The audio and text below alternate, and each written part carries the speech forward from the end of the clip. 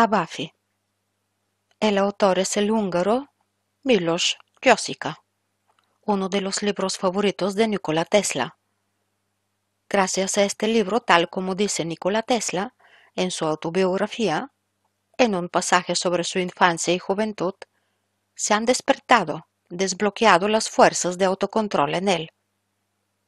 Les recomiendo también escuchar el libro Autobiografía de Nikola Tesla que está disponible en este canal. Sus palabras exactas fueron, una vez me encontré con un relato corto llamado Abafi, una traducción serbia de la obra de Josica, un escritor húngaro muy famoso. Este libro consiguió despertar mi fuerza de voluntad oculta y empecé a practicar el autocontrol. Nikola Tesla. No me fue nada fácil traducir este libro teniendo en cuenta las palabras y las frases usadas. Es un libro del siglo XIX y los escritores de la época tenían sus rarezas a la hora de escribir. Una historia del caballero húngaro Abafi, que pasa de ser una persona malvada y egoísta, que busca satisfacer todos sus caprichos, a una persona amable y noble, que hace más por los demás que por sí mismo. Prólogo. Aquí pongo en manos del lector un rompealmas. Su objetivo es serio y trata de que con fuerte voluntad todo lo vil puede ser superado, que el camino a la perfección es difícil, que hay innumerables recaídas en el mal habitual, pero la fuerza mental triunfa al final. Aunque describo la vida interior en esta historia, me he esforzado por darle una vivacidad exterior y un enfoque serio del conjunto a través de las situaciones muy diferentes de una historia en la que hay más verdad que ficción y en la que he dedicado mi trabajo tanto al gran público lector como al lector más erudito. Que el lector juzgue si lo he hecho bien o no. El lago Falusi. Ve, hijo mío, dijo ella, Walter Scott. En el hermoso valle de Río Mures, Alving, se encuentra uno de los pueblos más encantadores de Transilvania. Más abajo se extienden fértiles campos que prometen una rica cosecha al campesino. Al otro lado del Mures se levantan colinas verdes como el marfil, con viñedos, bajo los cuales se encuentran las sencillas casas de los Borberic, destacándose en un entorno romántico.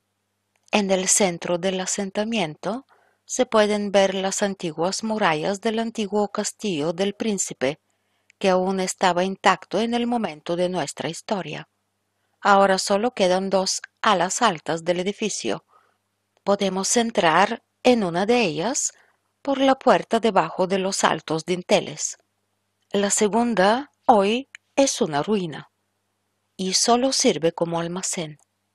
En una esquina de esa parte aún se ven los restos de las paredes del salón donde Georg Martinusius fue asesinado y arrojado por la ventana, donde su cuerpo yacía insepulto durante mucho tiempo. En el extremo oeste del bonito pueblo había una vivienda baja y sencilla, con paredes oscuras y medio encaladas, como las que todavía se pueden ver en muchos pueblos fuera de la carretera.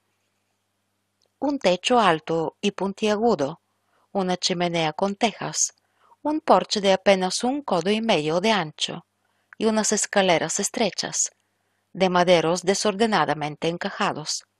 En el porche, sostenido por vigas cuadradas, toscamente labradas, había un barril de madera medio abierto, a la derecha, con el techo cargado de fardos de cáñamo. Junto a él, a la derecha, un barril muy destrozado, cuyas espigas calcáreas y separadas señalaban su contenido. A la izquierda había un caballo de gruesas patas. Junto a la puerta, que estaba en un lado, había un pasillo, y en el otro un puesto de cáñamo y un par de taburetes bajos. Más allá, sobre la paja y los tallos de cebada correteaban gallinas y polluelos. Esta sencilla vivienda estaba rodeada por una valla de pino. Algunas de sus esquinas estaban deterioradas por el tiempo. A la izquierda del patio se extendía un granero con techo de paja y junto a él una cabaña sin puerta. Más allá había un pajar y dos establos de engorde de cerdos, con sus habitantes gruñendo y asomando a veces la nariz. El edificio constaba de tres habitaciones y un atrio, al final del cual se escondía la cocina en una soledad humeante.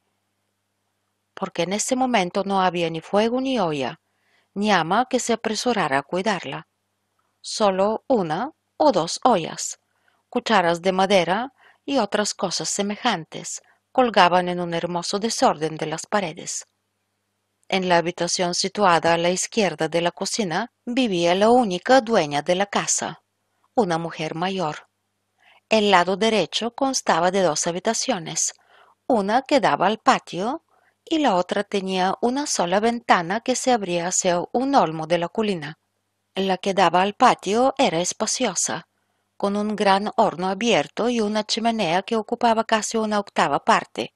Enfrente había un pesebre tosco y rudamente adornado, con una colgadura en la que en algunos lugares se veían rastros de la antigua pintura, junto a dos paredes con ventanas de estaño enmarcados con aros. Había cofres pintados, un caprichoso taburete para tazas y algunas sillas de madera. En la pared opuesta a la puerta había una larga mesa de roble. La señora Timar, viuda del señor Istok Timar, antiguo notario del pueblo, mantenía esta vivienda con su único hijo, Mishka Timar, que después de tres años de escuela regresó a casa para dedicar su tiempo a las tareas domésticas, a dormir y a visitar de vez en cuando la taberna del pueblo, el gallo cojo. La mujer, una persona mayor, alta, delgada y ágil, con ojos oscuros de piedra, y un rostro muy inteligente, en el que ya se asentaban las arrugas habituales de los sesenta años. Estaba sentada junto al fuego.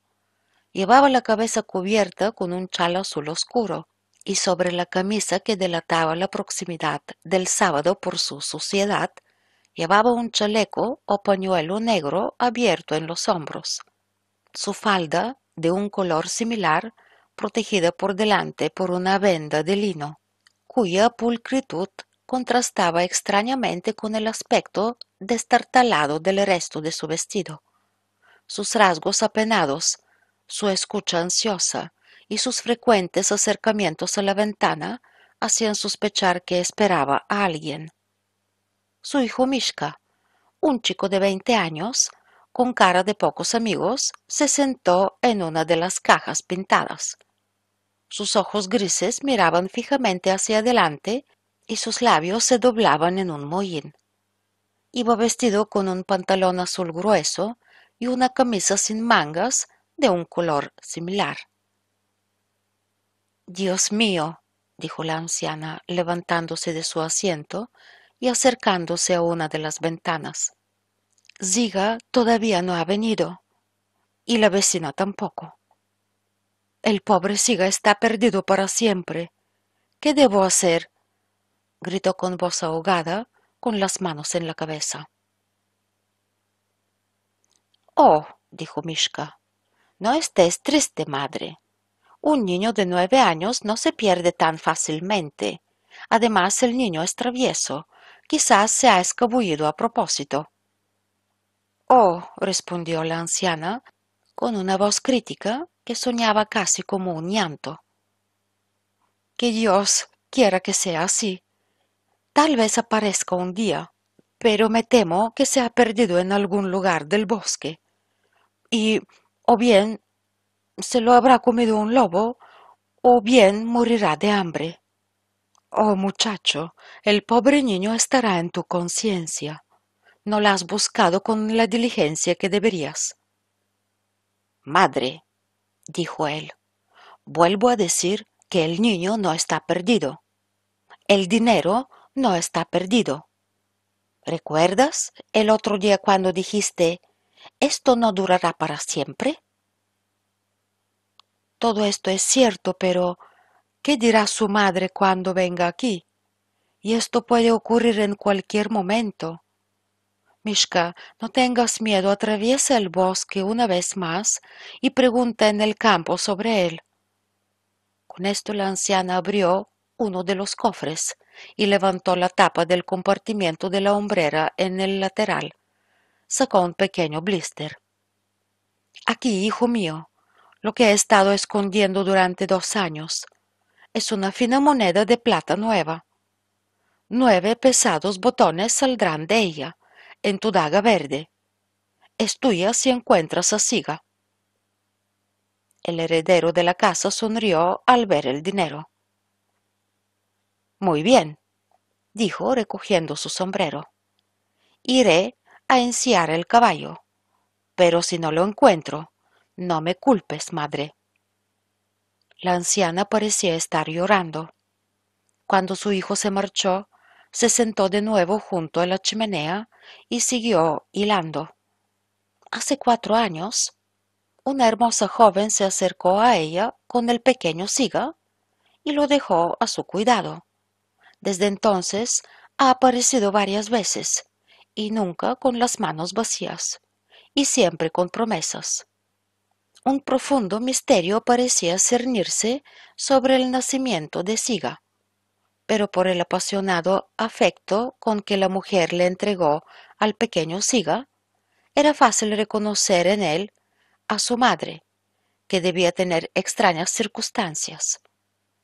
Dijo, no le ahorres ningún trabajo, que conozca el frío, el calor, el hambre y la sed, que sea trabajador y laborioso, que su corazón sea bueno, pero no blando, que aprenda bien. Así pues, que sea un hombre fuerte de cuerpo y de alma, y que en su momento sea él mismo, contento consigo mismo. Porque, dijo ella, con lágrimas involuntarias, que parecía avergonzarse de derramar. Es su destino estar solo entre las olas de la vida, y tendrá que ser capaz de soportar todas las cosas, que sepa lo que es necesario para una vida de rechazo, pero no mucho, solo lo necesario. La anciana escuchaba atentamente los peculiares principios de la educación, medio sospechando medio no percibiendo nada. La anciana se esforzaba por cumplir estos deseos, en parte por el afecto de la encantadora niña y en parte por el deseo de tener ganancias. Mantenía a Siga bajo control. Iba a la iglesia dos veces por semana, donde progresaba considerablemente en la lectura y la escritura. En la casa compartía todas las cosas, alimentaba al ganado, a los caballos, a los cerdos, barría y hacía mantenimiento en la casa. En cambio, se le daba de comer, llevaba ropa limpia, no le faltaba de nada. Llevaba los dos caballos de la anciana casi siempre a brevar, y en estas ocasiones montaba uno u otro, y no pocas veces los llevaba juntos hasta la mitad del bosque, y a veces regresaba a casa cubierto de polvo y sudor, para disgusto de la gruñona anciana. Cuidaba a sus ovejas y a veces pasaba los días con ellas en el linde de los bosques o en los pastos ondulados de abundante hierba. Tras el regreso de Mishka a casa, la anciana ya no trataba a su criado con tan poca amabilidad, aunque conseguía meterse en su corazón hasta cierto punto, y divertirle con sus bromas inocentes y a veces con sus chistes. El niño era más serio que alegre, pero la propia rareza de sus comentarios y caricias sinceras lo hacía más interesante. Todo lo que hacía lo hacía con un profundo sentimiento, y si a veces, aunque rara vez, se lanzaba al cuello de su tutora, no podía dejar que la expresión de este amor sincero y conmovedor quedara sin respuesta. Incluso las peculiares expresiones de sus reflexiones eran casi precipitadas. Todo esto producía en la anciana una compasión no fingida por su pupilo. Pero Mishka parecía celoso y no quería compartir las bondades de su madre con otra persona. El día antes de que conociéramos a esta familia, la anciana envió a Siga a pastar con sus once ovejas y tres cabras al borde del bosque. A última hora de la tarde, las ovejas volvieron solas, y la anciana envió inmediatamente a su hijo a buscar el chico. Mishka no pudo evitar un leve regodeo en su rostro. Mishka fue a buscarlo o a no buscarlo, eso lo sabía solo él pero volvió por la mañana molesto y refunfuñando, sin el niño. La anciana parecía tomarse el asunto muy a pecho. Mientras el pequeño Siga había estado delante de ella todos los días, no sospechaba de cuánto lo quería o estaba acostumbrada a él. Ahora, al perderlo, una inquieta amargura se apoderó de su corazón. Por un lado el amor por el pequeño, por otro la ansiedad por si su madre lo quería de vuelta. Y además de todo esto, una no pequeña reducción de sus ingresos, porque a veces este dinero mantenía el estado de ánimo de la pobre familia. La anciana caminaba inquieta, la búsqueda no había progresado, y en su corazón se instaló esa sensación dolorosa y desagradable que siempre acompaña a la espera inútil o bien se había perdido, lo que no era raro ni extraño en las muchas o poco transitadas bahías de aquellos días, o bien su propia voluntad le hizo marcharse, lo que ofendió doblemente la anciana, con la reconfortante conciencia de que no había dado ninguna razón para ello.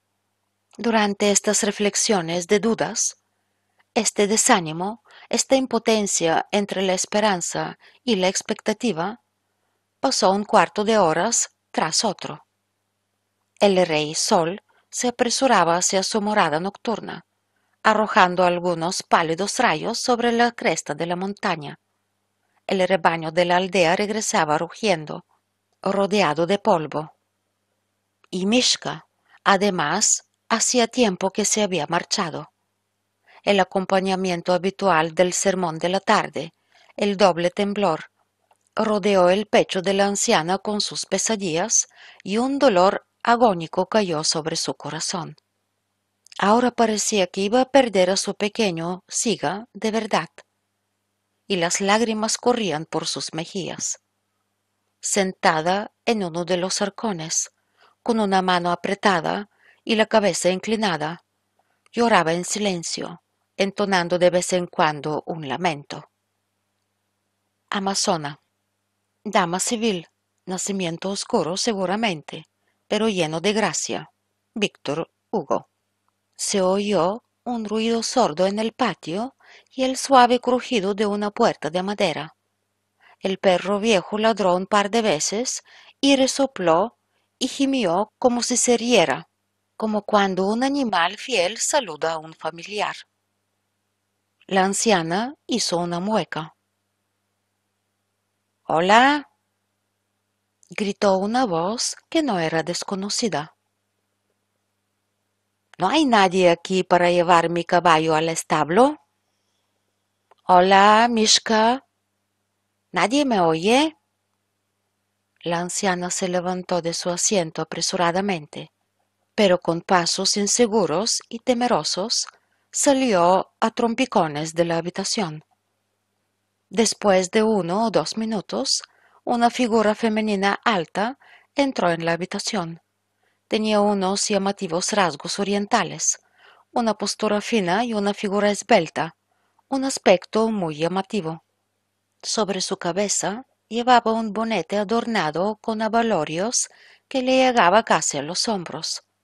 A un lado del sobrero salía estrecha piel negra, por debajo de la cual descendían largos mechones de pelo, envueltos con cinta roja. Su cintura estaba cubierta por un pañuelo de color verde oscuro, decorado con una cadena estrecha y rara y botones diminutos. Debajo de este, una pesada falda de seda se extendía hasta muy por encima de los tobillos, y un satén rojo rodeaba los pequeños y estrechos pies. Llevaba un arco ligero colgado del hombro y una daga fina. En su mano tenía un látigo. La bella dama se detuvo en medio de la habitación y tomando su arco de los hombros, lo colocó sobre la mesa y tomó asiento frente a la chimenea. Su rostro estaba ensombrecido por una nube de inquietante expectación. De vez en cuando miraba hacia la puerta y golpeaba el suelo estropeado con su látigo. Pronto entró la anciana. Vieja, dijo la bella mujer desconocida. ¿Cómo estás? ¿Dónde está mi siga? Hace tiempo que no lo he sentido cerca de mi corazón.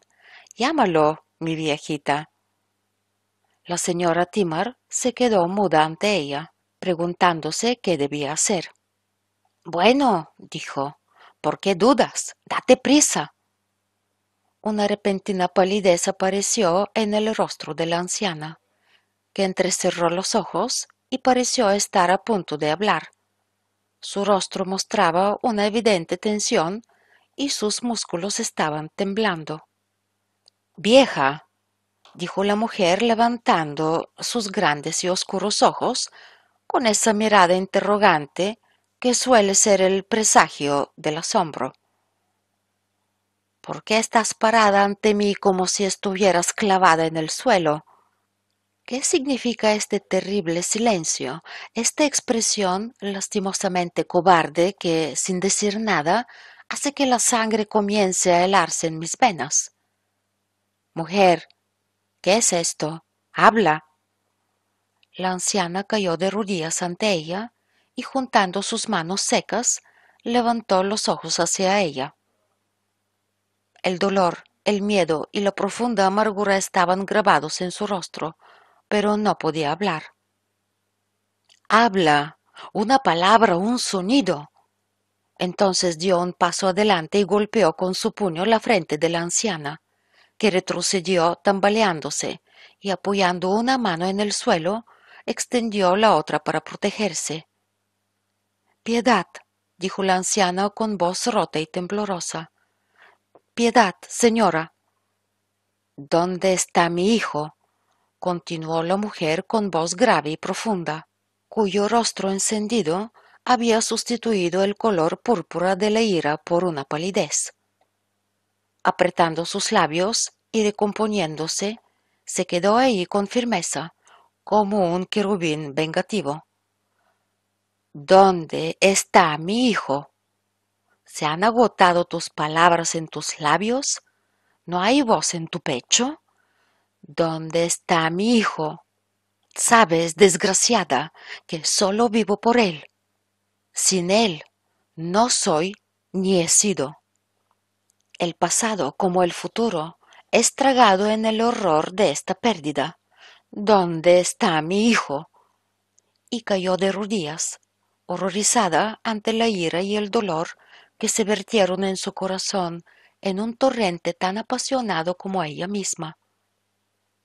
Dios, dijo ella, terrible pero justo, como dice el refrán, Señor de arriba o de abajo, bondadoso o temible, escúchame si existes.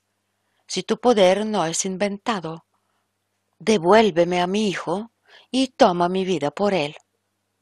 O bien, dijo ella, levantándose de un salto y sacándose la daga de su cinturón, si eres un aprovechado, si quieres tener piedad a cambio de un precio, dímelo, dame una señal. ¿Cuántas vidas quieres tener por una? ¿Diez? ¿Cien? ¿Mil? dijo apenas comprensiblemente derrumbándose en el suelo. La anciana estaba en un estado de terror indescriptible. No podía hablar, y viendo a esta horrible criatura así enfurecida contra el hombre, Dios y ella misma, se apresuró a salir de la casa. Deteniéndose un momento en la puerta, gritó con voz fuerte y asustada. Siga se ha perdido, tal vez aún esté vivo.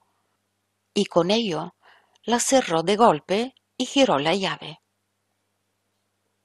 Puede estar vivo, gritó, o más bien chilló con una risa enloquecida.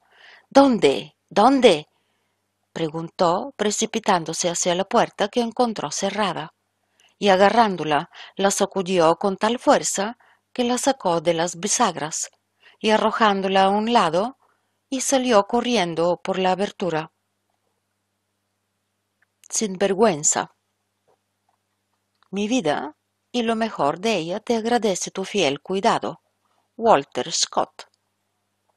Mientras esto sucede en Alving, echemos un vistazo a la carretera que lleva de Fairbar a este lugar. Esta carretera se extiende a lo largo del río Maros, en hermosas curvas. La fértil alfombra del amplio valle, regada por el río más bello de Transilvania, está rodeada de colinas resguardadas y resplandecientes, con viñedos a ambos lados, densos bosques y en algunos lugares campos de cultivo que o bien se destacan negramente en sus flancos rotos entre el verde césped o se balancean en ondas doradas repletas de coles amarillas. El campo es abierto, descubierto y evoca alegría y esplendor. Aquí y allá, en las laderas de las colinas o en la meseta plana del amplio valle, se encuentran dispersas las aldeas, desde las que se elevan en lo alto, con sus oscuros tejados, sombreadas por aereados aleros, que respiran el espíritu de la tranquilidad doméstica y la suave familiaridad. En esta hermosa campiña vemos a un caballero pisando tranquilamente. Su bella yegua, de color bayo, bajaba la cabeza con cansancio, con la brida colgando, ya sea por un gesto de piedad o de un descuido de su amo, que parece acompañar su trote con el vaivén de su armonioso cuerpo. Así, visto desde lejos, se puede pensar que está dormido o que apenas podía mantener la cabeza erguida. Todo el cuerpo del caballero muestra un descuidado ensimismamiento, no sólo en la mirada casi inexpresiva de un rostro atormentado, sino también en la suciedad de su desaliñado atuendo. Él es joven, no parece tener más de veinte, veintidós años. Su largo rostro está hundido y una palidez se extiende sobre él, el resultado de la vida descuidada, de las noches sin dormir y de la fatiga soportada, más que de enfermedad. Sus grandes ojos negros brillan de forma casi extraña en estos rasgos rotos, y su nariz delgada y sus labios pálidos desmienten la vivacidad de sus ojos, que sin embargo reflejan la llama de su borrachera más que el ardor de su alma. Sobre su cabeza está puesto un sombrero con la copa rota, que apenas se tambalea en la parte posterior de la cabeza. Por debajo de él caen despeinadas ondas oscuras de cabello, empapadas de polvo y sudor. La parte superior de su cuerpo está cubierta con una túnica oscura, ahora de color misterioso, medio doblada sobre su hombro izquierdo, desabrochada y sin más botones. Las perneras de los pantalones y las botas desgastadas eran del mismo color. Una espada bellamente elaborada colgaba de su costado. El caballero, medio dormido, medio borracho, pero ni lo uno ni lo otro como para no estar bien consigo mismo. Si se le mira más de cerca, parece el supuesto hijo rabioso de un rico terrateniente. Durmiendo y de vez en cuando levantando la cabeza, avanza por el camino, sin observar apenas el bello paisaje que tiene ante sí y a su alrededor. Su tranquila y uniforme marcha solo se ve interrumpida por la flojedad de la correa de su montura, que a veces aprieta más. Pero los vapores de la comida que ha tomado y el zumo de uva que la ha acompañado parecen disiparse tranquilamente en su cabeza, lo que es perceptible por su postura más firme y el relincho de su caballo. Así continuó durante algún tiempo. El sol ya se ponía detrás de las colinas, dorando sus flancos con rayos mortecinos y extendiendo las sombras de las montañas por el valle. El espejo verde del río Maros sonríe con una larga línea roja, reflejando así los últimos rayos de luz, mientras nuestro caballero es alertado por un gemido lejano. Nuestro hombre parece estar consciente, y su soledad sin quejas le impide un mayor escrutinio. Pero a medida que los gemidos se acercan, alcanza a ver a un niño bajo un arbusto no muy lejos del camino. A primera vista parece como si hubiera sido golpeado por alguna enfermedad repentina.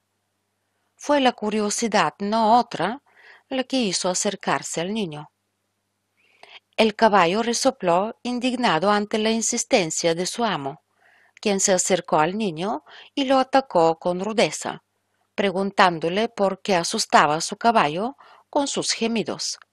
Pero una mirada más atenta al niño que tenía unos nueve años, demostró que no era la inquietud ni la obstinación, ni el horror de su situación, lo que había forzado estos sonidos desgarradores de su pecho. El apuesto muchacho, con su cara bonita y sus ojos interesantes, parecía estar recuperándose de una grave enfermedad. La palidez derretida, los ojos quebrados, el temblor silencioso en torno a sus labios, que apuntaba casi a la locura, o al menos al principal grado de terror, no era para decir que conmovían, pero al menos sorprendían al caballero. La ropa del niño, aunque andrajosa, era de un material considerable y parecía las de unos padres adinerados y los numerosos arañazos en su pálido rostro y en sus manitas y sus dientes mudos apretaban en señal de súplica y se esforzaba con todas sus fuerzas por levantarse de una posición medio tumbada y medio sentada. Mostraban que el pobre niño pagaba entre espinas y arbustos. El caballero, sacando un trozo de queso de su alforja, se lo arrojó al mendigo como se arroja un bocado a un perro, no por miedo ni por piedad, sino para hacerle ladrar. ¿De quién eres, hijo? preguntó, no con una voz suave. ¿Y qué estás haciendo aquí? El niño, con el dolor y la desesperación en sus rasgos, quería hablar, pero no tenía fuerzas para hacerlo. La torre de Alving se alzaba en las nubes del crepúsculo vespertino, en la distancia. El chico señaló en esa dirección y se dejó caer en el suelo de nuevo. Toma, dijo el caballero señalando el queso. Toma un poco de queso, come. Habrá otros pasajeros, alguien que te llevará a casa. No tengo tiempo ni ganas pero acércate al camino, por aquí, y si mantienes la boca cerrada y gimes en voz baja, el diablo no te verá. Cuando el caballero comenzó a hablar, una expresión incierta de alegría se extendió por el lugar del niño, pero cuando pronunció las últimas palabras, la expresión de desesperación regresó. Era imposible ver a ese niño inocente tan abandonado, destrozado, con tanto dolor, sin compasión.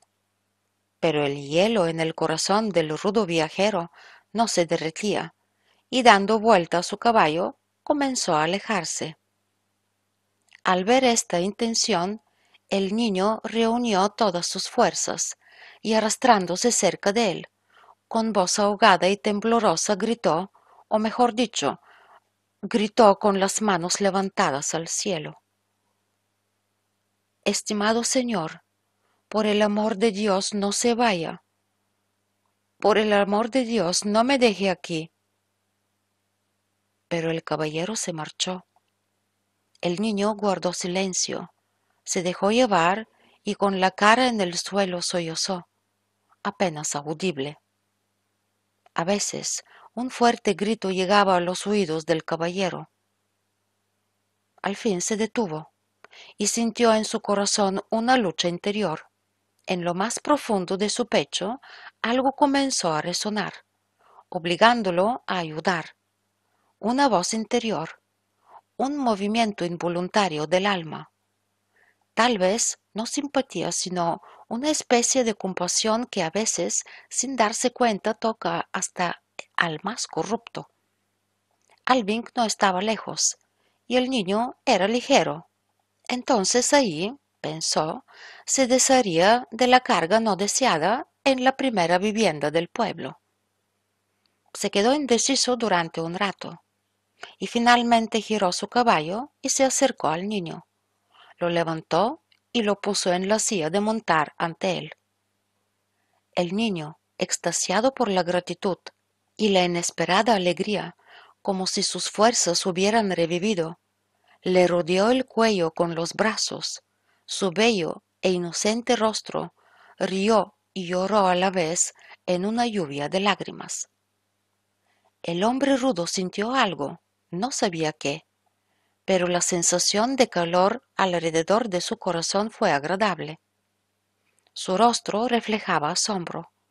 La imagen inédita de la recompensa de una buena acción calentó su corazón. La sensación de ser salvado en labios de un niño se convirtió en palabras. Una expresión simple e inocente de su gratitud llegaba al corazón y haría feliz a cualquiera. El caballero sintió algo similar, pero oscuro, como sombras de la imaginación disolviéndose en la oscuridad de la noche. A su pregunta, el niño pudo brevemente contarle la historia de su vida, que era huérfano, una viuda pobre que lo mantenía por dinero y que su madre lo visitaba ocasionalmente, que ayer se durmió y al despertarse ya no vio a las ovejas, y pensando que se habían perdido en el bosque, empezó a buscarlas. Y así, adentrándose cada vez más, se perdió y pasó la noche en el bosque, asustado y desesperado, y apenas pudo caminar al día siguiente hasta que el caballero lo encontró. Alegría. ¿Cómo puedo agradecerte esto? Voltaire. Habíamos dejado a la extraña mujer en Alving, abriendo bruscamente la puerta cerrada. Entonces escuchó el crujido de la gran puerta de entrada. El perro ladró y el silencio de la noche fue roto por una voz masculina áspera pero fuerte. Hemos llegado a casa. Abran la puerta. Estaba de pie en el oscuro atrio, cuya puerta seguía cerrada, como hechizada por el sonido que parecía más de peligro que de alegría. El grito de la anciana, señora Timar, llegó desde afuera. Ese tipo de grito que en las mujeres se produce por la alegría o el susto repentinos, o algo inesperado. Aquí está él. Sáquenlo de la silla, dijo una voz masculina creo que podemos adivinar de quién es la voz y quiénes se bajan de la silla. De hecho, el caballero que encontramos en el camino que conduce a Ferbar, que se llevó con él el niño encontrado, no era otro que Siga. De repente en todos los rostros apareció un arrebato de alegría. Todos reaccionaron según su temperamento pero las reacciones en su ferocidad y lentitud fueron de la misma naturaleza que las oleadas de tristeza, dolor, desesperación y aburrimiento anteriores. La mujer era una apasionada en todo, y también lo era en su alegría.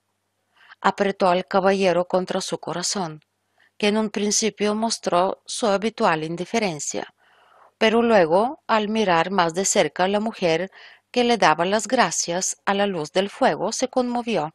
La mujer lloraba y reía al mismo tiempo. Quienes la vieran por primera vez pensarían que estaba loca. La anciana, aunque también se sentía culpable cuando el niño regresó, fingió arrepentirse, pero fue más tacaña en sus disculpas. Como suele ser el caso, las mujeres también consideran que sus errores son perdonadas si las cosas se resuelven, y la anciana no fue acusada de pecado intencional. Lo más conmovedor, sin embargo, fue la alegría celestial sin adulterar del pequeño Siga. El niño era tan hermoso que parecía como si fuera un ángel, con el rostro enrojecido de alegría. Aunque enseguida voló a los brazos de su madre, una y otra vez, aunque le tendió dos brazos llenos de alegría a la anciana sin palabras. El éxtasis con el que volvió la mirada hacia el rudo caballero, como expresión de su agradecimiento, ensombreció todo. Eso debería haberse visto. Ninguna pluma podría describirlo. Si tenemos en cuenta la actitud rígida del caballero y sus movimientos ansiosos porque se encontraba en una situación que era nueva para él, una mezcla de satisfacción, aburrimiento y ganas de acabar con todo, tendremos colores con los que podremos completar esta interesante imagen.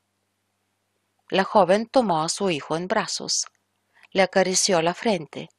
Ella empapó sus heridas con sus lágrimas y preparando la cama lo acostó con cuidado. Pronto todas sus heridas fueron vendadas y en un pequeño cuenco le prepararon una sopa caliente.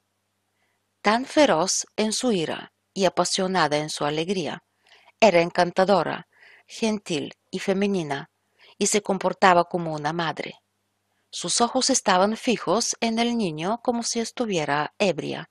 Palidecía con cada sollozo de él, saltaba cada petición suya, que cumpliría de inmediato.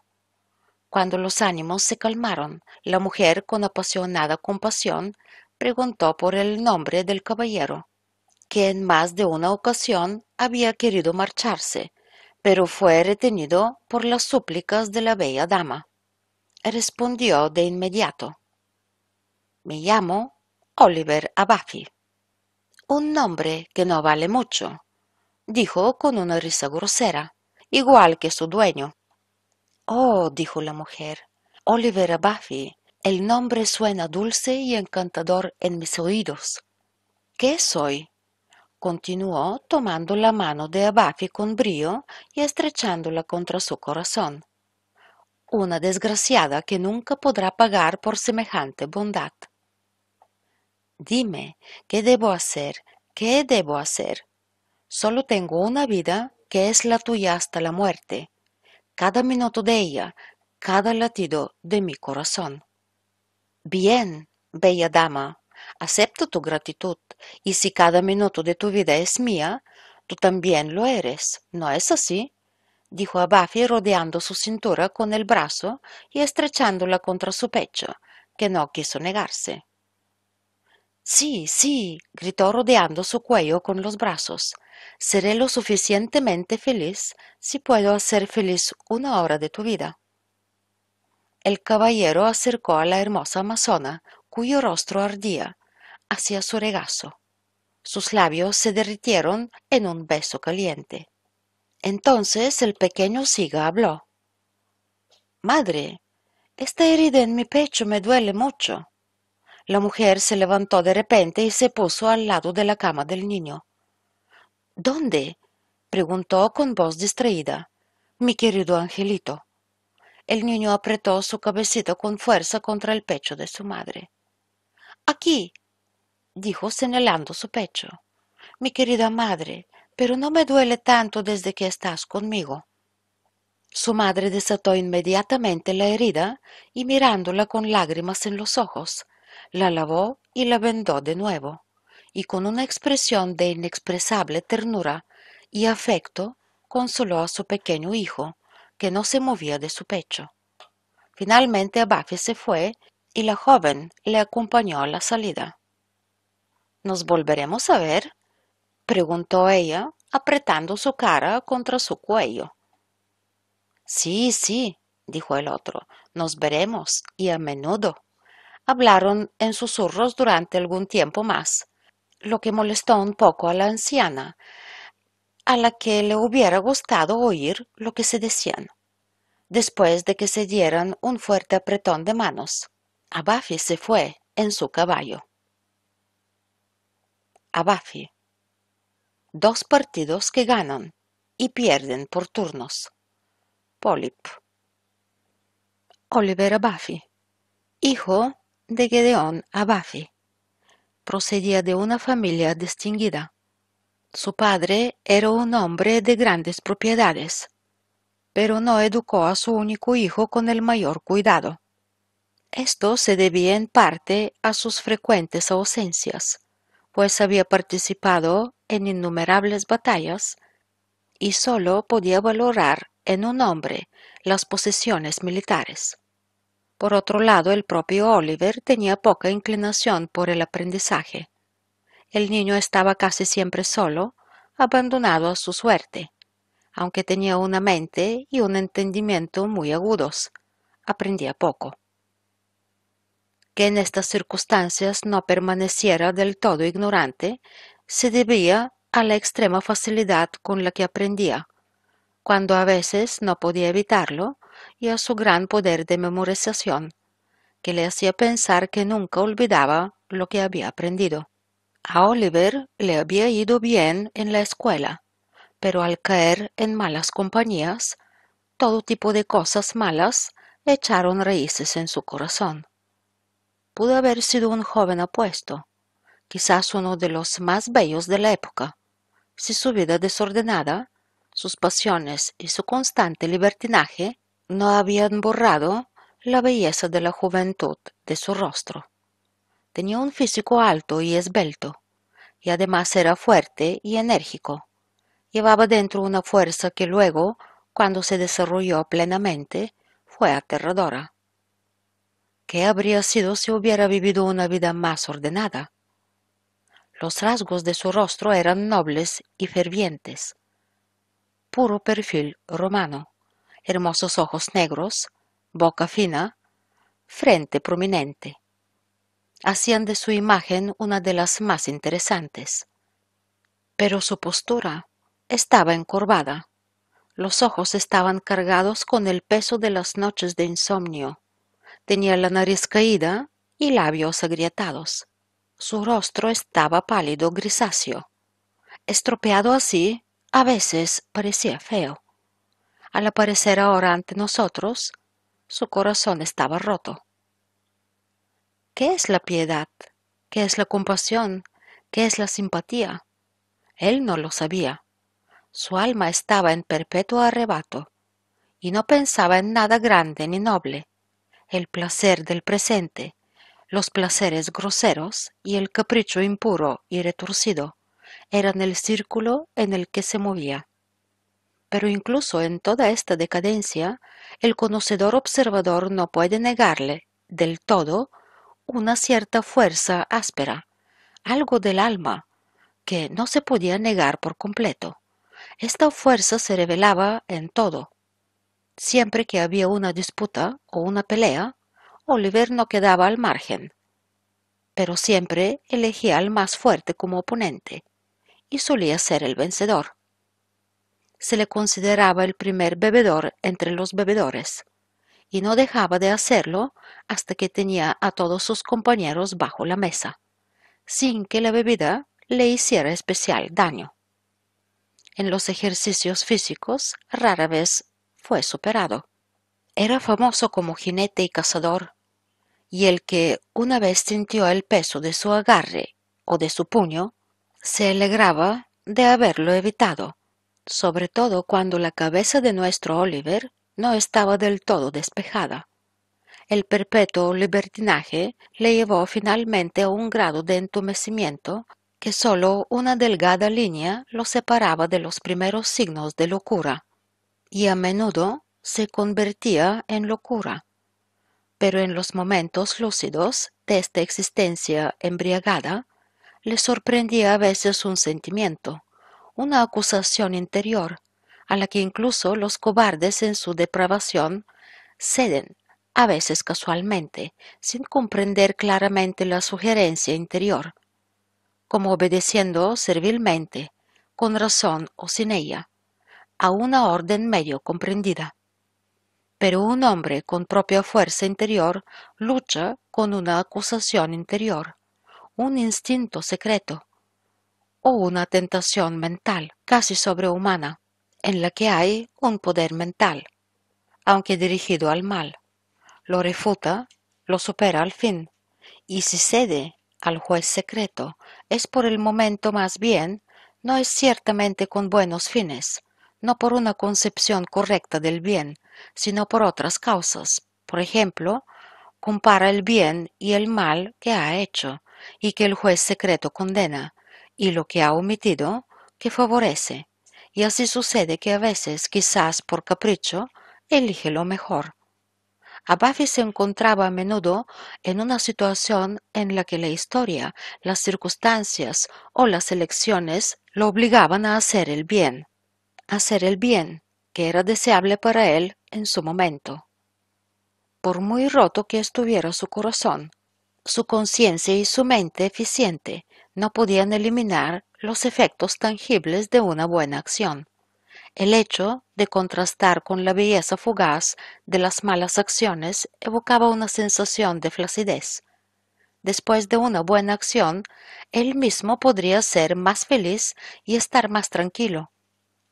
Él mismo se dio cuenta de esto, sin pensarlo mucho. La comprensión de las consecuencias de una buena acción, según él observó, nunca se perdería. Si pasaba la noche en una compañía ruidosa, cantando y peleando, se sentía agotado al día siguiente. Entonces, enfurecido, juraba que cuando le dieran a elegir entre dos formas de pasar el tiempo, tenía que sacrificar lo más halagador por su vanidad, por su orgullo, pero después de un tiempo su vanidad y orgullo favorecían lo peor, como si no hubiera ningún eco o sonido posterior en su propia memoria. Así, dos bandos opuestos se perfilaban poco a poco en Abafi, y sus pasiones se encontraban al principio con una reacción débil y ambigua, y luego con una reacción firme y aguda. Como a Abafi no se le puede negar la existencia del poder mental, sentía una gran alegría si a veces lograba controlar sus pasiones. ¿Eres tú el que puede dominar sus pasiones, borracho cascarrabias? le dijo una vez su vecino, en compañía de unos borrachos. Esto ofendió a Buffy, y siendo rudo, inculto y desconocedor de otro tipo de satisfacción, no es de extrañar que levantó en alto a su vecino borracho y agitándolo alrededor de los demás asustados borrachos, lo arrojó por la puerta abierta, y que se había estado recuperando durante seis semanas de este vuelo involuntario. Pero quizás empezaremos a admirar a Buffy cuando él cumpla sus palabras de que podrá controlar sus buenas y malas pasiones si quiere. No saldrá en compañía durante tres meses, no beberá, ni peleará, ni cazará, ni cabalgará esta lucha interna en su pecho, esta división de estímulos buenos y malos dentro de él, estaba creando una actitud silenciosa. Y así, sólo algunos de sus actos quedarían sin su condena. A menudo surgían malos estímulos, malos deseos, al principio sin ser juzgados o negados, pero al final rara vez podía ser algo malo sin al menos de tener algo de remordimiento. Y eso marcó su alma con cierta duda, y quizás fue porque nunca estuvo ausente, y este hecho llevó la fusión entre el remordimiento con su alma y se convirtió en una parte complementaria de ella. En una disputa interna de este tipo, tuvimos la oportunidad de ver a Buffy hace poco, cuando iba a Sasfaros, donde se encontraba su casa, y en su camino se topó con el perdido Siga. Podemos afirmar de que en esta lucha interna entre el aburrimiento, la pereza y algo parecido a la compasión, pero no fue compasión real, el bien ganó. Desde un punto de vista psicológico, creo que se vio obligado a hacer una buena acción por el cambio involuntario de su alma y la influencia del presente. Al poner al niño frente suya, cambió el color de la disputa en su alma. Notó una especie de calma en sí mismo. La inocente y apasionada gratitud del niño le agradó y fue para él un nuevo tipo de alegría, más dulce que cualquier otra que hubiera sentido antes. Y quien siga con atención el curso de la vida de Abafi podrá percibir que esta historia tuvo un gran efecto en su alma. Comenzó a ver claramente la diferencia entre el bien y el mal, y por primera vez en su vida asumía con tanta firmeza esta paz interior, esta autorrecompensa que repetidamente intentaba sentirla de nuevo.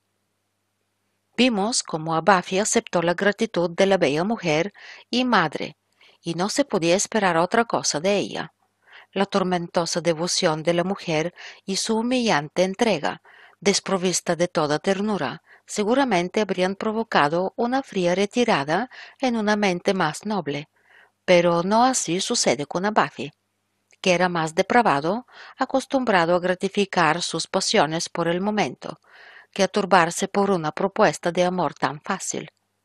Si el pequeño Siga no se hubiera involucrado, ella sería más gratificante y nuestro héroe más insistente. Que la bella mujer haya expresado su alegría maternal y su ferviente gratitud de una manera tan extraña, casi rozando la locura, debería haber sido una sorpresa para todo lector pero no así para el conocedor del tema, que a veces ha experimentado las emociones más rebeldes mezcladas en el alma. Una madre que vive para su hijo, que está dispuesta en cualquier momento a sacrificarlo todo por él. Es una escena que no carece de interés y evoca una cálida simpatía. Pero si retrocedemos, nuestro corazón se encoge de frío si el mismo ser cuyos sentimientos maternales lo convierten en un héroe es capaz de arrojar sin vacilar su amor sobre el primer recién llegado. Para entender eso, debemos seguir avanzando en el desarrollo de esta historia. Quizás entonces tengamos una imagen mejor y más clara. Colosvar en 1594 ¿Qué significa este ruido? Jacob.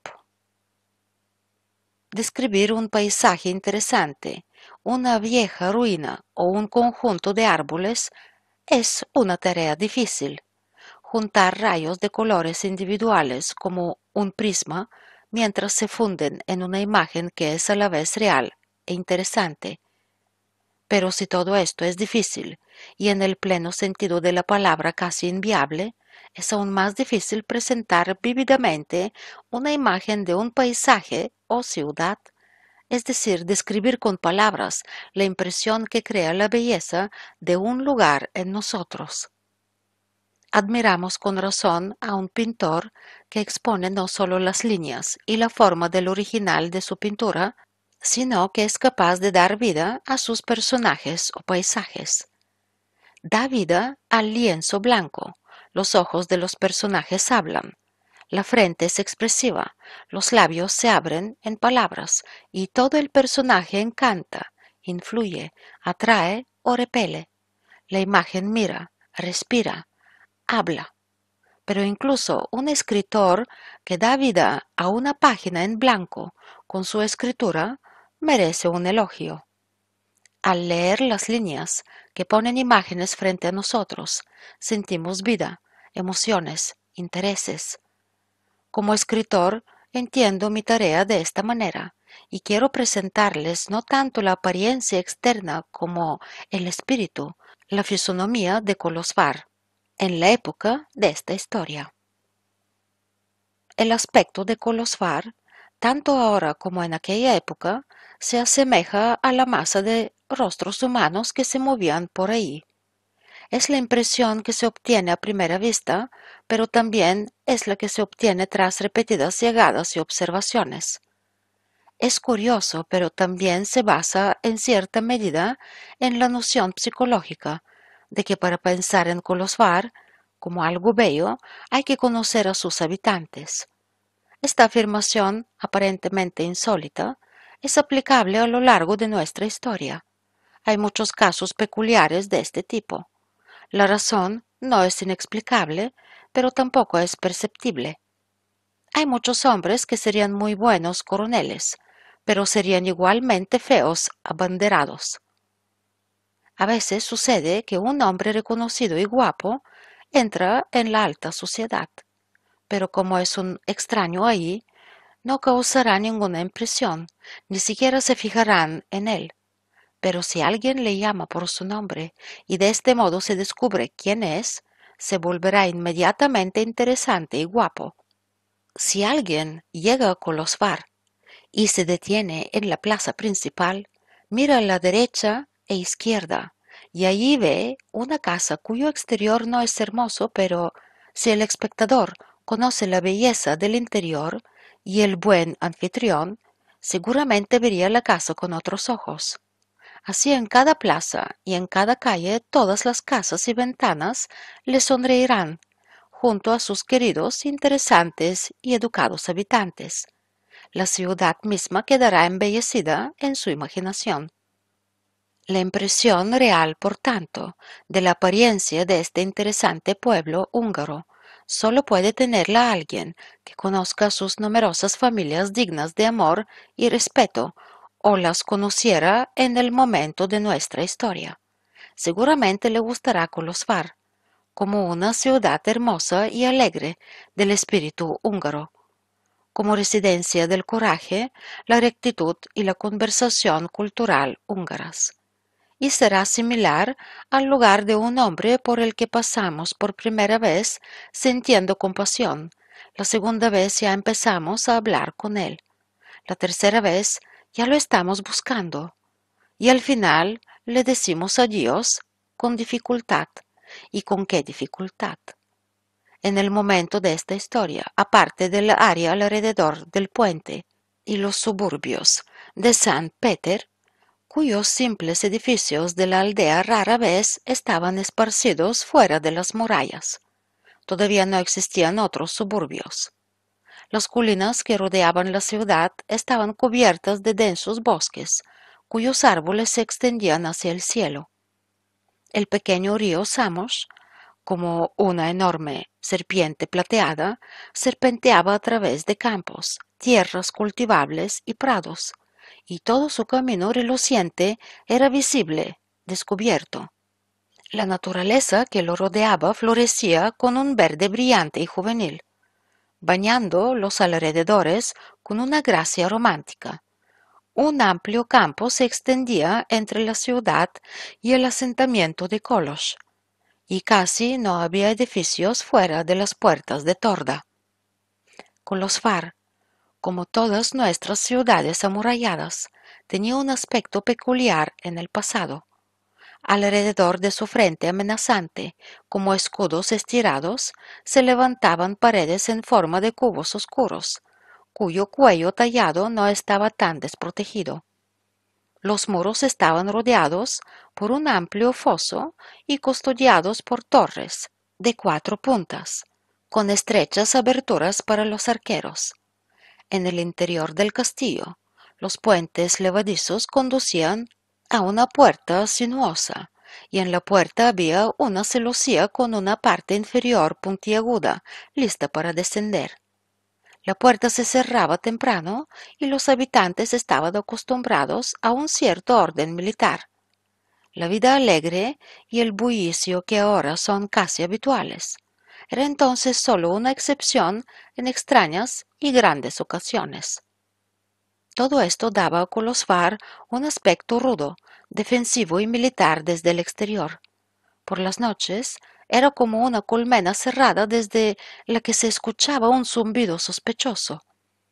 Dentro de las paredes, los techos altos y las paredes a cuadros brillantes u oscuras, sin embargo, reflejaban cierto despecho. Desde un punto de vista estético, pueden haber parecido desagradables pero de todos modos eran interesantes. En esta parte de la ciudad, que hoy se llama la ciudad vieja, era la más edificada y también se encontraba ahí el único mercado. En una esquina de la calle que conduce al mercado desde la llamada Gran Plaza, todavía se encuentra la casa donde nació el rey Matías Corvino. Había menos casas en otras partes de la ciudad y largas vallas de madera se extendían entre ellas en algunos lugares. A un lado de la espaciosa plaza, entre las casas bajas, se levantaba una hermosa iglesia gótica, que en ese momento todavía tenía una torre. La iglesia estaba rodeada de un espíritu de piedad solemne, pacífica, solitaria, y evocaba un sentido de reverencia y adoración. La gente de la ciudad también tenía un aspecto particular. Sus trajes, carruajes e incluso caballos eran muy diferentes a los actuales, lo que les daba una forma y, por así decirlo, un aspecto diferente. Los chalecos largos y holgados, los abrigos anchos, los pantalones hasta la rodilla, los sombreros, las hachas y los picos eran las señas de identidad de su antigüedad. Un semblante muy diferente, una lengua más tosca, unos modales más vulgares y una forma distinta de expresar la alegría, la ira y la tristeza seguían dando lugar a esta antigüedad.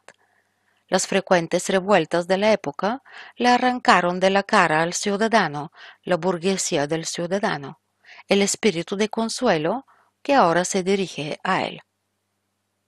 Esa apacible familiaridad, la calma que se desprende del flujo tranquilo e inmutable de la vida cotidiana no existía antes. Pero había más fuerza en sus rostros, más orgullo. Había algo desafiante en la expresión de los ojos y del rostro, dispuesto a responder y decidido que en vano buscamos en la expresión de los rostros de los pacíficos ciudadanos de hoy. Pero vamos, entramos por una oscura puerta húngara protegida por altas torres cuadradas. Las casas de la izquierda y la derecha están pintadas en su mayoría con motivos a cuadros de color gris blanco, excepto algunas que se destacan con colores vivos o están cubiertas con pintura gris gastada. La calle está bien pavimentada. Junto a las casas hay altos manzanos y álamos y entre ellos hay tejas o techos de madera de un color negro, gris o blanco. Solo hay dos casas más altas en toda la calle, de un piso, una cerca de la puerta a la derecha y la otra en el medio de la calle a la izquierda, que conduce a la calle del medio. La casa tiene ventanas irregulares, talladas de mal gusto, y un serviente y una doncella están de pie junto a la ventana inclinándose de vez en cuando hacia la multitud que se precipita hacia la plaza. Uno de ellos es un hombre de cabello gris con un largo bigote colgando, sosteniendo una escoba en sus manos. Junto a él se encuentra una hermosa muchacha de cabello liso, atado en una larga cola de caballo, que le cuelga sobre el hombro derecho, sosteniendo un paño sucio para quitar el polvo. En este momento un joven de cabello castaño pasa por debajo de la ventana. Su cintura está cubierta por una camisa celeste con diminutos botones de cobre que le llegan hasta la mitad del muslo. Sobre su hombro lleva un abrigo de piel de oso. Una cabeza de oso con brillantes ojos de cristal rojo, adornada con una cinta de terciopelo, se apoyaba sobre su ancho pecho. De una hermosa, pero sólida cadena de plata cuelga una pesada masa de hierro con un mango de plata y en el costado un sable de plata. Acariciando el hermoso cuello esbelto de su caballo, se detiene debajo de la ventana. Kelemen, ¿tu amo todavía está en casa? le preguntó al viejo serviente que miraba por la ventana. Fue a la pequeña iglesia para asistir a una reunión, respondió el anciano, asintiendo con la cabeza. ¿A una reunión? dijo el joven. Eso significa que llegará tarde, ¿verdad? ¿Qué significa esa multitud ruidosa corriendo por la calle a toda prisa? El rostro del anciano se ensombreció y susurró en tono confidencial. ¿No lo sabes, señor? Un día terrible está amaneciendo en Colosvar. En la plaza han levantado una estructura de madera y todos están a la expectativa. Se dice que varias personas perderán la cabeza allí. El caballero miró al sirviente con un signo de interrogación en los ojos. ¿Está el príncipe en casa? En casa, respondió el anciano con una risa amarga. Las mujeres lo conocen por sus besos y los hombres por la espada que cuelga sobre sus cabezas. El caballero continuó su camino, sacudiendo la cabeza. El viejo criado lo siguió con mirada pensativa. ¿Quién era este tío Kelemen? preguntó la chica pelirroja con el trapo en la mano. Peter Daxo, dijo el anciano por encima del hombro. Nunca lo había visto antes, comentó la chica sacudiendo el polvo del trapo. ¿A quién has podido ver? dijo el otro, en los apenas ocho días transcurridos desde que llegaste aquí desde chica.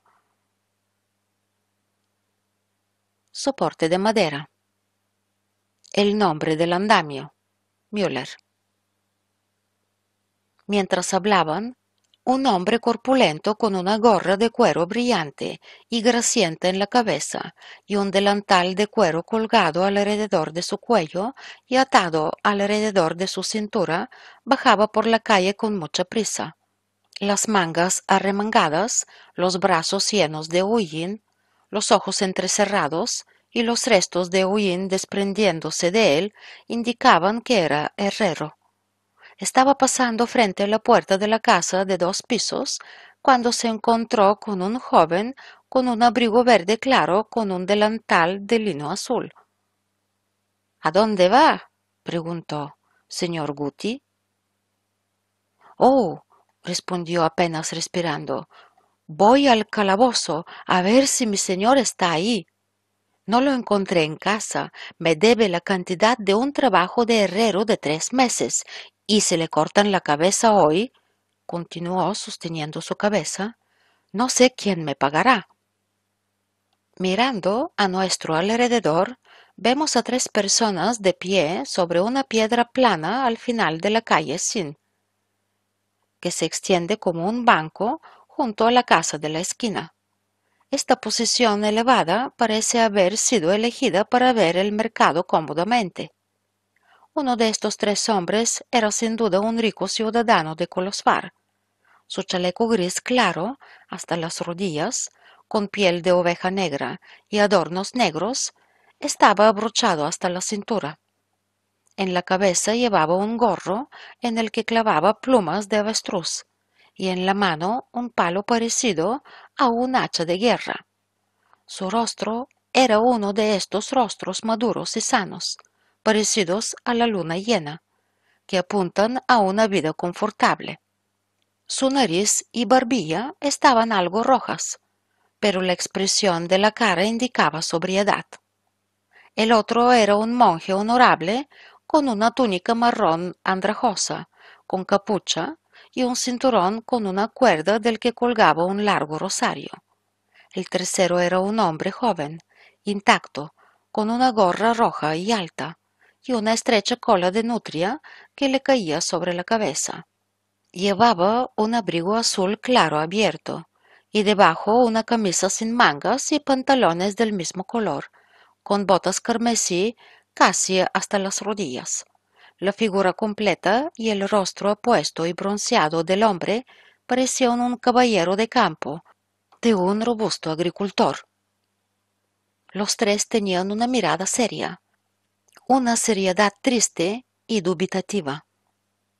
A veces miraban la estructura de madera erigida en el extremo de la plaza, que cubierta con tela negra y rodeada por los llamados guardias azules de Sigmund Bathory, se elevaba por encima de las cabezas de la multitud que se acercaba. para hacerse una idea de esta multitud de gente aislada en pintorescos montones y de la peculiaridad de toda la escena, imagina un alto pedestal cuadrado, cubierto de negro, que está más cerca de la parte de la plaza que de calle media.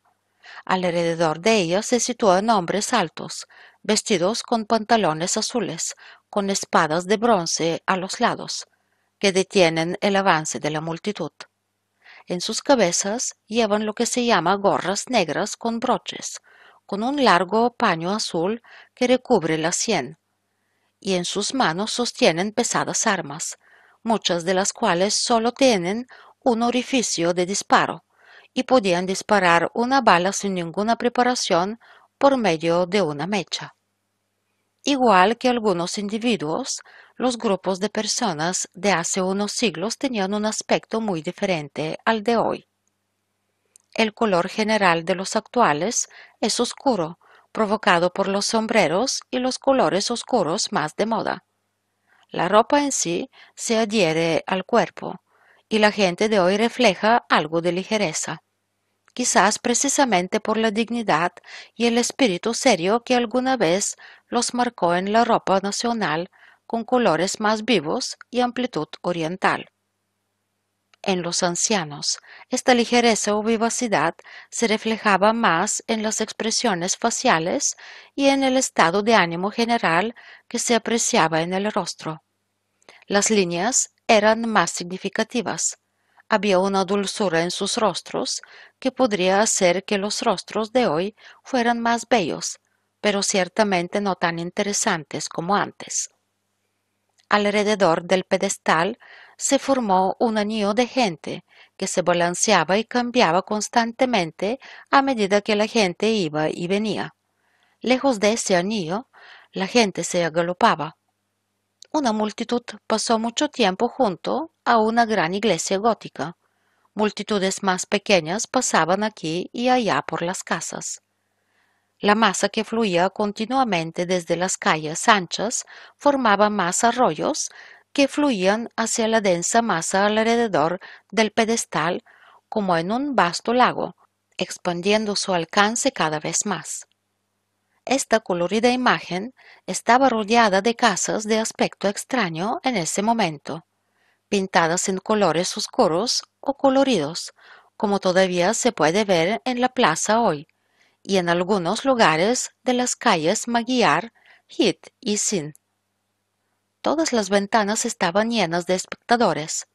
Al mirar a su alrededor, se veía que había muchos hombres oportunistas solo aparecían aquí y allá con una expresión apática en los labios, sin inmutarse ni siquiera por los acontecimientos inesperados, o con una expresión de afán despiadado por la noticia en la que disfruta viendo estas escenas tan espantosas. ¿Qué aspecto tan diferente tiene ahora esta plaza? dijo el burgués, con voz triste, volviéndose hacia el monje en comparación cuando en 1571 Istvan Báthory cabalgaba por las calles como un príncipe de Transilvania, rodeado por la alegría y el calor de la gente del pueblo. O en 1576, dijo el monje, cuando Báthory recibió a los embajadores polacos y entre ellos pudimos ver a la otrora tan hermosa Báthory Giselat, la esposa de Zamorsky, quien anunció que había sido elegido rey de Polonia. La escena de esa época tiene algunas similitudes con la actual, dijo el caballero del pueblo en tono áspero. Y como ahora había una seriedad silenciosa en los rostros de la gente de Colosvar. ¿Se acuerda, padre? continuó volviéndose hacia el monje, de la celosa piedad que luego se apoderó del pueblo transilvano. Es como cuando un caballero descubre que su invitado diario ha sido invitado a la casa de un caballero más grande y lo invaden los celos. Muchos confundieron la serenidad de Istvan Báthory con un pequeño destello de alegría que brilló a su alrededor cuando fue levantado. Es extraño, comentó el viejo ciudadano, sacudiendo la cabeza, que la mayoría de la gente sepa juzgar tan poco los movimientos internos del corazón. Yo, créeme, he visto las lágrimas de dolor en Bathory, en sus grandes ojos negros. ¿Te acuerdas? preguntó el monje, sacándose un pañuelo azul de la manga y quitándose el polvo de la cara. Las palabras de Sigmund Bathory, que apenas tenía diez años en ese momento, que él, como príncipe de Transilvania, no renunciará a su patria ni por tres coronas? Sí, sí, respondió el ciudadano con una expresión peculiar en el rostro, como si el recuerdo de este dicho le diera una falsa impresión y fuera contrario a lo que sucedió después. La declaración del pequeño Sigmund luego pasó de boca en boca y sentimos en nuestros pechos una sensación agradable, pero no sin razón, agregó apretándose los labios. Silencio, señores, susurró el monje. Las paredes aquí tienen oídos. Un buen príncipe ama el cambio, dijo el ciudadano. Hasta el año pasado éramos turcos. Entonces, como saben, en el invierno más grande, Andras Batori vino a nosotros con el cardenal Camuleos, a quien la gente de Colosfar bautizó a la fuerza como Comlesi. Entonces, en lugar de la media luna turca, comenzamos a adorar las propuestas de Rudolf. El monje parecía estar pensando. Desde que el príncipe regresó de Kovarol, algo siniestro se apoderó de todo su ser. Los arrestos de hace unos días y los preparativos de hoy demuestran claramente que quiere apresurarse de manera más independiente y no tolera a los asesores que lo rodean. Sin embargo, dijo el ciudadano, hay que seguir las sugerencias de los hombres maduros de vez de lo que sugieren las pasiones inmaduras. No existe ni una sola de sus acciones actuales de la que no se arrepienta. Lo conozco como mi propio hijo, exclamó el señor del pueblo. Nunca da las más mínimas órdenes, dijo el ciudadano con una amarga sonrisa en el rostro, sin cambiarlas después. Los consejeros, conociendo esta indecisión, rara vez cumplen su primera orden. Ojalá hubiera perdido la vida en Covarón, gritó el monje en voz alta. El corazón de Boldizarnak no es peor que su corazón, pero al menos es un hombre que sabe querer. Tres señoras. ¿Qué te hizo sentir así? Rousseau. En la parte de la gran plaza que se extendía desde la calle Torda a la izquierda hacia la calle Media, Ahora a la derecha de la estructura de madera hay una casa que destaca entre las demás casas, que está cerca del principio de la calle media con su amplio balcón saliente. Las ventanas de este balcón gótico, que se extendía sobre el portón de alta bóveda a dos aguas, estaban abiertas y se veían tres damas muy hermosas. La primera era una joven con un interesante aspecto infantil en vísperas de convertirse en mujer, apoyada en la barandilla del balcón. Parecía no darse cuenta de lo que ocurría a su alrededor. Su cabello estaba sujeto en rizos artísticos, usando varias horquillas con un patrón de trébol. En su cabeza llevaba una gorra de doncella ensartada con perlas. Se trataba de Gisela Xaki, una señora huérfana de una casa rica. Junto a esta figura infantil se encontraba una mujer alta, delgada y pálida, con un rostro de indescriptible belleza. Era una de esas imágenes del pasado que aún vemos en las piedras y monedas antiguas y que casi han desaparecido del círculo de los vivos. Pelo grueso y oscuro, frente estrecha y lisa, nariz prominente y curvada, labios carnosos, barbilla redonda y ojos grandes. llameantes y oscuros. El cuerpo de la hermosa mujer estaba cubierto de terciopelo rojo artísticamente arrugado. Llevaba una fina gorra de encaje en la cabeza. Un velo bordado con oro se extendía desde el borde del gorro a lo largo de su cuerpo, dando un tono pintoresco a la ventana en la que se encontraba la mujer. Era Mícula Margit, la esposa de Giulafi. Quien la haya visto una vez nunca olvidará a esta noble dama. Este rostro no evocaba los sentimientos evocados por el simple exterior de una persona común. El respeto y el afecto mezclados con una envidiable discreción se fundían en el sorprendente efecto que Margit producía ahí donde aparecía. La tercera era finalmente una dama llena, de cara redonda, más pequeña que grande. El amanecer de la sana inocencia reflejada en ese rostro, la leve sonrisa en sus labios, las manos blancas como la nieve, el cuerpo relleno pero aún hermoso, el que la mirara se llenará de anhelo y lujuria. Se trataba de Judith Sombori, pariente cercana de la familia Mícula, quien estaba visitando a Margit en el momento de nuestra historia. ¿Quién es ese apuesto caballero que se acerca silenciosamente a nosotras desde la calle media? dijo Gisela levantando y volviendo la cabeza hacia Judith. No lo conozco, respondió ella con indiferencia, jugando con sus perlas. Oliver Abafi, dijo Margit con esa voz profunda y plateada, tan rara y a medio camino entre la voz de una joven y el de una mujer madura. Oliver, gritó Judith mirando fijamente. Imposible.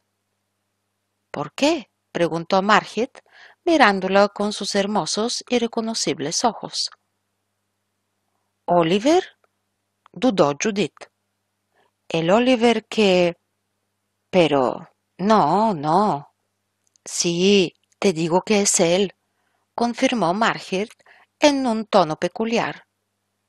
Lo reconocería entre mil. No te discuto, Margit, pero si es él, ha cambiado mucho. La última vez que lo vi aquí en Colosfar parecía más una ardía que un descendiente de Abafi. Y cómo era, Dios, qué diferencia. Por fuera tal vez, pero un alma tan perdida como la suya es difícil de cambiar, observó Margit con un profundo suspiro cuyo disimulo hizo que su pálido rostro se tiñera de color rosa. ¿Si es realmente él? Sí, sí, dijo Judith con indisimulada sorpresa. Ya está cerca, es él. Cada uno de los rasgos es suyo. Las ropas sucias, cochambrosas, han desaparecido. El rostro pálido está más lleno la soberbia y grosera altivez, el comportamiento poco noble, han sido sustituidos por un noble orgullo de espíritu y gestos de caballero. Y sin embargo es él. Mira esa mirada. Qué mirada más salvaje, se podría decir despiadada. Sus labios apretados muestran pasión, pero qué hombre tan interesante es este Oliver, qué masculinidad, cuánta fuerza. Me acuerdo, involuntariamente, prosigue Margit, que mi padre a menudo decía sobre Oliver. Ya verás, se convertirá en un hombre de verdad. ¿Y qué le hizo sospechar eso al viejo? preguntó Gisela. Tiene toda la fuerza en él, solía decir, respondió Margit, y sabe cómo querer. Las mujeres somos extrañas, dijo Judith con una sonrisa de dolor en los labios. A veces lo malo nos parece interesante. ¿Por qué odiamos tan decididamente los defectos de los demás?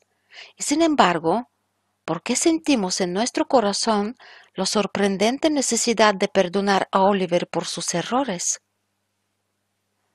Ay, dijo Margit. ¿Quién está en tal nivel de perfección que excusar las faltas de los demás no le sirve para reconfortarse un poco? También has excusado gustosamente las faltas de Oliver buen ángel gentil. Entonces apretó la mano de Judith contra su corazón involuntariamente, pero la soltó de repente como si se arrepintiera.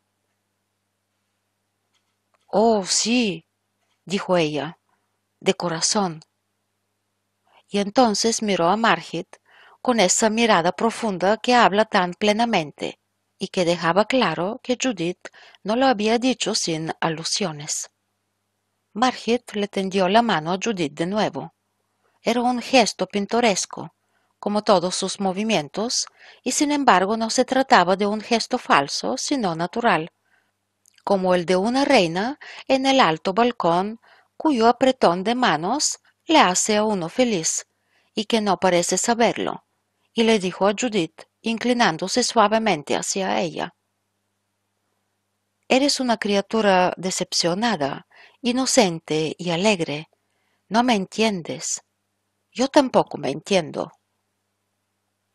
De repente la pequeña Giselle lanzó un grito agudo y se llevó las manos a la cara, como si hubiera visto de repente una casa en llamas.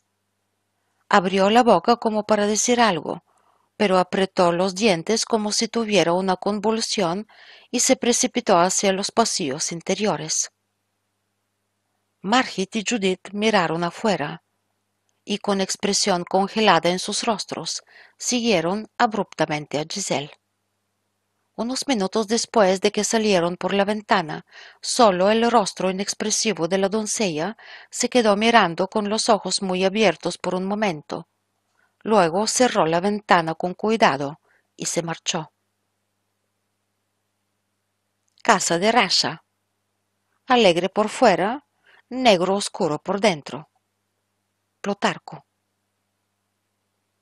En el otro lado de la plaza, una casa de aspecto peculiar casi pasaría desapercibida, en parte por la multitud de personas que se agolpaban a su alrededor, por otro lado porque entre la parte más ancha de la plaza y la casa, el pedestal de madera nos bloqueaba la vista.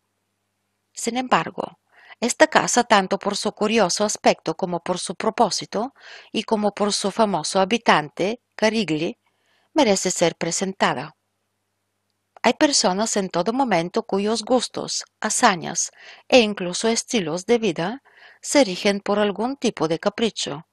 Esta desviación moral de ellos generalmente causa su posición, educación o deseo de protagonismo constante. Pero como la variedad a veces interesante de la vida hace que sea genuinamente deseable parecer fuera de lugar, en el caso de estos idiotas, por ridículos que sean, no se puede negar la existencia de algún tipo de interés. También se trata de objetos materiales. Por ejemplo, una ciudad que estaba completamente formada solo por una multitud de edificios muy retorcidos, seguramente hará reír a todo hombre con buen gusto. Pero cuando solo hay unos pocos edificios de este tipo que se destacan y se destacan del resto en términos de originalidad y espíritu y brindan una oportunidad para que los ojos descansen mirándolos. No es embarazoso. Tal era la casa que mencionamos. Su propietario, Imre Bogner, es un rico comerciante que tenía dos casas más en Kolosvar, que construyó únicamente para satisfacer sus caprichos. Esa vivienda era una casa de dos pisos, y su techo nuevo y extremadamente alto estaba pintado de rojo. El techo terminaba en una punta afilada en forma de torre, y en su parte inferior era tan ancho que incluso con la lluvia más fuerte debajo se podía estar sin peligro de mojarse. Ese frente del techo estaba abierto y protegido por una colorida galería de madera tallada, a la que solo se podía acceder a través del techo. En la parte central del piso superior, muy juntas, casi fusionándose, había dos ventanas cuyo tamaño era inusual para la época. estaban separados solo por un pilar estrecho pintado de rojo intenso. A izquierda y derecha de ellas había seis ventanas más pequeñas. Las tres superiores eran redondas y las tres inferiores eran cuadrangulares. El piso superior estaba separado del nivel inferior de la casa por un techo estrecho de tejas que recorría todo el edificio, que estaba pintado en cuadros blanco y negros. Debajo de la ventana doble descrita anteriormente había una alta puerta de arco redondo y dos ventanas a la derecha y a la izquierda pintadas en verde chillón y con rejillas doradas. Los habitantes de Colosfar llamaban a este edificio la Casa de Rasha, ya sea porque su propietario tuvo el talento de construir una casa así comerciando con carne de cordero o porque la casa tiene colores brillantes e insípidos. Me recordaba a una tela multicolor de juncos apilados unos sobre otros. Pocos forasteros han pasado por delante de ella sin sonreír y preguntar el nombre de su propietario que solía decir con mucha satisfacción que nadie podía pasar por su casa sin mirarla. Los habitantes de Colosfar estaban tan acostumbrados a ella que ya ni la notaban. Como un hombre de aspecto extraño, lo miraban o se reían de él, y al final se convencieron de que no había nada extraño en él. Entrando por la puerta, escaleras empinadas hechas de tablones conducían de la derecha al piso superior. Los pasamanos a ambos lados eran de cuerda tosca y las escaleras estaban cubiertas con tela gris tosca. A la mitad de las escaleras, éstas se giraban a la derecha hacia un amplio porche cuadrado, que formaban un vestíbulo que como tal quedaba abierto al patio y protegido por un pintado de verde y rojo con una gruesa celosía que se extendía a lo largo del mismo a modo de valla. En la pared de esta sala abierta colgaban dos cuadros de la altura de un codo. Uno de ellos representaba a Ignacio de Loyola, el otro a Rivadeneira, en tamaño natural. Entre los dos cuadros se alzaba como un pilar uno de esos viejos relojes de pórtico que todavía se pueden ver en algunos lugares de nuestro país, como reliquia de siglos más lejanos. A la derecha, bajo el cuadro de Rivadeneira, dos jóvenes estaban sentados en sillones de madera de alto respaldo y elegantemente tallados, con las piernas estiradas delante de ellos, en una posición cómoda, junto a una mesa de roble de tamaño medio. Uno de ellos era un apuesto muchacho de pelo rubio, de apenas diecisiete años, con un rostro sano y redondo, ojos vivaces, barbilla color cereza, chaleco y pantalones azules, decorados con una trenza dorada. El otro era un hombre igualmente rubio, de cara larga, y tal vez incluso más joven, con un chaleco de terciopelo negro, con pantalones rojos igualmente decorados, con una trenza dorada. Frente a ellos, en la mesa, había sombreros bajos adornados con piel dorada. Los jóvenes hablaban entre ellos susurrando. A la izquierda de la pared ya descrita, cerca de las escaleras, se encontraba una puerta alta gótica, pintada de rojo, con una celosía semicircular en la parte superior. En el banco de roble, a la derecha de ellos estaba sentado un criado con un vestido marrón, inexpresivo y con el rostro hinchado, que había adquirido una cierta expresión perezosa debido a su holgazanería pausada y su buena vida. Se había quedado mirando con los ojos muy abiertos frente a él, escuchando para ver si recibiría alguna orden. Cerca de ellos había un hombre de traje azul con un abrigo de piel de oso al hombro, a quien ya conocimos en la calle Maguiar, y que era uno de los llamados guardias azules de Sigmund Batory. El guardia parecía estar esperando a alguien. Miraba seriamente la puerta. Mícula se escuchó desde el pasillo interior, una de esas peculiares voces medio chillonas y medio profundas a las que debemos acostumbrarnos para dejar de ser molesta al oído. Al oír esto, el joven de la barbilla negra, saltando de su silla, entró en la habitación interior atravesando la alta puerta entreabierta. ¡Qué rápido es Mícula! dijo su compañero dirigiéndose al guardia. Ayer en cada llamada me enviaba a mí en lugar de ir él. La razón es fácil de adivinar, respondió el chico de cabello castaño en el banco. El príncipe está hoy de mejor humor que ayer. ¿Mejor? preguntó el anterior. De hecho, todavía está en su ropa matutina. Cuando es así, o está de muy buen humor o tiene mucho trabajo por hacer.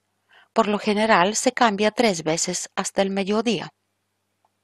La puerta se abrió y el hombre de cabello castaño hizo un gesto con el dedo hacia el joven, quien inmediatamente se quedó en silencio. Mícula salió por la puerta abierta, saludando al guardia azul, quien inmediatamente entró en la habitación.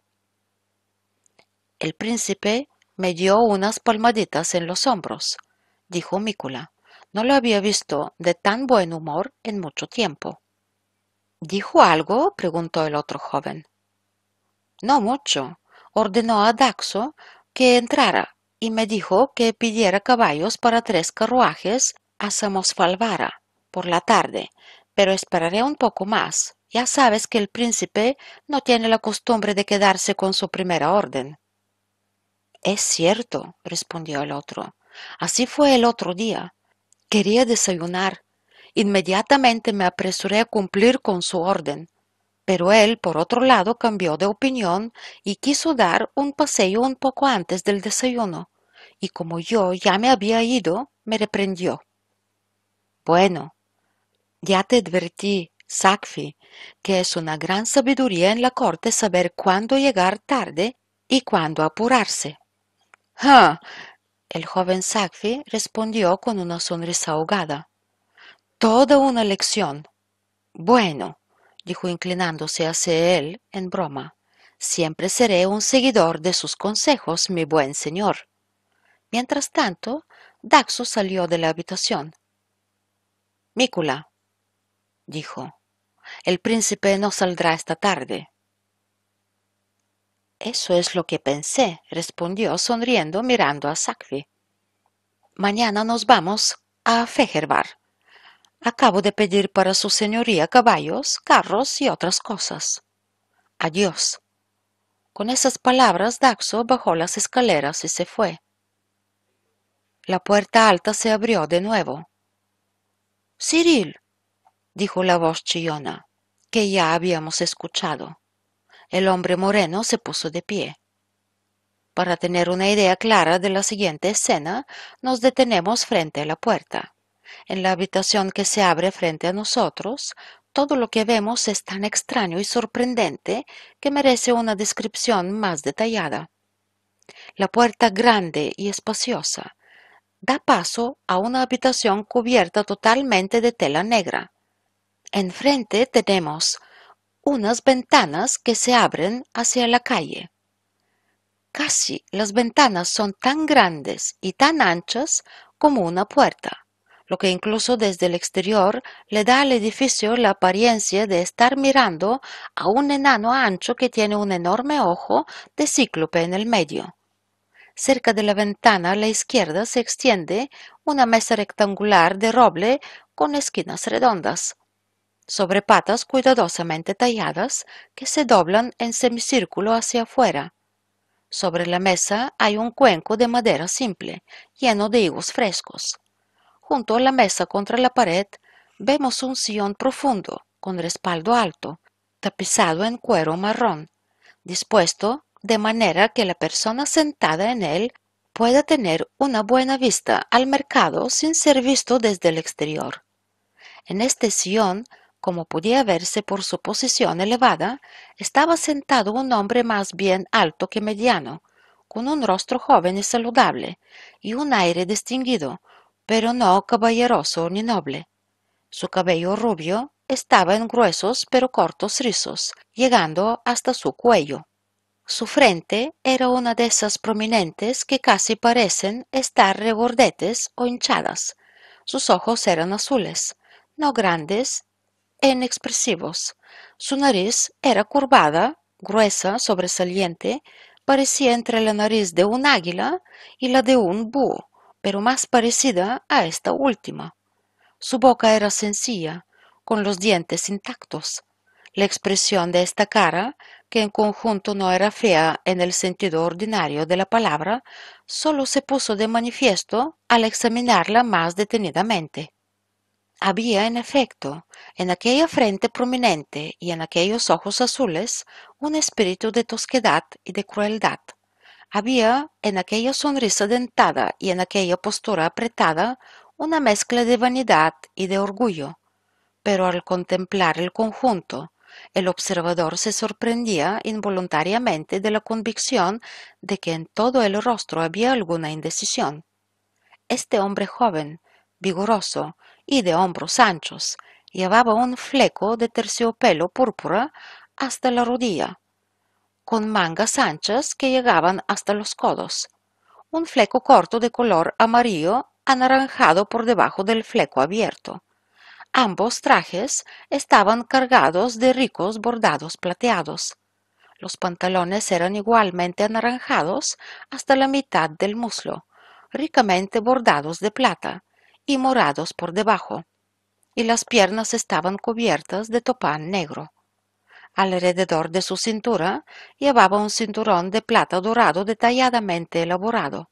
Junto a él en una posición encorvada, vemos una extraña figura cuya mirada evoca una extraña actitud reservada, o por así decirlo, una peligrosa versión. El rostro de este hombre, alto y seco, era alargado y pálido. La parte posterior de su cabeza estaba escasamente provista de pelo de color negro, parte del cual estaba peinado hacia la frente. La parte superior de la altísima frente era lisa y sin arrugas, pero debajo se formaban numerosas arrugas alrededor de las anchas y gruesas cejas. Unos ojos grandes, sobresalientes, ampollados y llamativamente entrecerrados, daban una expresión inquietante a su mirada. Su hermosa nariz romana, sus labios estrechos y comprimidos y delicados mostraban cierta picardía burlona, pero un espíritu de falsa humildad y bondad forzada envolvía todo su rostro. Su labio superior estaba cubierto por un fino bigote que se curvaba hacia las dos comisuras de la boca. Una barba estrecha y rala le acompañaba en la barbilla puntiaguda. Sus ropas eran negras y holgadas, con una faja brillante en la cintura. En el lado opuesto a la mesa de roble había una sencilla cama de madera. La cama estaba cubierta con piel de oso despeinada. En la cabecera de la cama había algunos libros antiguos.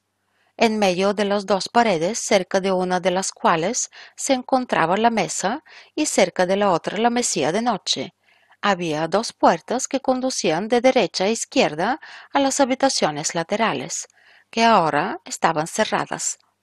Y como la tela negra que cubría la habitación también cubría estas puertas, solo se podían ver sus picaportes a corta distancia.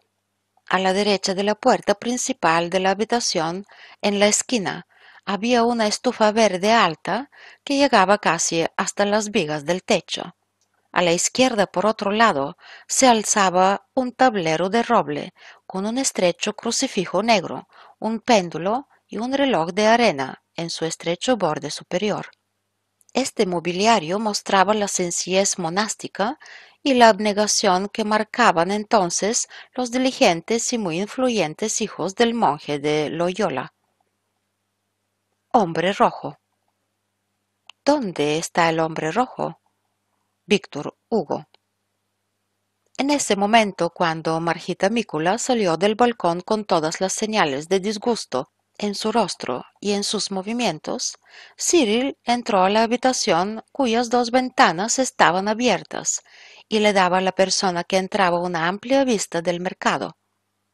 Lo primero que contempló fue un lugar de ejecución de madera, y en su pedestal oscuro un hombre moreno oriental, envuelto en una capa roja, con un gorro negro, sobre el que se balanceaban plumas rojas. Junto a él sostenía un amplio sable con una empuñadura en forma de gran cruz. Detrás del pedestal de madera se veía a la gente reuniéndose en una masa cada vez más densa, y a través de la ventana se escuchaba un murmullo que siempre acompaña a esta reunión de masas y que muchas veces es un presagio de rebelión. Cyril cerró la puerta detrás de él y se paró frente al hombre alto, con esa preocupación que suele envolver a las personas de mente estrecha en contacto con hombres de mirada fuerte. Con esa voz desagradable que habíamos escuchado dos veces, chillando desde la habitación, por así decirlo, el hombre negro dijo, volviéndose hacia el hombre sentado en el sillón. Ahora, un hombre con un manto rojo sube a un lugar de ejecución de madera. Después de eso se acercó a Cyril y señaló la parte de la plaza donde recientemente habíamos presenciado una conversación entre un ciudadano, un caballero de pueblo y un monje. Ve, dijo lanzando una mirada dura a Cyril, que temblaba ante él. Ahí, mira bien en qué dirección te estoy apuntando. A esa esquina de la calle Sin, y dile a ese monje la voluntad de su majestad de que vuelva enseguida al monasterio y que no se vea más hoy. El hombre del Sion hizo un gesto de aprobación con la cabeza mientras Cyril, para cumplir con la orden, se retiraba como un cangrejo hacia la puerta. Volvió la cabeza hacia el hombre alto. Puchela, dijo con voz agradable y plena. Creo que la buena gente de Colosfar ha quedado satisfecha con el espectáculo hasta ahora. Lo que sigue puede hacerse delante de menos testigos. Si Su Majestad lo ordena, contestó, con esa pronta humildad que se convierte casi en una segunda naturaleza para los cortesanos. Lo resolveremos de inmediato. Mícula, gritó Buchela a través de la puerta. Bien, dijo el otro con indiferencia. Oh, detente. Oh, sin embargo, sí, sí. A la llamada de Buchela se presentó en la sala Mícula con esa soltura y despreocupación que un joven solo puede adoptar por la fuerza. Ve, dijo el hombre rubio en tono autoritario.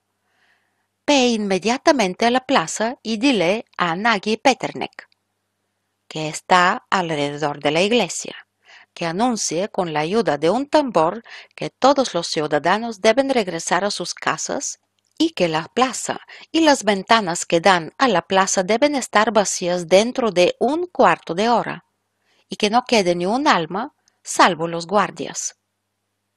Inmediatamente, respondió éste, y haciendo una profunda reverencia al más alto se volvió hacia la puerta. Alto, dijo el hombre rubio. Una cosa más. Ve después de mi primera orden Agestijo, en la pequeña iglesia, y si es posible, entrégale esto sin ser observado. Al decir esto, sacó un bulto de su pecho y se lo entregó al hombre alto, quien inmediatamente se lo entregó a Mícula, quien se estaba preparando para irse. Para. Envía a uno de mis guardaespaldas fuera de las puertas del monasterio. Ahí está Keresturi, con un ejército de Kovar. Dile que esté listo para entrar en la ciudad a la primera orden. Frente a la puerta central se encuentran las tropas de Gaspar Cornis de Mármaros y parte del ejército de Boxkay, que se dividan en cuatro partes y ocupen las calles Puente, Madarsky, Medio y Torda, que se queden quietos, pero que no permitan que nadie entre en la plaza. Buchela escuchó en silencio durante un rato. Luego se acercó al oído del hablante. La vieja torre, por así decirlo, está completamente vacía. Sería bueno. Sí, es cierto, dijo bruscamente. Que Resuri envíe cincuenta hombres a la plaza de la vieja torre. Mícula se inclinó de nuevo y se preparó para marcharse. Una cosa más hecha, dijo Batori. Una a una encomendé mis órdenes a mis guardias más confiables para que fueran ejecutadas lo antes posible. Será un pequeño problema para Kestinek, señaló el príncipe. Mantener el orden. Es un hombre de conocimiento, dijo Buchela. No quiero que esta amarga pero necesaria acción de la justicia sea el resultado de súplicas desdentadas por incitaciones irreflexivas. Pienso, doctor, que hago una cosa buena ante Dios. Cuando su Santa Majestad había entregado el oficio del castigo en manos de sus delegados terrenales, los príncipes, también les dio el entendimiento necesario para la correcta aplicación del castigo. Es humano pecar, Buchela, pero cuando los que están frente a mí fingen amor, fidelidad, humildad, y a mis espaldas juran venganza sangrienta, merecen la muerte. Cobardes. Pensaron que siempre tendrían que lidiar con niños no deseados, ¿Dónde está ahora el orgullo de nuestro hermano Boldizar? La carta que me envió Samos desde Ujvar y la carta de Kovosovskia, el canciller, siempre dispuesto a dar consejos, demuestran lo humillados que están. Pero ¿dónde está el padre Carigli? Él está en este momento haciendo su trabajo en la gran iglesia, responde Buchela y durante bastante tiempo. La contemplación que tenemos ante nosotros no es para él, aunque aprueba mis puntos de vista, comentó el príncipe. Mi alma está lejos de eso, Alteza, dijo Buchela con falsa humildad, para involucrarse en relaciones tan importantes. Me gustaría actuar como un ángel de paz y soplar el espíritu de amistad y unidad en mis pechos enojados. Pero un interés más elevado y más santo me inspira, y yo, el más humilde siervo de Dios, no me atrevo a desobedecer sus santos impulsos. Vi su dedo castigando cuando arrestaron a los conspiradores, y veo ahora cuando una parte de ellos será castigada y será un castigo justo, ya que el yugo pagano y la servidumbre poco amable son más queridos para ellos que la bendición del Santo Padre y la protección del majestuoso Rudolf, la voluntad de un príncipe piadoso, dijo el último, acompañando sus últimas palabras con una profunda inclinación de cabeza. He estado pensando mucho en ese plan, Buchela, dijo Bathory después de una breve pausa. Los turcos son buenos vecinos. Si pagamos, tenemos nuestra paz. Pero cuando están tranquilos, los alemanes se rebelan. Las intrigas hacen saltar la chispa del sueño de debajo de su manto de cenizas.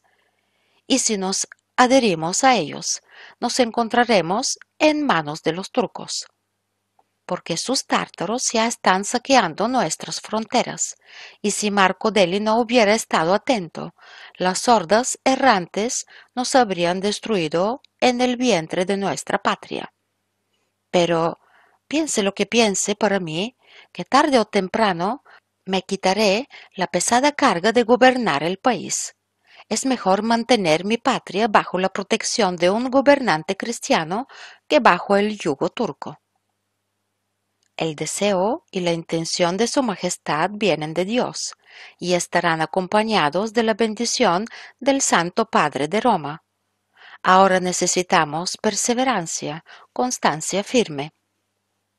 Oh, no tengas miedo, confirmó el príncipe enérgicamente con una sonrisa sarcástica en su rostro. Conozco a un buen pariente de Boldizar que se sentaría gustoso en mi silla conozco a los consejeros que, a mi llegada a Samosjuver, se presentaron ante mí con doble homenaje, y que me escoltaron desde Samolsfara hasta este lugar con una luz y un esplendor nunca vistos. Pero esa misma noche se reunieron en Kendi Gabornal, donde juraron mi muerte. Mientras el príncipe y Buchela hablaban así, la Guardia Azul, en pequeños grupos, algunos a pie, algunos a caballo, con el monótono sonido de los tambores, anunciaban la orden del príncipe por todas las calles. La gente se había reunido en gran número en la plaza, se veían pocos huecos y la agrupación delataba una grave sorpresa. Los ruidos y los murmullos cada vez más fuertes comenzaron a ser cada vez más amenazantes. Se veían gestos violentos de manos. La multitud se acercaba cada vez más a la estructura de madera. Solo hacía falta un líder valiente para convertir el ruido en acción. Rompamos el pedestal de la muerte. Matar al verdugo. Vamos a ir a casa, Rasha. Sigmund está ahí con Carligli. Tales gritos se escuchaban aquí y allá, aunque todavía no llegaban a los oídos del príncipe. La orden del príncipe, que se hizo más urgente por la feroz interferencia del ejército que se reagrupaba, llegó justo a tiempo a los que estaban en medio de este peligroso movimiento. La gente comenzó a dispersarse, primero en partes, luego en grandes masas, y en un cuarto de hora la plaza estaba despejada y desierta. Lo único visible era un alto lugar de ejecución de madera negra y un hombre con una capa roja en una paz inquietante. A su alrededor, un ejército de guardias creó un espacioso cuadrilátero dentro del cual los comandantes de unidad cabalgaban arriba y abajo, deteniéndose a veces u ordenando la tranquilidad con masas extendidas. Cerca de la casa Rasha, desde las puertas grises de un edificio oscuro, unos hombres morenos, con chaquetas holgadas con sus cabezas altas, picos negros y enroscados. En sus manos llevaban lanzas largas con una hoja ancha. Un hombre alto con una larga barba gris caminaba silenciosamente entre ellos con la cabeza gacha. Su cuerpo estaba cubierto hasta las rodillas con una camisa blanca larga, Vestía pantalones dorados de color cereza y pesados grilletes sonaban en sus piernas. Es Kendi Sandor, dijo uno de los guardias. ¿Por qué habría de ser ejecutado así un anciano honorable? El anciano es inquieto e impulsivo, dijo otro, y después de todo, eso no es asunto nuestro. Se hizo silencio entre los guardias. El príncipe se estiró en el amplio sillón. Buchela, dijo, sacando un higo del cuenco de madera. Los higos son tan malos como los humanos. Son malos porque son hermosos por fuera, completos y exudan un aroma embriagador, pero por dentro empiezan a pudrirse. El viejo y orgulloso Kendi asciende al lugar de la ejecución susurró Buchela, mirando hacia la plaza, ignorando el comentario del príncipe. Con qué orgullo mira a su alrededor, como lamentando que su heroica muerte tenga tan pocos espectadores. Tampoco ideará más planes para la destrucción de su príncipe, a quien debe aconsejar y guiar como padre, y no participar en una conspiración malvada contra él. No hay dos buenos higos, dijo el príncipe, en el cuengo de Carigli. Se puede ver que fueron madurados por los rayos del sol que rebotaban en los altos muros y no por los suaves vientos de la bella Italia. Ay, Buchela, ¿cuándo me sacará finalmente el destino de este caos? Ya está, dijo Buchela completamente sumergido en el horrible espectáculo. El verdugo ahora muestra la cabeza alrededor. Fue rápido, comentó el príncipe, con una mirada de asombro y rechazo, y un relámpago brotó de sus ojos en una venganza tremendamente satisfecha. El deber del príncipe es difícil, dijo Buchela, entrecerrando los ojos con falsa tristeza. Pero viene del cielo. Que el Señor conceda que Su Majestad lo realice durante mucho tiempo en honor de Dios y la Santa Madre la Iglesia. Solo el pueblo transilvano debería desear lo mismo, replicó el príncipe, frotándose la frente que comenzó a difundir una seriedad sombría. La santidad de la meta confirma el amargo camino hacia su consecución, príncipe mío. El protector de esta fe te da permiso para hacerlo. Si este partido ha desaparecido, se ha roto el hielo y ya no podemos temer más oposición. ¿A quién traen ahora? preguntó Batori, sigilosamente mirando el sitio de ejecución de madera. Literati Giorgiot. El científico no sube las escaleras con tanta valentía como lo hizo el anterior. En uno o dos minutos se escuchó una fatiga creciente a través de la ventana. La ira y la rabia se extendieron sobre los guardias, el tipo de rabia que es tan amenazante. ¿Qué pasa? gritó el príncipe erguido, con la cara encendida. ¿Es esa la voz de mis guardias? Literati cayó después del segundo golpe, respondió Buchela sin ningún disgusto. Es un caso que no nos gusta, pero ni es el primero ni será el último. Cuando el verdugo haya terminado su tarea, dijo el príncipe enojado, envíelo a Samasujvar. No me gusta la tortura.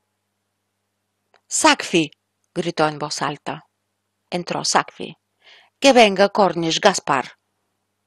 Está cabalgando entre las órdenes, dijo Buchela con una sonrisa de desprecio que la peculiar bondad del príncipe ha evocado en su peligroso rostro.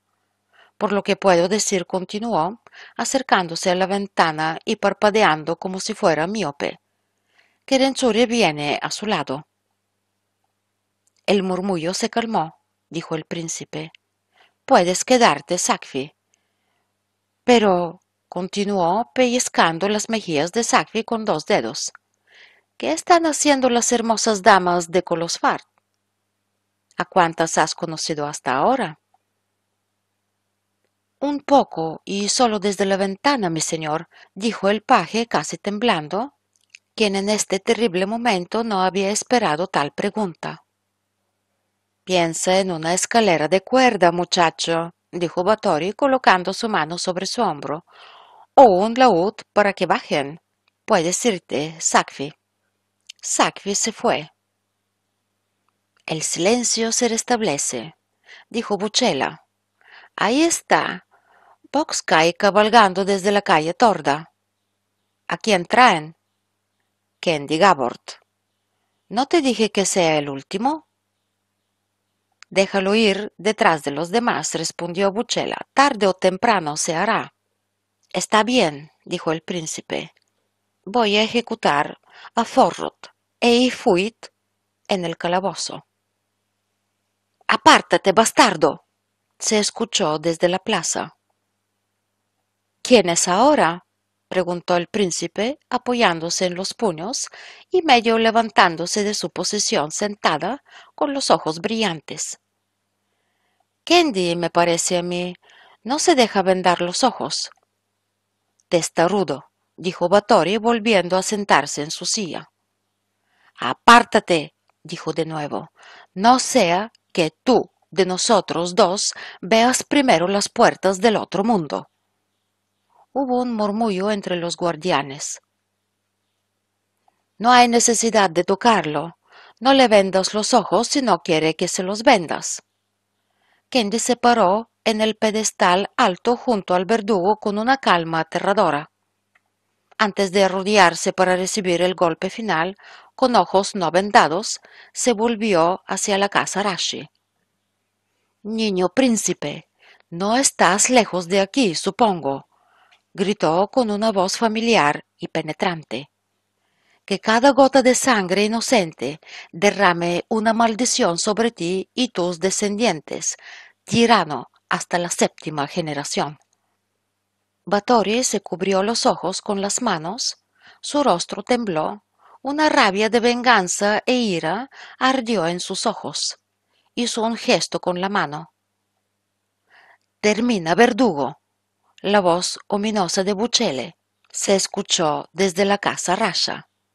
En uno o dos minutos, dando vueltas, la cabeza cortada de Kendi se mostró por toda la plaza. Pronto el cielo se abrió y una fuerte lluvia cayó sobre el pedestal y lavó la sangre de los ejecutados. Esto se entendió entonces en Colosfar como una señal de su inocencia. Consecuencias de las apuestas. Soy un hombre de palabra. Quint. Acabamos de ver a Buffy pasar bajo el balcón de la casa de Mícula. Margit lo reconoció inmediatamente, pero muy pocos lo reconocieron en Colosfar. Habría sido difícil para alguien que lo había visto solo un año antes. Aquel rostro largo, seco e indómito, sin alma, sin color ni expresión, se había transformado en una hermosa redondez. El cabello grasiento antes caía sobre sus hombros ahora en rizos castaños claros. Los peligrosos fuegos y los sangrientos círculos de sus ojos habían desaparecido y hermosos ojos llenos de fuego y espíritu, cubiertos de largas pestañas oscuras, dominaban y conquistaban al mismo tiempo. Su postura erguida mostraba una estatura masculina esbelta y elegante. En ese momento no había ningún hombre más hermoso que él en toda Transilvania. Mientras caminaba por la calle, nadie podía pasar junto a él sin mirarlo repetidamente. Mencionamos anteriormente la declaración anterior de Buffy de que se abstendría durante tres meses de todo lo que alguna vez había sido su pasión. Medio año antes de la aparición actual de nuestro héroe en Colosvar, habían pasado tres meses y el corrupto y malvado Abafi se había convertido en un hombre de palabra. La razón por la que se sacrificaba tanto es difícil de entender, pero desde un punto de vista psicológico se puede explicar. Hemos visto el curso de sus pensamientos y que él, por casualidad, por las circunstancias, habiendo hecho el bien, tenía ya una noción de la diferencia entre las consecuencias de sus acciones. En el momento en que hizo ese juramento, o tal vez más bien su declaración, es posible que haya sido nada menos que noble orgullo. Por tanto, podemos decir con certeza que no fue la inspiración del noble orgullo ni el deseo de demostrar que su espíritu era más fuerte que su pasión, lo que le hacía resistirse tan firmemente. Es muy posible y probable que se viera obligado a hacerlo por un gran desafío para refutar a alguien que quería avergonzarlo, sin siquiera pensar en la amplitud de su declaración pero como ya había hecho el juramento, la posibilidad de vergüenza si no cumplía con su juramento también lo obligó a ganar la apuesta y fortaleció su determinación e intención. Esta no es una mala tarea para un hombre que no había disfrutado de una conversación prudente y una charla amistosa, y que en el noble sentido de la palabra ni siquiera podría amar. La primera semana fue aburrida. Más de una vez pidió a gritos vino y cantos a uno de sus criados. Traían la jarra, a veces incluso la tocaba con la boca, pero recordaba la expresión burlona de su rostro, que lo llamaba balde de vino, y tiraba el recipiente cuyo contenido se derramaba por el suelo. Normalmente pasaba las tardes con el sacerdote de la corte o discutiendo con sus sirvientes. Estaba aburrido de todo y se sentía atraído con mucha fuerza por sus pasiones, por los lugares habituales y el pasatiempo y diversión de siempre. Pero ese exterior áspero escondía una fuerza tremenda, y si Dios y las circunstancias lo permitían, algún día podría convertirse en un gran hombre. Fue este poder primordial el que le ayudó a cumplir su palabra con estricta firmeza, hasta el más mínimo detalle. En unos días se pudieron notar algunos cambios en Abafi.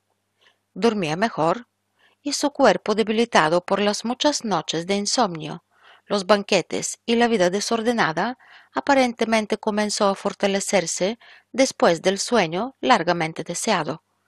Empezaba a sentir una especie de ligereza y alegría que suele acompañar a la vida ordinaria. Se despertaba más feliz, su vida ya no parecía tan aburrida. Él mismo estaba casi sorprendido por la experiencia de que viviendo así se sentía más feliz, más alegre, más fuerte. Había otras consecuencias más felices, pero igualmente naturales de este bienestar involuntario, provocado por el equilibrio de los fluidos corporales. Sus sirvientes, que hasta entonces solo lo conocían como un comandante cascarrabias, gruñón y borracho, no le mostraban la amabilidad con la que se suele servir a un caballero amable, gentil e indulgente.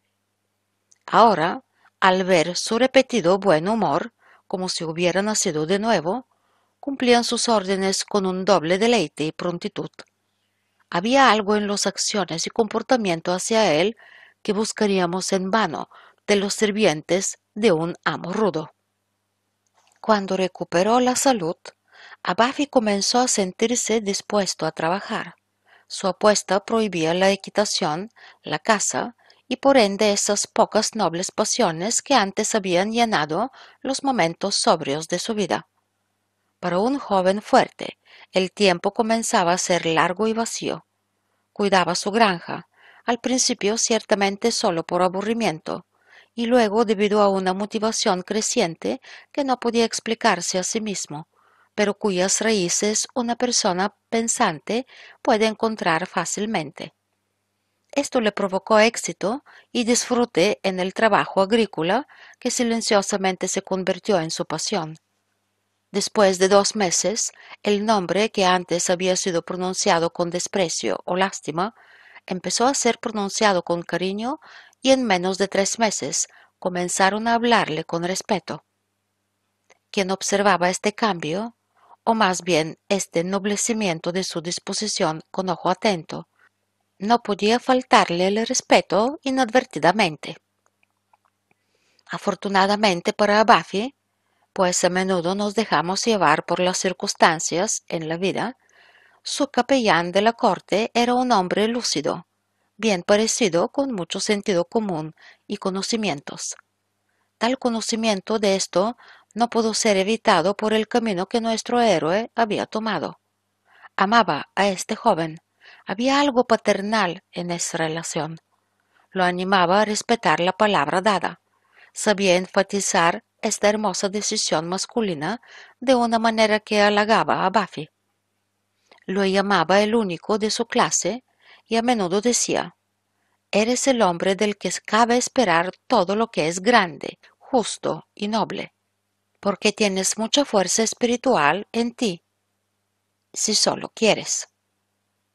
Más tarde le advirtió sobre la buena apariencia, la fuerza renovada y otras consecuencias de una vida ordenada. Oliver amaba al viejo monje. Al principio, este sentimiento en su alma áspera era solo un apego animal interno a la persona a la que estaba acostumbrado y cuya falta lo agobiaba como a menudo nos ocurre con una vieja cara de la casa, que vemos a nuestro alrededor durante diez o veinte años y que cuando se va sentimos que nos falta algo. A menudo un perro fiel, un pájaro al que estamos acostumbrados o un viejo roble que extiende su sombra en el patio evoca un sentimiento similar. Pero este afecto habitual se ennobleció silenciosamente hasta convertirse en estima, y comenzó primero a sufrir, más tarde a saborear, al fin a desear la compañía del venerable hombre. Tal era el estado de nobleza en el que se encontraba cuando llegó a Colosfar. Durante mucho tiempo había un encantador niño en la corte de Abafi, bajo la supervisión de la capellán de la corte. Nadie sabía a quién pertenecía el niño pero los que lo veían sentían un afecto indefendible por él. Oliver lo quería mucho, y su ferviente afecto por él fue una gran influencia para calmar sus sentimientos. ¿Quién era el niño? Podemos adivinar.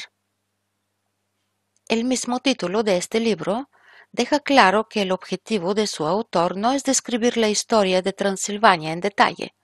Sin embargo, es inevitable mencionarla brevemente, en parte porque está relacionada de muchas maneras con nuestra historia y en parte porque nos sirve como una escala para juzgar las acciones y relaciones de nuestro héroe. Sigmund Batory, al regresar de Kovarol, donde se había quedado durante un corto tiempo, y dio a entender que había renunciado al principado para siempre. Trató a todos con la mayor amabilidad por el momento, pero de repente cambió.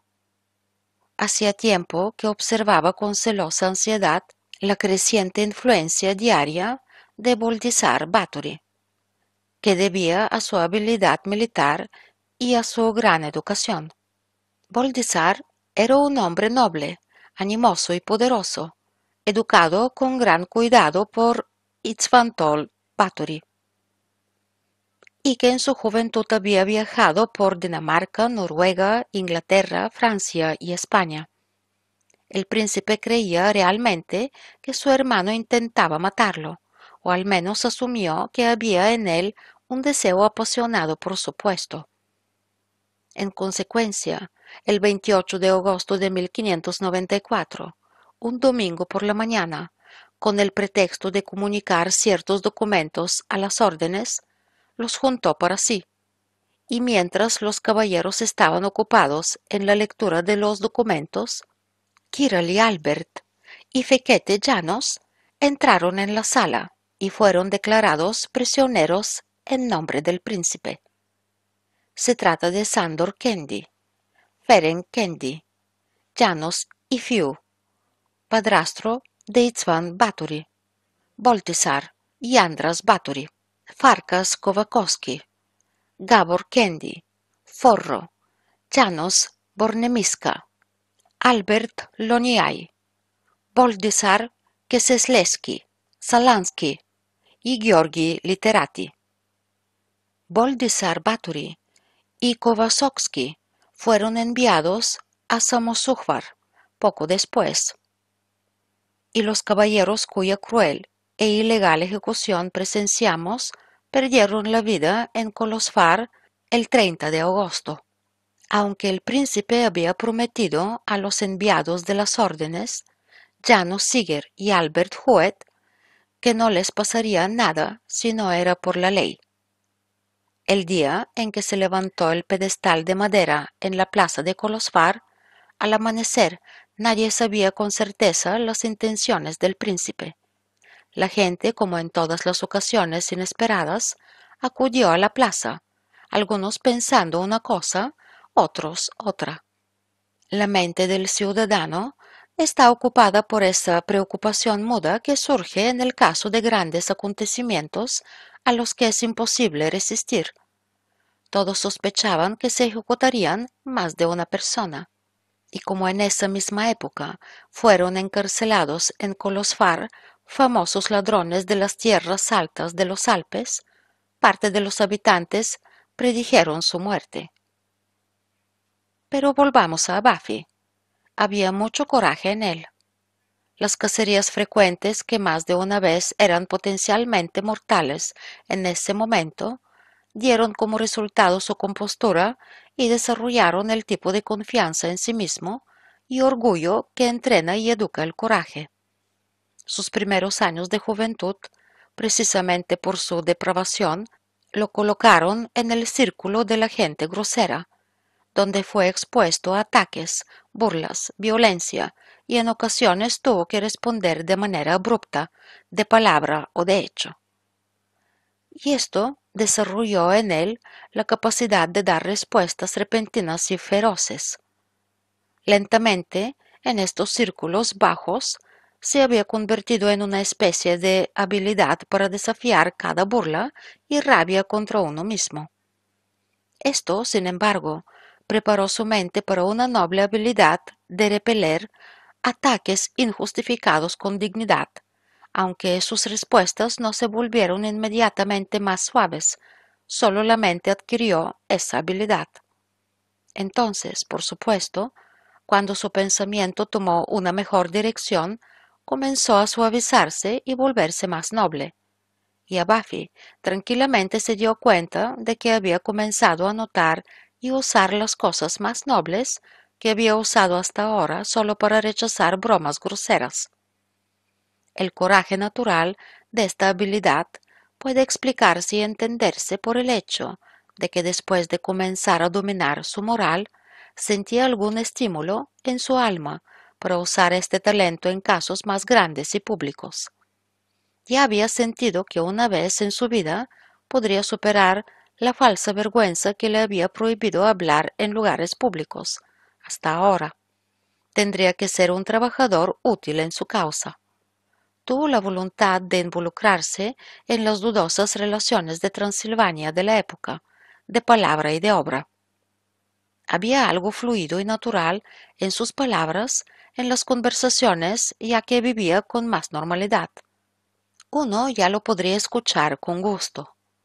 Supo contar sus historias sobre la equitación, la caza, así como las historias de amor de manera alegre y pintoresca, y de esta manera adquirió la habilidad de hablar de cosas más importantes. Se podría decir que el material rugoso estaba a la vista, Solo había que lijarlo, limpiarlo y calmarlo. Su crianza fue tan descuidada como pudimos ver, que él mismo sabía poco. Pero afortunadamente para él notamos, tenía una voluntad fuerte, y su alma poco a poco comenzaba a confiar en su propia fuerza. Por lo tanto, no podemos sorprendernos si se esforzó por llenar el vacío de años perdidos con una diligencia absoluta. Gran ayuda en este propósito fue de nuevo su gran capellán de la corte, erudito y culto, y aún más la casa de Mícula, con la que estaba ligado por lazos de sangre y vecindario, y el buen espíritu de esa casa, y la única Margit, a quien Abafi trataba con mesura y humildad. Margit se mostraba ante él, y con razón, como algo inalcanzable. Si alguien le hubiera dicho que Margit lo amaba, no lo habría creído, y esa incredulidad no era sólo una simulación. No pensaba, por supuesto, que una mujer en el más noble sentido de la palabra, como Margit, no supiera amar. No, llevaba en el alma la innegable convicción de que no había ningún hombre que le mereciera, y una noción especial de que el límite de los sentimientos en contacto con Margit era el respeto. Esta iluminación y adaptación del alma de Abafi es ciertamente de interés para todos los que se inspiran en la virtud y la moralidad. Abafi comenzó a sentir esas cosas en su alma. Por lo tanto, la creencia de que debería volverse más noble y que de esta manera podría alcanzar el pináculo de la perfección se convirtió en su constante y favorita idea. Un altavoz. ¿Quién eres y cómo te llamas? M. Cottin. Babi se apresuró a salir del sitio donde se estaba quedando por un corto tiempo y se fue a la reunión que se había evocado de las diferentes clases y órdenes. Sigmund Bathory consiguió mantener al pueblo de Colosfar en tal ignorancia como hemos visto anteriormente, que nadie sospechó de la intención del príncipe, por lo que las órdenes hablaban en los hechos de los grandes capturados de la patria, incluso cuando algunos ya no estaban entre los vivos. Abafi fue el primero en levantarse. Todos lo miraban. La mayoría de los presentes no podían conocerlo. Tan grande era la diferencia entre Abafi ahora y Abafi en aquella época. Llevaba una sencilla camisa de seda negra, chaleco y pantalones. Solo su hermosa espada curva, adornada de piedras preciosas que heredó de sus antepasados, mostraba que era el rico heredero de la antigua casa de Abafi. Se levantó con valentía. Sus grandes ojos entusiastas miraban a la multitud Le sorprendía la vacilación, que fue casi espantosa en su primer discurso, en una gran congregación. Su rostro se puso pálido. Una nube de seria vacilación pasó por su rostro. Ante sus ojos, como si tuvieran una red, saltaron chispas, y desde las aulas de la gran y espaciosa iglesia le pareció como si una espesa niebla descendiera entre la multitud. Temblorosa fue la voz que habló, pero la fuerza mental que caracterizaba su espíritu superó lentamente su aparente miedo y vergüenza.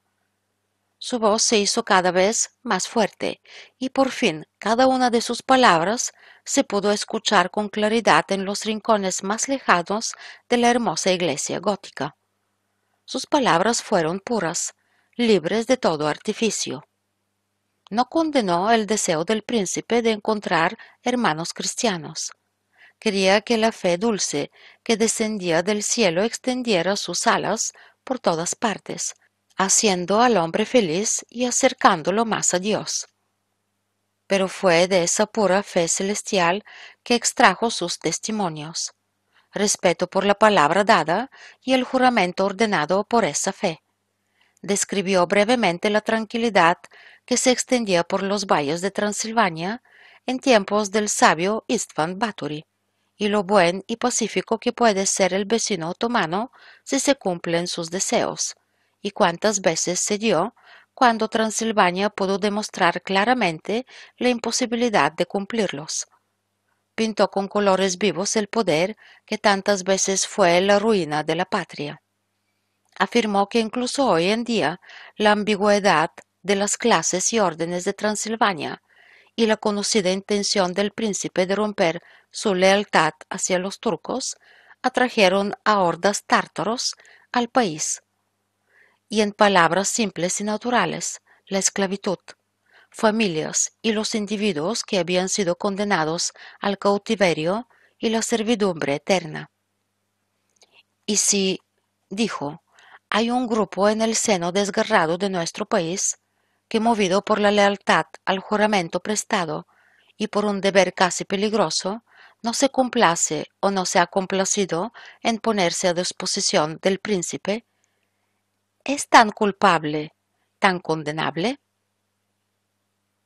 Negó que aquellos a los que el príncipe había hecho prisioneros hubieran tratado de oponerse a su vida. El sincero respeto que le mostraron cuando regresó de Covarol es prueba suficiente de cuánto las clases y las órdenes están dispuestas a obedecer al príncipe elegido.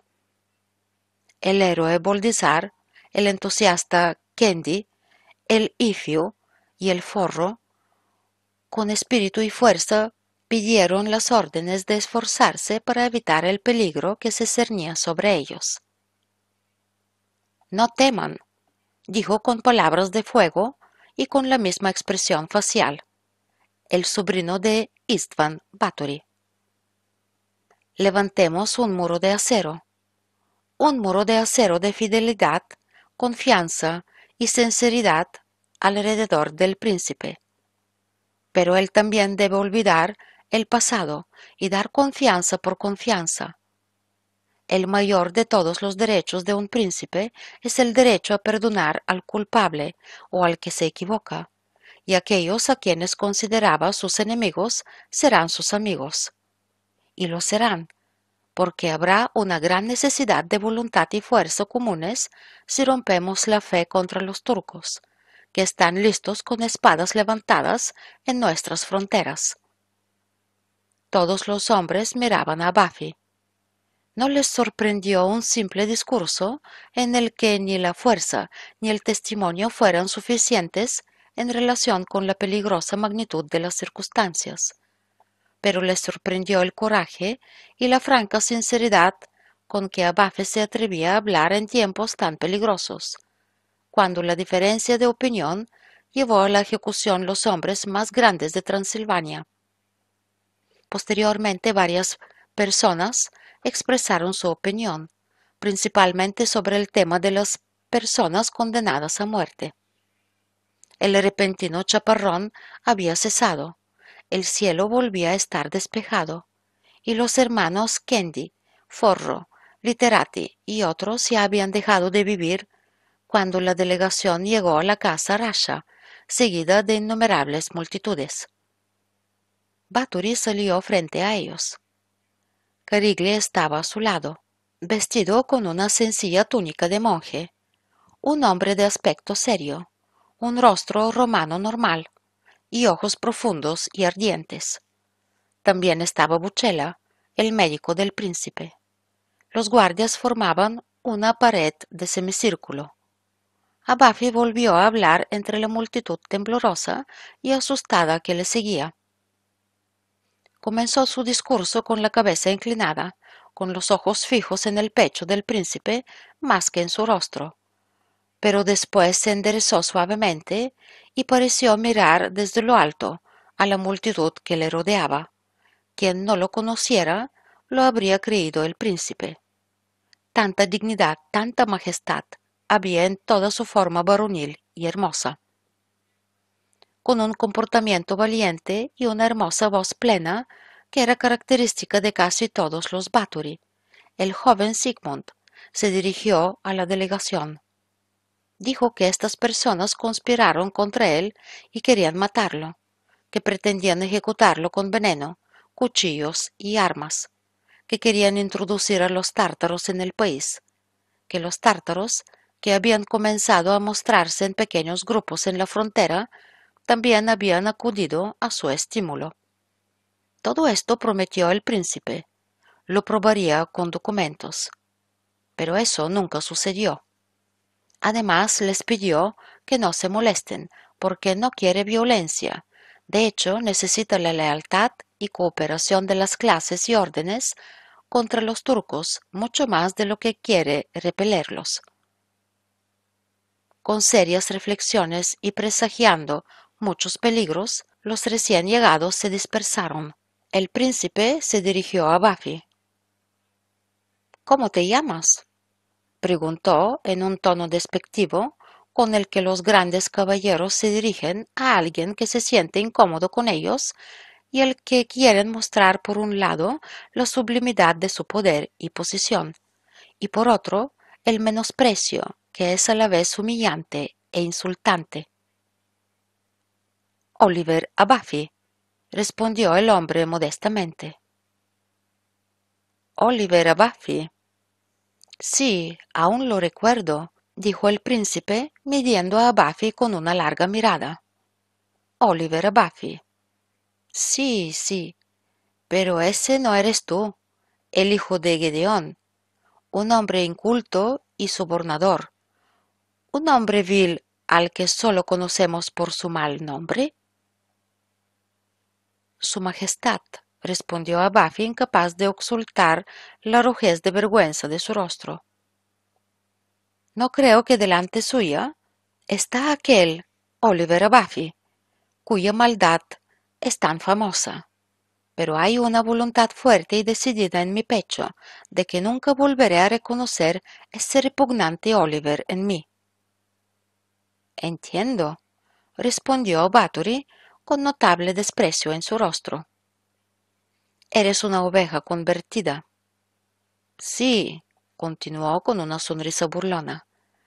Tal es siempre el preferido por el pastor.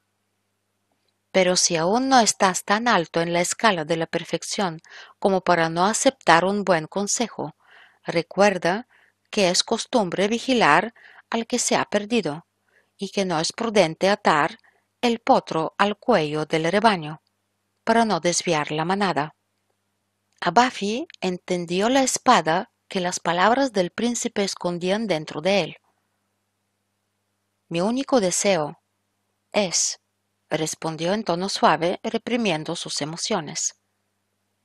Que se conozcan mis hechos, Su Majestad, incluso los malos, pues su mención o condena no encontrará en mí un oído sordo ni un pecho cerrado. Nunca quise un tambor y ser mensajero, y no me pertenece a mí, sino a hombres maduros. Continuó mirando directamente al joven Sigmund. Con una pequeña inclinación de cabeza, el príncipe le hizo saber a Buffy que podía irse. Había algo siniestro en esa inclinación de cabeza y oscuro en la mirada del príncipe. Una cosa más, dijo volviéndose bruscamente y acercándose mucho a Buffy, con el rostro enrojecido y una voz penetrante. No olvides, joven amigo, que si alguien pone un cascabel a una oveja descarriada y se lo arranca después por las prisas, continuó con una peculiar sonrisa de crueldad, a veces se pierde el cuello. El príncipe se alejó abruptamente. Buffy se quedó pensativo durante unos minutos más. Luego se dirigió a la casa de Mícula. Posada. La cena está lista. Balzac. A la derecha de la calle Torda hay una calle estrecha y desagradable, un callejón en el camino de la gente de Colosfar, la llamada calle Busa, en cuyo centro se encuentra una casa alta, el señor Moses Guti, a quien nosotros una vez ya por un momento vimos, el herrero de Colosfar, con su fiel esposa la señora Orsolia. Su taller estaba en el extremo derecho de la casa con una puerta abierta y mal hecha que reflejaba rastros de quemadura y hollín. A través de la puerta se veía un yunque ancho que pesaba varias toneladas y una estufa con brasas y una vasija de enfriamiento y grandes fuelles. Varios muchachos de piel oscura y hombros anchos estaban ocupados en el taller, haciendo su arduo trabajo con facilidad, cantando un poco de esas canciones tristes y felices, y silbando o bromeando un poco. En el extremo izquierdo de la casa, que se mantenía limpia, se abría una amplia puerta de entrada que permitía que la vista llegara a la puerta de la derecha, a la que se llegaba por dos grandes escalones de piedra que daban a un patio con un largo y cerrado trastero. En medio de la casa, en una larga pared, había pequeñas ventanas, protegidas por gruesas rejas de hierro forjado, por las que Moses Guti, siendo obra de sus manos, estaba muy orgulloso. Siempre que pasaba frente a la casa pensaba, Anch'io sono pittore, lo que significa yo también soy pintor.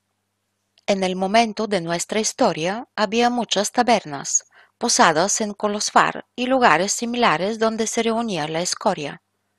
Pero las numerosas familias de la nobleza que practicaban la hospitalidad húngara hicieron innecesarias las posadas.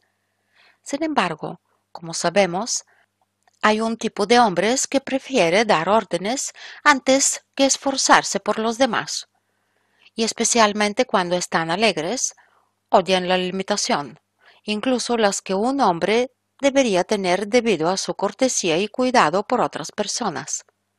Por eso, a cambio de dinero, Moses Guti mantenía una mesa en su casa para las fiestas sabía satisfacer a sus invitados con la comida típica que preparaba su mujer, así como con especialidades de la época, como el pan sekelch y tordan, los mejores vinos de la región, frutas en miel y manjares similares. Esta abundancia y la naturaleza alegre y cordialidad de los anfitriones, así como las habilidades culinarias y los conocimientos de la señora Orsolia, rara vez dejaban la mesa sin invitados. Para recibir a los invitados, no sin interés y ganas de ganar dinero, existía un largo salón con ventanales que daban a la calle. Había una mesa larga de roble, siempre limpia, aunque cubierta con un mantel no muy fino. Una estufa alta, compuesta por hornillos de cuatro bordes y protegida por una barandilla de madera varias sillas de paja y algunos bancos en los que los invitados pudieran poner los pies. También había un armario con barras de madera decoradas con enlaces de vidrio. En la parte inferior tres grandes cajones complementaban el sencillo mobiliario, junto con dos mesas más pequeñas para quienes quisieran tomarse una copa. De las dos puertas, una se abría junto a la entrada principal y la otra conducía a una habitación lateral que se extendía hacia el patio. Tres días después de lo ocurrido en el apartado anterior, vemos a la señora Orsolia con un delantal limpio y un montón de platos sencillos junto a la mesa. El señor Moses acababa de llegar del taller, con la frente reluciente de sudor, y se sentó en una amplia silla de paja cerca de la estufa, estirando las piernas en uno de los bancos. Llevaba un sombrero de cuero ligero en la cabeza y se estaba quedando dormido inclinando la cabeza poco a poco. Mientras Moses descansaba de su duro trabajo, su esposa extendió un mantel de paja estrecho en el medio de la mesa y colocó una gran barra de pan en el medio del mantel. Saleros y unas cuantas jarras de lujo rodeaban esta obra maestra de la señora Orsolia. El herrero ya se había quedado dormido cuando su fiel esposa sacó del armario de la cocina unos panecillos de miel en rodajas finas los amontonó en un plato y los colocó sobre la mesa. Mientras ella preparaba con tanto cuidado la cena y ponía los platos, el pequeño Tobías, el heredero de la casa, un niño sonrosado de unos nueve años, de rostro redondo, se deslizó silenciosamente por la puerta abierta y se escondió debajo de la mesa, y mientras su madre pataleaba de un lado a otro, hábilmente comenzó a robar panecillos de miel. Lo hizo con mucho éxito durante un tiempo, pero con un movimiento torpe desequilibró toda la pila de panecillos de miel hábilmente amontonados y se derrumbó con un sonido sordo. Tobías, al escuchar esto, huyó por la puerta entreabierta en un segundo. Ese sonido de pan desmoronándose fue tan silencioso que la señora Orsolia ni siquiera lo escuchó. Vemos unos minutos después cómo el ladrón se asoma por la puerta y un poco más tarde por la puerta entra un gato gris y un perro viejo.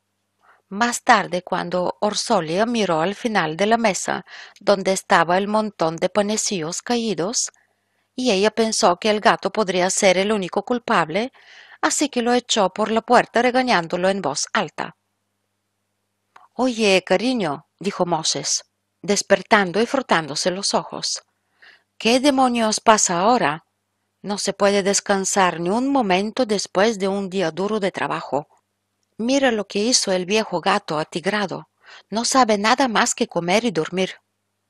Pobrecito, Hizo lo suficiente a medida que crecía. Déjelo descansar un poco también. Pero continuó mirando por la ventana. Es tarde y aún no han llegado invitados. Hoy en todo caso serán dos menos, dijo la mujer. No creo que los señores Abafi y Betlen vayan a venir después del debate de ayer. Lo único que lamento es no haber podido estar presente. Seguro que todo hubiese acabado mucho más tranquilo. La tarea del anfitrión es establecer el orden, murmuró Orsolia, apilando panecillos de miel y colocándolos encima del armario de la cocina. Ah, sí, asintió ella. Supongo que ahora nuestro señor gato no los alcanzará. Preferiría no involucrarme en tales discusiones, dijo Moses, estirando sus piernas cómodamente. No sea que me toque a mí. Quien trata de separar a los que pelean, rara vez logra hacerlo sin ofender a uno o al otro. Hasta ahora es esta imparcialidad que trato de preservar la que ha mantenido la reputación de mi casa frente a mis invitados. Obstinadamente, Orsolia también dije dos o tres palabras para reconciliarlos, con voz humilde, pero ¿de qué vale? especialmente con Abafi. No escucha palabras de sabiduría, especialmente si está bebido. ¿Estaba bebido? Desde que llegó aquí estos días ha sido el único que siempre se iba a casa sobrio y se porta bien. Los demás apenas lo reconocían. ¿Te acuerdas, querido, el año pasado que quedaron a dormir aquí Bas Martonac y Abafi? y al día siguiente ninguno se acordaba de que habían venido aquí. Sí, sí, lo que es, es. Abafi ha cambiado mucho. Pero ayer saltó sobre Bethlen con tanta fuerza que todos pensamos que iba a tirarlo por la ventana.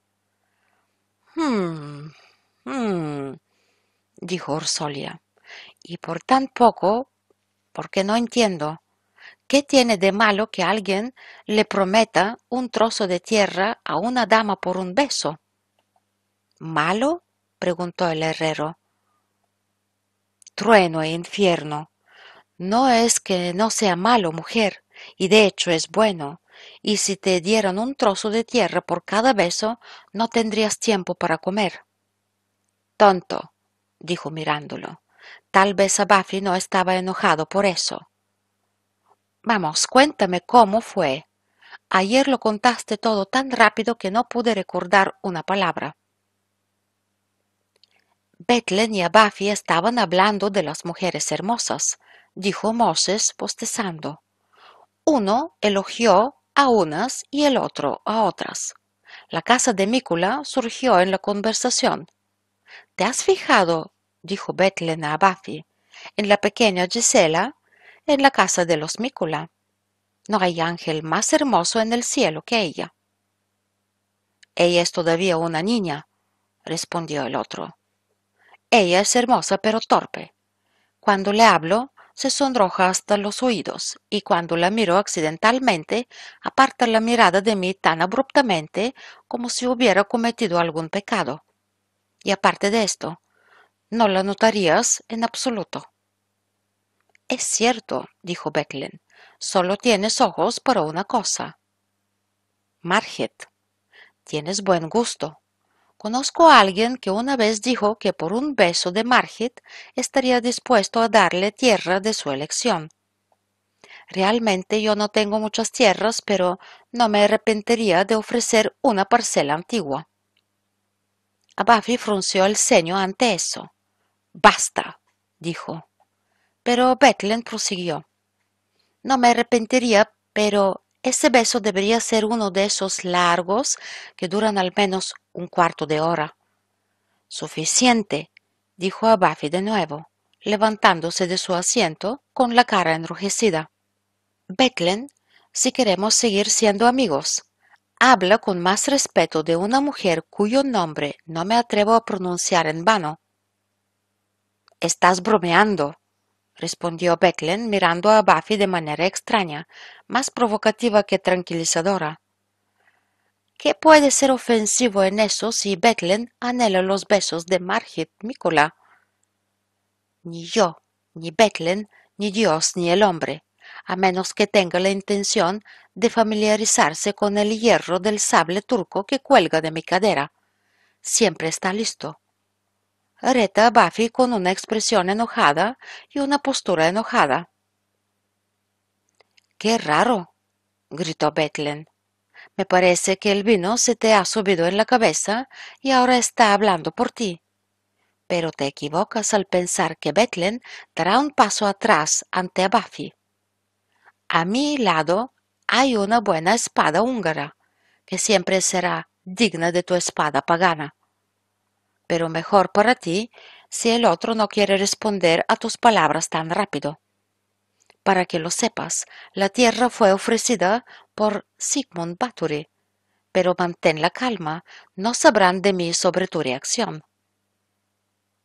Podría ser él o cualquier otra persona, respondió a Buffy con brusquedad.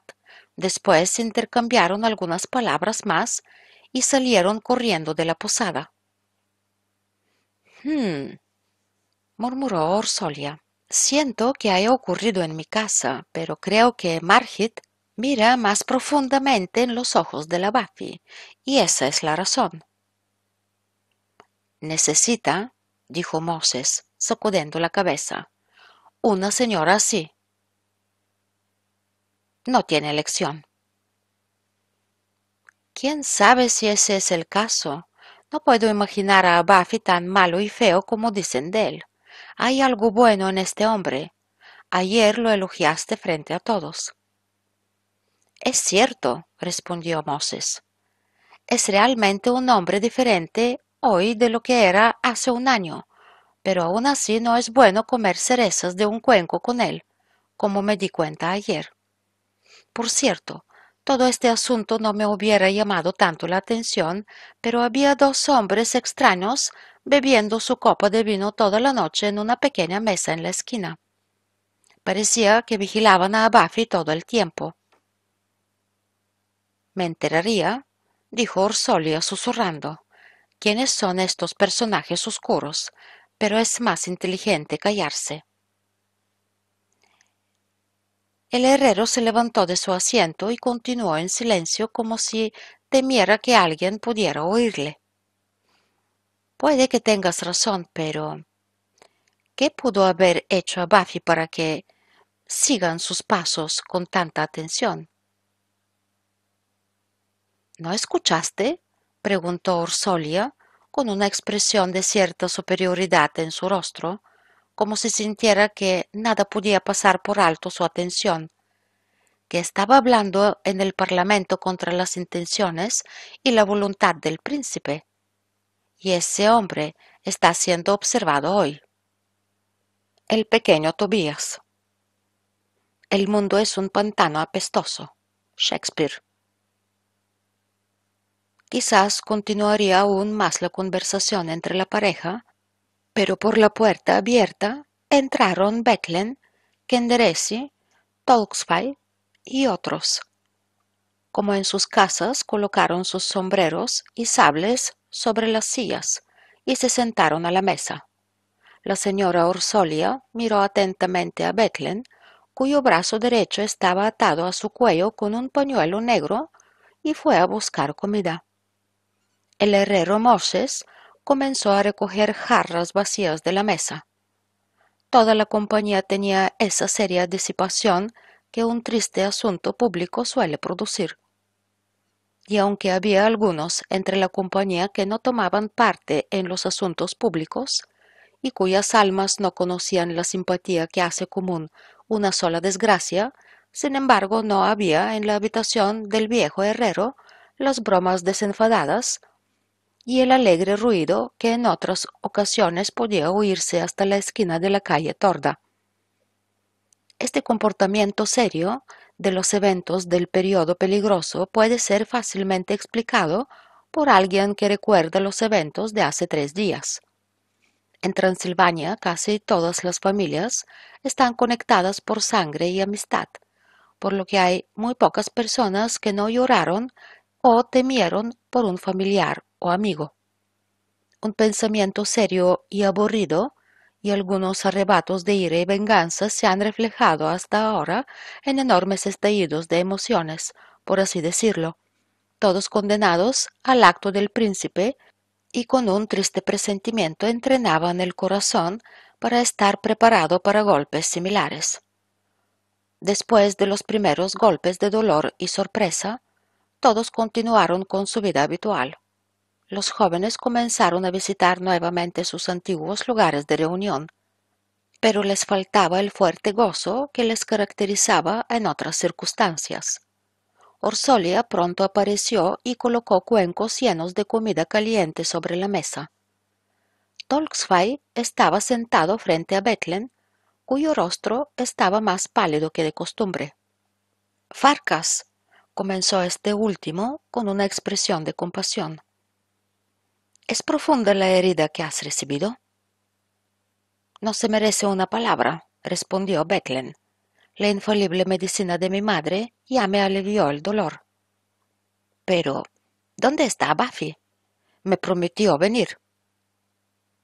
¿Y está ileso? preguntó Kenderesi, un joven rubio de aspecto serio, mientras sacaba comida del cuenco frente a él. Por ahora, respondió Becklen riendo. Le di un fuerte golpe en su brazo, pero la hoja de mi espada se torció y el resultado fue este. Continuó dándose una palmada en la mano. Sé apreciar el coraje y la fuerza de Abafi, continuó Tolksfai.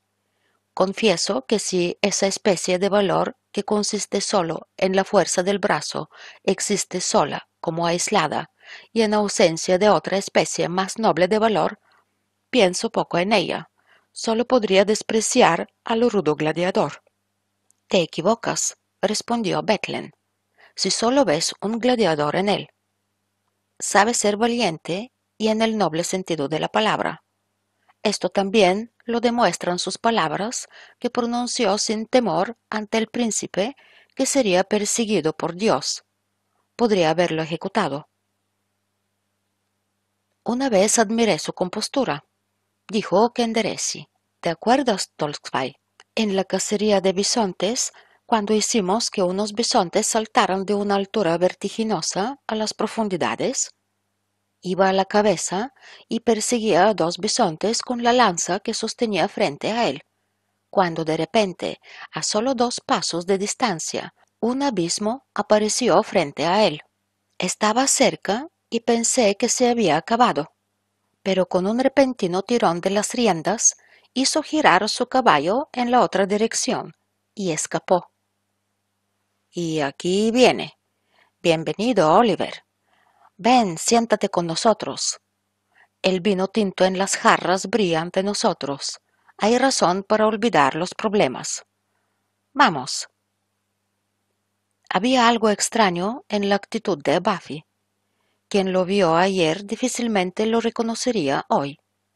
Se desabrochó el abrigo marrón, al igual que la parte superior de su camisa, dejando al descubierto su pecho ancho y fuerte arrojó su espada a un rincón y colocó su sombrero rojo sobre la mesa. Su rostro estaba en llamas y sus ojos brillaban. Se arrojó sobre una silla de paja, cerca de Becklen, extendiéndole la mano en silencio, con una extraña expresión en su rostro que reflejaba una expresión de simpatía y salvaje desafío. Que Dios esté contigo, le dijo a Tolstoy. Sí, Danos vino, mucho vino, lo mejor que podríamos hacer, dijo con una risa salvaje. Este mundo es malo, cobarde y mezquino. Vino, dije, vino. Betlen y los demás le miraban fijamente. ¿Qué te pasa, amigo mío? preguntó el primero. Habla. Desde que hubo sangre entre nosotros, estás más cerca de mi corazón. Dime, ¿cuál es el problema? ¿Debería estar de guardia por ti en una noche difícil? ¿O luchar contra diez de ellos por ti? Dime, ¿qué te molesta? El mundo, la gente, yo mismo y todo, respondió a Buffy, dando un puñetazo en la mesa con tanta fuerza que las copas bailaron. Un niño, que es un príncipe, hace matar a los primeros hombres de nuestro país. Un niño pone precio a los besos de Margit Mícula. Bethlen se levantó de su asiento con los ojos fijos en Buffy. No lo entiendo, dijo extendiendo la mano. Maldición, tengo que ver y soportar esto. La gente gris estaba abrumada por el miedo cobarde, aquellos que se sentaron en las tormentas de la batalla. ¿Y todo eso para quién? ¿Para qué? Vino, digo, vino y tomando la jarra ante él, hasta la última gota la vació y la arrojó a un rincón de modo que sus trozos saltaron por la habitación. ¡Demonio! exclamó Tolstoy. ¿A quién declaraste la guerra, Oliver?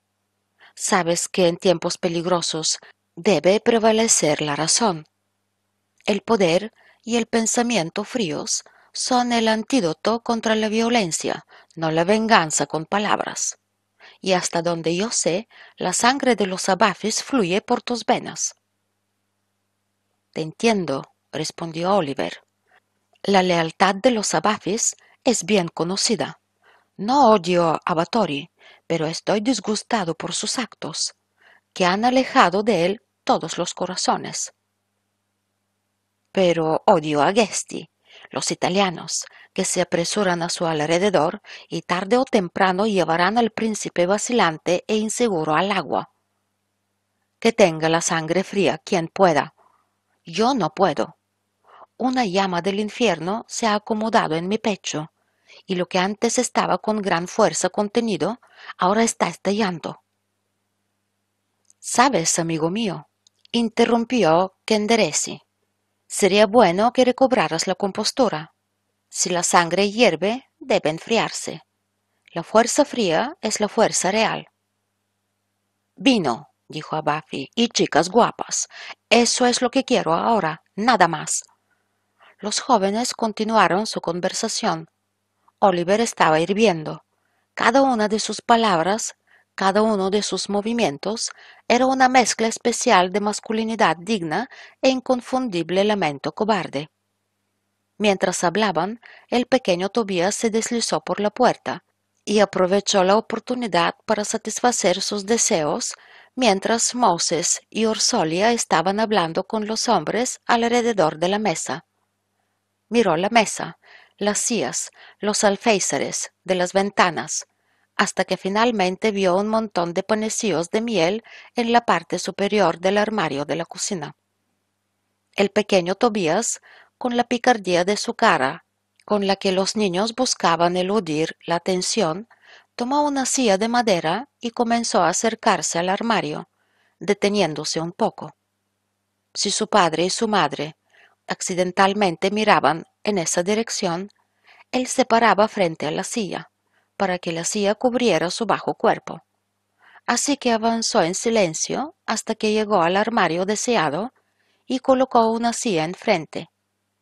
Luego, con habilidad similar, tomó uno de los pequeños bancos y lo colocó en la silla. De esta forma se subió tranquilamente primero a la silla y luego al banco, y con los brazos en alto trataba de alcanzar el plato. Mientras el pequeño Tobías intentaba astutamente coger unos panecillos. Nuestros jóvenes en la mesa ya estaban completamente relajados y radiantes, y se vio a Buffy en particular tratando de relajar su mente y complacer sus pasiones anteriores. Las emociones serias pronto fueron reemplazadas por carcajadas fuertes, como suele ser el caso en esos lugares bajo la influencia del vino. Entonces se abrió la puerta y entraron dos hombres con sombreros en las manos. Se sentaron sin decir ni una palabra en una mesa más pequeña. Uno era más viejo que el otro, moreno de ojos grandes, completamente calvo. Su ojo izquierdo estaba cubierto con una cinta negra y tenía una barba larga, ancha y espesa. El cuerpo masculino estaba cubierto de camisa negra, la mayor parte del cual estaba cubierta con una amplia capa. El otro era un joven de aspecto guerrero. Ambos llevaban un pañuelo negro en la barbilla y sus rasgos faciales eran sólo parcialmente visibles. Orsolia, mirando furiosa a los hombres que habían entrado, le susurró algo a su marido. Moses, con una mirada de bondad forzada en su rostro, se acercó a la mesa, y ellos en voz baja pidieron vino y queso. Mientras el venerable herrero se apresuraba a obedecer la orden, Penderesi se levantó de la mesa. Amigos, dijo, Conozco un buen lugar cerca de los muros del castillo, hacia la puerta media, en casa de la señora Sara, donde hay buen vino y muchachas hermosas. Aquí, continuó con una mirada desdeñosa a los recién llegados, el tiempo está nublado. ¿Quién viene conmigo? Abafi, vino y doncellas. Ven. Todos se pusieron de pie de un salto. El joven sentado en la pequeña mesa frunció los labios. En ese momento el pequeño Tobías con la punta de sus dedos alcanzó la parte superior del armario. Pero Moses notó entonces lo que estaba haciendo el pequeño heredero de la casa, y quitándose el cinturón, se acercó a él con la sonrisa ominosa que caracteriza a algunos padres cuando atrapan a un niño haciendo el mal. El pequeño ladrón mirando hacia atrás y notando la intención de su padre, de repente quiso soltar el plato. Sin embargo, perdiendo el equilibrio, aterrizó en el suelo con el plato. Con un fuerte estrépito y con un fuerte rugido, rodó hasta los pies de Abafi, que se acercaba a la puerta. El niño se golpeó bien la nariz y empezó a sangrar. Pero aún así, el herrero Moses comenzó a golpearlo con un cinturón, agarrándolo con fuerza del cuello. Orsolia acudió en su ayuda, que acababa de llegar, haciendo todo lo posible por calmar a su marido. Abafi observaba la extraña escena en silencio durante un rato. Una nube negra pasó por su rostro. Era como si pensamientos profundos lo envolvieran, como si un recuerdo hubiera pasado por su cabeza. No torturen al pobre niño, dijo con voz sensible. Yo pagaré los daños. Luego se dirigió a los demás. Que Dios esté con ustedes. Y continuó con voz decidida. Yo me quedo. ¿No vienes? preguntó Becklen. No, respondió brevemente a Buffy. ¿No? ¿Y por qué? preguntaron Tolksfai y Kenderese al mismo tiempo. Oye, dijo Becklen, déjenlo.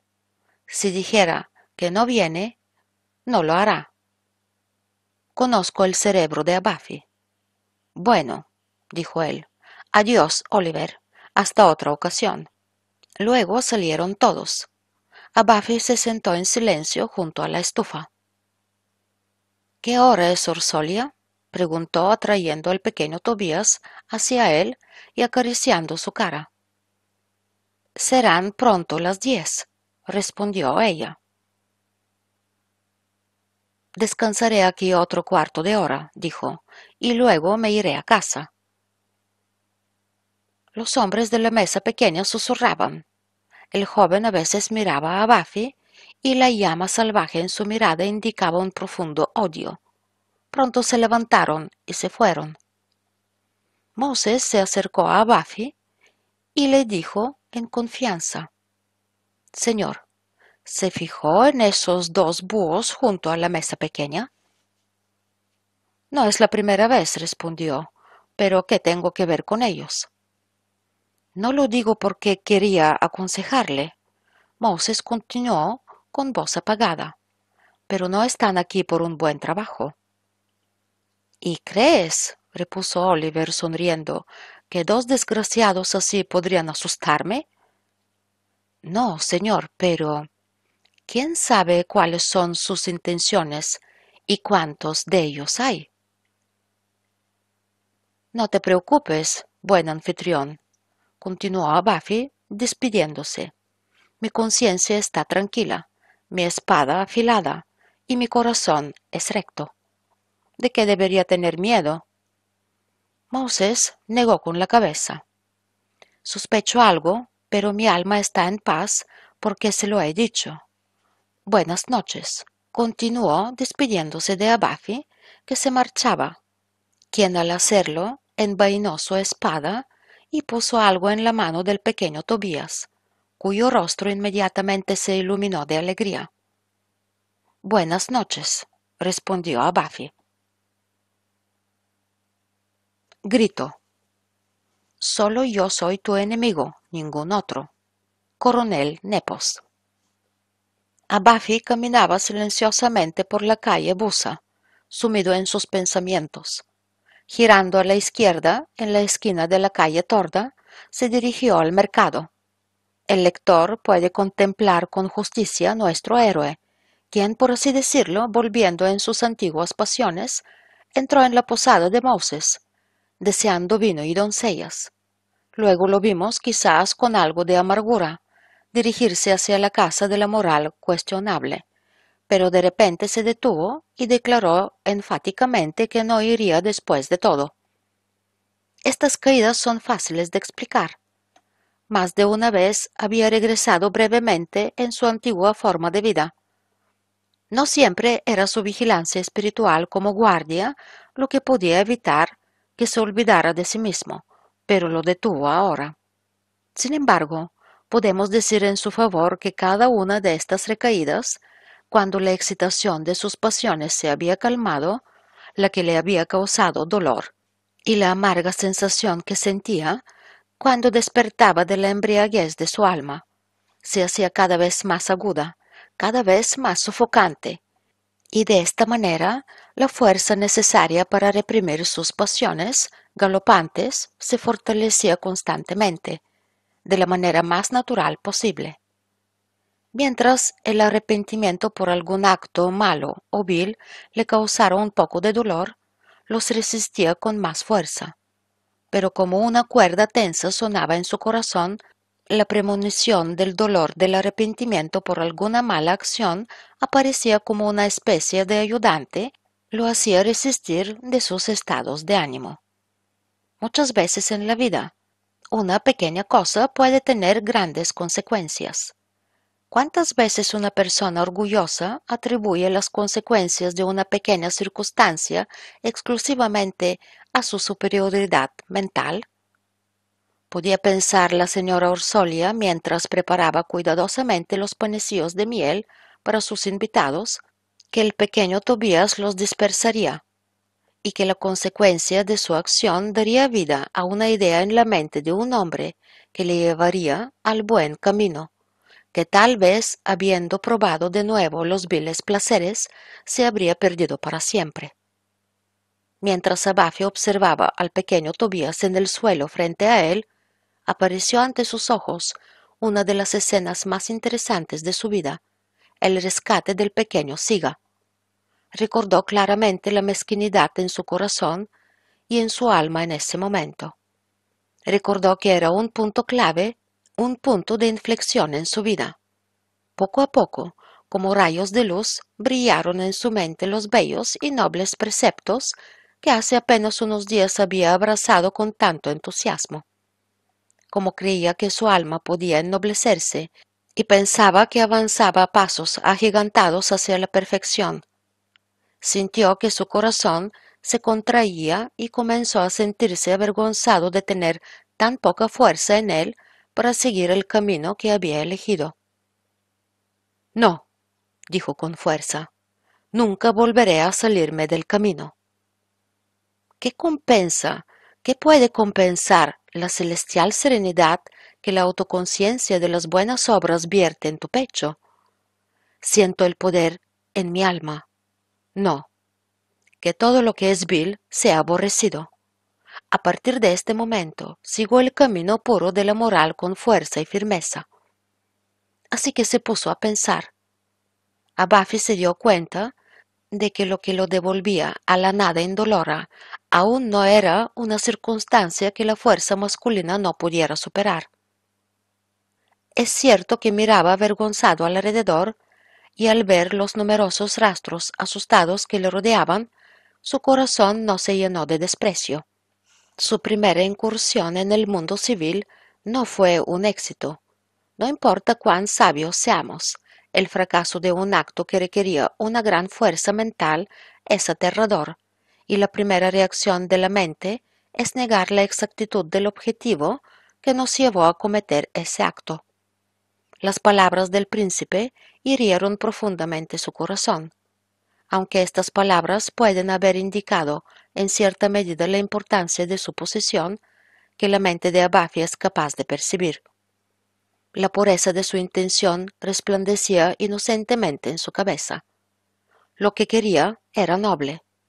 Habló en nombre de los nobles patriotas y se sintió abrumado por ese sentimiento amargo tan conocido por todas las almas más nobles, que carga a esas mismas almas con un peso de plomo cuando se malinterpreta y malinterpreta el noble objetivo de nuestras acciones, y cuando en lugar de una esperanza justa y feliz, el hacedor encuentra en su camino una cosa desolada y sin alma.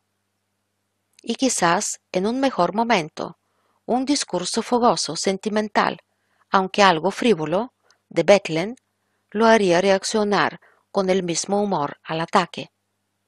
La sincera reacción con la que Oliver quiso compensar las consecuencias de su repentino estallido y la proverbial fiera amistad que unió a los dos jóvenes hasta la muerte, son prueba suficiente de la diferencia entre el primero y el actual Abafi.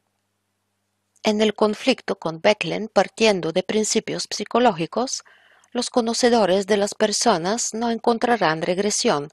Incluso en las almas más nobles hay momentos de esplendor. Y hasta el mejor hombre puede ser injusto en ocasiones, sobre todo si está enojado y si la pasión que lo impulsa es noble. Tal era en todos los aspectos la pasión que abrumaba a Oliver, la protección de la mujer, la deuda caballeresca. Una de las más naturales de estas recaídas se vio en las lamentables excrescencias de nuestro héroe y en la indulgencia que lo sumió casi en un torbellino de viles placeres. A Buffy, que emprendió el camino de la perfección, sentía profundamente, escuchaba y actuaba cuando lo consideraba necesario. Cuando se apartaba del camino de la perfección, se quejaba, dudaba de sí mismo. Pero la excusa innegable de esas caídas fue la prisa por abordar la causa. Pero su espíritu guardián, ya sea a través de algún acontecimiento o alguna pequeña circunstancia, como hemos visto, podría haberle devuelto al camino correcto. Y podemos decir con razón que la buena resolución de no volver a hacer o pensar en hacer nada malo nunca fue tan firme, tan fuerte en él como lo fue hoy. Abafi caminaba silenciosamente en la oscuridad de la noche, donde la amplia y temblorosa sombra de la alta torre de la gran iglesia cubría toda la plaza. Rodeada por un ejército de luces de su corte, la reina de la noche observaba la ciudad seria desde arriba. Sus rayos plateados fluían a lo largo de las partes talladas de la torre gótica, adornándola con una corona de gloria. Cada calle estaba en silencio y sin gente, solo aquellos ruidos nocturnos que a veces flotaban en el aire, como el silencioso sonido de un arpa eólica, jugaban con el oído de Abafi.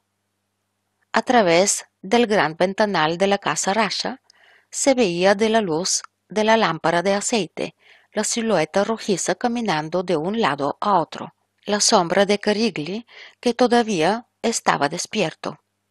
Cuando llegó casi al centro de la plaza, oyó un suave crujido detrás de él, como el de la seda sobre una tabla lisa. Miró hacia atrás y vio a una criatura con un abrigo oscuro que le seguía con pasos silenciosos. Nuestro héroe tenía demasiado coraje y confianza en su inmensa fuerza, que sería un poco ridículo asustarse de este matón. Pero desenvainó su espada y siguió adelante con calma. Apenas había llegado a la amplia calle del medio, cuando de repente tres hombres salieron corriendo de una oscura puerta con las espadas listas para atacar. La parte inferior de los rostros de los atacantes estaba cubierta con bufandas. Vestían con ropa oscura. A Oliver le pareció reconocer en dos de ellos las figuras sospechosas bebiendo en la posada de Moses.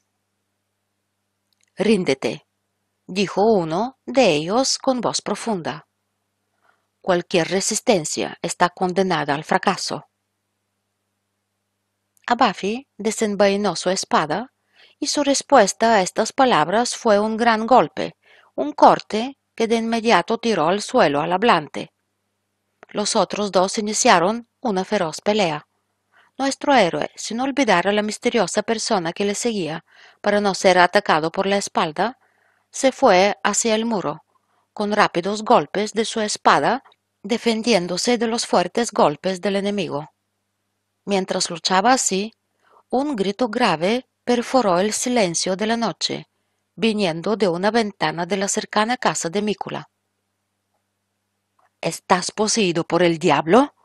gritó uno de los combatientes, arrojando su espada a un lado y tomando su masa con la que atacó a Buffy con fuerza salvaje.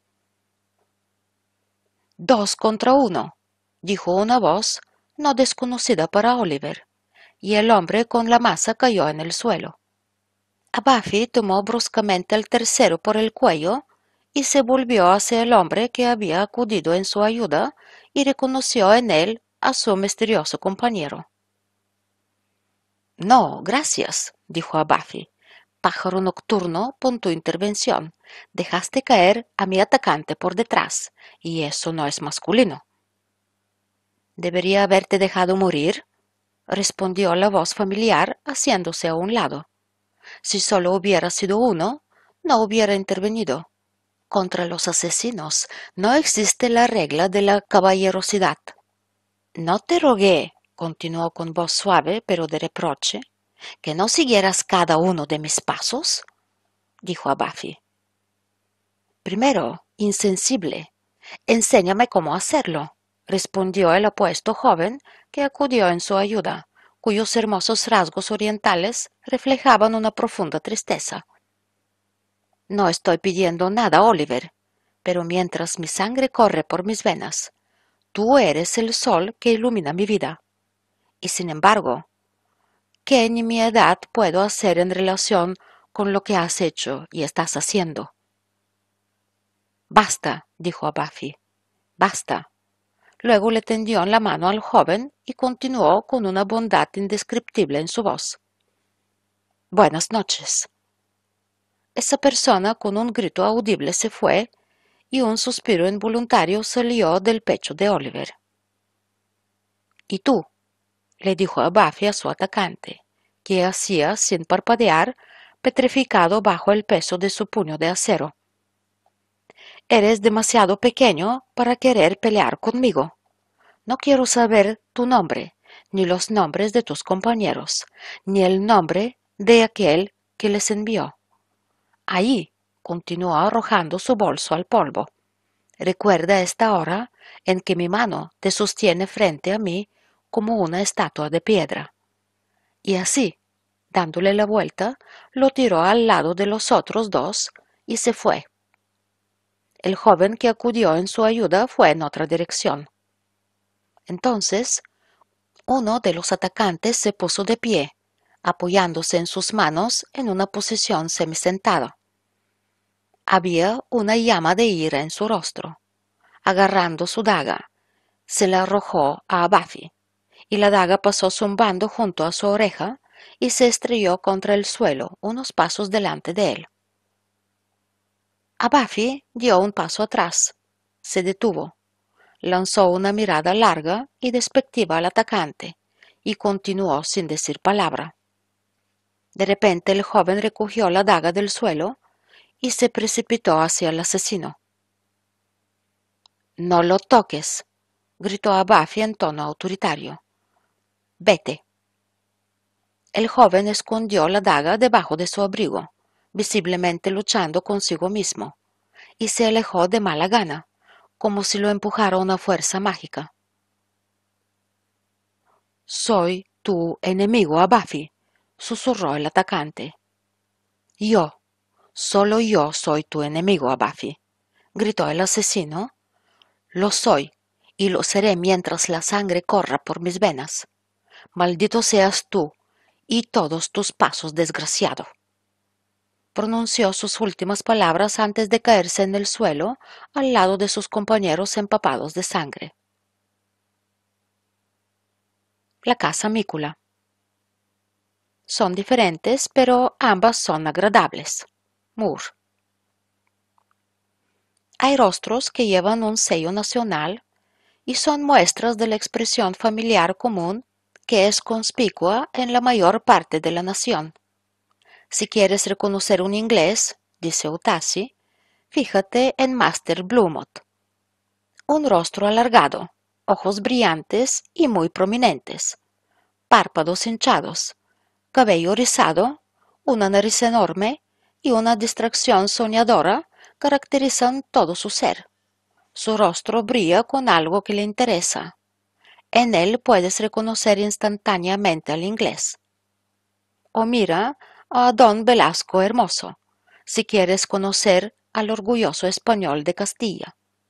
Fíjate en su cara morena y redonda, ojos grandes y oscuros, una nariz recta, más bien corta que larga, labios exuberantes, un andar orgulloso, movimientos mesurados, un retorcimiento que irradia de todo su ser. Inmediatamente verás al español en él. Así que hay ciertas familias ciertos hogares que cuando los conocemos tenemos una idea general del grupo familiar de una determinada clase de toda una nación. La casa de los Mícula era un ejemplo de familia modelo en Transilvania. Quien la haya visto podrá hacerse una idea general de la casa, los hábitos y los pasatiempos de cada familia rica de Transilvania en la época en la que se desarrolla nuestra historia. Ya sea en el pueblo o en la ciudad, esta interesante familia destacaba por la sencilla amabilidad de sus gentes, la hospitalidad sin ostentación, la encantadora manera de poner a todo el mundo a gusto y hacer que el forastero se sienta en casa y con familiares en pocos minutos. Ricos muebles dorados, valiosas alfombras, tapicería de seda pesada. La plata se usaba en mayor abundancia en todas partes, incluso para utensilios de cocina y herraduras. Tenían innumerables sirvientes, vestidos con colores vivos según la moda actual, secretarios, guardias, empleados oficiales, mayordomos, cerrajeros. También había un capellán de la corte respetable, de respeto alegre y amable, y finalmente el bufón de la corte como accesorio necesario para el hogar más lujoso de la época. Durante el verano, las ventanas y puertas estaban abiertas. Se usaba ropa ligera, en su mayoría de seda. Había un caballo en el jardín. También había una multitud de perros y un hombre de piernas cortas que cuidaba a los perros, con un cuerno largo en la mano, y que vivía a la sombra de la puerta oscura. En invierno había estufas abiertas o chimeneas hundidas en la pared de donde provenía un fuego cálido. Se usaban trajes elegantes y amplios con pieles finas. En una amplia habitación, que era la habitación de una niña, se reunían mujeres alrededor de una chimenea abierta, para tejer y matar el aburrimiento de las largas noches de invierno con charlas e historias alegres. A veces se podía ver ahí la ama de casa con su dócil hija, y en todas estas encantadoras y hogareñas escenas brillaba la hermosa armonía, el cuidadoso orden y la encantadora inspiración de la domesticidad húngara. En aquella época no había en Transilvania un hogar más frecuentado, querido y estimado que la casa de los Mícula, y el espíritu bondadoso de aceptación que fluía por ella tenía tal encanto que todos la consideraban suya. A la gente y la ama de casa le encantaba poder enriquecer sus adornos con algún trabajo hermoso o algo hermoso. Ella estaba feliz de ver a un cazador colgando un ciervo frente a la cocina, o si pudiera intercambiar una masa o una lanza con el viejo Miklos Mikula cuyo rostro con una expresión constante, saludable, alegre y fácil era simplemente agradable para el ojo. Mícula era un hombre de unos cincuenta y seis años, de mediana estatura, en plena fuerza, que solía cubrir su cabello medio gris con un sombrero de terciopelo ricamente decorado con trenzas, que se quitaba solo durante las oraciones, antes de las comidas y en la iglesia. Tenía un rostro redondo y saludable, con una expresión alegre. Los ojos azules reflejaban amabilidad y su hermosa nariz aguileña, dientes y labios saludables, evocaban una sensación placentera que tanto agrada a una persona. Sin embargo, como en todas partes en ocasiones, aparecían nubes en la casa de Mícula, que ensombrecían el cielo de silencio de la casa y las festividades familiares el esposo de Margit, Valent Giulafi, murió cuatro años antes del comienzo de nuestra historia. Pronto le siguió la esposa de Miklos Mikula, María Abafi, una de las mujeres más bellas de Transilvania. La muerte de ambos sumió en un profundo luto no solo a toda la familia, sino a toda la casa. Había algo de todo y peculiar en esta pena común en la que hasta el último sirviente compartía. A la primera pena le siguió después una tristeza, y al final el tiempo lo alivió, y la familia Mícula volvió a llenar de alegría el hogar. Miklos Mícula tuvo un hijo y una hija. El hijo, que ahora apenas tiene 16 años, servía en la corte de Sigmund Báthory, como noble sirviente en la guardia, y siempre estaba cerca del príncipe cuando lo conocimos. Su hija Margit, la señora Gyulafin, la vimos en el balcón de la casa Mícula. La hermosa viuda debía tener unos 27 años. Margit era una de esas raras y fabulosas criaturas que donde quiera que aparezca difunde a su alrededor un vivo interés y un encanto de hada. Su belleza, la dignidad que la rodeaba, una cierta originalidad en cada movimiento y acción la separaban del mundo común, la convertían en un modelo de vivir de un siglo futuro más ilustrado. Y este paso del futuro al presente era tan antiguo, tan irregular en su forma, que en ella se podía imaginar a la mujer de los siglos anteriores rodeada del mundo de los siglos futuros. Había algo en Margit que mantenía a distancia incluso a los más valientes ni orgullo, ni frialdad, ni la dignidad de su mirada, sino ese encanto que irradiaba de ello como una inspiración mágica y la presentaba increíblemente encantadora. Y esa persona hermosa y enérgica, cuyas acciones son impecables, cada movimiento vivido, su voz inmutable, no estaba feliz. Había algo en ella, y sobre todo en su juventud, podríamos decir, algo que no era terrenal, que hacía que no se sintiera completamente feliz con la alegría terrenal. Tenía apenas 16 años cuando se casó.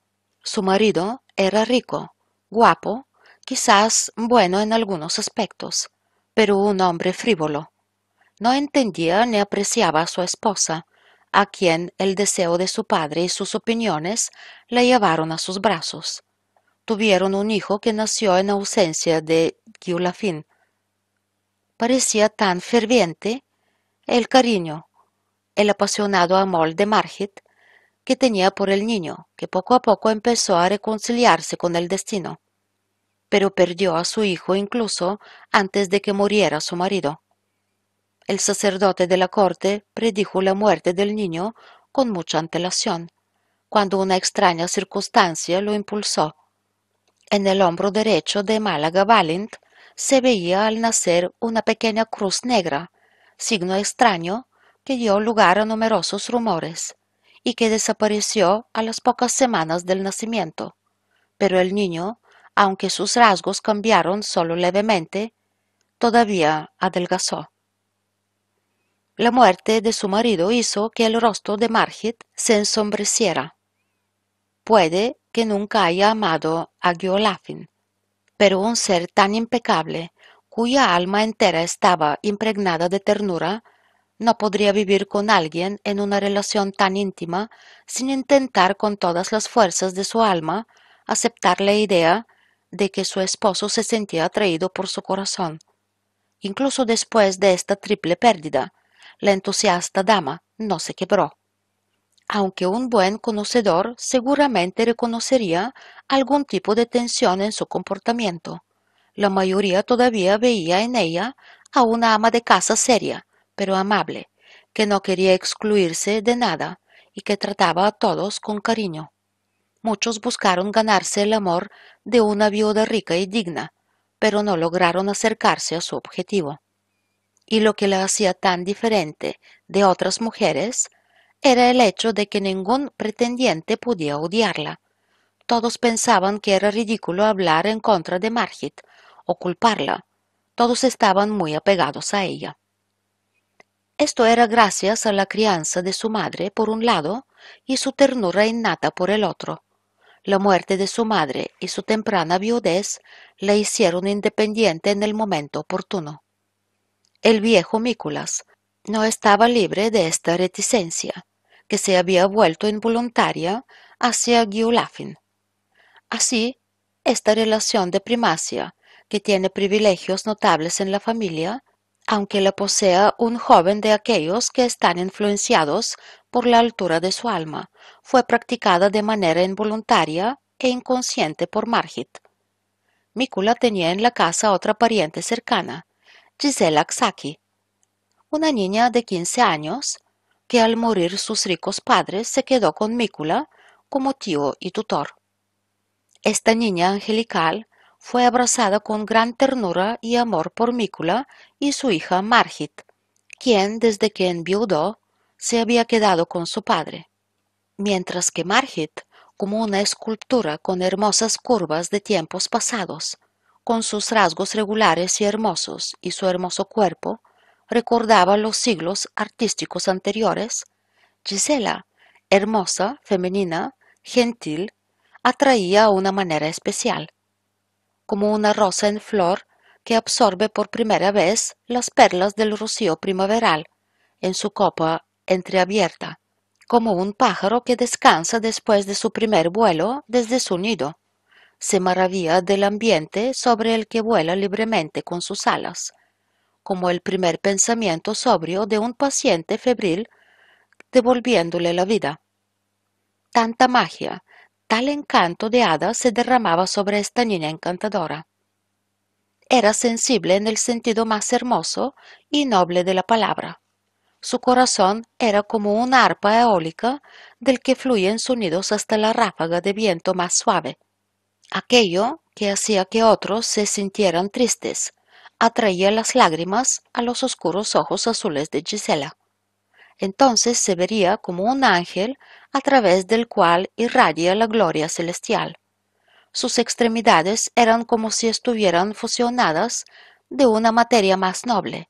Sus sentidos eran como si estuvieran en contacto con espíritus más celestiales, más trascendentes, tan delicados, tan impresionables, tan súbitamente excitables. Era tímida y podía desmayarse fácilmente en caso de peligro externo comenzaría a temblar ante una luz desconocida, y sin embargo podría ocultar incluso el mayor tormento en sus pechos blancos. Inocente como un ángel, pura como un lirio primaveral, a los quince años era más infantil que muchos niños de ocho.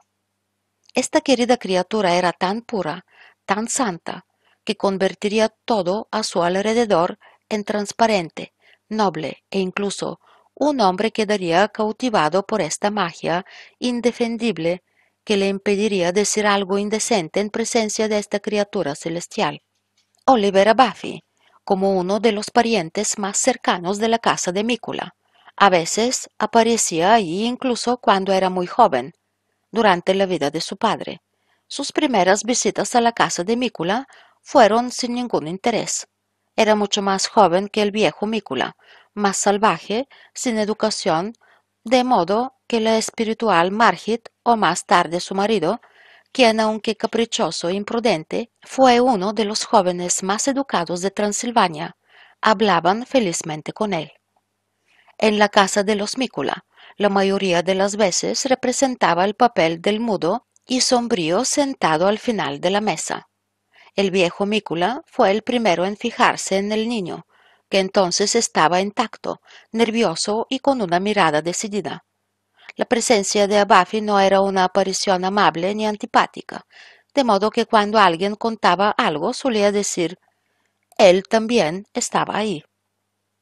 Sin embargo, un conocedor de la gente que preste algo de atención a este niño rudo podría ver cuán devotamente mira a Margit, cuán feliz se siente si ella se dirige a él cuán dispuesto y sonrosado está por darse prisa a cumplir sus órdenes, y que todo esto no sucede por lealtad o amor, sino por el respeto que el alumno tiene a veces por su maestro, a quien ha aprendido a temer, pero a quien aprecia y desea agradar, porque se siente honrado por su aprobación. Es casi imposible pensar que la señora Giolafi no hubiera notado el respeto mayoritariamente silencioso de Abafi, quien, aunque rara vez aparecía, siempre la trataba con ferviente respeto, incluso a su edad más joven y a pesar de su habitual descortesía.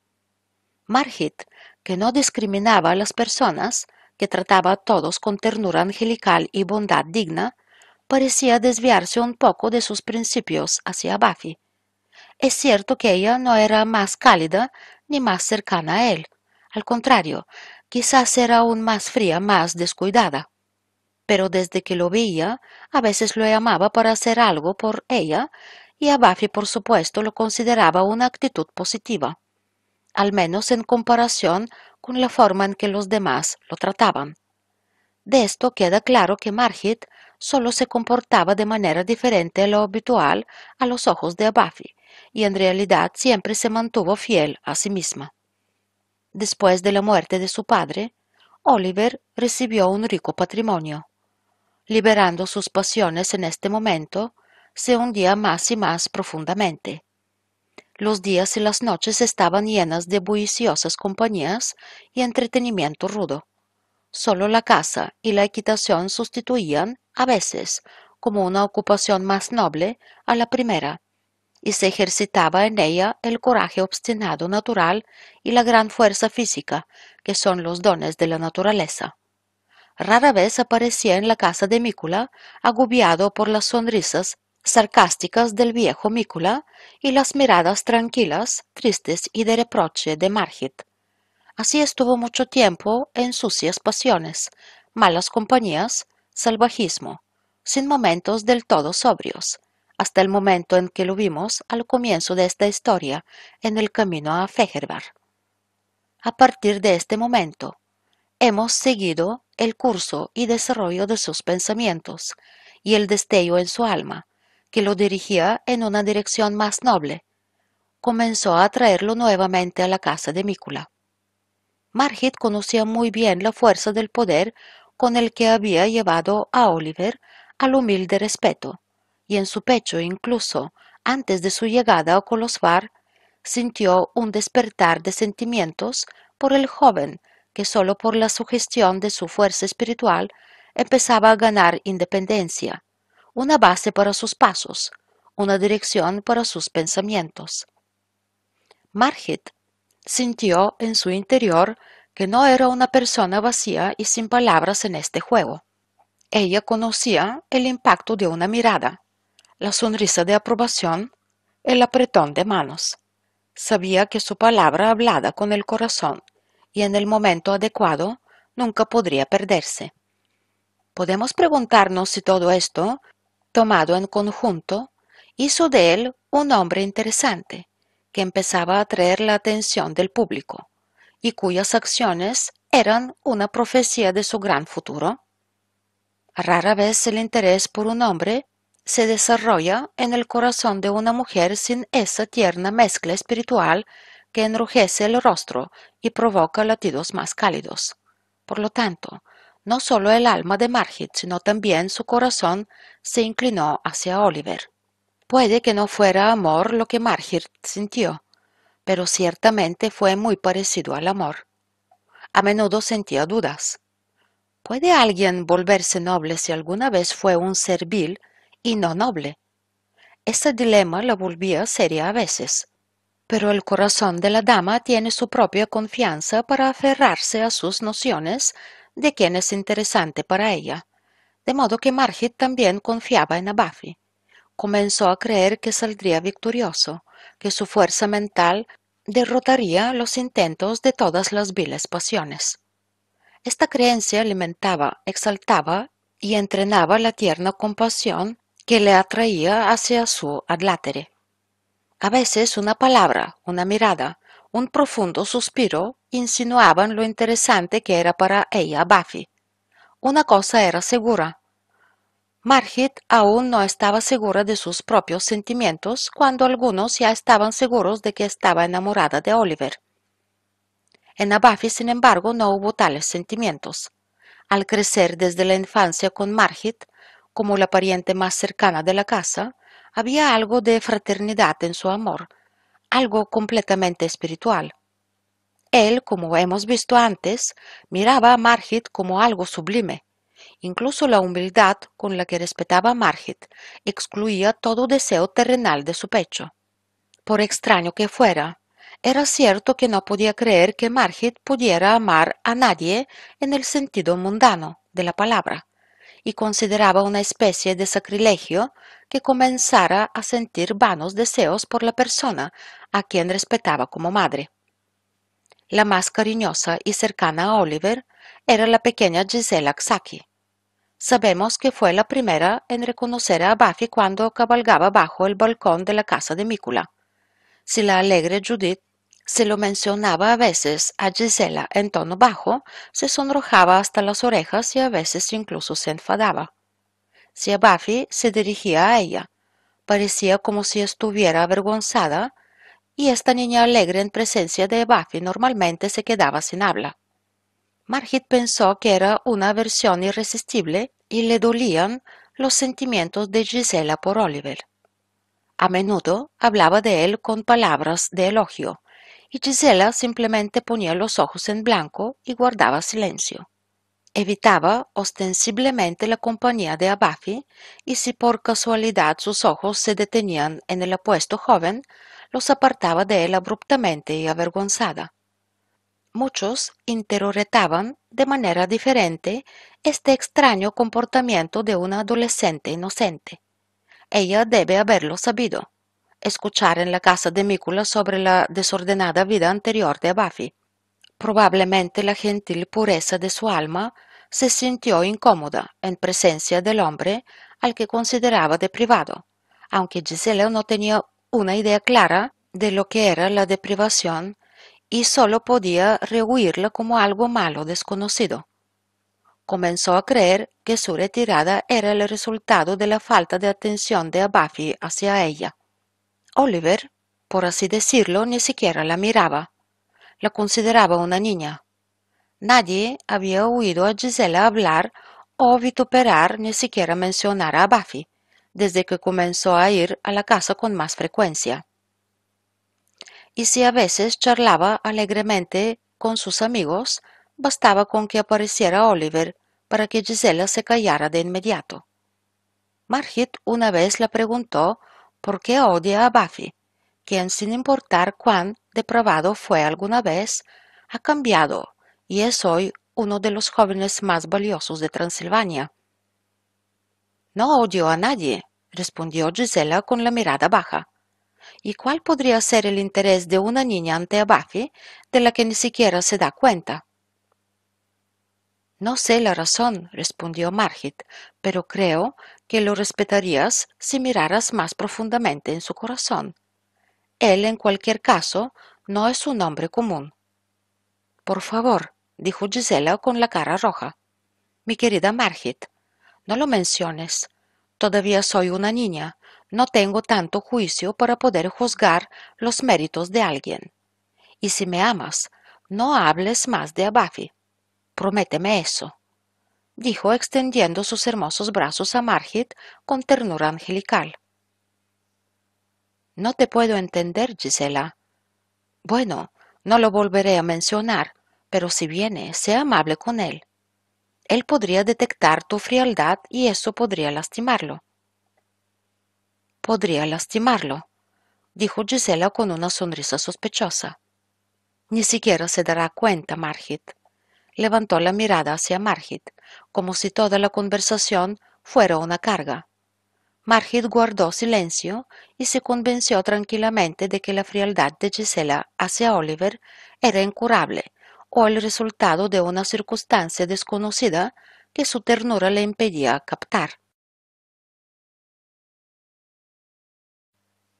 Escultura viva. ¿Qué estás haciendo aquí? Bielant. Esta noche, cuando Buffy fue atacado de camino a casa, se escuchó un grito desde el balcón de la casa de Mícula. Entonces podemos suponer que alguien notó la pelea de Abafi. Y así fue. Desde que las escenas sangrientas empezaron a preocupar la gente de Colosfar, el miedo y el horror han tenido un efecto peligroso en la pequeña Gisela. Ella no podía dormir. A veces intentaba deshacerse de la opresión en su pecho con un profundo suspiro, y todo su ser reflejaba tristeza.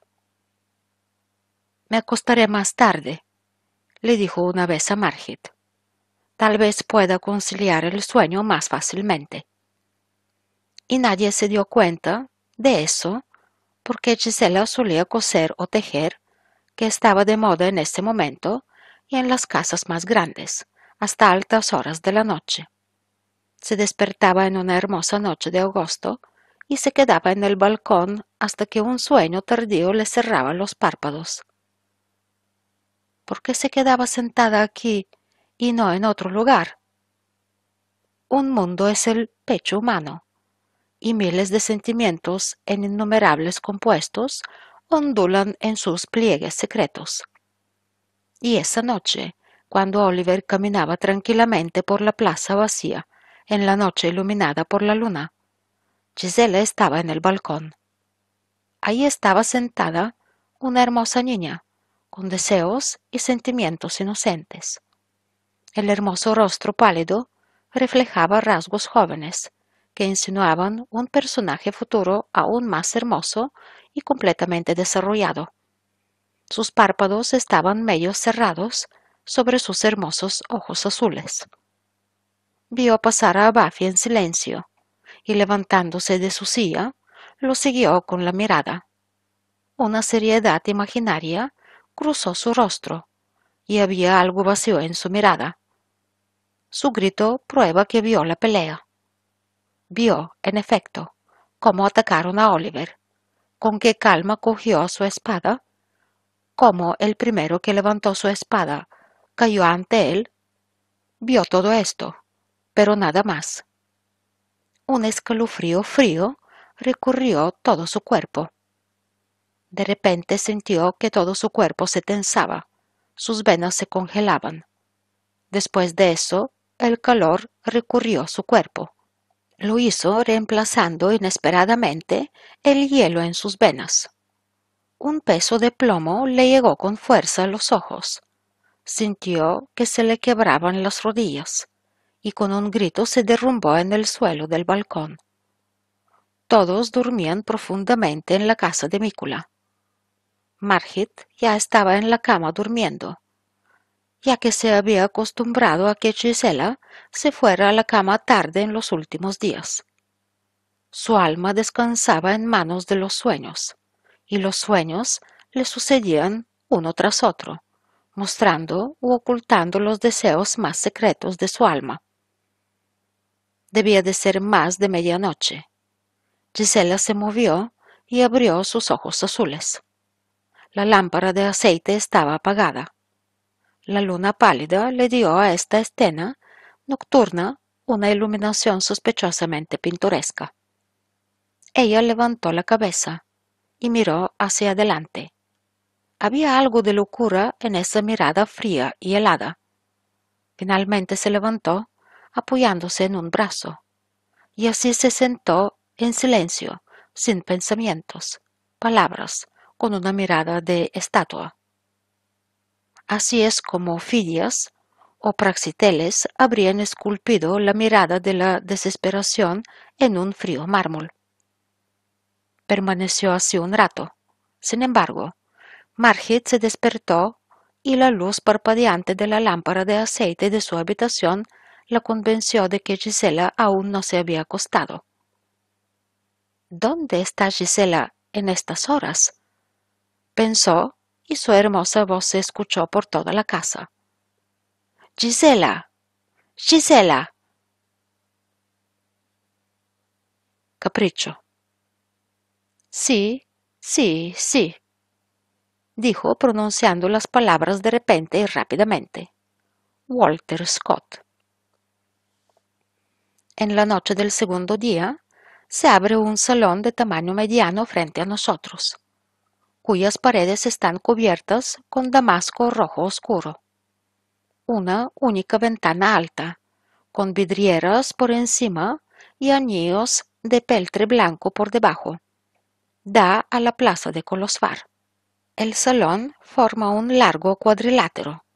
Frente a la ventana que da a la calle hay una puerta alta de talla ornamentada con cornisas doradas. A derecha e izquierda de esta puerta vemos dos camas altas con dosel. Desde allí, una cortina blanca más alta se doblaba en grandes pliegues. Podemos ver dos sillones uno frente al otro, cubiertos con tela de grandes dibujos de flores, y en el medio hay mesas bellamente diseñadas, llenas de artesanías femeninas, tijeras, seda y bordados a medio terminar. A derecha e izquierda de la ventana contra la pared hay dos mesas cubiertas de blanco, ambas con grandes espejos plateados que se redondean en la parte superior puestos sobre rejillas colocadas detrás.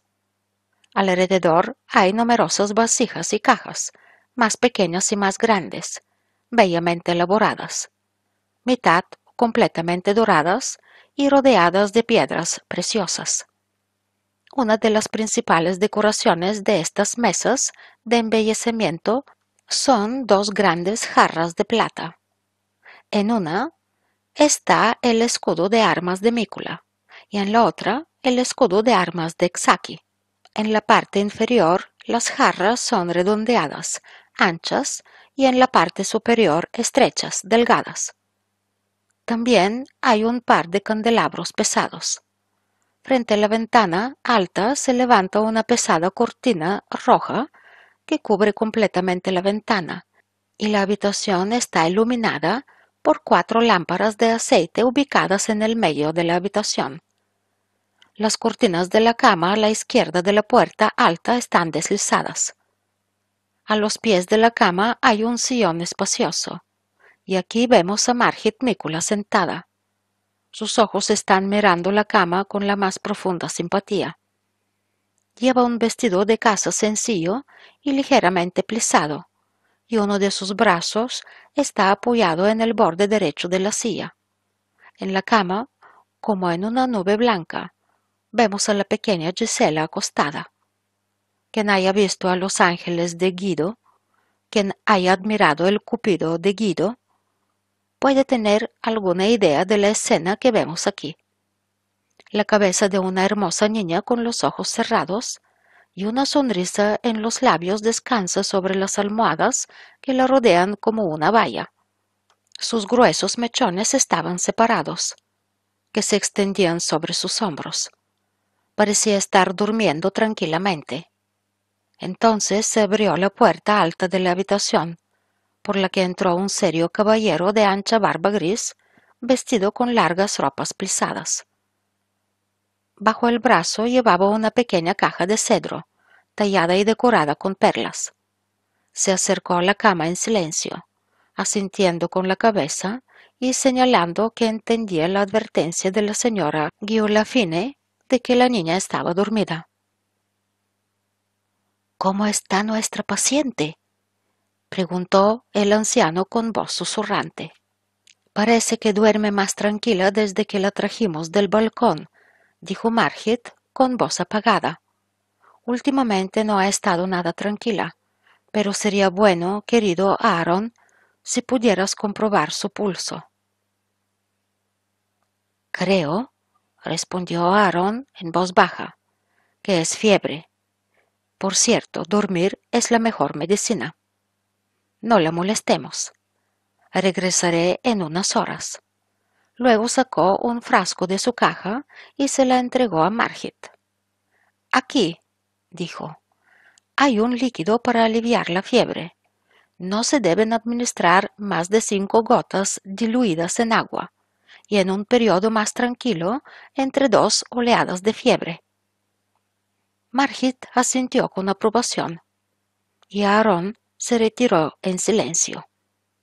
En aquella época, aunque había algunos médicos, las casas más grandes confiaban más en los extranjeros que venían del extranjero con numerosos diplomas. Así era Aaron y merecidamente famoso, y por ello visitaba tanto al príncipe, al que salvó de un peligroso dolor de garganta en Cobarón, como a muchas familias nobles de Transilvania. Después de que el médico se fue, el sueño tranquilo de Gisela pareció ser sustituido por una fiebre. Entreabría los ojos y levantando la cabeza agitaba la mano frente a su rostro como para disipar el humo ante sus ojos. Sus labios comenzaron a moverse como si estuviera hablando, pero no se escuchó su voz. Oh, dijo al fin, abriendo y cerrando los ojos, que de repente se cerraron de nuevo. ¡Qué morada celestial! Oliver, Mira, ahí está el rosal. Cuántas rosas abiertas. Qué mezcla de colores. Ella guardó silencio de nuevo. Luego de una breve pausa, su rostro se cubrió de las más hermosas rojeces, sus ojos se abrieron nuevamente y toda su mirada reflejaba sublimidad. Era ciertamente etéreo, celestial y casi temible para el ojo no iniciado. Como en esa especie de enfermedad que dota al enfermo de un don de clarividencia más allá de la carne. La alegría y la felicidad irradiaban de su rostro indescriptiblemente hermoso. Mi querido y amado Oliver, dijo ella, la elección de mi corazón. Ven y siéntate a mi lado. ¿Cómo puedo darte las gracias por tu amor? Oh, buena suerte, prosiguió casi cantando. Me amas, eres mío. ¿Es un sueño? No, no. Sí, sí, no. Habló extendiendo dos manos frente a ella como si apretara las manos de alguien. ¿Son esas tus manos, Oliver? ¿Las manos con las que derrotaste a tus atacantes y con las que abrazas a tu Gisela con tanta dulzura, ternura y fuego en el corazón? Margit abrió la boca de repente. Dios, dijo ella, ahora lo entiendo todo. Ella está enamorada, tapándose los ojos con las manos, secándose las lágrimas. Sí, repitió, ella está enamorada. Pobre niña. Oh, es más que una fiebre.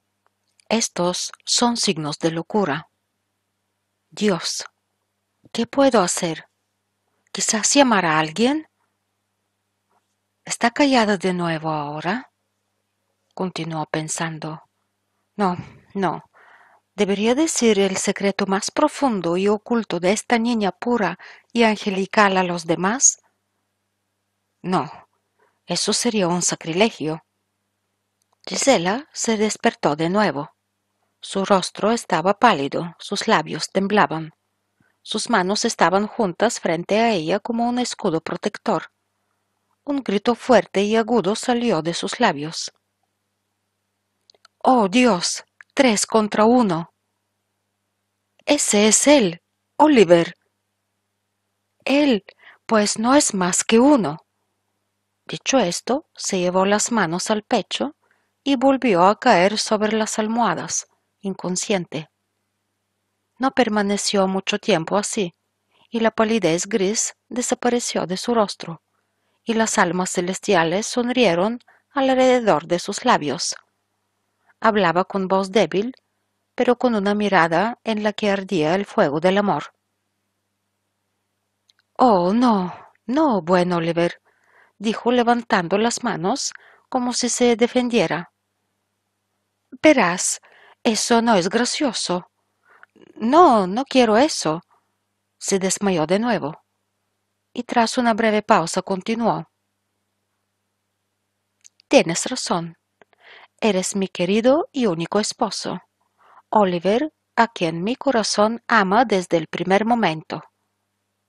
Sí, susurró con una sonrisa. Los cónyuges pueden besarse, ¿no es así, Oliver?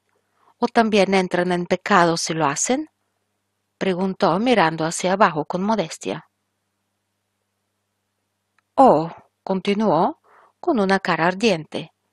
¿Me estás engañando, Oliver? Te creo. Ven, repitió con los brazos abiertos. Ven. Comenzó a besar el aire frente a ella, con los ojos medio cerrados y su rostro pálido enrojeciendo, como encantada por un deleite hasta ahora desconocido. Se apoderó de ella un sueño dulce y gentil. Oh, dijo ella suavemente. Lo que sintió Margit en esa tierna pero amarga escena que se apoderó de su corazón es difícil describir. Supongo que fue ahora mismo cuando se dio cuenta por primera vez de que amaba a Oliver. La pequeña Gisela había leído su alma en su febril fervor y cada palabra que pronunciaba con su inocente, más que infantil, angelical pureza, iba dirigida al corazón de Margit. Ella era una mujer, y tal vez no hubiera sido digna de tanto respeto si se hubiera liberado de todas sus debilidades. Comenzó a sentir celos en su pecho, pero la mujer reunió toda su fuerza espiritual para resistir ese sentimiento. Ah, dijo sin voz en su alma, yo también soy una mujer, una mujer débil. Oh, qué decepción. ¿Qué es esta sensación que tanto me ha sorprendido? ¿Qué sentimiento me ha golpeado? Amo a Oliver, tengo celos de ella. El odio se despertó en mi pecho contra ese ángel puro, que logró esconder tanto amor en su pecho inocente y que ni siquiera habla ahora. Solo su locura forzó esas palabras en su boca. ¿Y tengo derecho a estar celosa? ¿Él me quiere? Oh, no te engañes, mujer vanidosa.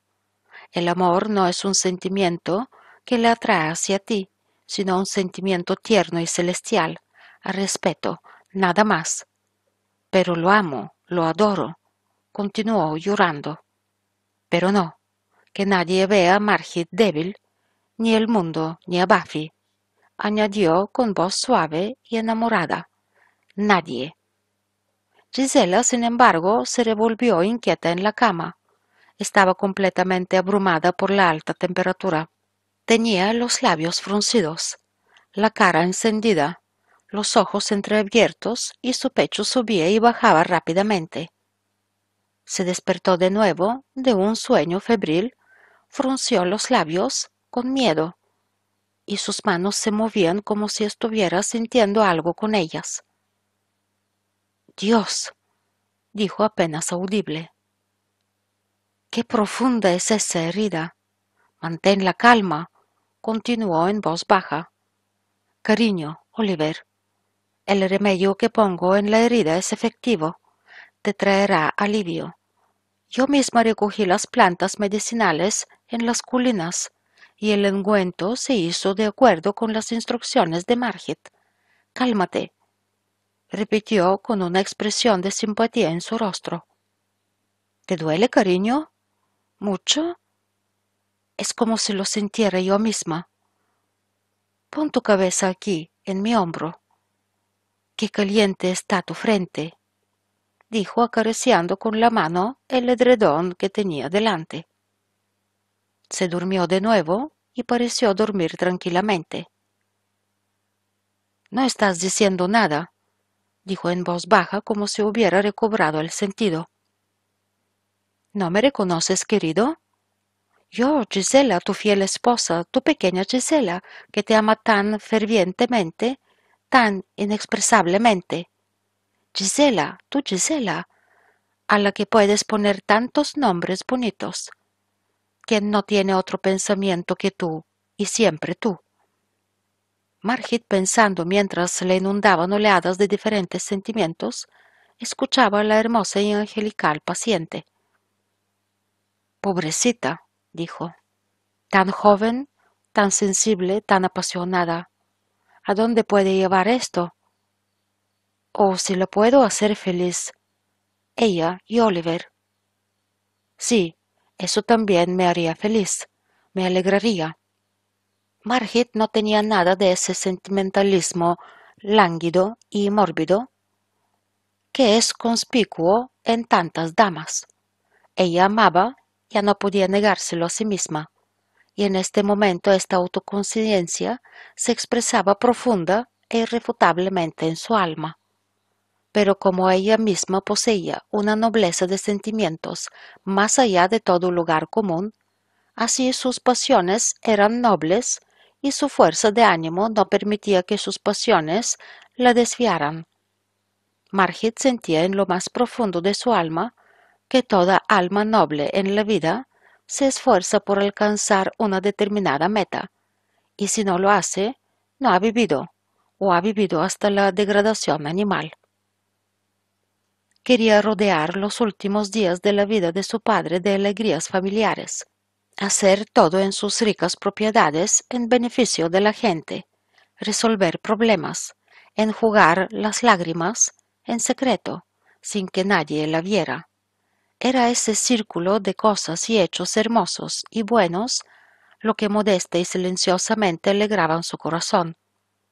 Ahora, cuando la secreta pasión de Gisela le fue revelada de una manera tan extraña, pensamientos más serios se apoderaron de su alma. Comenzó a pensar que ella, siendo mayor que Oliver, tal vez no sería capaz de hacerlo tan feliz como su noble corazón lo haría. Las palabras resonaban en el pecho de Margit, sugiriendo constantemente. Él siente amor fraternal por ti, se siente atraído por la amistad basada en el respeto, y la llama de la pasión no debe mezclarse con la calidez de estos sentimientos. Eso es lo que él siempre sentirá por mí. Sí, y tal vez siempre con más fervor, y seré su más fiel y afectuosa amiga. Así se alternaban los pensamientos en su cabeza. Cada pensamiento de Margit sobre el futuro era noble, lleno de fuerza mental. Ella sabía que Oliver no sentía nada por Gisela e incluso apenas notaba a la niña inocente. Oh, se dijo a sí misma, ¿no sería divino, majestuoso, acercar estos dos corazones el uno al otro? Margit parecía estar pensando profundamente de nuevo. Pero continuó, si Buffy se saliera del camino que su alma le ha marcado como un rumbo justo, y si volviera a hundirse en el torrente de sus viles pasiones. Gisela, la inocente, la pura, la celestial, solo se acercaría al hombre común, y yo me culparía de todos estos dolores y de esa amarga decepción. No, no, eso sería abominable el esbozo de un gran plan comenzó a formarse en la noble alma de Margit. Sí, dijo con lágrimas en los ojos y un profundo suspiro. Gisela necesita ser cultivada para que este noble material salga a la luz, lo perfeccione y así influya en el alma de Oliver, endurezca sus buenas decisiones, lo anime en su camino y si así se hacían dignos el uno del otro, si se vieran, conocieran y enamoraran, debían unirse y vivir las alegrías del cielo en una felicidad que venciendo su propia pasión ella misma había provocado. Este era el plan de Margit. Gisela volvió a abrir los ojos. Margit le tomó la mano en silencio. ¿Cómo te sientes, mi querido ángel? preguntó. Tengo sed, dijo Gisela despertando. Oh, no, dijo, no me des esa bebida espesa. Dame agua, Oliver. Clara como el cristal, como mi amor. Gisela, repitió Margit dándole agua en un vaso. ¿No me reconoces? Sí, sí, sí, dijo Gisela a toda velocidad. ¿Cómo no iba a hacerlo? Bueno, eres la reina.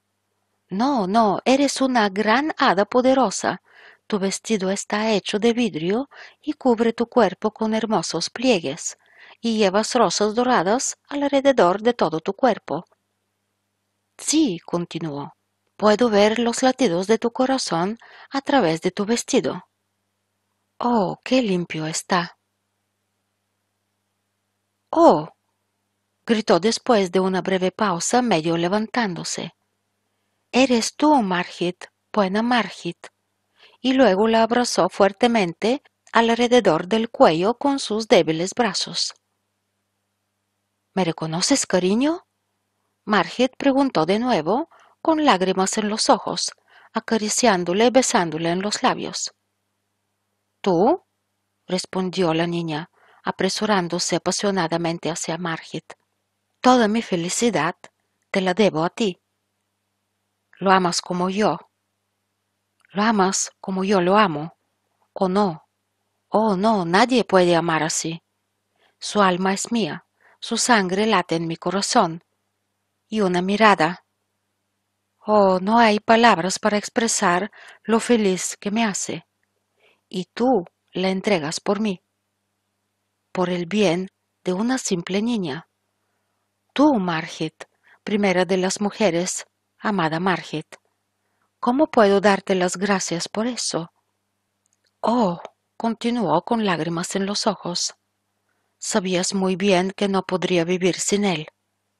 Viste la amargura silenciosa de mi corazón, mis noches de insomnio.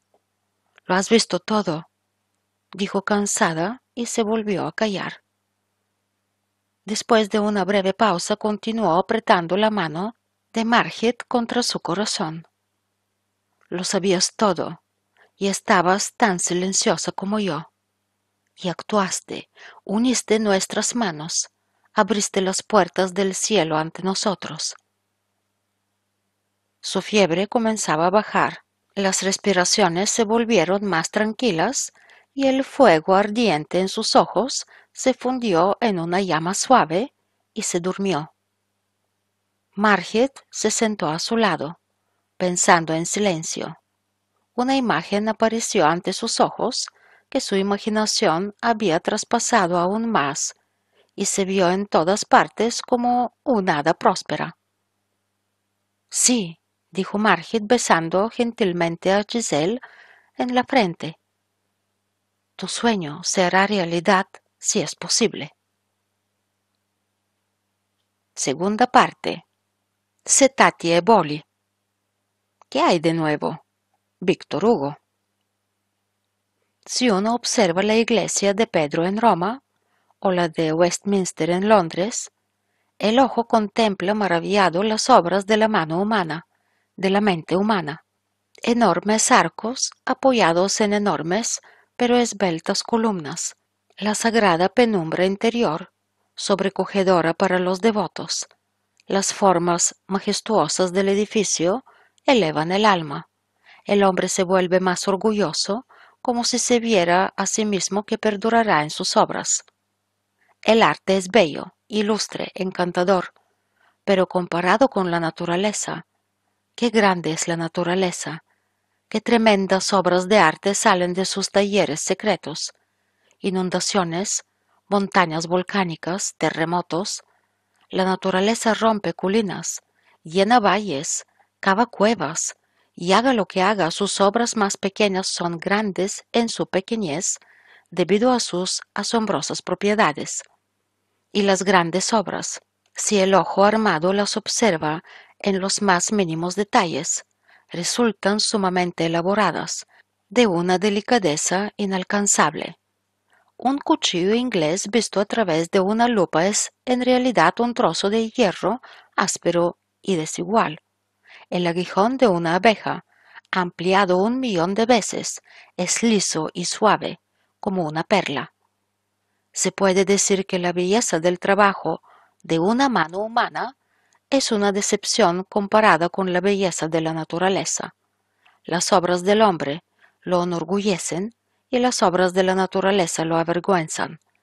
Solo de esta manera podemos evaluar la diferencia entre ellos.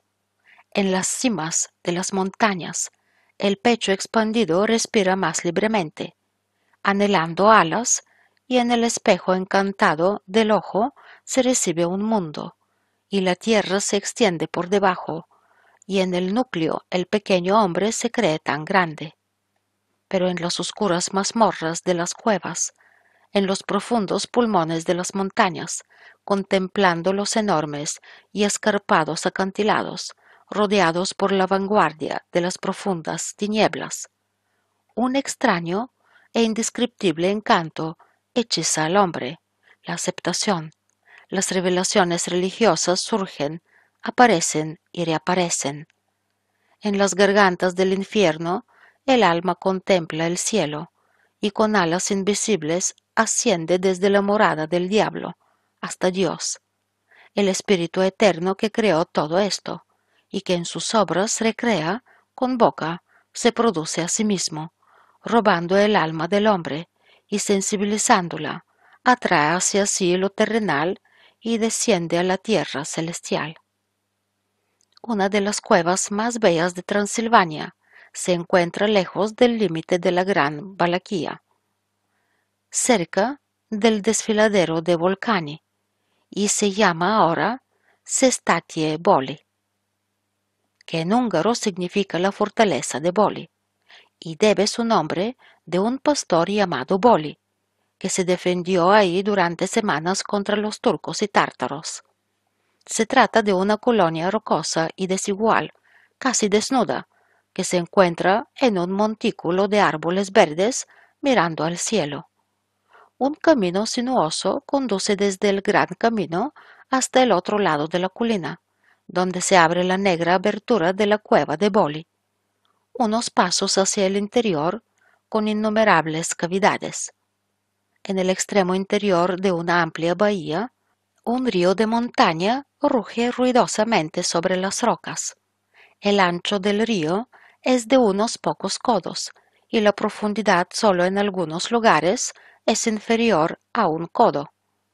El río helado se abría camino en el interior de la cueva, y serpenteando hacia la derecha debajo de las rocas, su lecho creaba un camino sobre colinas y cuevas, y donde estaba descubierto, el camino estaba alfombrado con el azul del cielo. En el tiempo que se tarda en retomar el hilo de esta historia, la cueva evoca una imagen vivida, alto, envuelto en humo. A la sombra de la roca arde un fuego alimentado por grandes troncos. A un lado hay caballos que mastican a la hierba verde amontonada frente a ellos, relinchando y pateando.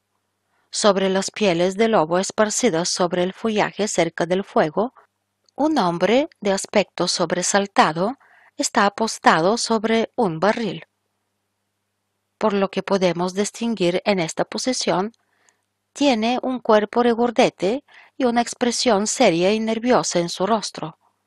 Tiene unos pocos pelos que crecen en lo alto de la frente, dejando toda la parte superior de la cabeza calva. Parece tener unos sesenta años. La parte inferior de su cabeza está rodeada por un espeso cabello rojo que se adhiere con fuerza a su cuello. La parte superior de su frente es plana y blanca, como en las personas que suelen mantener la frente cubierta la mayoría del tiempo. Pero cerca de la ceja hay una agradable hilera de arrugas, intersectadas por dos más profundas, que se extienden hacia arriba entre los párpados e indican timidez. Su nariz fina y alta, cuya punta se curva bruscamente hacia abajo, le da cierta peculiaridad a su mirada, tanto más expresada por sus grandes ojos claros extremadamente brillantes. Sus finos labios están entreabiertos y muestran una larga hilera de dientes blancos como la nieve, fuertes y sanos. Su rostro está cubierto por una espesa barba roja y bigote. Su vestimenta consiste en un sencillo abrigo marrón abierto, por debajo del cual su camisa abierta es blanca, mostrando su pecho peludo y bronceado por el sol. Lleva pantalones de cuero en los que se ha acumulado toda la suciedad de los últimos años, y en los pies lleva botas anchas y toscas. No muy lejos de este hombre, que parece tener cierta apariencia de superioridad entre los demás, se encuentran en pintorescos grupos alrededor del fuego hombres altos y de rostro soleado, con pesadas camisas de hierro o con abrigos de lobo blancos como la nieve, con o sin armas pesadas. Un poco más adelante hay varias personas con expresión seria que se masajean vigorosamente las manos. Algunos se sientan sobre los montones de piedras, otros están arrodillados sobre alguna piedra plana o barriles vacíos, con el fondo hacia arriba. Otros, entre charlas y risas ruidosas, juegan a los dados apostando. Algunas personas se pasean arriba y abajo, pasan junto al fuego o van donde están los caballos. Toda la complexión de las caras y las formas respiraba un cierto espíritu de fuerza bruta y alrededor de las peculiares agrupaciones la oscura llama roja de la hoguera derramaba su dudosa luz vacilante, extendiendo como gigantescos espectros sobre los acantilados de la cueva sus oscuras sombras. La escena era grandiosamente novelesca. Mirando a esta multitud amenazante, uno podría pensar que son ladrones o soldados. Dos hombres guapos destacaban, tanto por la blancura de sus rostros como por la finura de la ropa que vestían. Llevaban un abrigo oscuro por encima de la rodilla, con anchas hebillas de oro forjado y adornado con piedras con los que abrochaban sus abrigos. Desde sus costados colgaban preciosas espadas, y todo su aspecto mostraba que no llevaban mucho tiempo entre esta feroz hueste. Con los brazos cruzados, permanecían junto al fuego tranquilos, casi alegres, hablando entre ellos y prestando poca atención a los demás. Voltizar, dice un hombre mayor de cuarenta años, de rostro redondo, enrojecido, sano y manos nerviosas. ¿En manos de quién caerán los bienes de la familia Czesliseski? ¿Quién sabe? Respondió con indiferencia, volviéndose hacia el otro lado para que el resplandor del fuego iluminara completamente su hermoso rostro joven y ardientes ojos azules. Unos sinvergüenzas de Italia, hermano Bella, como la mayoría de Loniai. Los dos interlocutores fueron Boltizar Ceseleski, un joven noble y muy inteligente, y Bela Loniai, el príncipe les había perdonado la vida, pero se llevó todos sus bienes y desterró a Loniai.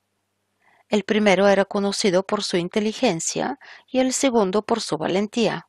Llamaban a Boldizar halcón por su velocidad y a Loniai atacante por su reputación militar.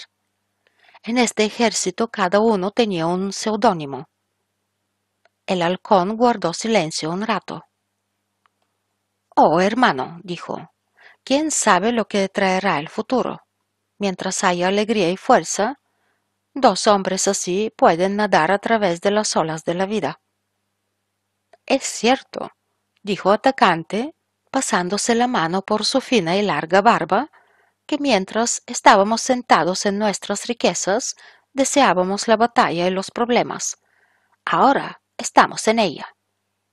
Que lloren todos los que quieran y pueden. Yo no lo haré. Hace mucho que está viajando relámpagos, dijo el hombre sentado sobre las pieles de lobo, volviéndose hacia el atacante. Probablemente ha matado a varios tártaros en el camino. Espero que no le pase nada. No te preocupes por ella, Marco, lo animó atacante. Esa chica es como el fuego. Parece más un hombre que una mujer hace unos días fue perseguida por varios tártaros errantes, pero apenas percibió sus intenciones y enseguida dio media vuelta. Los tártaros ciertamente no se habrían arrepentido de que ella se hubiera ido y no hubiera regresado. Uno perdió la cabeza y el otro se llevó cicatrices inolvidables. Pero Relámpago también recibió un buen golpe con el mango de la lanza dijo Halcón acercándose. La metimos en la cueva en un carro. Incluso ahora se puede ver el rastro de ruedas pesadas en el arroyo. Cualquiera que haya estado en Cestatie Boli puede ver esta rueda hasta el día de hoy. Tal vez no hayan pasado más carros por ahí desde entonces. Verdad, respondió Marco pero también juró que traería las cabezas de los tártaros, quienes luego lograron escapar. Oye, dijo riendo el hombre cojo de pie cerca de Marco, apoyado en su lanza. Podrás elegir uno entre muchos.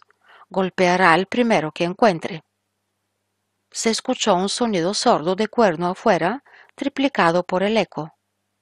Los hombres inmediatamente se levantaron y tomaron sus armas y se dirigieron hacia la abertura de la cueva en la que cabalgaba el caballero de mirada seria. La sencillez de su atuendo, el abrigo azul y el abrigo de piel de oso colgado al hombro indicaban que era uno de los que se hallaban presentes. Debía de tener unos treinta y cinco años, su rostro regular, frío, serio, pero significativo. El temperamento había dibujado arrugas tempranas en su frente alta, rodeada de cabello escaso. Oh, capataz, gritó el líder y volvió al fuego. No te esperaba tan temprano. ¿Qué noticias hay de Colosfar? Luego volvió a tumbarse sobre la piel del lobo. Tuve un buen viaje, respondió, bajándose de su caballo. Pero el aire no está claro fuera. Vi cabezas calvas vagando por el espeso bosque, sus ojos brillando hacia mí como ojos de búho. Entonces se puede decir que tienes suerte, dijo Halcón acercándose, que no te han tocado. ¿Estaban lejos de aquí? preguntó Marco con calma. A unas dos horas caminando, respondió Capataz acercándose al fuego. Dudo que estén planeando algo, porque aunque me hayan visto, no salieron del espeso bosque y ni siquiera me arrojaron una sola lanza. Probablemente sean pocos, dijo el líder con indiferencia. Esa es la razón. Yo también lo creo, de lo contrario me habrían perseguido al menos un poco. ¿Cuántos de ellos se fueron de aquí con el rompedor patinar?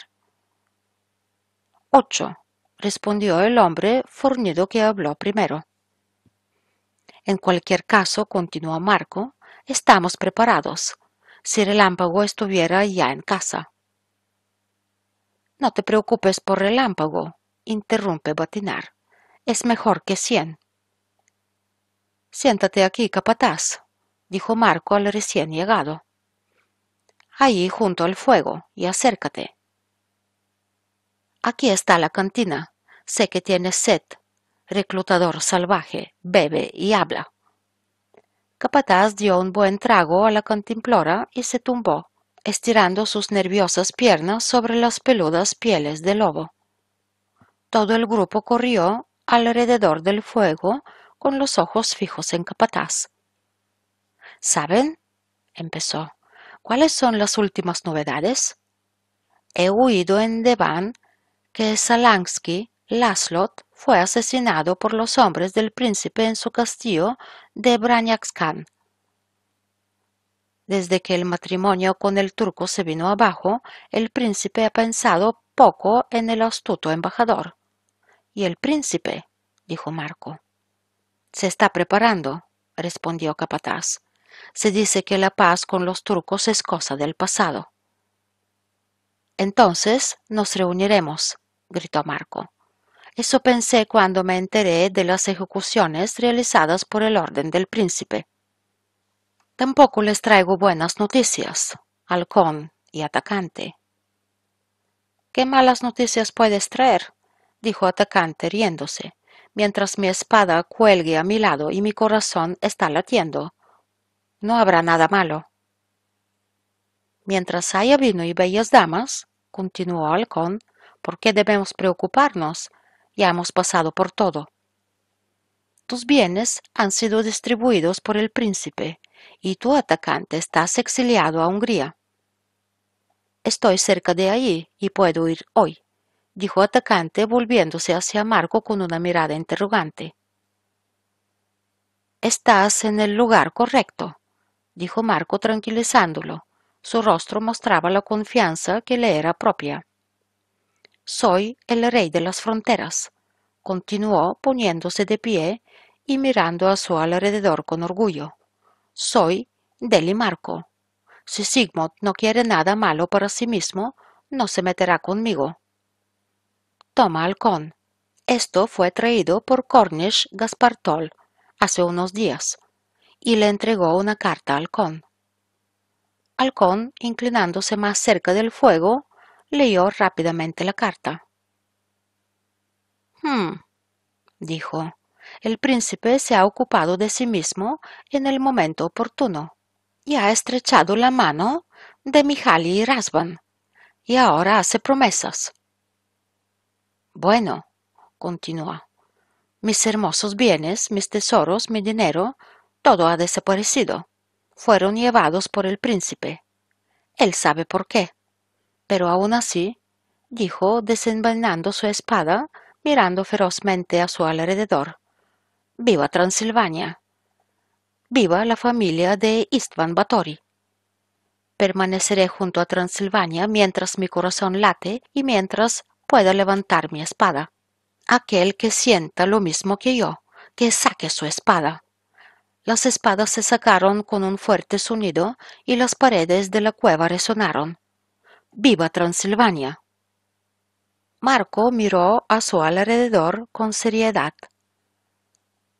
¡Viva Transilvania! repitió con voz tranquila. Pero no nos precipitemos. El turco es poderoso. Será bueno mantenerlo en duda por un tiempo en cuanto a qué lado vamos a tomar, lo cual, continuó con ligereza, lo decidiré yo mismo. Te recuerdo, dijo atacante, tu promesa. Nunca sacaré mi espada contra Transilvania. Ni yo, ni yo, gritaron Halcón y Botos al mismo tiempo. Nosotros tampoco, se escucharon varias voces más en la amplia cueva. Soy tu compañero de guerra más antiguo, Marco, gritó Capataz. No tengo a nadie en este mundo. Mi hogar es tu ejército y mi mundo son problemas y luchas. Te seguiré a donde quieras. Lo sé, respondió Marco con seriedad. Sé cuánto y hasta cuándo puedo contar contigo, dijo con una sonrisa irónica. Y vosotros, ruidosos, sabed que solo os pido lo que os habéis comprometido a hacer. Esa es mi costumbre. Y como después de un rayo se produjo un silencio repentino y silencioso. Volvieron a sentarse junto al fuego. ¿Y qué otras noticias traes, capataz? preguntó Marco. El príncipe se casa. Dicen que está esperando a la hija de Karl de Estiria. ¿Cómo? Marco preguntó con una sonrisa en su rostro. Después de todo, Istvan Josica fue enviado recientemente a Italia con un propósito similar. Sí, respondió Capataz, pero cuando regrese traerá a la hermosa cristiana con los far. El príncipe, según se oye, fue a su encuentro disfrazado con uno de sus payasos italianos. Los preparativos son excesivamente grandes. Se dice que la ciudad compró todos los paños azules y amarillos de Bognerneck e incluso se trajeron más de Sebenbol para colocar las vallas. ¿Y para qué son las vallas? preguntó Halcón para juegos de caballeros en los que participarán en su mayoría caballeros polacos y alemanes. ¿Con espada? preguntó atacante. Entonces los caballeros polacos verán a su dios. Con una larga lanza de batalla, al estilo alemán, respondió Capataz, en honor a la princesa alemana. Pero no temas por los polacos. Odio la lucha con lanzas alemanas, dijo Halcón. Así es principalmente la fuerza física lo que decide, no el coraje y la habilidad. Amo la espada, pero aún así me gustaría dejar caer algunos de ellos entre los invitados en la arena. Diablo. Sin embargo, es una pena que debamos mantenernos al margen de esto. ¿Qué piensas? preguntó atacante volviéndose hacia Halcón. ¿Luchará Buffy? Oh, respondió éste, sin duda, y ganará. Esta es una lucha para él. Vencería dos a la vez. Será difícil poder participar, añadió Halcón. Apuesto a que estará entre nosotros. No lo creo, dijo Capataz con una expresión sombría. Ni siquiera está aquí. Su lugar está entre las jarras de vino y las hermosas damas, no en un círculo de este equipo. Sin embargo, continuó frunciendo el ceño. Parece tener un enemigo poderoso. Luego contó todo sobre el ataque a Bafe en el mercado de Colosfar. Dicen que Buchela es su enemigo secreto, que esconde al príncipe. Si esto es cierto, dijo Botos, será bueno que se cuide. Solo me extraña que el príncipe siga sus pasos tan secretamente. Se ocupó de los demás en un breve procedimiento.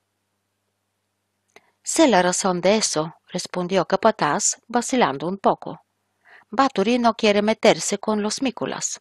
Abafi está estrechamente relacionado con la casa, pero eso tampoco lo salvará. Continuó apretando los labios. Si evita la ira del príncipe por un tiempo, remarcó Halcón, todo será olvidado. Conozco a Sigmund Bathory. Mientras los guerreros oscuros de la cueva hablaban así, se escucharon dos disparos desde el exterior. Nuevamente todos estaban listos para saltar, acostumbrados a eventos inesperados. ¿Es un tártaro o relámpago? dijo Delimarco mirando a la heroica multitud tapiñada en un semicírculo. Es relámpago, te lo digo, dijo Capataz con voz profunda llena de inquietud. Relámpago o tártaro, respondió Marco con calma. Nadie más. Relámpago. Apártate, desgraciado. Silagi. Un joven caballero entró en la cueva en ese momento. Ante los ojos de los que estaban en la cueva, apareció como una imagen caprichosa, rodeada por el azul real del aire que se colaba por la abertura de la cueva. El semental era delgado y llevaba su carga con facilidad. Una verdadera raza transilvana, no una raza cualquiera, mitad española, mitad mecklenburguesa, mitad árabe, en resumen, cualquier cosa menos transilvana. Tenía una cabeza pequeña, recta y delgada, fosas nasales rojas abiertas, un cuello largo y esbelto sobre el que se extendía una melena como un fino velo. Su columna estaba recta, sus piernas duras pero nerviosas y no demasiado delgadas, su pecho fuerte y seguro. Borlas verdes y rojas brillantes colgaban de su cabeza y combinaban muy bien con su color manzana apagado. Una silla de montar húngara, cubierta con piel de oso, rodeaba su esbelta cintura. El caballero iba vestido con una túnica corta de color cereza, sobre la que brillaba un chaleco de guerra de alambre de hilo plateado, que se aferraba a sus brazos, con mangas que le llegaban hasta los codos, y ceñido a la cintura con un largo y estrecho chal de tela turca. Llevaba pantalones turcos y sandalias amarillas en sus pequeños pies. Llevaba en la cabeza un sombrero corto de piel de caballo con una larga pluma de avestruz. Es relámpago, dijo todo el grupo al unísono, parados con las lanzas extendidas. ¿De dónde vienes, niño errante? gritó alegremente Marco Deli. Tu rostro está cubierto de polvo y sudor. Relámpago no llega con las manos vacías, gritó Batinar, dando un paso hacia el caballero, agarrando las riendas del caballo. Allí estaba un joven y apuesto caballero con un rostro ardiente en un círculo de hombres salvajes con miradas guerreras. En su mano izquierda una brida y en su derecha una aterradora cabeza de tártaro de la que goteaba sangre. Y en la silla de montar frente a él yacía un sable turco bellamente elaborado. Toma, padre, dijo Relámpago, y tiró la cabeza frente a Marco. Y aquí, continuó levantando una hermosa espada de plata, hay algo para mí también. Halcón tomó la espada.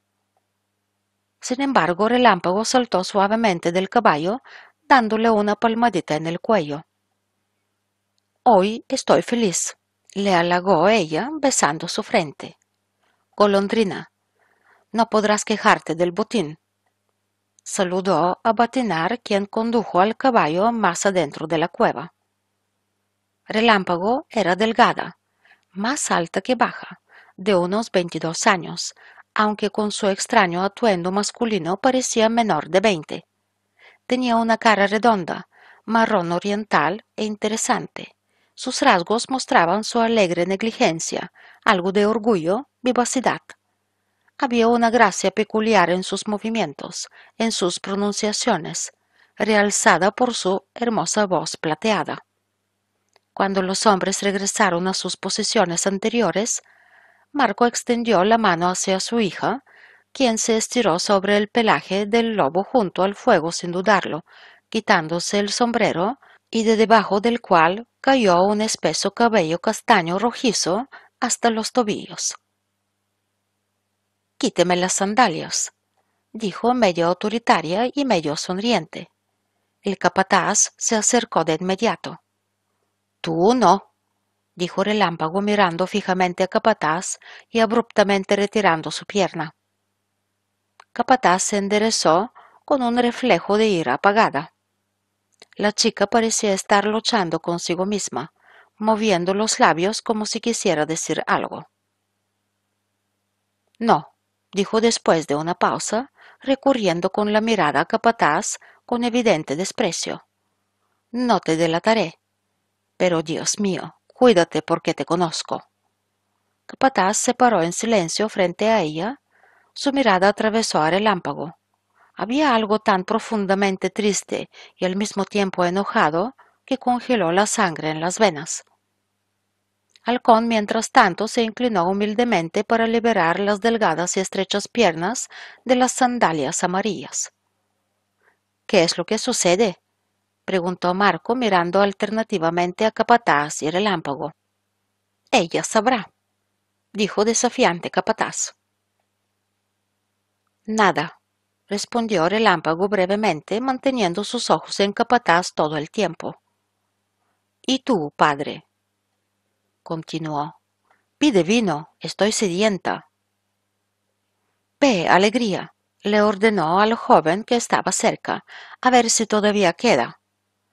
Mi hija es quisquillosa, aunque la mantuve con las riendas cortas.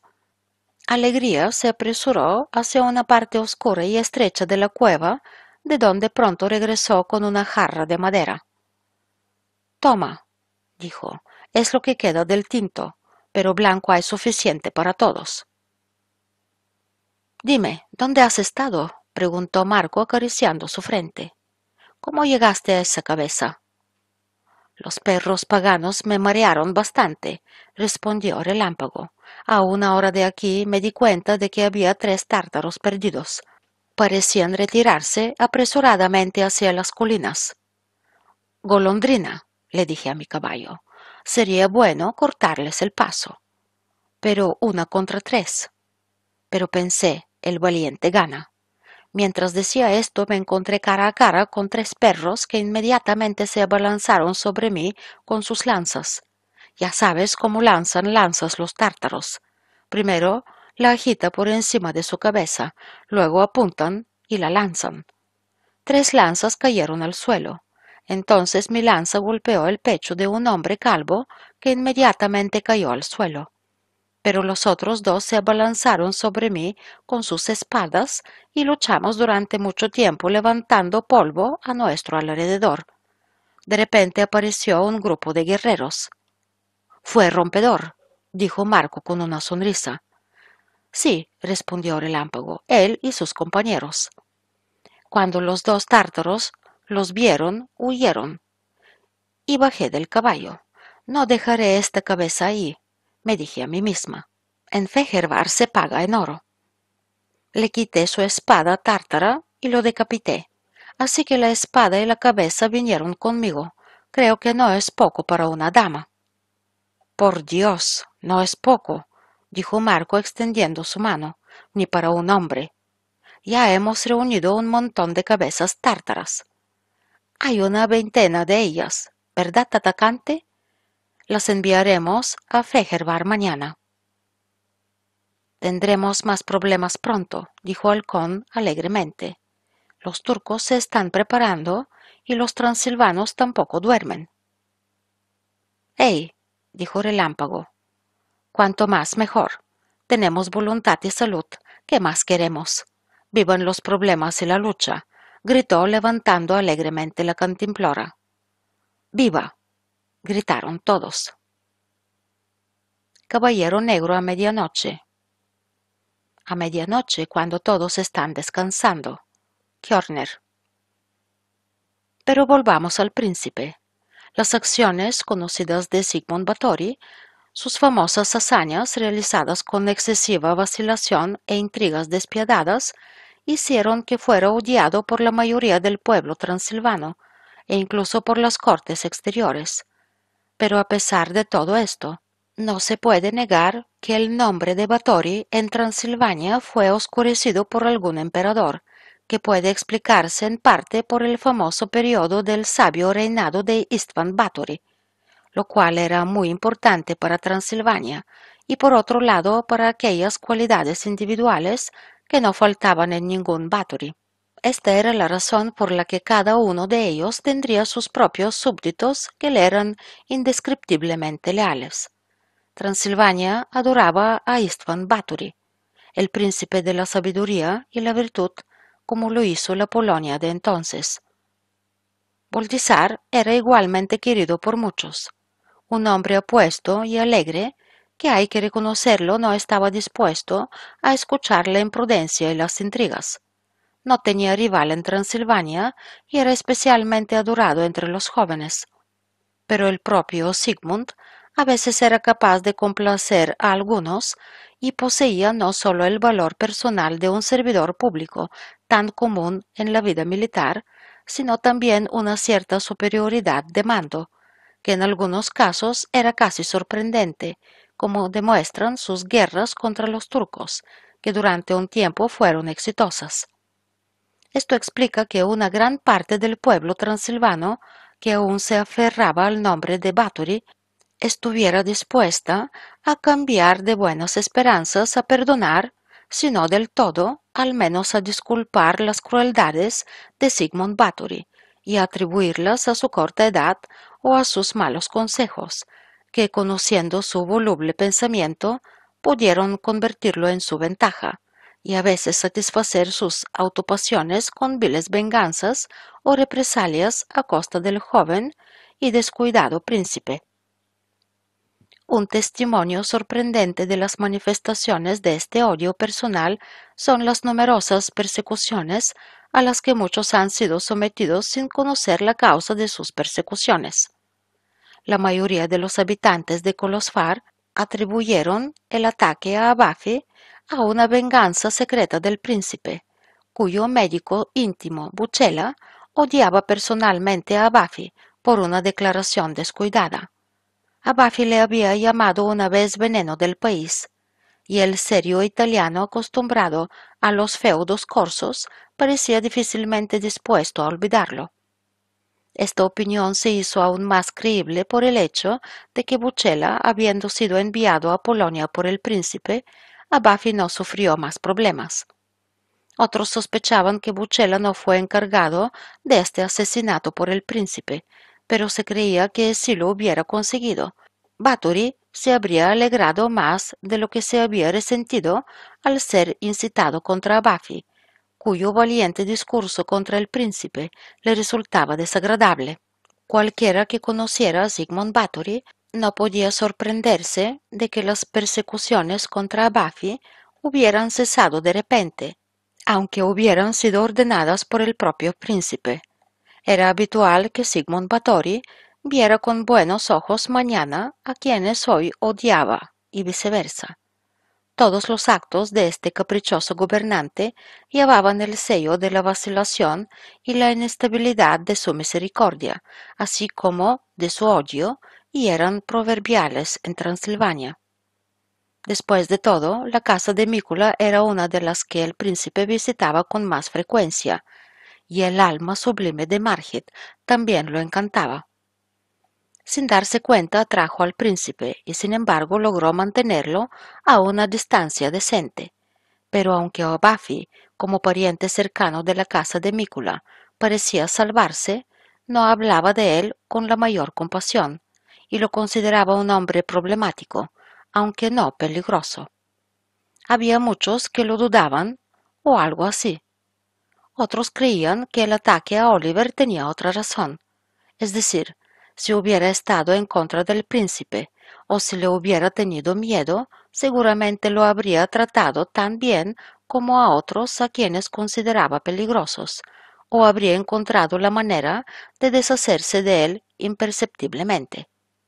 También parecía increíble que Buchela lo hiciera ejecutar con la ayuda de unos asesinos, ya que con poco esfuerzo podría persuadir al príncipe para que abriera la violencia abierta contra él. Así, un cierto misterio parecía cernirse sobre los asuntos de Abafi. Se esperaba al príncipe todos los días. La llegada de Bathory con su bella y angelical esposa, cuya fama precedió en muchos tiempos a su llegada, y a quien los caballeros transilvanos de la época quisieron recibir con la dignidad que correspondía a su rango, fue un día memorable para el pueblo de Colosfar. El príncipe, habiéndola visto disfrazada, la esperó en Sásebes, a donde regresó a toda prisa, precediendo a Cristierna. Pero antes de que llegue el príncipe, será interesante echar un vistazo a la casa de Mícula y a Bafi. La pequeña Gisela, aunque no fácilmente, se recuperó en unas pocas semanas de una enfermedad que en realidad fue el resultado de un miedo inesperado. Margit la cuidaba día y noche, y había algo sublime en el cuidado detallado que le daba a Gisela al que debía gran parte de su recuperación de una enfermedad, algunos de cuyos síntomas eran ominosos. La diligencia reflejada en cada trabajo de Margit no era fraternal, amistosa, sino maternal, y su rostro exudaba la belleza celestial de la recompensa interior cuando veía el éxito de su cariño. La ternura natural de la señora Giolafine le impidió darle a Gisela de alguna manera un indicio de que estaba al tanto de su secreto. Duplicó su amistad con ella, en la que se habían procedido grandes cambios desde su recuperación. La fiebre le estiró las extremidades. Después de volver a levantarse de la cama, aunque estaba débil y pálida, parecía completamente desarrollada. Y después de que su salud fue recuperada lentamente por su hermoso cuerpo, cuando la fiebre desapareció de su dulce rostro, ella era la chica más hermosa de Transilvania. Pero esa alegría que la habría hecho tan atractiva, ese encanto infantil que encuentra algo de alegría en cada pequeña cosa y que levanta y anima a todos tan rápidamente, se había ido. Ni siquiera sospechaba que Margit lo sabía todo. Ella creía que su secreto estaba bien escondido en los rincones más profundos de su corazón. Era infeliz porque amaba sin esperanza ni perspectiva. Ella creía que la señora Giolafine estaba enamorada de Oliver y por eso ocultaba su enamoramiento porque adoraba y respetaba a Margit. Margit era demasiado noble para no sorprenderse por la fuerza mental de Gisela y no sentir y apreciar el sacrificio que este ángel pretendía hacer por ella. Lo vio todo, lo supo, y su alma se fusionó con la de Gisela. ¿Acaso ella, la adolescente, le supera en fuerza mental? ¿Qué pone en la balanza toda la felicidad de una vida en desarrollo, llena de esperanza, y la compara con el sacrificio de Margit, que es menor en todos los aspectos? se preguntaba Margit a sí misma. Porque, aunque amaba a Buffy con todas las fuerzas de su alma, que ya no podía negar frente a sí misma, no creía que un matrimonio entre ella y Oliver, si llegaba a producirse, pudiera ser feliz. Era mayor que a Buffy, y la tierna modestia de su alma le prohibía mezclar su destino con el del joven, lo cual, por otra parte, podría haber sido por su propia voluntad. Tan profundo era el apego de Oliver a la noble dama, aunque como puede decirse era bastante distinto del amor. Y así, Margit, poco a poco, hizo que la mente de Gisela se reconciliara con la idea de que no había ningún muro entre la encantadora niña y el héroe de sus sueños, y que Margit no tenía planes para el futuro. A menudo, pero siempre de la mejor manera posible, hablaba con Gisela sobre a Buffy. Ella decía cuánto lo respetaba, pero al mismo tiempo daba a su discurso un giro desde el cual Gisela podía sentir que la hermosa viuda nunca volvería a casarse. Y en estos momentos el rayo celestial de esperanza con su fugacidad fluía por todos los sentidos de una niña dulce. La blancura de su rostro se iluminaba con la serenidad de la felicidad. Gisela sabía ocultar la excitación involuntaria de su corazón hasta tal punto que a veces la propia Margie dudaba de sus sentimientos. Gisela se convenció lentamente de que su tía solo apreciaba a Buffy y no la amaba, pero nunca de que a Buffy sintiera lo mismo. Ella creía que Oliver adoraba a Margit. A Buffy visitaba a menudo a Margit y ocasionalmente también prestaba atención a Gisela. Nuestro héroe encontraba a la encantadora niña hermosa e interesante, aunque ninguna cuerda de su corazón se agitaba con más ardor por ella. Pero las repetidas visitas, el encuentro frecuente y la mayor atención de Buffy hacia ella comenzaron a acercarlos el uno al otro. Hablaban más a menudo y a veces de cosas más serias. Había tanta bondad en el comportamiento de Gisela calma, gentileza, que Buffy con gusto comenzó a pasar tiempo con ella y a mostrar algo de interés por ella. Pero el querido lector se engañaría si pudiera prever los primeros rayos del amor futuro en este acercamiento. Siempre ha habido una diferencia muy notoria entre la conexión viva y ardiente con la que los amantes se buscan y que en su silencio habla tanto y los hace felices, del comportamiento bondadoso que mostraba Buffy hacia Gisela, y por el que no es un admirador, sino solo un interlocutor agradable y alegre. Así pasaban semanas y meses. Oliver pasaba gran parte de este tiempo en el campo, ocupado con su granja, hermosos caballos y grandes cacerías. Farkas Betlen lo visitaba con mayor frecuencia y su amistad se iba estrechando día a día. Buffy era respetado sin pretensiones y ya no solo como un hombre apuesto y caballeroso, que se portaba bien en todas partes, sino también como erudito, conocedor de lenguas extranjeras y hombre culto, porque a Buffy dedicaba gran parte de su tiempo a adquirir conocimientos nuevos e importantes. Se encerraba un día a la semana, Ninguno de los visitantes habitual lo visitaba entonces, ni siquiera Betlen, que toleraba gentilmente el capricho de su amigo. Pero cuando el reloj daba la medianoche en la vieja torre del castillo y el sonido de la campana atravesaba la noche silenciosa, un caballero se acercaba al castillo de Abafi. Su caballo y su ropa eran simples, negros hacía sonar su cuerno corto tres veces y el puente levadizo descendía. Independientemente de si había nubes en el cielo, si los relámpagos atravesaban las nubes o había una tormenta furiosa, el caballero negro nunca fallaba. Ya sea que lloviera, que cayera hielo de las nubes ligeras, o que los lobos aullaban hambrientos, un caballero oscuro se paraba en la puerta a la medianoche y un guardia de la torre bajaba el puente levadizo a la señal del triple sonido de cuerno. Y si a veces un transeúnte veía pasar a un caballero silencioso, y si en ese momento la luna extática iluminaba con su tenue luz sus rasgos orientales, se veía su rostro, tan alegre, tan lleno de alegría, tan radiante. Pero si se cruzaba con él en su camino de regreso del castillo, había lágrimas en sus ojos. Reemplazaba sus pasos apresurados al llegar por otros ligeros y tranquilos al volver, sin mirar atrás. Este simple caso brindó la oportunidad de numerosas historias que inmediatamente se convirtieron en leyendas en boca de personas supersticiosas. salón de baile.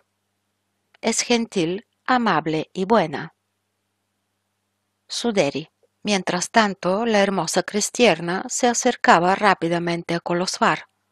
En cuanto entró en las fronteras, experimentó inmediatamente la manifestación de ese espíritu caballeresco que lejos de las provincias más cultivadas de Europa, no se encontraba en ningún lugar más a mano que en Transilvania.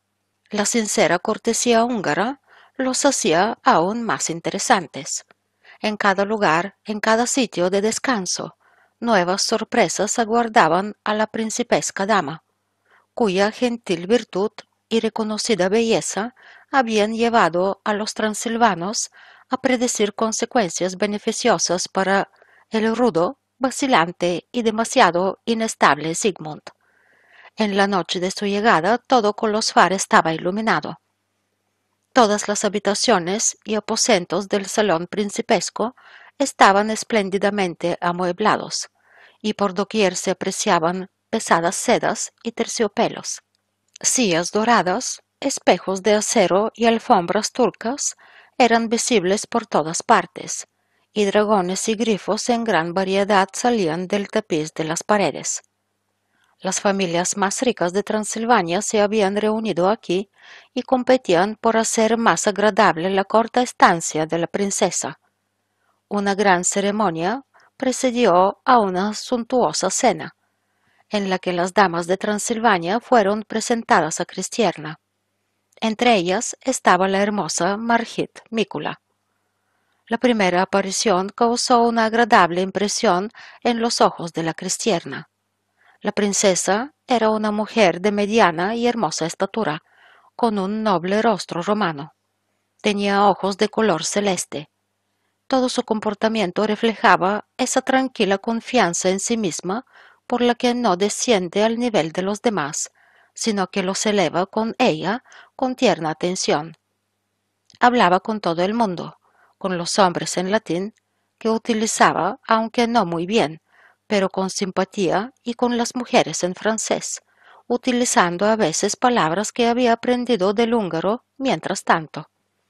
Una vez completada la aceptación del honor circular, que consiste en ciertas preguntas y breves respuestas, la principesca conversó con Margit Mikula, Gaspar Cornis, Kerestur y otros, había algo tan suave y conquistador en toda su figura que en esta primera aparición se ganó el corazón de muchos, incluso de aquellos que deseaban que el príncipe tuviera una mujer de Italia.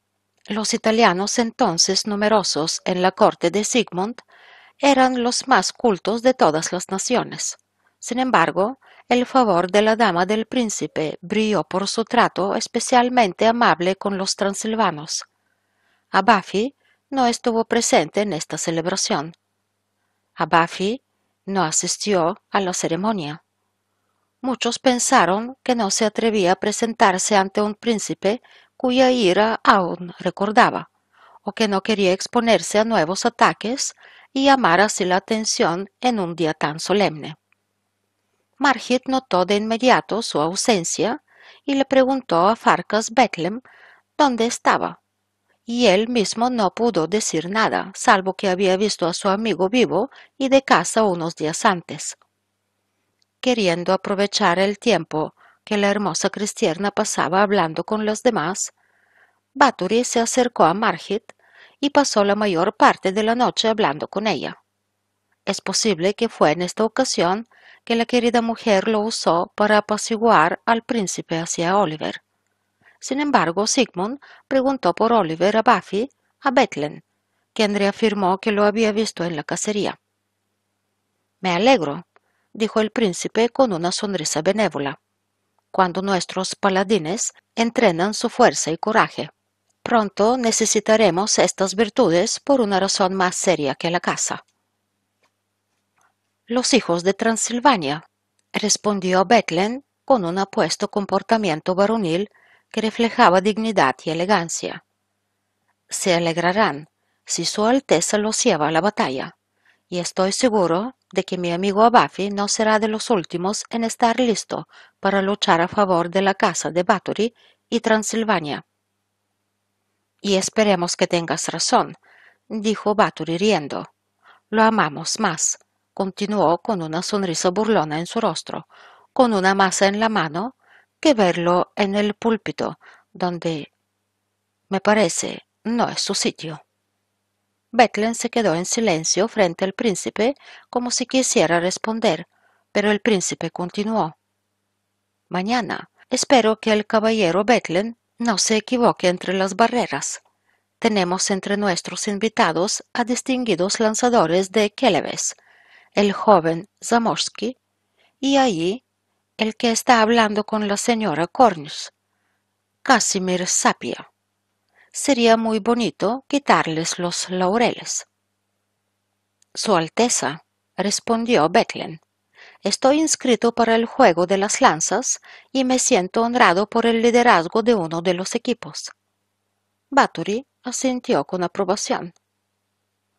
Lo siento, dijo con una expresión de enojo en su rostro, que debo omitir de estos nobles juegos, no me siento muy bien, y Buchela me prohibió todos los movimientos violentos. Con eso, asintiendo con la cabeza, el príncipe se volvió hacia Lugosijos, que estaba cerca. Junto a una de las columnas del salón, vemos a la bella Judith Zambori, con una capa de terciopelo de color amarillo y una falda con hermosos bordados de plata que se extiende por sus elegantes extremidades, y una elegante corona con gemas y perlas que la hace parecer más alta de lo que es. Esta noche atrajo la atención del público. A su lado estaba Janos Banfi, un joven alto y delgado, con bonitos rasgos húngaros y grandes ojos marrones. Su traje de color nogal era una pesada camisola de seda, entonces de moda, perforada con hojas de turquesas doradas. Una cinta dorada de plata batida, ricamente cargada de piedras azules, sustituía a la trenza y hacía de su vestido uno de esos trajes de fantasía transmitidos de padres a hijos, que permanecen bellos para siempre. Unos pantalones morados sin trenza y un sencillo toplet verde completaban su traje. El tema de su conversación era cristiana.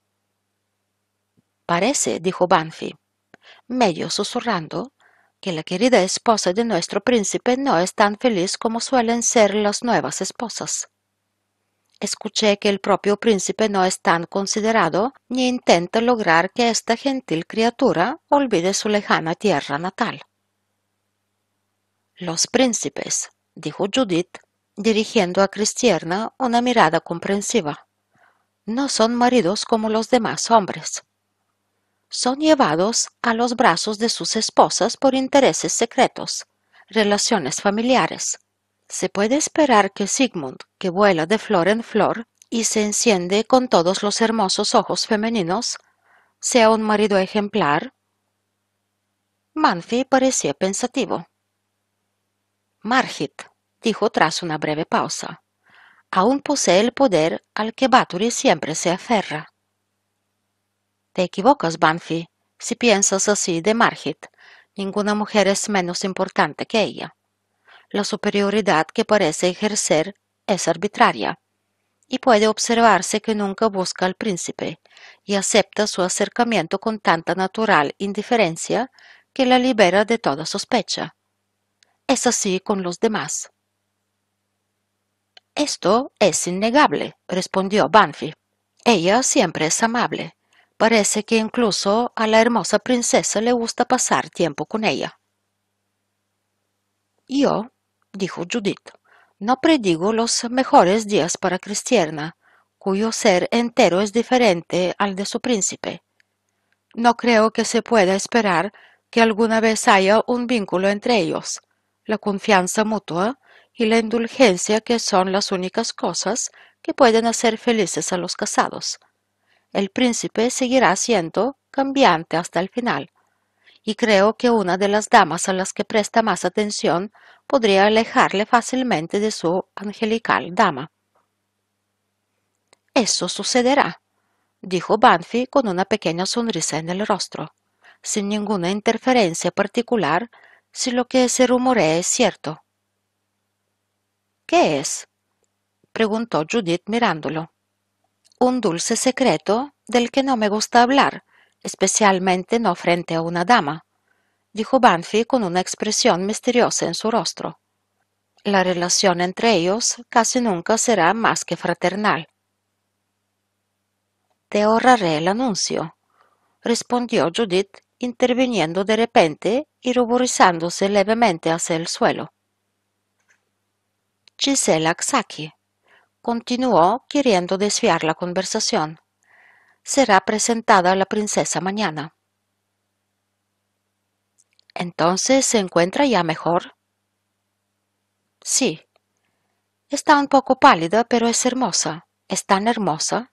La princesa desea tener a su alrededor algunas damas de las primeras familias. Dudo que Gisela hubiera evitado su elección, aunque no le hubiera gustado salir de la casa de Mícula.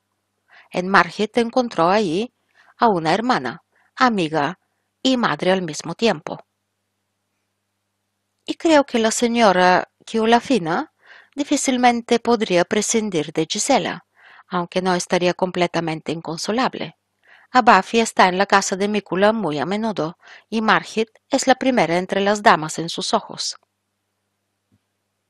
Yo misma creía, comentó Judith, que el respeto con el que Abafi la trataba no estaba completamente desprovisto de amor, pero luego me convencí de que Abafi realmente no sentía el poder de ese tierno sentimiento por Margit.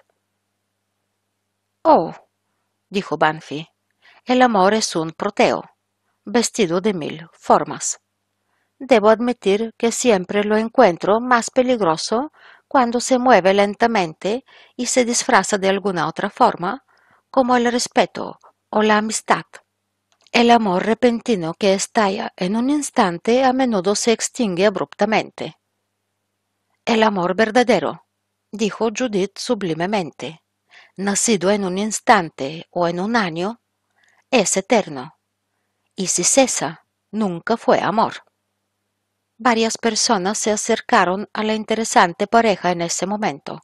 La conversación se convirtió en algo común el viaje de la princesa, los juegos caballerescos de mañana, los muebles y adornos del salón. El sonido de la orquesta se escuchó desde el salón lateral y los jóvenes se trasladaron lentamente allí.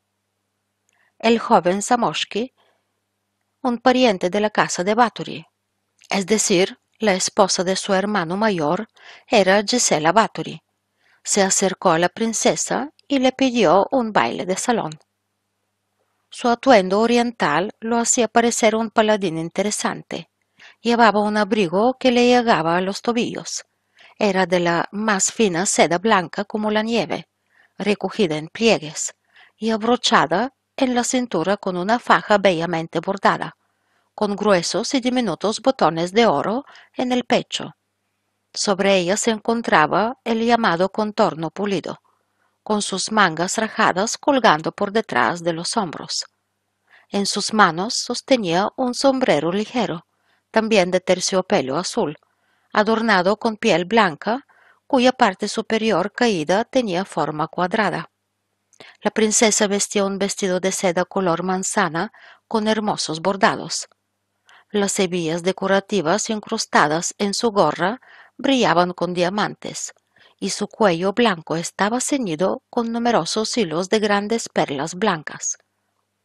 A esta primera pareja de baile le siguió el príncipe con Margit Mícula y varios más con diversos trajes, entre los que destacaban los caballeros alemanes que habían llegado a Kolosfar acompañando a la princesa, y entre ellos Zobel y Tattenbach llamaban la atención del público como caballeros famosos por sus victorias en varios torneos. Bucella el médico con su sencillo vestido negro italiano, Basili, un pintor italiano, y varios desconocidos añadían parte de sombra y parte de ingenio a la escena. Bar. Mucha gente con gran expectación. Walter Scott la plaza exterior de Kolosvar frente a la puerta central, ahora llamada Bar, fue preparada para los juegos de los caballeros. Partiendo de la puerta húngara, largas y anchas pasarelas, bordeadas de pinos, conducían a esta espaciosa plaza, y cerca de ellas un bosque se extendía repentinamente a derecha e izquierda, una sorpresa que el consejo de Colosfar tenía preparada para el príncipe. Los pinos traídos de las montañas cercanas fueron colocados en un lugar oculto y la noche anterior fueron plantados en el suelo en grupos pintorescos, a veces formando un grupo raro, a veces una masa densa, a veces solos, y formando así en el amplio y extenso espacio una arboleda muy natural, en medio de la cual se dejó el camino hacia el campo de batalla caballeresco. En Trensivar vemos una amplia plaza rodeada de altas barreras de tablones cubiertos con tela azul y amarilla. Sobre ellos, a distancia iguales, pilares de rosas pintados de amarillo y azul, adornados con cascos y escudos. En esa parte de la valla que se extendía hacia la ciudad había una enredadera ancha y alta con varias filas de bancos, con galerías enrejadas, cubiertas de manera similar con tela amarilla y azul, y cubiertas con un techo rojo en forma de carpa. Desde la torre, unas amplias y resguardadas escaleras conducen a balcones separados, el central de los cuales está decorado con mucho más esplendor y elegancia que los demás, y los supera tres veces en extensión. Frente al balcón más grande se levanta una logia alta y única, de similar disposición, para los jueces de guerra. En medio del campo de batalla hay un alto pilar de madera de diseño gótico, en forma de torre, rematado con cuatro banderas la de Transilvania, la de Estiria, la de Polonia y la imperial, en cuyo centro, vacío y a la orilla de la bahía, están colocados varios hermosos premios que el príncipe había hecho para los vencedores, como armas, escudos, colas de tigre, hermosos mantos para las sillas de montar, varios adornos para caballos, todo de seda, adornado con oro y plata. En el lado que da a la puerta de la calle Torda, las barreras podrían abrirse. Delante de los palcos altos hay asientos para los numerosos espectadores, los del fondo siempre más altos. Los otros dos lados del cuadrilátero se tenían que quedar libres para no herir accidentalmente a los espectadores con una lanza arrojada. En el momento en que llegamos frente a las barreras, todo muestra una imagen muy vívida y sorprendente. El príncipe y su dama ya habían ocupado el palco central. Detrás de ellos están Gaspar Cornish, Kesti, Keretsuri, fuertes figuras masculinas, y el joven Zamorsky. Al lado de Cristiana se encuentran dos mujeres de aspecto alegre y vivaz, con sombreros en forma de casco y largos velos y los otros balcones están abarrotados, con una audiencia agradable y en su mayoría ricamente vestida. En uno de los balcones, el tercero a la derecha de la de Bathory, está sentada Margit Mikula. A su derecha está sentada Judith Zambori y a su izquierda Gisela. En la esquina vemos el viejo Mikula al lado de Gisela y junto a él su hermoso hijo, que hoy no estaba de servicio. Detrás de Judith está el alto y hermoso Janos Banfi. Gisela está notablemente pálida, pero hay algo tan encantador en todo su ser que todos los ojos están puestos en ella, y todos quieren saber el nombre de esta interesante criatura. En las escaleras, alrededor de la rampa, hay una multitud de personas. No hay espacio vacío en todos lados. Esparcidos están los guardias de la guardia del príncipe, vestidos con abrigos de piel de oso y fuertemente armados. Mirando alrededor de las filas de espectadores, encontramos varias caras conocidas. En una de las escaleras que suben junto a la fila del balcón del príncipe, vemos al venerable ciudadano al que escuchamos hablar con un monje y el caballero del pueblo en el mercado de Colosfar. No muy lejos de él está sentado el honrado herrero, el señor Moses Guti, con su fiel esposa, su señora Orsolia, ambos con atuendo festivo y rostros radiantes de alegría. Junto a ellos alcanzamos a ver a Tobías, medio arrodillado, medio sentado, cuyos retorcimientos y torpes preguntas sacaban a veces a la señora Orsolia de su habitual serenidad. Cerca del balcón de los jueces, una cara conocida llama nuestra atención. Es poco probable que este tipo larguirucho y de cara hinchada, con una camisa verde corta con botones a capas, pantalones azul claro y un sombrero de piel de oveja puntiagudo en la cabeza, no sea Mishka Timar, a quien conocimos en Alving. Su rostro muestra una seria ponderación. Parece como si un gran plan comenzara a formarse en su mente. Su cabeza a veces levantada, sus ojos brillantes y sus puños cerrados sugieren que se está gestando una pelea a puñetazos, que aún no está seguro de si salir al campo o luchar en su propia mente e imaginación a un precio más barato. Cerca del balcón de Mícula se encuentra un joven con un rostro de lo más interesante, que al mirarlo de cerca parece que hubiéramos visto esos rasgos orientales, esos ojos oscuros, esa estatura delgada y ese ser tan peculiar de muchas formas y sin embargo no nos atrevemos a creer que sea él.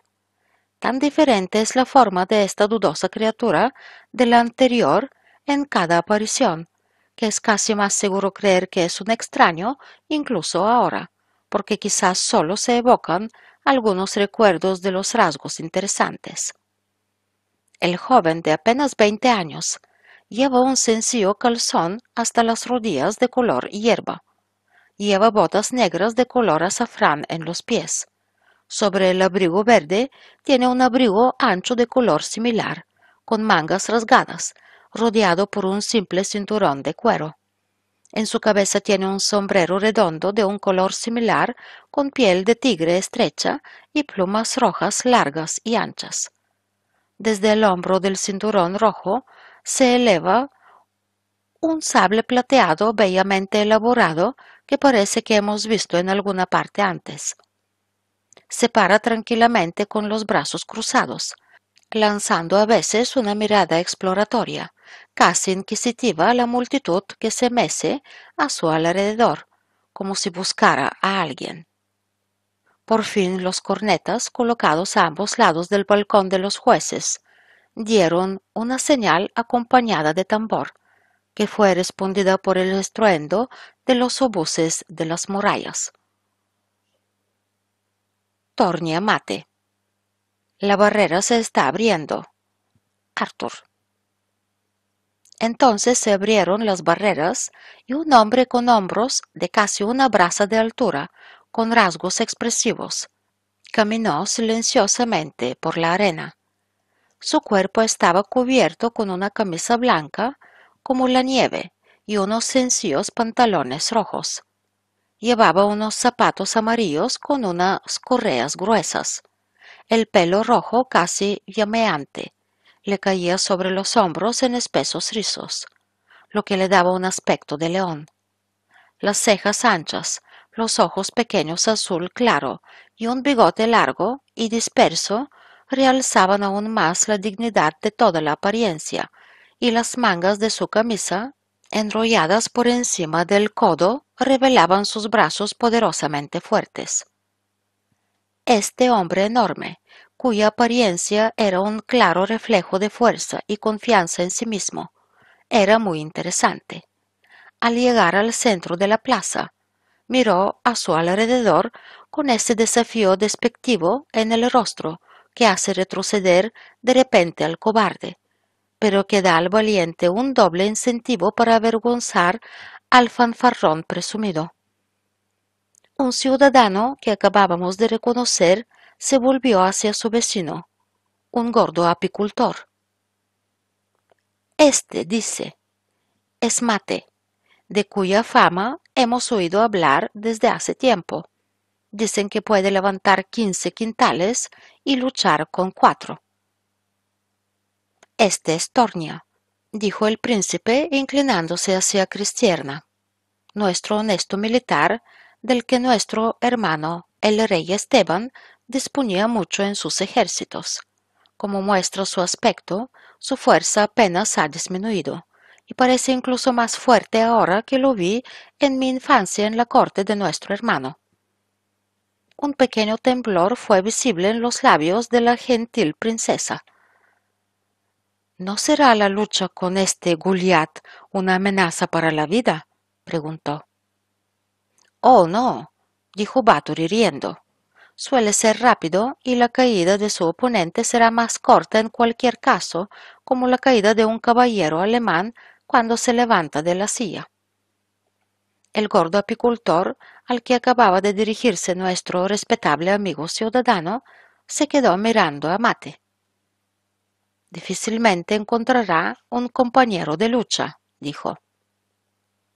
¿Quién sabe? respondió el otro. La recompensa es grande y habrá alguien atraído por ella. Y el honesto burgués tenía razón, pues mientras hablaban, un joven corpulento, al que enseguida reconocemos como Mishkatimar, se asomó a la plataforma y arremangándose la camisa, miró con desafiante osadía a los ojos del gigante, que sonreía despectivamente bajo su bigote. Ven, dijo Mishka, veremos cuál de los dos se llevará el premio. Mate recorrió con la mirada al impávido campeón de la ciudad. Prepárate, dijo en voz baja casi estruendosa, porque no sabes en qué momento medirás la arena frente tuya. Luego, con una brusquedad inimaginable, abrazó al sorprendido Mishka, que se resistía con los pies y las manos, girándolo sobre su cabeza.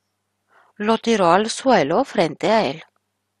Siguió la estruendosa risa de los espectadores y Mishka, levantándose con dificultad, se arrastró y desapareció entre la multitud. Eso fue breve, dijo Moses Guti dirigiéndose a Orsolia. No creo que haya otro candidato. Yo tampoco lo creo, respondió la mujer empujando a Tobías con el codo. Oye, Tobías, no te gires tanto y no mastiques ese pan frente a todos aquí. Shh, cállate y escucha.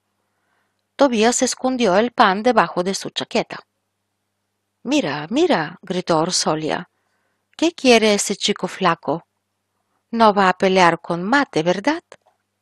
Parece estar preparándose para ello, dijo Moses Guti mirando fijamente el campo de batalla, donde un joven alto de rasgos interesantes y mirada valiente se acercó a Mate, que permanecía quieto como un león ante los sabuesos que le gruñían.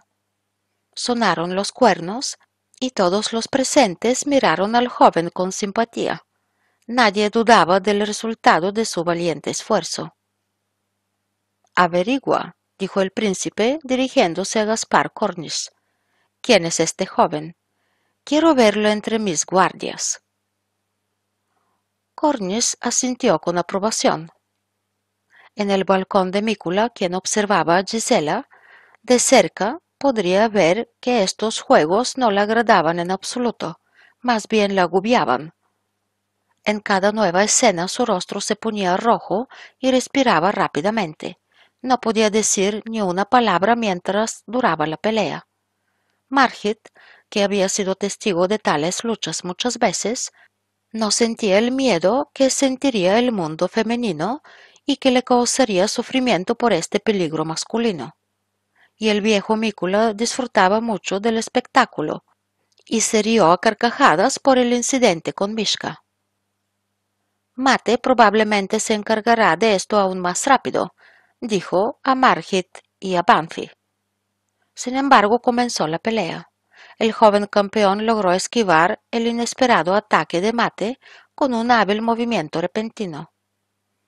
Tornia, que era muy grande, perdió un poco el equilibrio.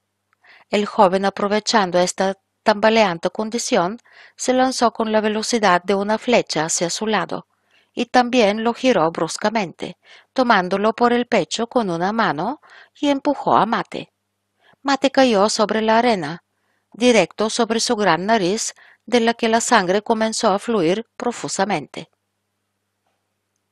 Hubo un largo y fuerte grito de ¡Viva! De acuerdo con las reglas del juego, Mate se retiró y como ya nadie desafió al joven campeón a una pelea, fue declarado ganador. ¿Quién era ese? preguntó el viejo Mícola Banfi, apenas recuperándose de su asombro. Se está acercando ahora. ¿Lo conoces? Banfi se inclinó hacia adelante. El vencedor se dirigió entonces hacia el balcón del príncipe, haciendo una profunda reverencia, y recibió de las manos de la princesa una cinta ancha blanca ricamente bordada, destinada al vencedor del combate como muestra decorativa, antes de recibir una rica recompensa al final de los juegos. Este, dijo Banfi, es Farkas Becklen. Apenas le reconozco con su sencillo chaleco marrón y su camisa abotonada. Escondió su hermoso cabello largo debajo de su sombrero, dijo Mícula, de lo contrario lo habría reconocido. Bueno, continuó, eso es un gran atrevimiento y podría haber terminado mal. Lo único que lamento es que la pelea que más me gusta se haya terminado tan rápidamente. El príncipe, como se pudo ver, dirigió unas amables palabras a Becklen, quien pronto abandonó el campo de batalla. Hatio Lovak. Limpio e impecable. Müller. Lo más interesante de las prácticas de caballeros de la época era el lanzamiento de lanzas, tal y como lo practicaban muchos pueblos orientales y que todavía practican en Europa y entre los turcos. Para que los paladines de Transilvania familiarizaran completamente a Cristierna de esta diversión en toda su peculiaridad, quisieron darle un aspecto muy oriental.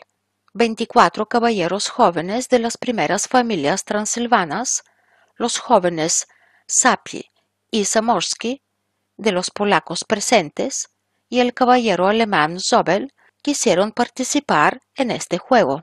Los combatientes se dividieron en dos grupos, azul y rojo. El primer grupo estuvo dirigido por Farkas Becklen y el segundo por Janos Banfi.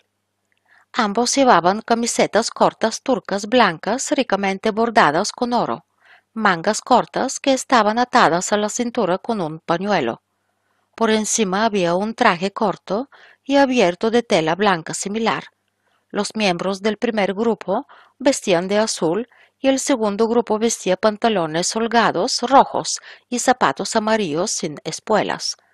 En las caderas llevaban sables turcos en forma de hoz con incrustaciones de piedras preciosas.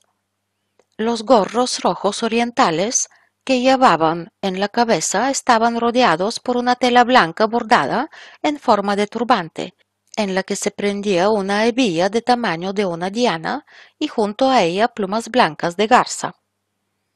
Antes de comenzar el juego, cabalgaron alrededor de la arena, de dos en dos, en caballos de las razas más finas y nobles, con mantas de piel de tigre, las cabezas y pechos de los caballos se adornaban con tela roja y azul bordada en oro, según el color de los grupos. Cada luchador tenía en la mano dos simples palos de pino romos y un mango de lanza, pintado de manera similar en un color seleccionado, y dos puntas pintadas en azul y rojo. Así se podrían distinguir de qué equipo son las manchas producidas el juego comenzó. Rodearon el espacioso campo de batalla con la velocidad del viento, primero desafiándose uno a uno, luego todos juntos. Con asombrosa habilidad esquivaban las lanzas de los demás, se agachaban con un golpe repentino de las riendas, llevaban a los caballos en la otra dirección o agarraban las lanzas voladoras con las manos, y se las devolvían inmediatamente al atacante. Los luchadores estaban en pleno frenesí y una pasión de placer brillaba en sus rostros rojos. Incluso los propios caballos compartían la alegría del juego con alegres gruñidos y estornudos. Eso estuvo bien, dijo la princesa volviéndose hacia una mujer mayor. Zamorsky evitó de tres lanzas arrojadas. Y Betlen es un gran caballero, asintió la mujer. Mira, Banfi, dijo Margit a Gisela. Dos ya han sido alcanzados y él todavía está limpio. Gisela contenía la respiración. En cada giro más rápido, fruncía los labios o se tapaba la cara con las manos. Zamorsky y Sapia destacaron del menguante grupo de los demás, no sólo con la moderación con la que lograban mover sus caballos hacia un lado en un momento en el que el espectador pensaba que se tropezarían con la barrera o los derribarían, sino también con la destreza con la que lograban esquivar los golpes. Sus ropas blancas todavía estaban impecables, aunque sus lanzas se cambiaban con frecuencia. Ahora apenas quedaban seis entre las barreras, y entre ellos se encuentran Betlen y Banfi aún intactos. Todos los que tenían dos puntos por encima de sus cinturones fueron expulsados de la arena por los jueces como derrotados. Es probable que los caballeros polacos, dijo el príncipe, ganen este ejercicio. Las lanzas son sus armas favoritas. Betlen, Banfi y Tasnadi son muy hábiles en este juego, dijo Cornes, volviéndose hacia el príncipe. Es una pena que Abafi no esté presente. Sin duda haría cuestionable el resultado de la pelea. Nos asombra, comentó Batori con frialdad, que no participa en estos juegos nobles, especialmente si es hábil en ellos. Estamos hablando de un joven paladín, continuó inclinándose hacia Cristierna, del que en su día tuvimos muchas quejas, pero que según hemos oído ha cambiado mucho. Me gustaría que estuviera presente en los Juegos, porque entonces probablemente podría ser un gran desafío para los caballeros alemanes, comentó Cornish. Ahora comenzó una lucha feroz. Los ojos apenas podían seguir a los caballeros que volaban como nubes en las alas de las flechas. Un caballero del color azul recibió su segunda mancha, así que ahora parecía que ganaría el color rojo, encabezado por Banfi, y los polacos Sapia y Tasnadi, un apuesto joven de unos veinte años, comenzaron a atacar con doble fuerza a Betlen y Zamorsky de color rojo con sus lanzas. Los jueces convocaron un breve descanso y los espectadores vieron que solo Sapia y Zamorsky estaban ilesos. Entonces apareció un apuesto caballero frente a la barrera. En la frente y el pecho de su caballo blanco había adornos de color plateado y una piel de lobo blanca que cubría su montura. El joven vestía con un abrigo blanco bordado con plata y un cinturón tachonado de hebillas relucientes y pantalones de un color similar. Llevaba un gorro con plumas blancas y largas, un hermoso cabello castaño rojizo en espesos rizos cubría sus hombros. Cuando el apuesto caballero saltó al campo de batalla, con algunos saltos, se escuchó un grito bajo del balcón de Mícula. No estás bien, Gisela, dijo Margit sujetando la cintura de la chica mientras caía hacia atrás. Oh, sí, sí, la tranquilizó con una voz apenas audible. Estoy bien. Es solo un mareo pasajero. Pronto desaparecerá. No, mi buen ángel, dijo Margit, este espectáculo no es para tus nervios. ¿No iríamos a casa? Yo te acompaño. En ese momento Margit miró al caballero blanco y sospechando cuál era la causa del grito de Gisela, trató de animarla sin que ella se diera cuenta de sus sospechas. A primera vista, solo una persona de la multitud reconoció al recién llegado, y fue Gisela. ya sea porque a Buffy nunca había parecido tan brillante o porque nadie lo esperaba aquí. El segundo, que lo reconoció, pero solo cuando saltó en la arena de la lucha, era el interesante joven de aspecto oriental que acabamos de ver con su vestido color hierba. Y la tercera era Margit. A Buffy se detuvo ante el balcón del príncipe y se inclinó respetuosamente. Parecía atónito. Su rostro se puso pálido y luego se enrojeció de nuevo. Fijó sus ojos en el rostro de la princesa y se quedó ahí, como encantado. Le parecía como si estuviera mirando desde el vacío de la vida cotidiana a las puertas del cielo y como si se abrieran los placeres de las alegrías inimaginables. Lo que había en su imaginación y lo que evocaba en su espíritu la imagen de la chica, lo vio realizado en la hermosa y dulce princesa totalmente desconocida y sin embargo tan célebre, que estaba ante él. Un ídolo al que no adoraba, no amaba, no apreciaba, no quería, pero con el que su alma se fundía, que lo arrancaba de sí mismo y fuera de sí lo aferraba a otra vida y existencia. Así permaneció durante uno o dos minutos, sin palabras, como si se levantara de sí mismo y contemplara una vida desconocida.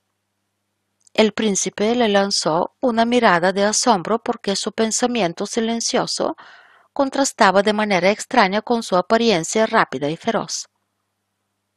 Por fin, Oliver recuperó la conciencia y con su hermosa y plena voz, siempre con la mirada fija en la princesa, declaró que quería vencer a los victoriosos polacos para demostrar el talento de Transilvania en el lanzamiento de lanzas, uno contra dos. Los ganadores de los caballeros aceptaron el duelo, pero solo uno contra uno. Sapia, saliendo de las barreras, presenció en el balcón de Mícula el combate, cuyo resultado, conociendo la gran habilidad de Zamorsky, no dudó.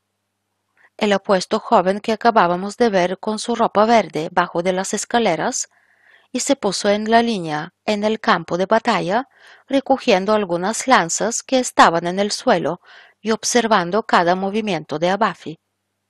Cerca de él, justo a la izquierda, se encontraba un respetable anciano. Su ropa indicaba sus orígenes aristocráticos.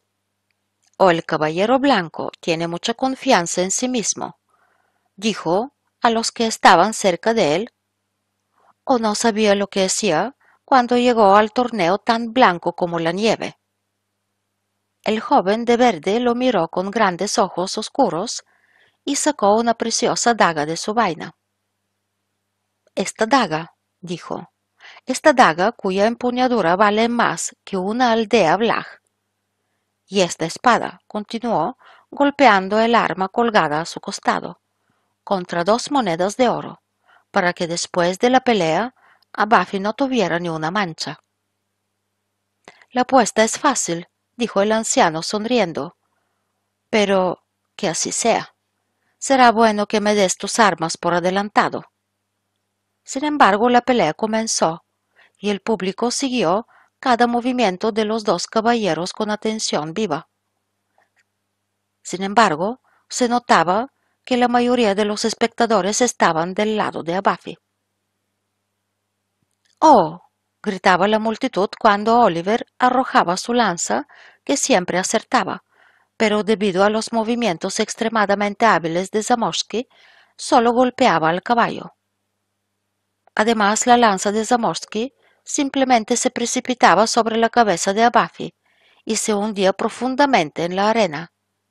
Cada lanzamiento, cada giro de nuestro héroe estuvo acompañado de un fuerte estímulo. Abafi inició la pelea con calma y quedándose quieto, o más bien esperándolo. Zamorsky se abalanzó sobre él con la velocidad del rayo y le arrojó la primera lanza que Abafi evitó con un gran salto y agarró la otra con la mano y la balanceó e inmediatamente la devolvió golpeando el pecho del caballo de Zamorsky. Cabalgaron alrededor del amplio campo de batalla de nuevo, y el joven de verde le dio a Buffy dos lanzas para que las arrojara.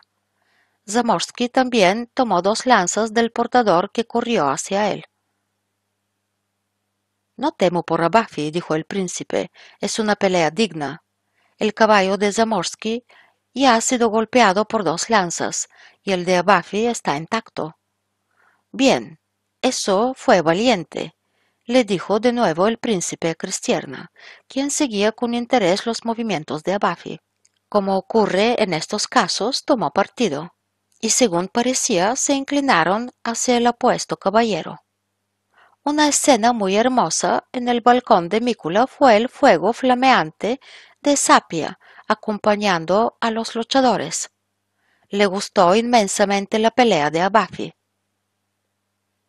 Ahora, dijo, Zamorsky podría haber encontrado la cintura de Abafi si hubiera lanzado de repente la otra lanza después de la primera. Abafi ganará, gritó Margit. Mira, Gisela, la mancha azul en el brazo de Zamorsky. Ahora otra en el muslo. Gisela se sentó pálida y sin habla. No podía decir una palabra. Solo la elevación de su pecho mostraba la tormenta interior que se estaba produciendo en ella. Ganó Oliver. En el último duelo se abalanzó sobre Zamorsky con una lanza en alto y girándola sobre su cabeza, extendió la mano frente a él y tiró bruscamente de las riendas de su caballo para que se quedara como petrificado. Pero la lanza no fue arrojada, fue solo un engaño que Abafi, mientras Zamorsky quería evitarlo con un giro brusco, lo usó de tal manera que una de sus lanzas golpeó la mano de Zamorsky con la velocidad de una flecha y la otra el muslo de Zamorsky. Se escucharon los gritos de ¡Viva! unas cien veces. Zamorsky se retiró del campo de batalla y su caballo, del que salía espuma, bajó la cabeza con cansancio. Todavía quedaba Sapia, que abandonando el balcón de Mícula, se dirigió al lugar de la batalla con esa alegre y vivaz rapidez que más destaca en el valiente cuando encuentra un rival digno.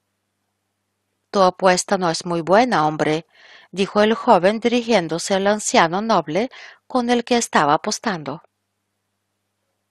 Por ahora tu victoria aún está a mitad de camino. Apuesto por Sapia y creo en su victoria. El joven del traje verde sonrió para sí mismo.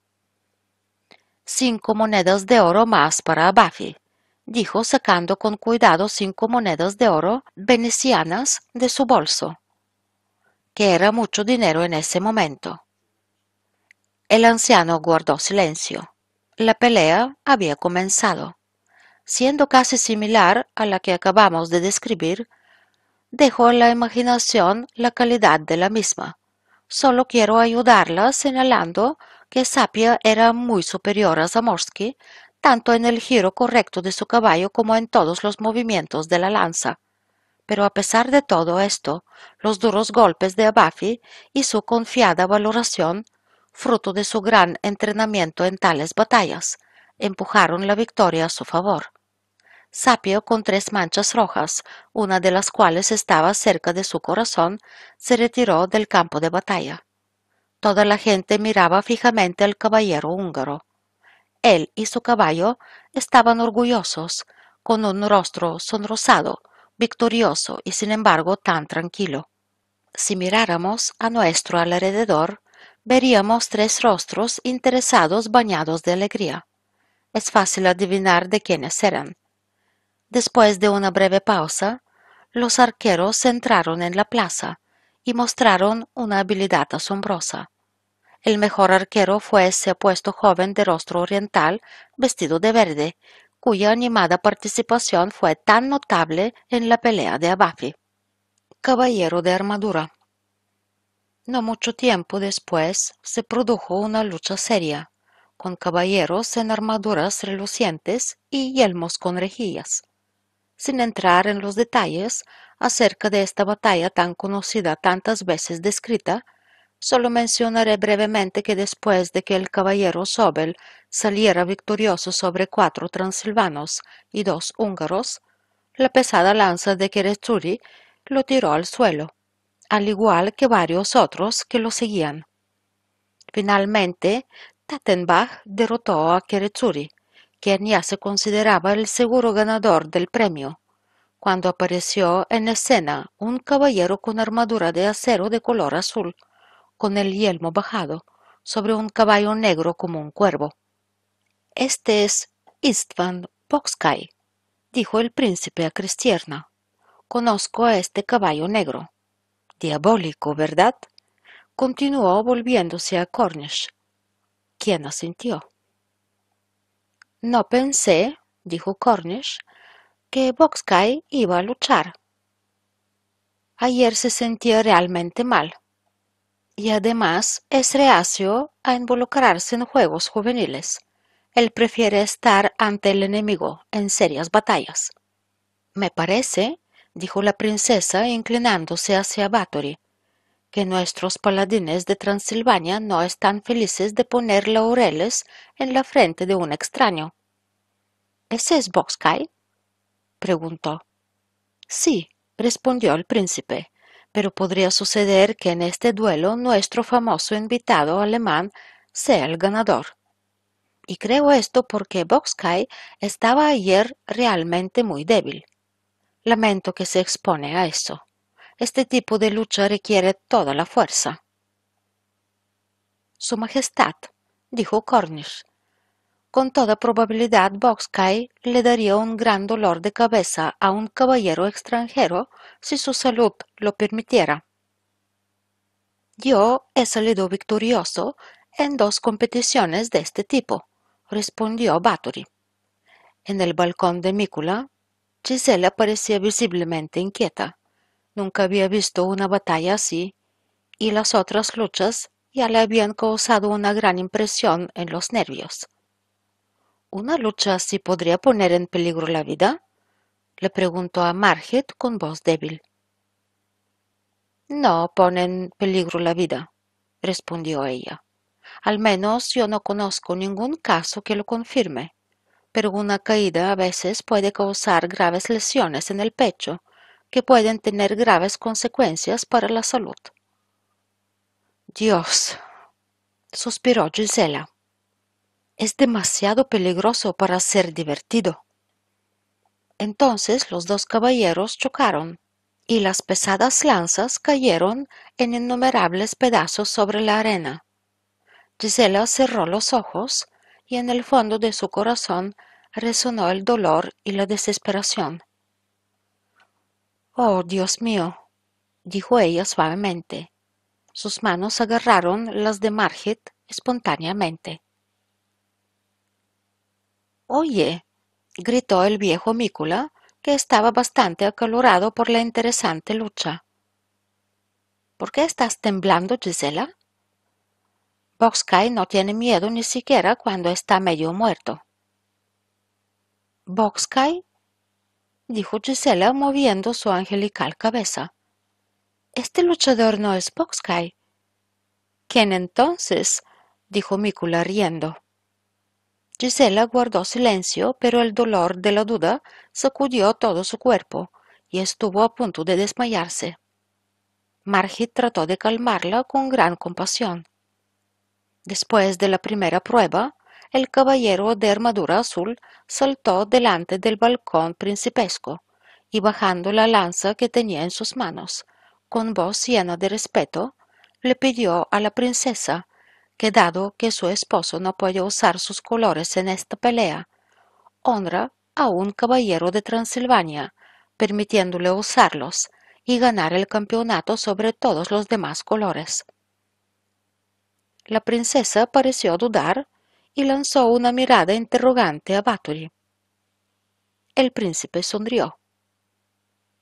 Los colores de la hermosa Cristierna, dijo con cortesía y amabilidad estarán en las manos seguras de nuestro campeón, cuya mano conocemos bien.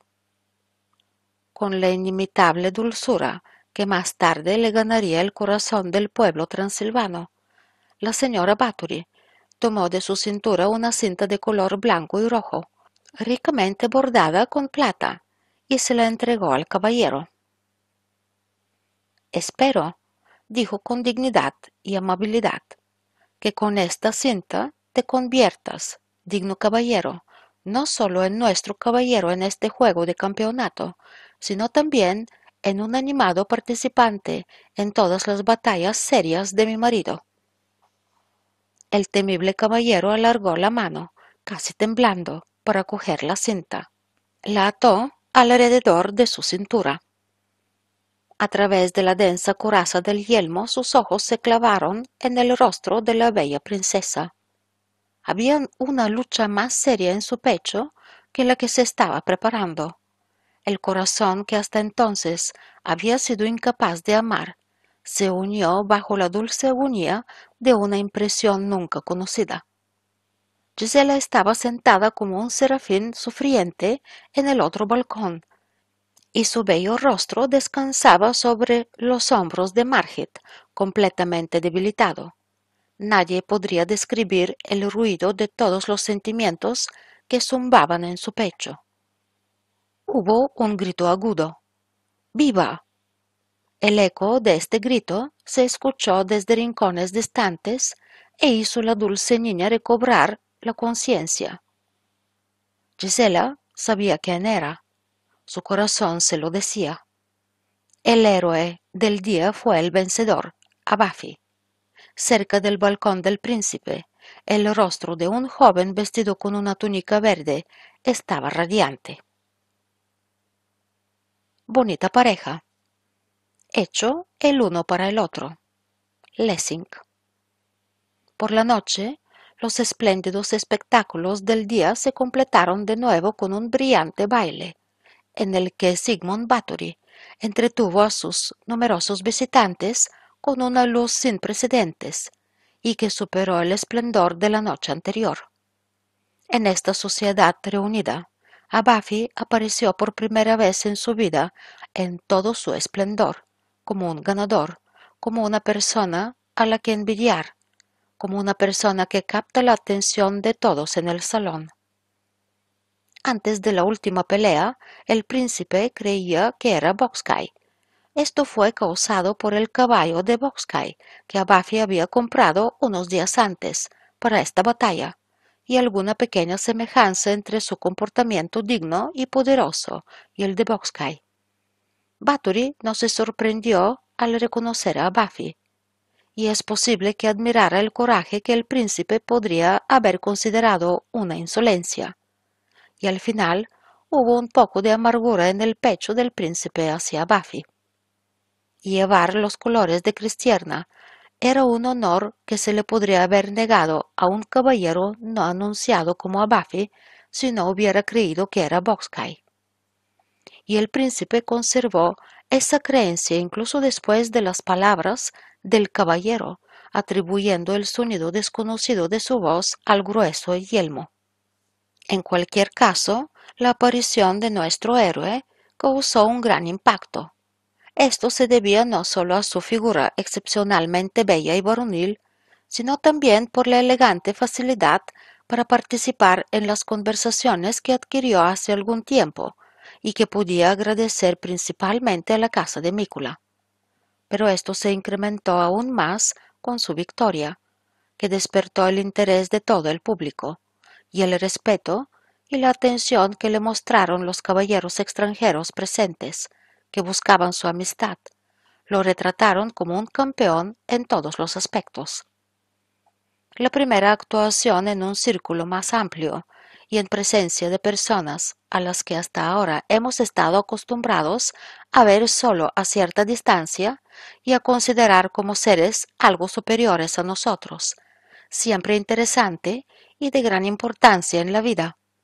Cuanto más agradable, cuanto más picante es la impresión producida por esa primera aparición, cuando puede ser hecha por alguien que ha atraído la atención del público y que cuando aparece posee cualidades tales que no sólo producen en los demás la simpatía que produce la primera vista de un joven apuesto y distinguido, sino también el respeto que irradia todo rostro, y que es el resultado sólo del mérito y de las posesiones excelentes. Hasta la mujer del príncipe, que había huido los libertinajes de Abafi en sus días de juventud, pero que al verlo por primera vez había reconocido en él a un hombre en el mejor sentido de la palabra. Lo trató con esa atención que no solo fue completamente involuntaria, sino también natural. Pero en la mente del joven muchas cosas ya eran diferentes.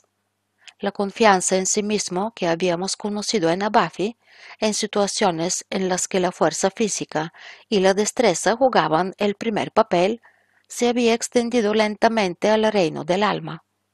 Esta fe ciega en su propia fuerza se justificaba hasta cierto punto por el don milagroso de la naturaleza encarnado en la fuerza que Abafi realmente tenía y la felicidad con la que hasta ahora la había utilizado con pleno éxito.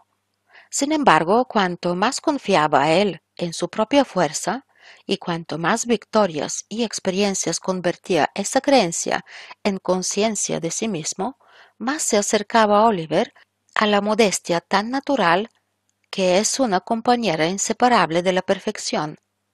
Y si tal vez su mirada desafiante después de una lucha exitosa causara a algunos malestar, lentamente esta crudeza salvaje dio paso a una actitud más seria y finalmente modesta, hasta que conseguía presentar su superioridad en una forma tolerable, de hecho encantadora.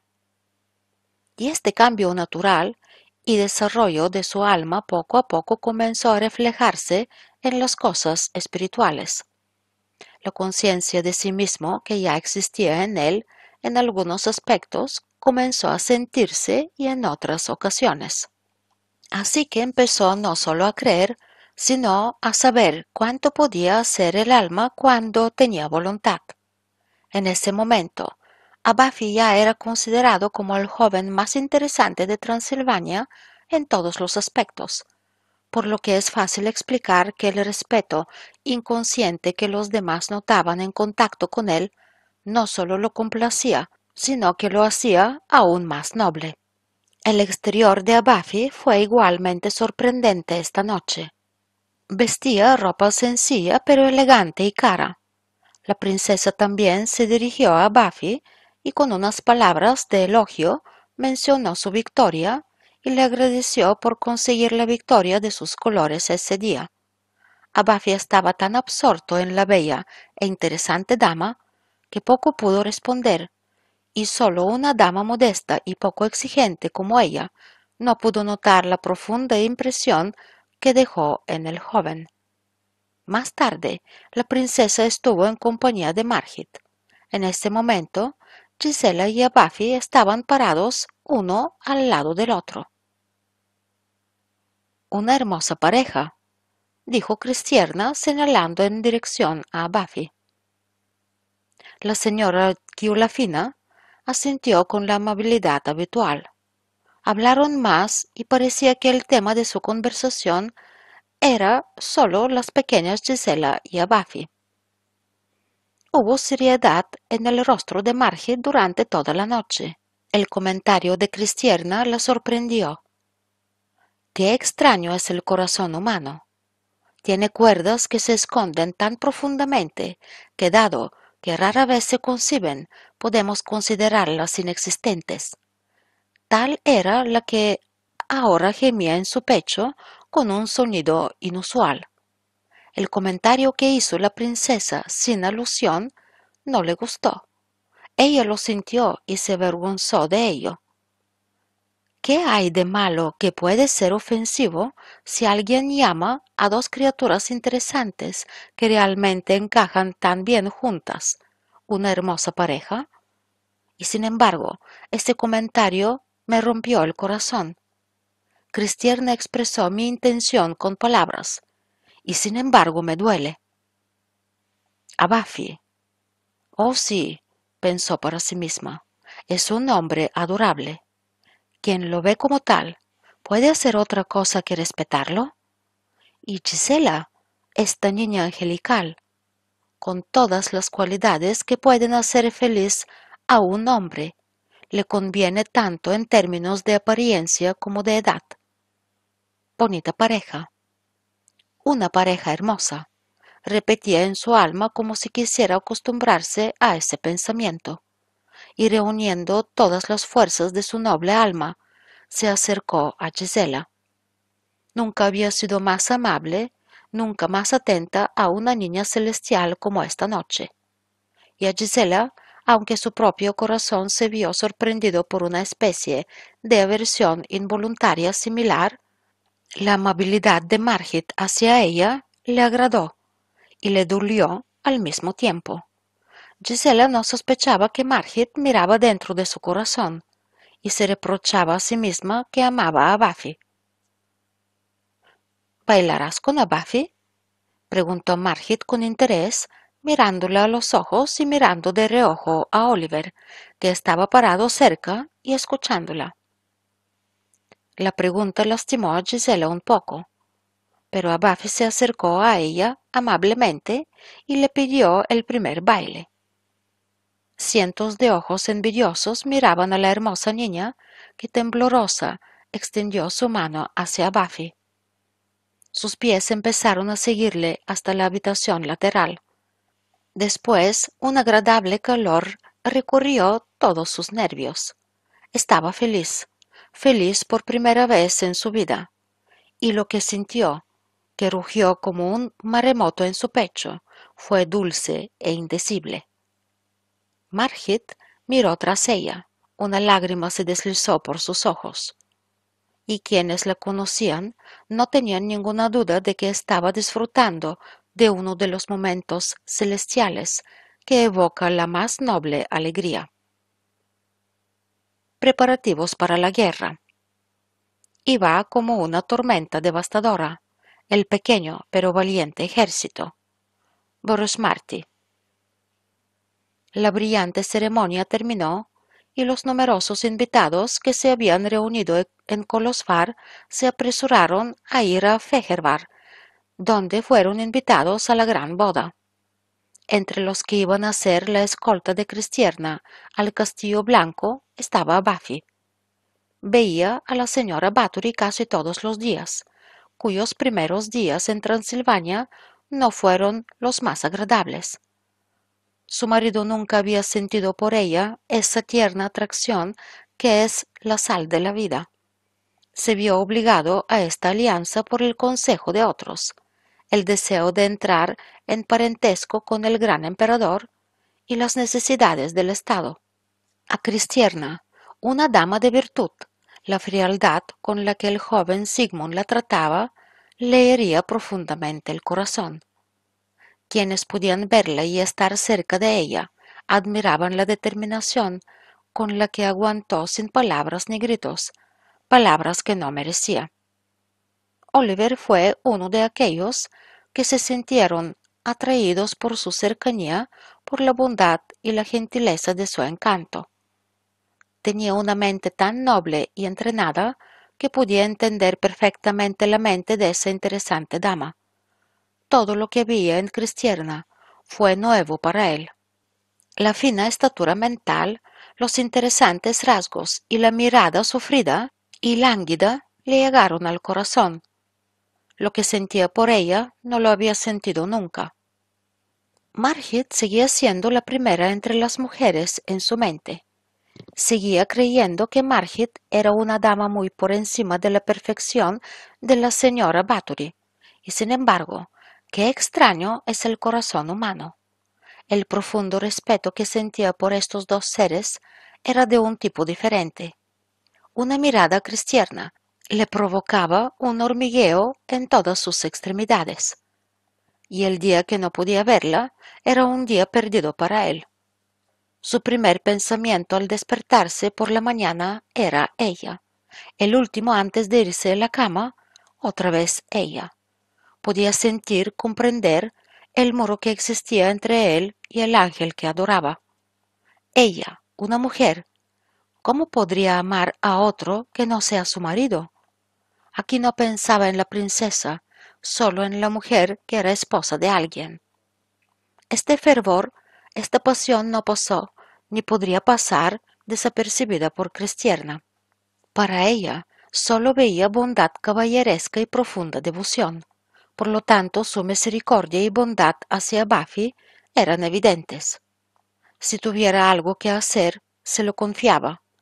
Si se desplazaba a alguna parte, la acompañaba a Buffy, de quien podemos decir que recibía esa atención que provenía de los sentimientos nobles y estaba desprovista de cualquier pasión con la más profunda humildad, desprovista de esa falsa modestia y a veces repentina vanidad que tanto se nota y al mismo tiempo repugna al amado.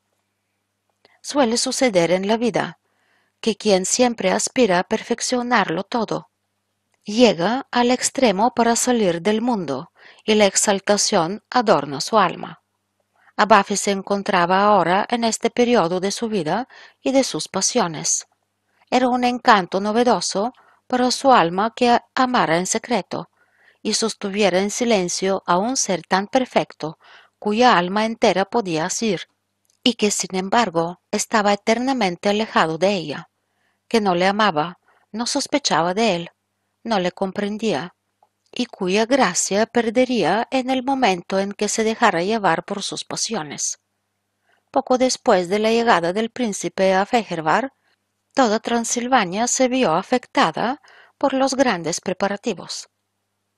Los voivodas de Vlag establecieron una alianza con Bathory, quien, aceptando el liderazgo de las Fuerzas Unidas, reunió un gran ejército en Transilvania.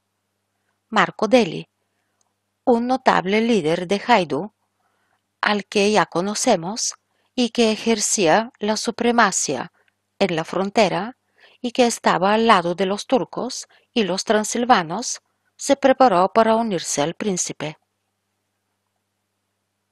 A Marco Deli le gustaba llamarse a sí mismo el rey de las fronteras y el Arslan de las cuevas, y era una de esas extrañas criaturas en las que hay una mezcla rara vez visible de los mejores y los peores rasgos. Disfrutaba de un poder ilimitado entre su gente y le encantaba usarlo, y nada odiaba tanto como cuando otro quisiera ejercerlo sobre él. Pero si se entregaba a alguien, lo que solo podía hacer por un tiempo determinado, y en su mayoría corto, durante ese corto tiempo no había poder que le hiciera romper su palabra tenía en él ese sentido del honor y la integridad propio que para el hombre de conocimiento sigue siendo un eterno enigma y una de esas cosas que existen pero no pueden explicarse. Era despiadado en la batalla, sediento de sangre, y nadie podía esperar misericordia de él en la batalla. Este hombre feroz y obstinado, temido por su enemigo, odiado por las esposas, amado por sus súbditos, un gigante en cuerpo y alma, poderoso en sí mismo e intolerante con el poder de los demás.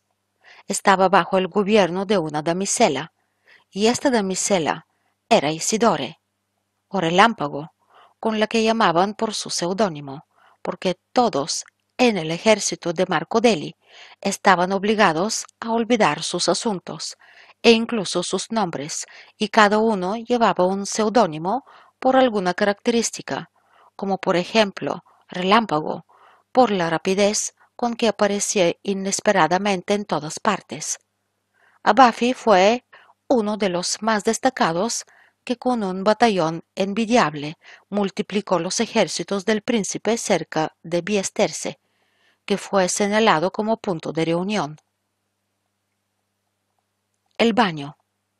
Y en su feroz dolor, su pecho tembloroso, la joven decidida le respondió con una maldición. Boris Marty. Mientras se llevan a cabo los preparativos para la guerra de esta manera, será interesante acercarse a una persona que ha aparecido en esta historia varias veces, pero de la que sabemos muy poco.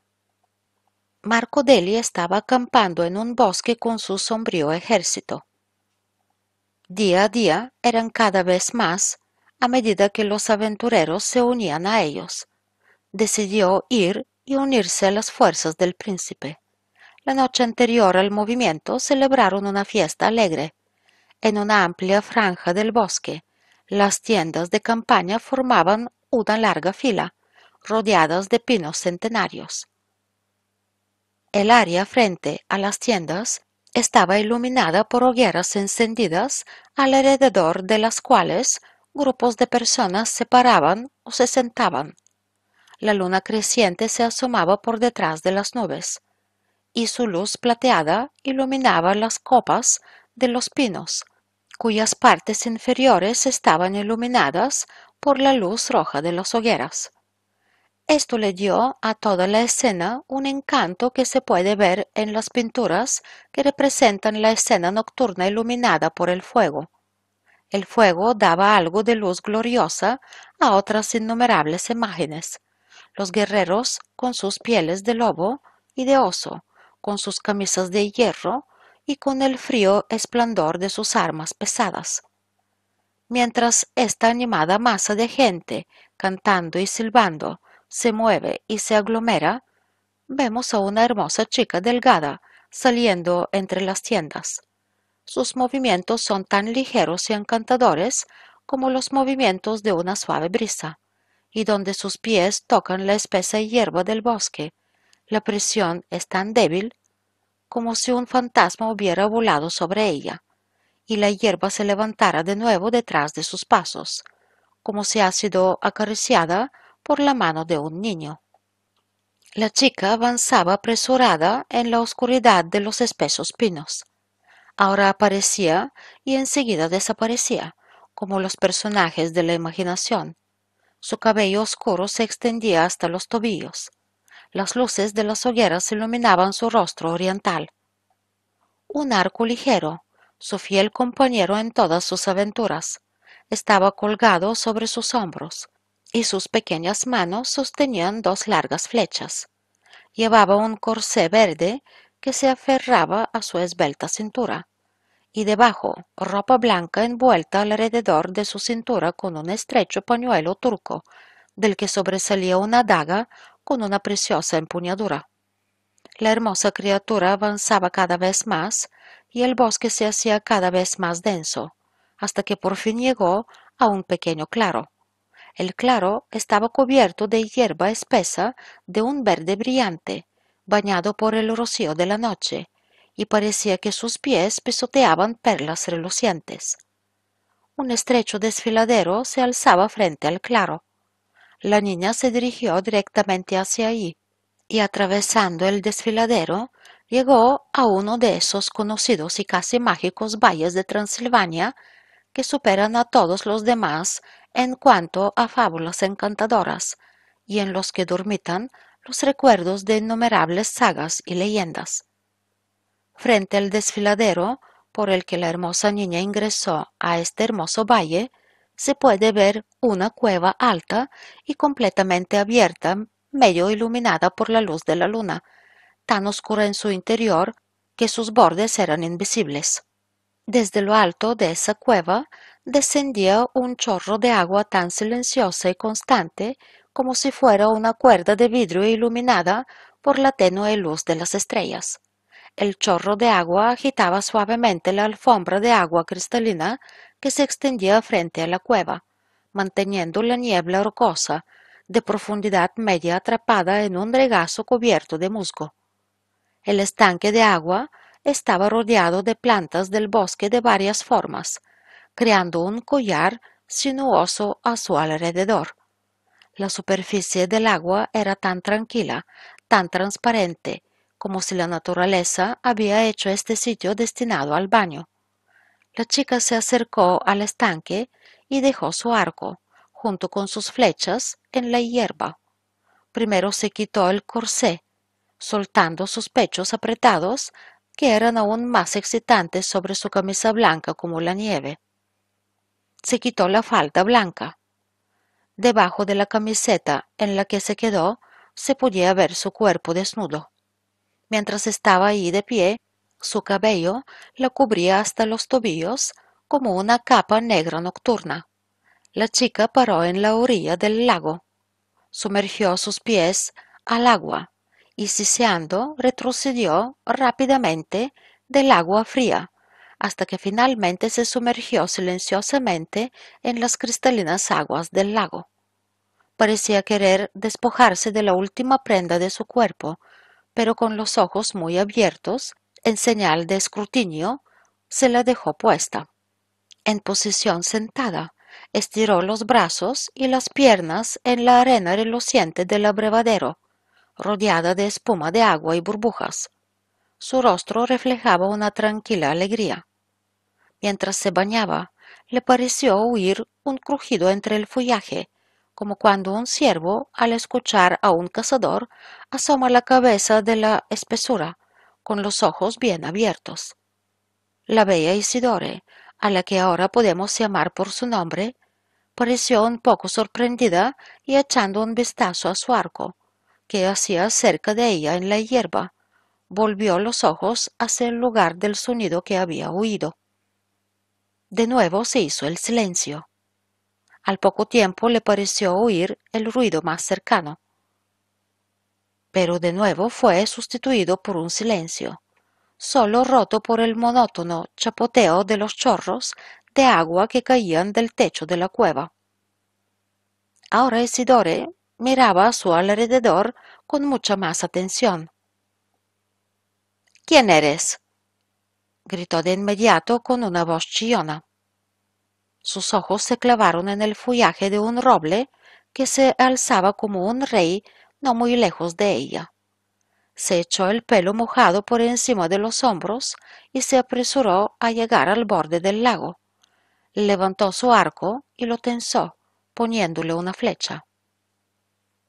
Permaneció de pie sin miedo, apuntando su flecha a la parte más gruesa del roble, cuya corteza frondosa sobresalía una cabeza de macho salvaje con una mirada ardiente fija en ella. Vete, gritó, o mi flecha clavará tu cabeza en el tronco de este roble. Cada uno de sus movimientos reflejaba que sus palabras no eran sólo una mera amenaza. Isidore, dijo el hombre con voz profunda y triste, en tono de reproche. Isidore. Debería haber permanecido ileso en cientos de luchas para que la mano misma de la persona que amo tan profundamente traspasara mi corazón. ¿Eres tú capataz? Estás borracho. ¿Cómo te atreves a decir el nombre de Isidore en tus labios? Tú, sanguijuela, que quieres arrancarme el corazón. Oh asesino, cobarde serpiente misteriosa. Y luego volvió a levantar su arco. Vete de aquí, porque yo te odio, como el día odia las tinieblas, como la pureza odia la suciedad, como el ángel odia el diablo. La cabeza desapareció pero a los pocos instantes la figura nerviosa de Capataz erigió en la orilla del estanque, en una posición amenazadora y siniestra. Sus ojos se agrandaron con una llama de ira en su rostro. Dispara, dijo levantando su lanza. Dispara, que el primer movimiento sea tuyo, pero que sea preciso, justo en el corazón donde vives tú ahora y vivirás mientras late. Golpea bien, Isidore, porque conoces bien mi lanza, no fallará. No vuelvas a decir ese nombre, respondió la chica apuntando su flecha con orgullo hacia él. Mi nombre es Relámpago, y mi padre, Marco Deli, el león de las cuevas, el rey de las fronteras. Isidore, Así me dirijo a ti y de ninguna otra forma, exclamó Capataz con un enfado suavizado, mientras sus ojos recorrían apasionadamente a la hermosa criatura, cuya camisa blanca mojada acentuaba los rasgos de su cuerpo con perfección escultórica. ¿Sabes lo feliz que te sentiste una vez al oírme decir tu nombre? Cuando las manos que ahora me amenazan con la muerte me apretaban tan apasionadamente contra tu pecho. ¿Todo, todo esto está olvidado? Había tanta ternura en sus palabras, tanta dulzura, como esta criatura salvaje fue capaz de mostrar. Dispara. Isidore volvió a bajar su arco. No dispararé, dijo vacilante. No quiero que tu sangre caiga sobre mi alma. Pero vete, por favor, vete. Maldigo el momento en que este débil corazón se dejó arrastrar por un amor desagradable. Arrancaría de mi vida las horas que te he tenido. Vil tigre, junto a mi corazón. No te hagas ilusiones, no era amor. No, no, no. Calor, sensual, debilidad, inferioridad, todo lo que quieras, pero no amor. ¿Y tú dices eso, Isidora? ¿Tú? ¿Que contabas los minutos hasta que llegara? ¿Tú que estabas triste por semanas si me ponía enfermo? ¿Tú que eras fuego y llama? Y todo esto por un hombre cuyo nombre ni siquiera sabías cuando tu corazón ya era mío. Sí, sí, dijo Isidore con la cara ardiendo. Por él. Escucha para tu ruina y tormento. Cacareador, asesino y cobarde. Por él, a quien adoro como Dios, por quien estoy dispuesta a morir en cualquier momento, cuya mirada basta para cubrir la inmundicia de tu memoria con una capa de sepultura eterna. ¿Conoces esa daga? dijo levantando su daga. ¿Eh, cobarde? Ustedes tres fueron contra uno. Y cuando generosamente te perdonó la vida, tú querías matarlo con esto. Esta daga es el muro de bronce que se interpone entre yo y tú desde el centro de la tierra hasta la bóveda del cielo. Sé en que has estado metido mucho tiempo, villano, pero no temas porque te presentaré a Abafi. Ja, ja, dijo Capataz con una risa salvaje. ¿Abafi? Que él me tenga miedo y te tema a ti. Y luego de un salto repentino llegó al borde del lago. Isidore soltó su flecha, hiriendo el brazo de Capataz, pero solo levemente. Capataz abrazando su esbelta cintura, con una feroz llama de pasión en los ojos, la atrajo hacia él e intentó arrancarle la daga de la mano.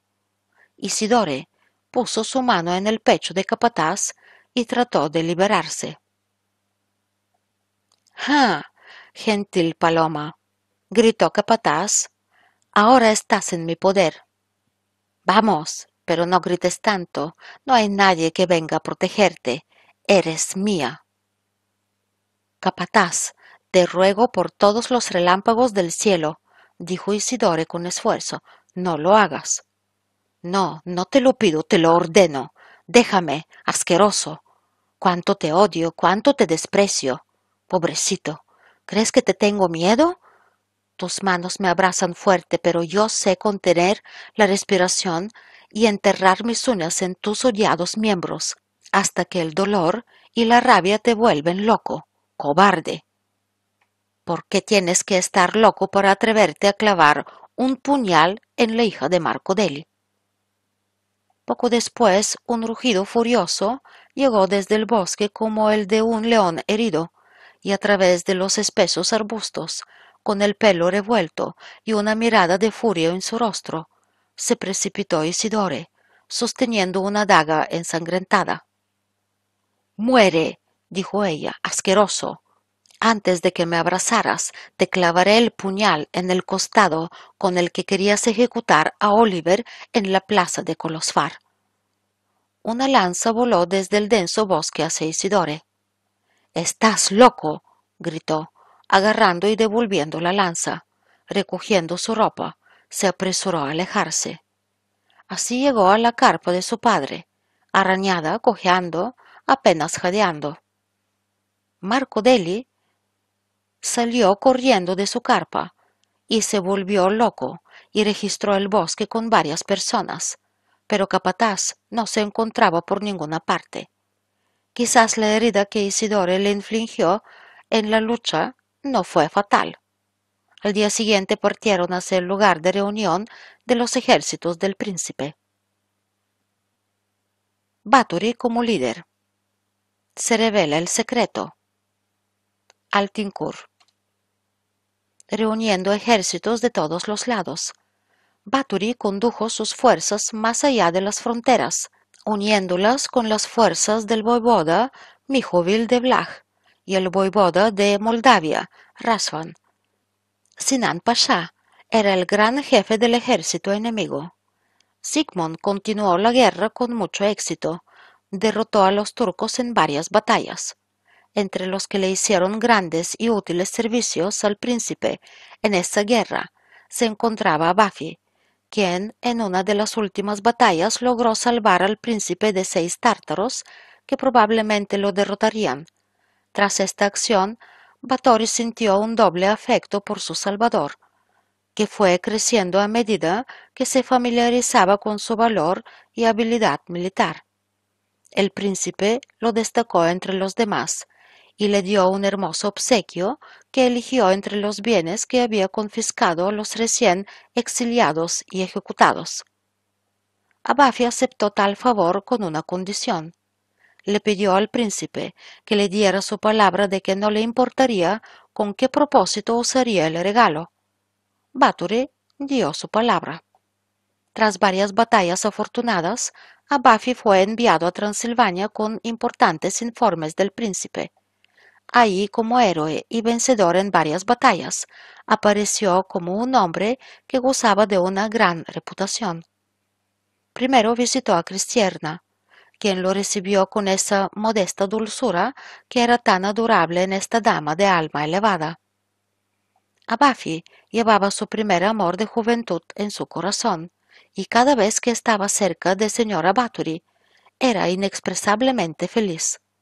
¿Sospechó la bella mujer la verdadera calidad de este afecto después de tanto tiempo? No podemos saberlo. Pero había algo en su comportamiento hacia Buffy que nos dio una pista.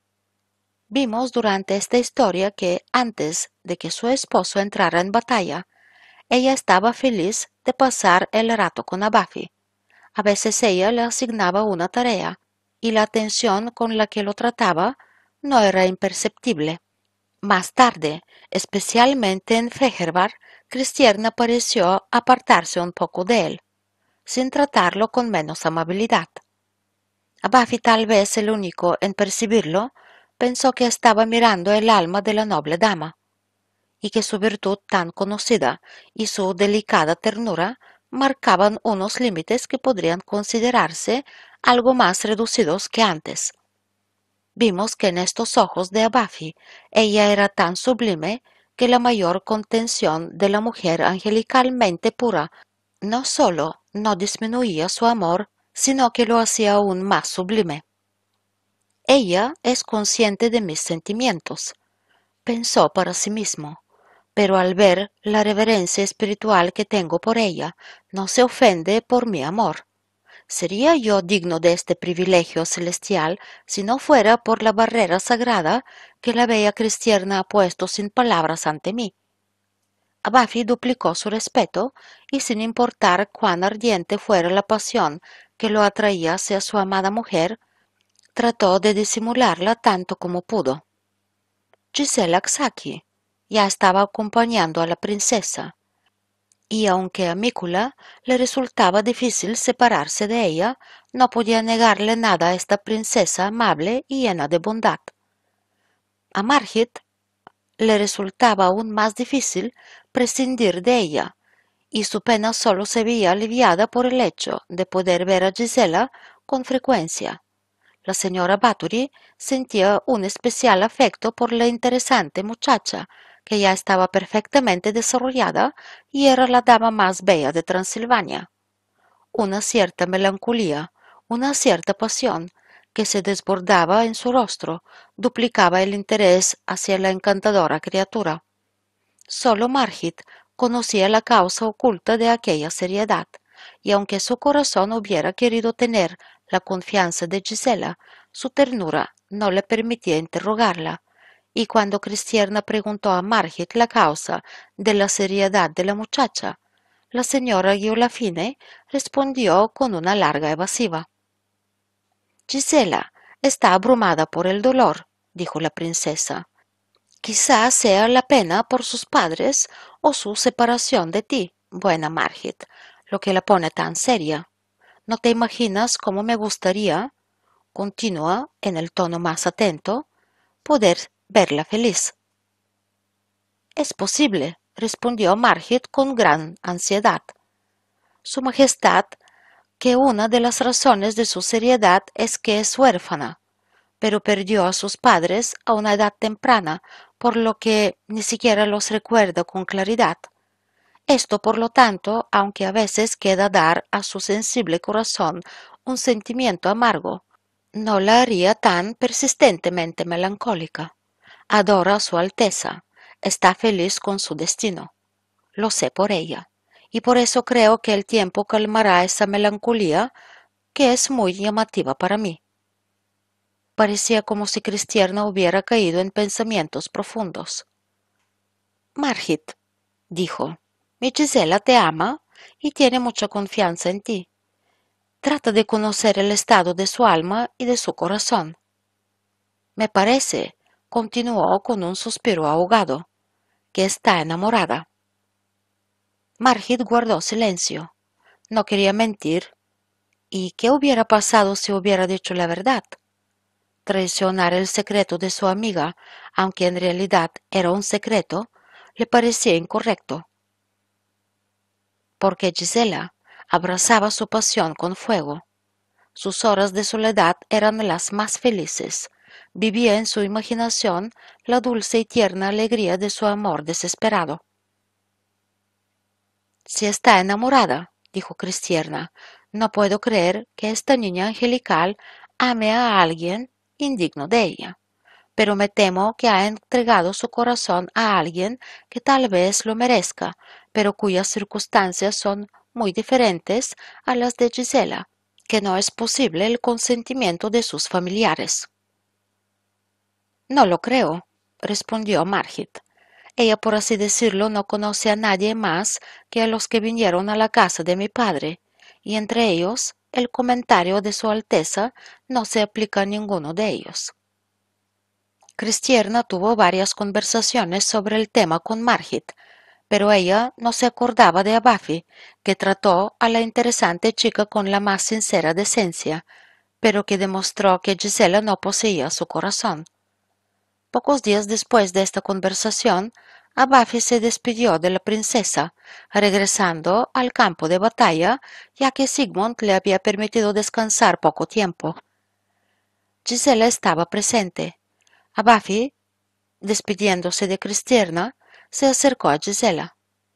Mi querida Gisela, dijo, su relación familiar le permitía llamarla por su nombre. Me voy mañana al amanecer. ¿Hay alguien a quien mi hermosa hermana quiere enviar un mensaje? ¿O a lo mejor tienes un lindo deseo para mí? La vida en la guerra es muy insegura y soy algo supersticioso. El buen deseo de un alma tan buena es un talismán que da ánimo y fuerza. Abafi pronunció esas palabras alegre y bromeando, y no fueron más que una conversación amable. Pero esas palabras tuvieron un gran impacto en Gisela. Parecía como si una lágrima se hubiera deslizado por sus ojos. Le tendió su suave mano al joven. Tan lleno de encanto estaba este apretón de manos que el propio Abafi se habría sorprendido si su corazón no hubiera estado tan ocupado. Solo quiero una cosa, dijo Gisela en voz baja, que tus pasos, buen Oliver, vayan acompañados de la bendición que toda buena chica de Transilvania desea para un héroe como Abafi. Abafi respondió con un suave apretón de manos y se alejó. Cristiana miraba fijamente los deliciosos rasgos de Gisela, que reflejaban una interesante mezcla de felicidad y seriedad.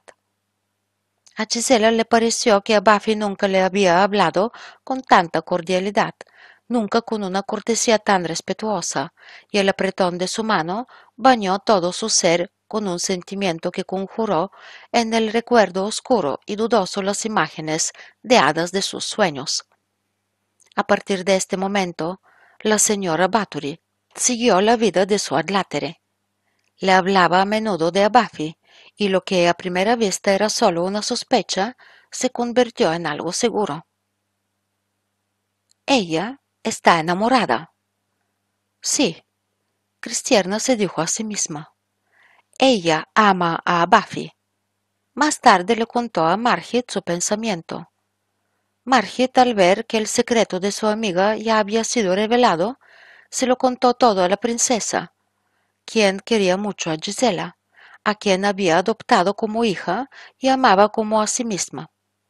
Margit fue quien, con manos tiernas, tejió un plan que llevaba tanto tiempo en el alma y en cuya realización empezó a creer. Pronto a Buffy llegó al campamento. Sigmund llenaba el breve alto al fuego con sus pasatiempos habituales, principalmente la cetrería, que era su pasatiempo favorito. En tal cacería, una vez cabalgaba junto a Buffy.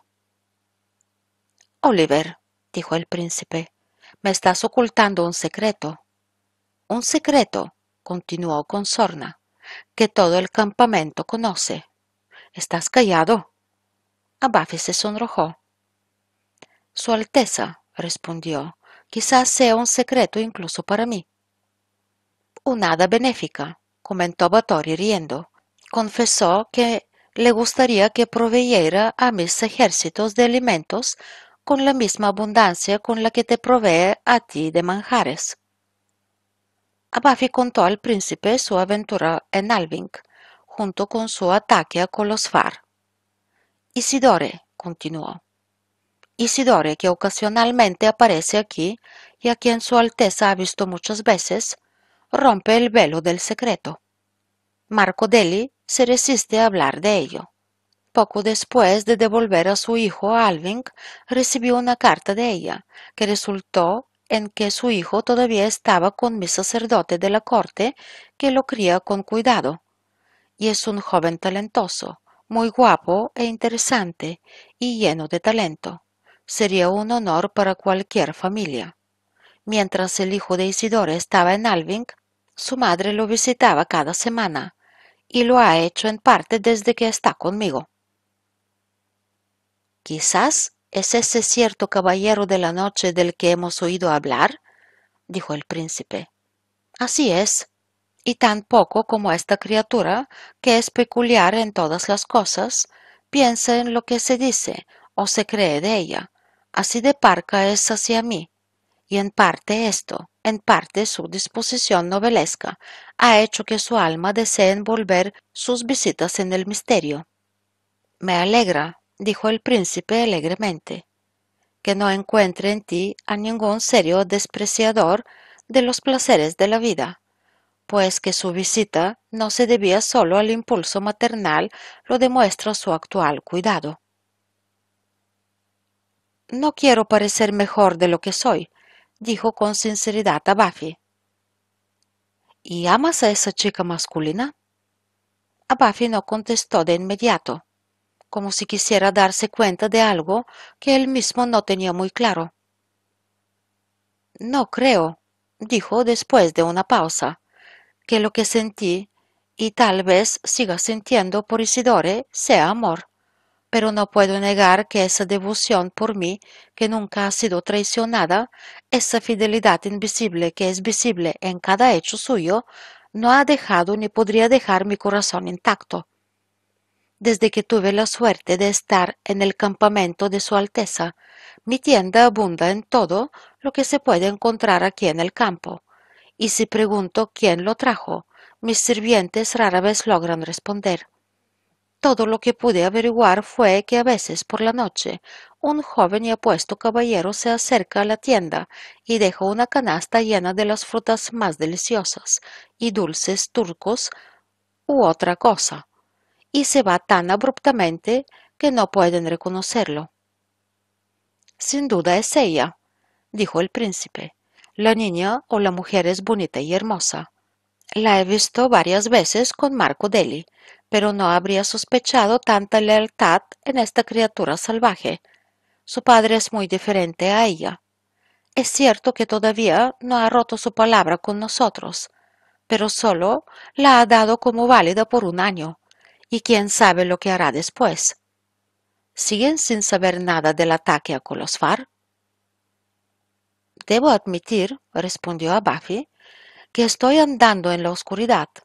Isidore responde con evasivas cuando la pregunto, como quien sospecha algo pero desea ocultarlo. Su Majestad sabe cuántas historias diferentes han estado circulando. Sí, dijo el príncipe con un suspiro reprimido. Fue en uno de los momentos más difíciles de mi vida, engañado por aquellos en los que tenía la mayor confianza, tuve que recurrir a la violencia. Entonces, dijo tras una pausa, no es de extrañar que se me atribuyeran todas las violencias.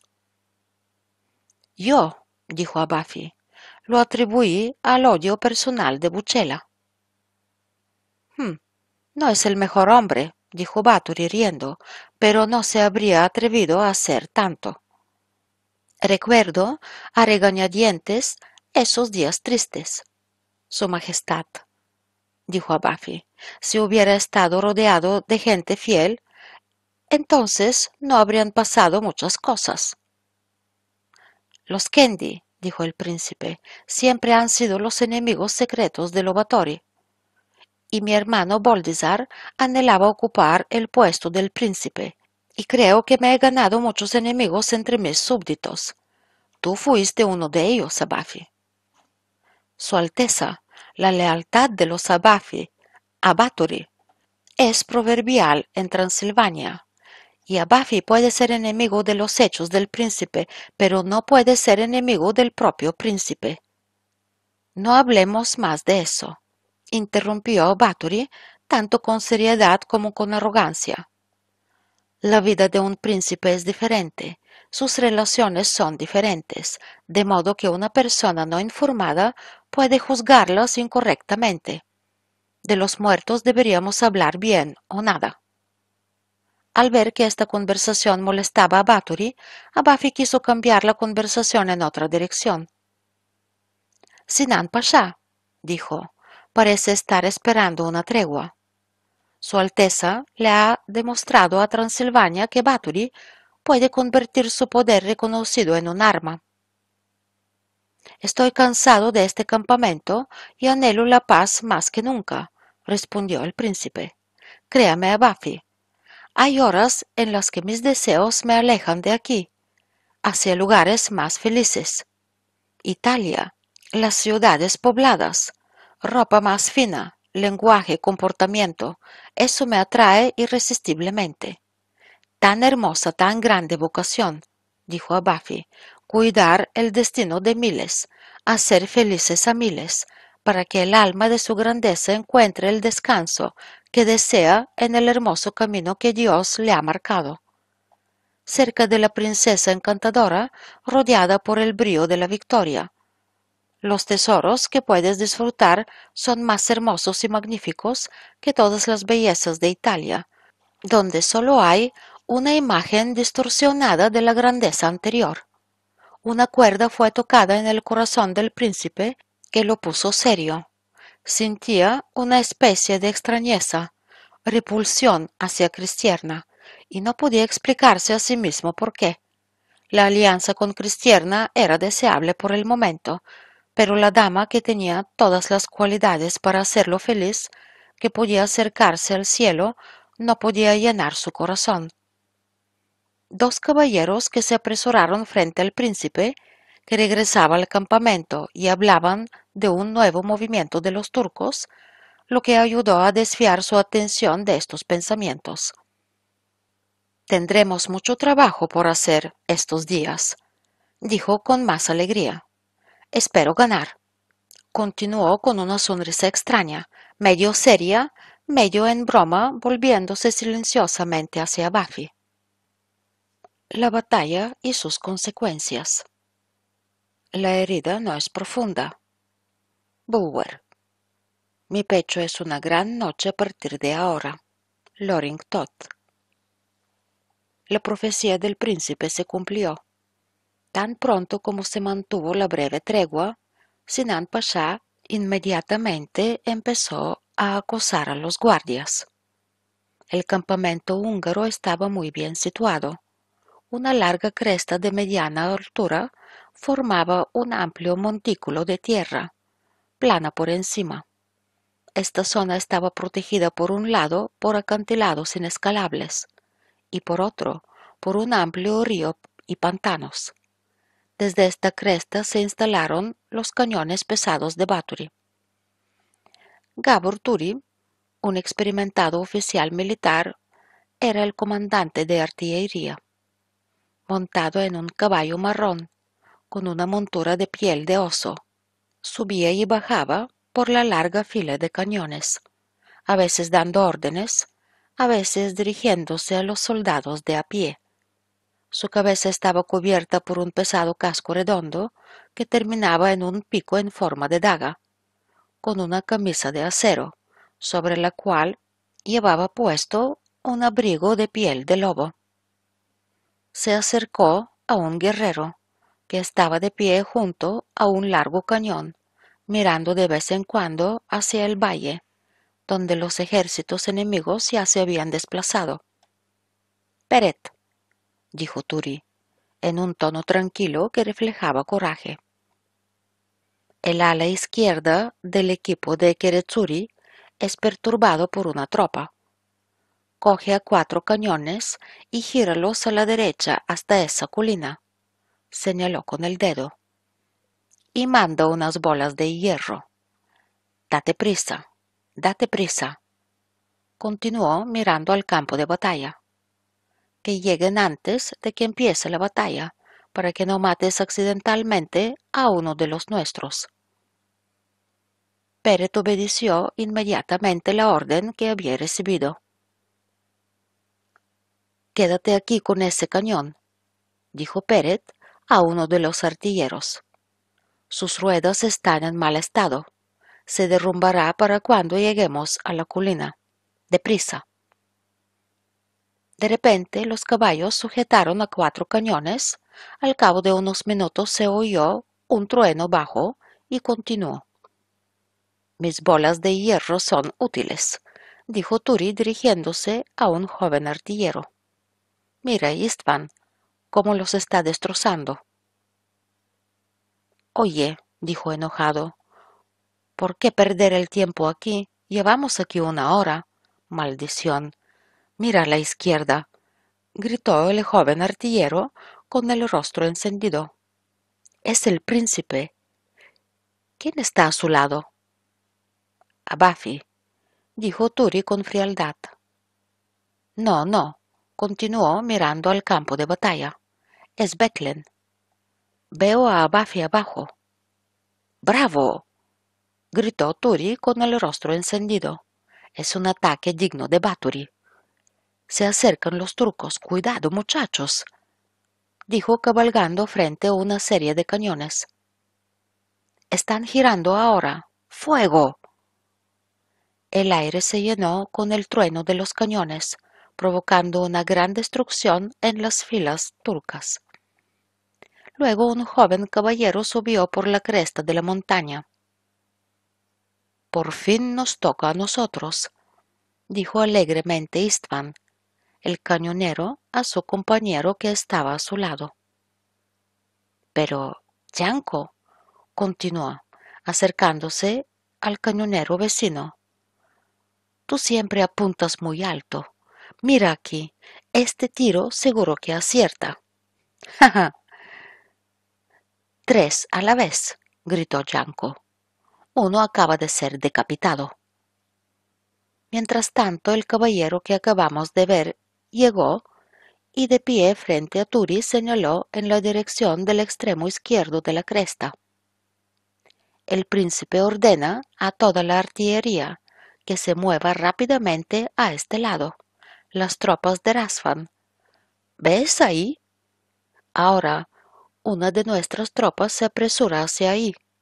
Están teniendo dificultades para mantener los turcos. Turi envió inmediatamente a buscar a Peret, y pronto una larga columna de cañones con un sonido metálico se dirigió a la izquierda. Dejaré estos dos aquí, Quédate, Istvan, le dijo Turi al joven artillero, y de vez en cuando dispara algunos tiros al valle.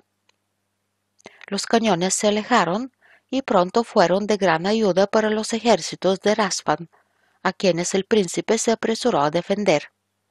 Su Alteza está arriesgando su vida, dijo a Buffy, que acaba de llegar al lado de Bathory. Aquí las flechas llueven. Cabalgad hacia esa colina, Majestad. Desde ahí se puede ver todo mejor. A Buffy, estás sangrando, dijo el príncipe girando su caballo. ¿Dónde? preguntó con frialdad. El hombro. ¿No sientes nada? A Buffy miró por encima del hombro. Es solo un rasguño, creo. Tengo prisa, dijo apresurando repentinamente su caballo.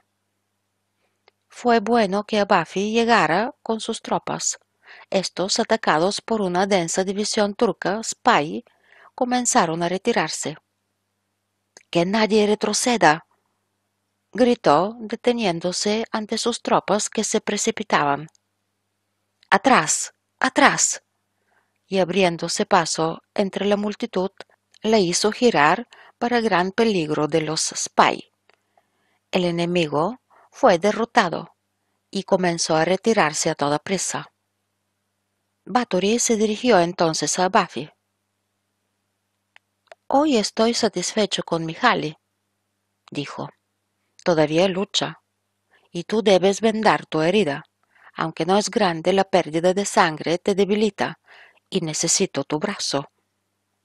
El príncipe apenas había pronunciado estas palabras cuando el caballo de Abafi se desplomó. Que Dios te acompañe, buena bestia, dijo él. Ha llegado tu día. En este momento, un hermoso y esbelto caballero apareció a su lado. Llevaba un abrigo de cabra y estaba sentado en un caballo color manzana. Parece que hemos visto a este joven caballero en alguna parte antes. Aquí tienes un caballo, caballero, dijo, saltando de su caballo y envolviendo la brida de su caballo alrededor del brazo del sorprendido Abafi. Mientras lo miraba, se apresuró a alejarse y mezclándose con el ejército pronto desapareció ante sus ojos. ¿Quién era ese? preguntó el príncipe sorprendido.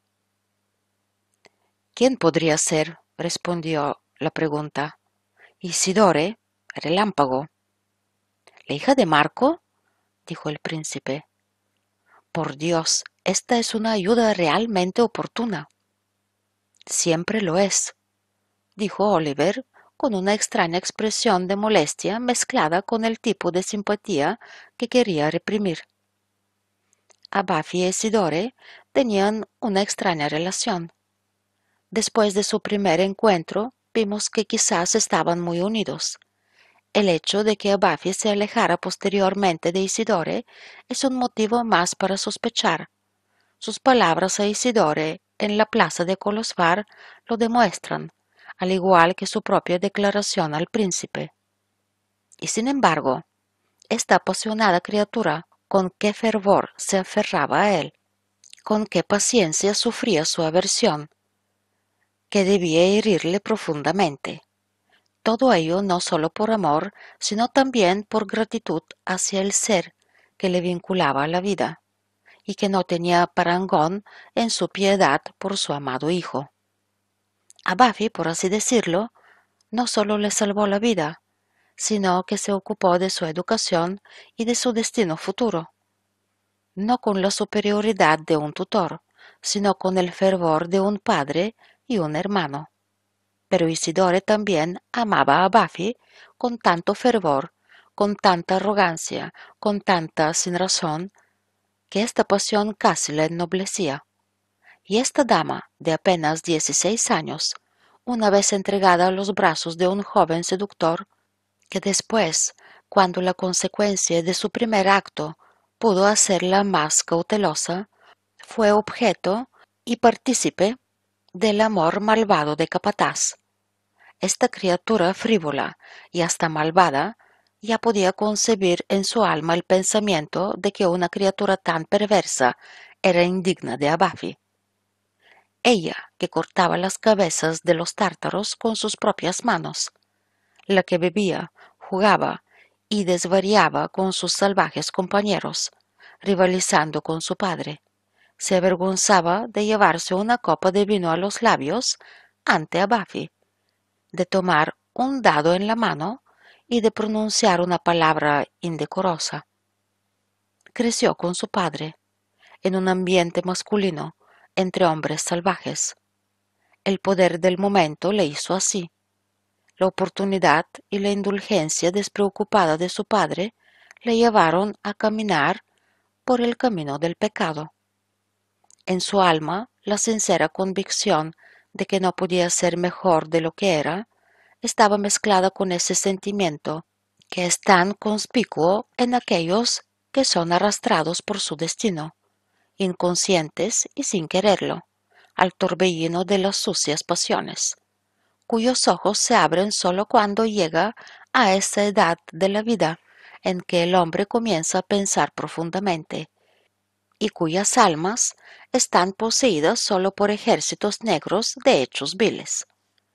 Y si el alma es verdaderamente noble y fuerte, al despertar de la embriaguez, se odia y se desprecia a sí misma la dama que arrojó al primero que llega lo más sagrado, su pureza y su modestia, que ha pasado años en esa escuálida disipación que dispensa favores momentáneos sin elección. Nunca, por mucho que mejore, podrá estar más tranquila y sosegada. La dama que ha perdido su modestia, lo ha perdido todo. Ella, desde que amaba a Buffy, se había apartado de todo, pero el pensamiento de que era indigna de Abafi y de que si alguna vez él pudiera amarla, se degradaría con ese amor. Y eso era el gusano que la devoraba. No puede amarme, se decía a veces, porque me odia y yo me odio a mí misma, madre de un niño cuyo padre no puedo nombrar y que si estuviera vivo lo negaría. Soy la más pobre de las sinvergüenzas, una hiena criada en chorros de sangre. ¿Cómo podía una criatura tan horrible soñar con el amor de un hombre que ninguna mujer merece? Quiero ser digna de su respeto y gratitud. Eso es lo que pensaba. Solo un día, si no me odia y desprecia a la infortunada Isidore, si es feliz en manos de una mujer digna de él, descubrirá cuánto lo amaba. No, no, dijo con lágrimas en los ojos, ni siquiera entonces. Me despreciaría, se burlaría de mí. Y si, como mujer, cuya gracia actual pretende poseer sin amor, merezco el odio. No soy después de todo relámpago, la terrible hija de Marco Deli. A Buffy no le gustaba Isidore. Eso ya lo hemos entendido por sus declaraciones. Pero, ¿qué era lo que sentía por Isidore? Al principio, el acercamiento de la bella dama afectó sus sentidos, e Isidore si hubiera sido menos abierta y más misteriosa, fácilmente podría haber seducido a Buffy. Pero era característico de esta criatura especial darse y presentarse siempre en la luz que era, por lo que Buffy conocía todos sus hechos y toda su vida anterior. No es de extrañar que sea cual sea la vileza que haya habido en él durante los primeros días de su conocimiento de Isidore, estas declaraciones hayan provocado la fría retirada que es resultado de una relación amorosa normalmente fácil de ofrecer. Pero el pequeño Siga le era extremadamente querido. A Buffy se atribuiría, no sin razón, su progreso, confianza en sí mismo y numerosas habilidades. El pequeño Siga fue su creación. La gratitud inexpresable del niño y el simple esfuerzo por complacerlo, que venía del corazón y con el que trataba de complacer constantemente a su benefactor, tenía tal poder mágico que no podía vivir sin él. Decidió en sí mismo que lo haría feliz, y esa decisión se fue haciendo más fuerte, más decidida en su noble y ahora podemos decir grande alma.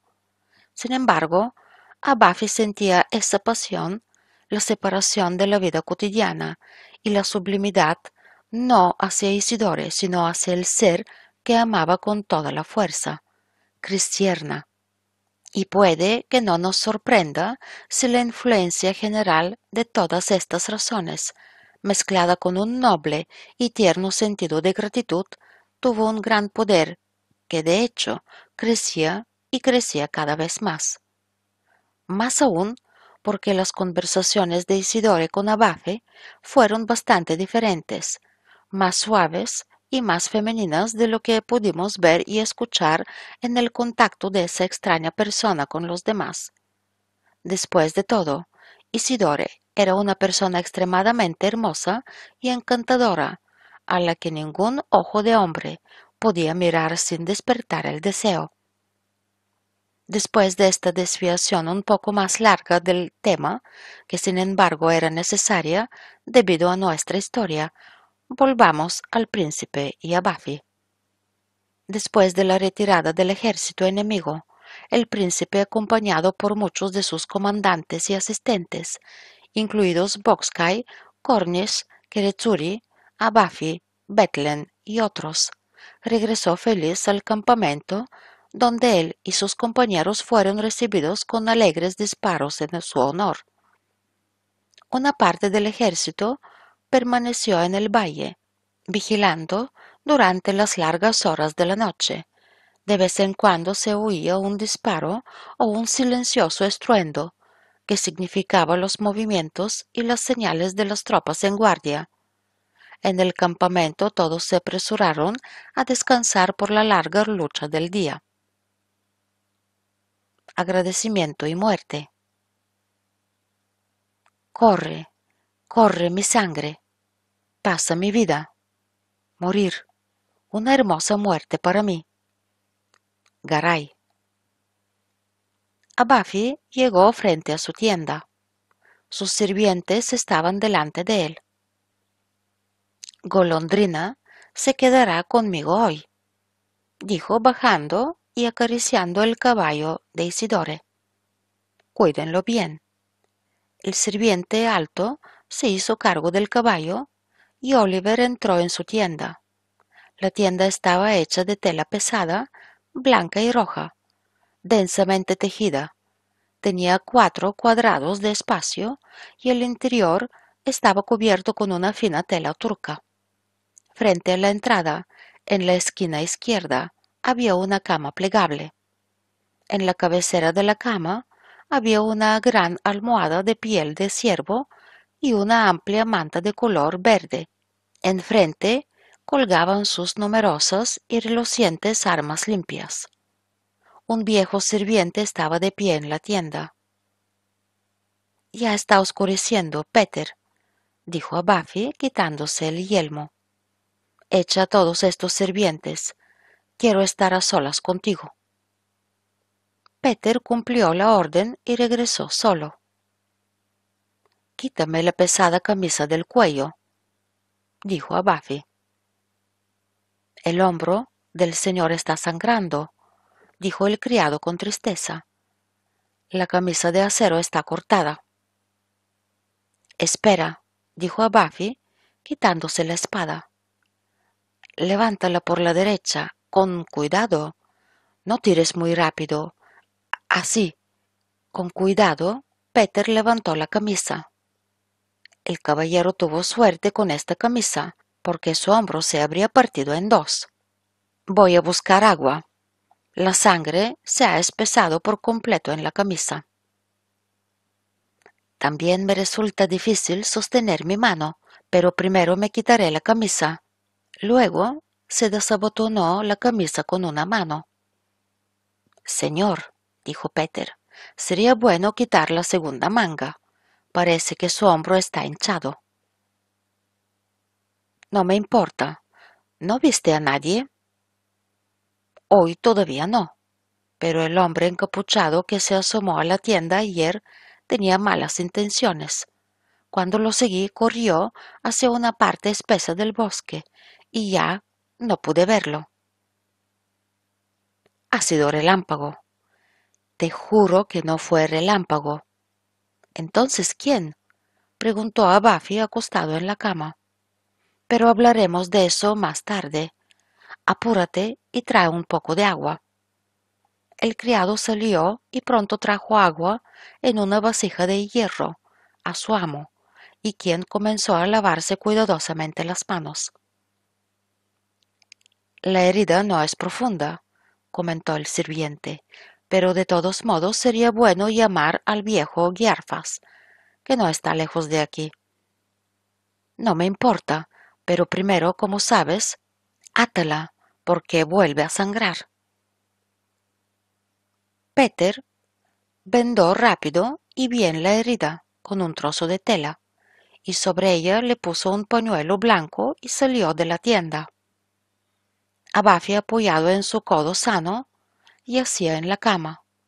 A través de la apertura de la tienda se podía ver una fogata cercana y los guardias caminando arriba y abajo del campamento. Poco después de que se fue Peter, el caballo de relámpago comenzó a patear y a gruñir con fuerza. Entonces un joven apuesto entró en la tienda. Llevaba un abrigo verde sobre el hombro y un simple sombrero rojo en la cabeza. ¿Eres tú, Isidore? gritó a Buffy. Buena alma, tu caballo ha llegado a casa sano y salvo. Te lo llevaré mañana, y hoy vivirá bien con mi comida. Pero, ¿qué te trae por aquí? Isidore se quitó su manto, y la pálida luz del radiante fuego iluminó su bella figura, y se acercó a Buffy con compasión. ¿Es profunda la herida? Oh Dios, si lo hubiera visto de inmediato, la habría vendado en el campo de batalla. ¿Cuánta sangre se habrá perdido desde entonces? Cálmate, la herida es pequeña. Desata este lazo. Mira, he mandado llamar a Giarfas, pero tu tierna mano tratará la herida mejor, más suavemente. Al instante Isidore sacando un manojo de tela de su pecho, lo depositó sobre la alfombra y desatando cuidadosamente la herida, con habilidad e infinita ternura, la volvió a atar. Será bueno hervir estas hierbas para el hinchazón, dijo señalándolas.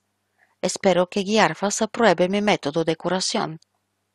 Levantaré esa almohada un poco más. Ahora cállate. ¿Todavía duele? preguntó inclinándose ante a Dios, estoy muerta, gritó desplomándose de repente. En ese momento una flecha pasó por encima de la cabeza de Abafi a través de la tienda. Golpeó a Isidore. ¿Qué es esto? gritó Abafi saltando. Isidore, buena alma, ¿qué sucede? Cielos, está sangrando, ayuda. Fuera había mucho ruido se escucharon numerosas palabras, incluidas maldiciones salvajes. Abafi abrazó a Isidore, que apenas respiraba. Llama a mi padre, Oliver. Mi hijo, Dios, ¿por qué tengo que morir sin verlo? Al decir estas palabras, hizo una pausa y su rostro se cubrió con una palidez mortal. Abafi lo acostó en la cama. Detente, bastardo, dijo una voz familiar frente a la tienda. Abafi salió corriendo. Peter, Giarfas y Betlen sujetaban al criminal que había disparado la flecha. ¿Quién eres? dijo Betlen. Oliver, ¿te encuentras bien? Ojalá fuera yo, dijo Abafi con el más profundo dolor. Vamos, Farcas, ayuda. Pobre relámpago, ha sido alcanzada. Tal vez ni siquiera esté viva. Y tú, Peter, date prisa por ir a la tienda de Marco Deli. Allá abajo en el valle, a la derecha, apenas a trescientos pasos de la tienda del príncipe. Lo reconocerás por la bandera verde. Vete con mi mejor caballo, date prisa. Lleva a este asesino a Peret. Responderá por él con su vida. Isidore. Oh, dijo el asesino enfadado. Isidore. ¿No tú a? Oh, diablos. ¿Cómo pude cometer un error así, Isidore? dijo suavemente. Tú, por cuyas vidas pondría mil en el infierno. Y tú, a Buffy, estás vivo, a ti a quien apunté mi flecha, dijo, queriendo separarse de la multitud que lo rodeaba. Es capataz, se escuchó desde la tienda apenas audible. Oh terrible, gracias a Dios que la flecha me encontró a mí. No me toques, gritó Capataz con ojos furiosos. Dejadme verle una vez más. Una vez más, solo una vez más. Oh Isidore, maldita sea la hora en que fue tallado mi arco, maldita sea la mano que lo tensó, y que seas maldecido mil veces tú, Abafi, a quien he apuntado y por quien Isidore debe morir. Era horrible ver a Capataz, que lo sujetaban más de diez hombres, y sin embargo apenas podían hacerle frente. Capataz parecía debilitarse debido al gran esfuerzo y dejó de luchar. Sus ojos se agrandaron, sus labios estaban cubiertos de espuma, apenas podía hablar. Miren, estoy tranquilo como un niño. No hago nada. Aten mis manos detrás de mi espalda. Continuó mirando a su alrededor y puso sus manos detrás de su espalda. Seré como un cordero. Oh, solo una vez más llévenme a sus pies, para que bese el polvo de sus talones, para que una vez más sus ojos se posen en mí, aunque con ira. Rodearon a Capataz de nuevo y lo sacaron a rastras de la tienda. Se defendió airadamente. Desde lo profundo de su pecho salió un rugido profundo que aterrorizó a todos. Entonces lograron sacarlo con gran dificultad. Mientras tanto, Abafi, Betlen y Giarfas entraron en la tienda. Abafi miró a Isidore con una mirada indescriptible. Oh, buena alma, tienes que irte tan joven por mi culpa. Pero quédate tranquila, tu hijo es mi hijo, y será mío mientras viva. Oh, Giarfas, todo lo que quieras será tuyo si la salvas. Isidore abrió los ojos. Dijo algo en voz baja, pero no se entendió nada. Giarfas se puso inmediatamente a trabajar. Cuidadosamente sacó una flecha de su costado. Isidore frunció los labios y no dejó escapar el menor suspiro. Giarfas revisó la herida y la vendó con cuidado. La herida todavía se puede curar, animó a Isidore. Cállate, querida señorita. Estas gotas también aliviarán la fiebre de la herida. Isidore sacudió la cabeza con incredulidad y le tendió la mano a Buffy. Siento, dijo, que me estoy muriendo. Oh, Oliver, pero tú vives. Dios, te doy las gracias sea un padre para mi hijo, continuó apenas temblando. Y la dama que libraba las batallas con fuego feroz, que era cualquier cosa menos una mujer cuando cortaba cabezas, que era una dama solo en sus debilidades, era tan gentil, tan femenina, tan tierna en este momento, y su rostro tenía una expresión tan tierna que ningún hombre podría reconocerla como relámpago. Oliver, con una mezcla de sentimientos para los que no hay palabras, miró a la hermosa, ahora verdaderamente hermosa mujer, cogiendo sus manos. Cálmate, dijo con voz suave. Espero que tu herida no sea fatal. Solo cálmate. Oh, hijo, mi querido siga, mi querida cabecita rubia, con sus tiernos, buenos ojos. Dios, qué lejos estás de mí. ¿quién te abrazará con tanto fervor como yo? Tranquila, buena, noble alma, mi querida Isidore, tú vivirás, pero en cualquier caso, siga, mi siga, tendrá un padre. Te prometo esto ante Dios, una promesa santa. Oh, Oliver, tu Isidore, tu hijo, Dios, Oliver, tu Isidore, tu hijo, cielos.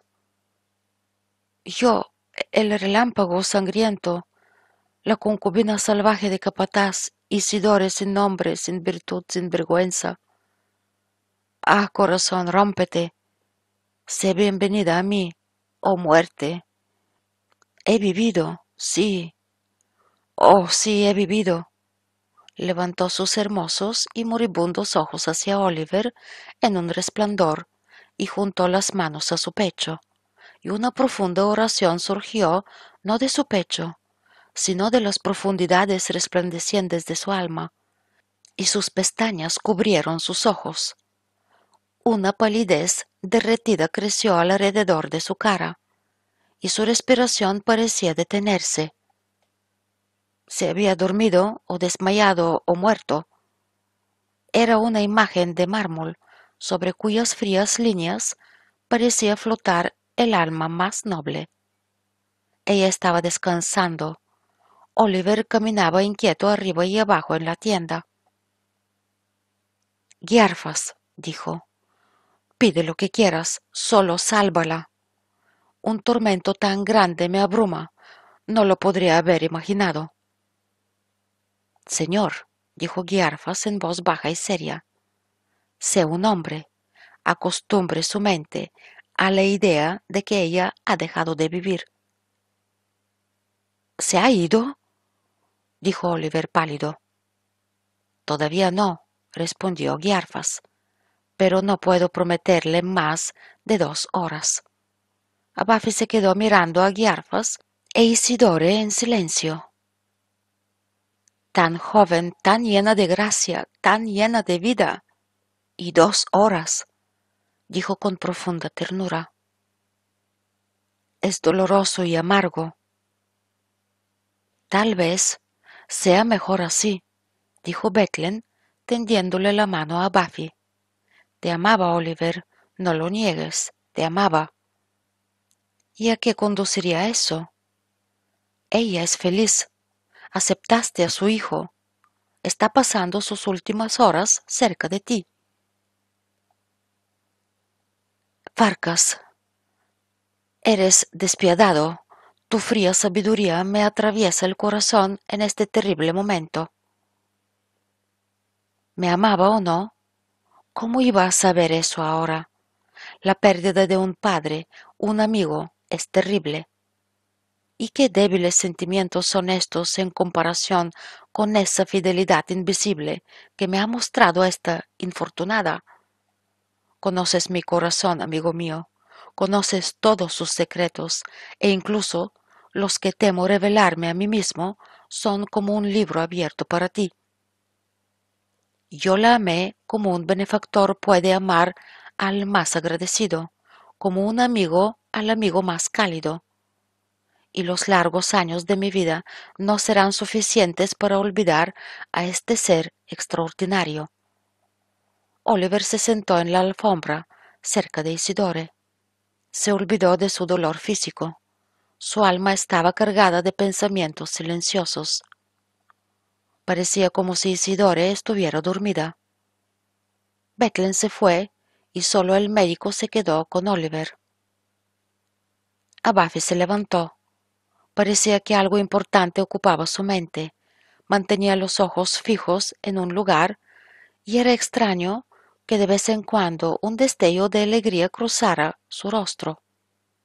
Debió de ser una alegría noble, muy noble, porque la expresión del rostro de Abafi se volvió tan tranquila, tan interesada, como quizá nunca lo había sido. Oliver tomó la mano del doctor. Guiarfas, dígame, ¿ya no hay esperanza de que Isidore viva? No. Abafi suspiró. ¿Qué crees? continuó lanzando una mirada significativa e escrutadora a Giarfas. ¿Que una gran alegría le perjudicaría? ¿Que aceleraría su muerte? Solo le quedan unos minutos, y creo que un poco de alegría prolongaría esos minutos en lugar de acortarlos. ¿Estás completamente convencido de eso? Por más que uno pueda estar convencido de algo, lo estoy, respondió Giarfas mirando a Buffy con interés. Aún así, suspiró a Buffy y con ello salió de la tienda, dando órdenes a un sirviente que inmediatamente se apresuró a marcharse.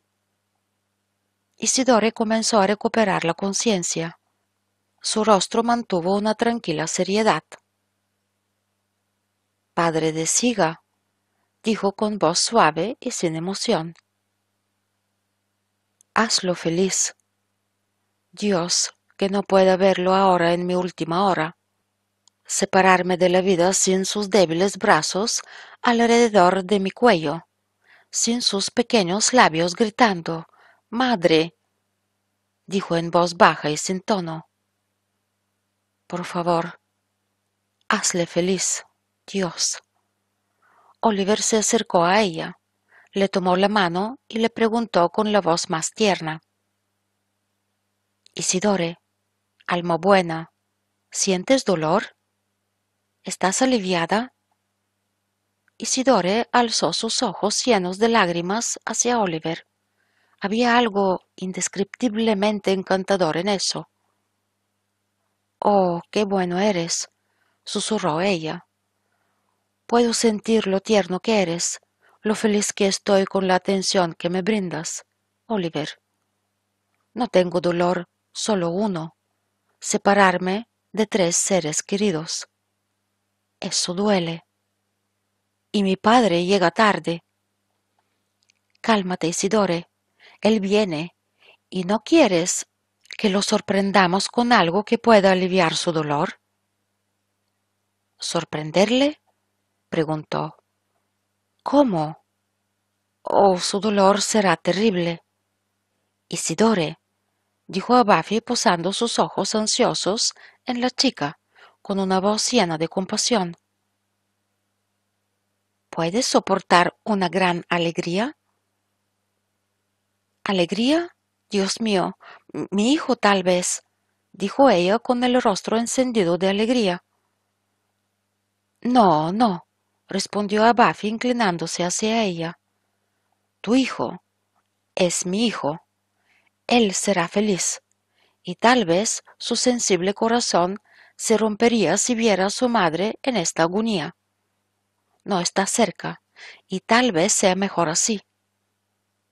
Isidore guardó silencio. Es cierto, dijo después de una breve pausa. Mi deseo es cruel. Si lo hubiera visto llorar, me habría matado antes. ¿Alguna vez has tenido un deseo secreto, Isidore? ¿Podrías soportar que ese deseo se hiciera realidad? No, no, dijo Isidore, agitando la cabeza en señal de negación. No es algo que pueda cumplirse inmediatamente. Oliver apretó la mano de Isidore contra su corazón. Su palabra se detuvo, como si no pudiera decir lo que tenía en la mente. Isidore lo miraba asombrada. Mi Isidore, continuó Oliver. Sé mi esposa. Dale un padre a tu hijo y deja que el ser al que le debo tanta gratitud lleve mi nombre. Sé mi esposa. Él se inclinó y la besó en la boca, y ella lo miraba, confundida por sus sentimientos. Oh, dijo Isidore juntando las dos manos sobre su pecho y levantando los ojos hacia el cielo.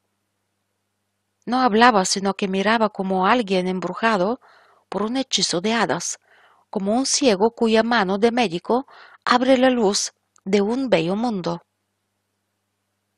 Estás callada, dijo Oliver acariciando su frente. Sí, sí, gritó Isidora. Mi corazón no me ha engañado al adorar al hombre que está ante mí como un ángel del cielo. Tú, el más bello y ardiente hijo de Transilvania.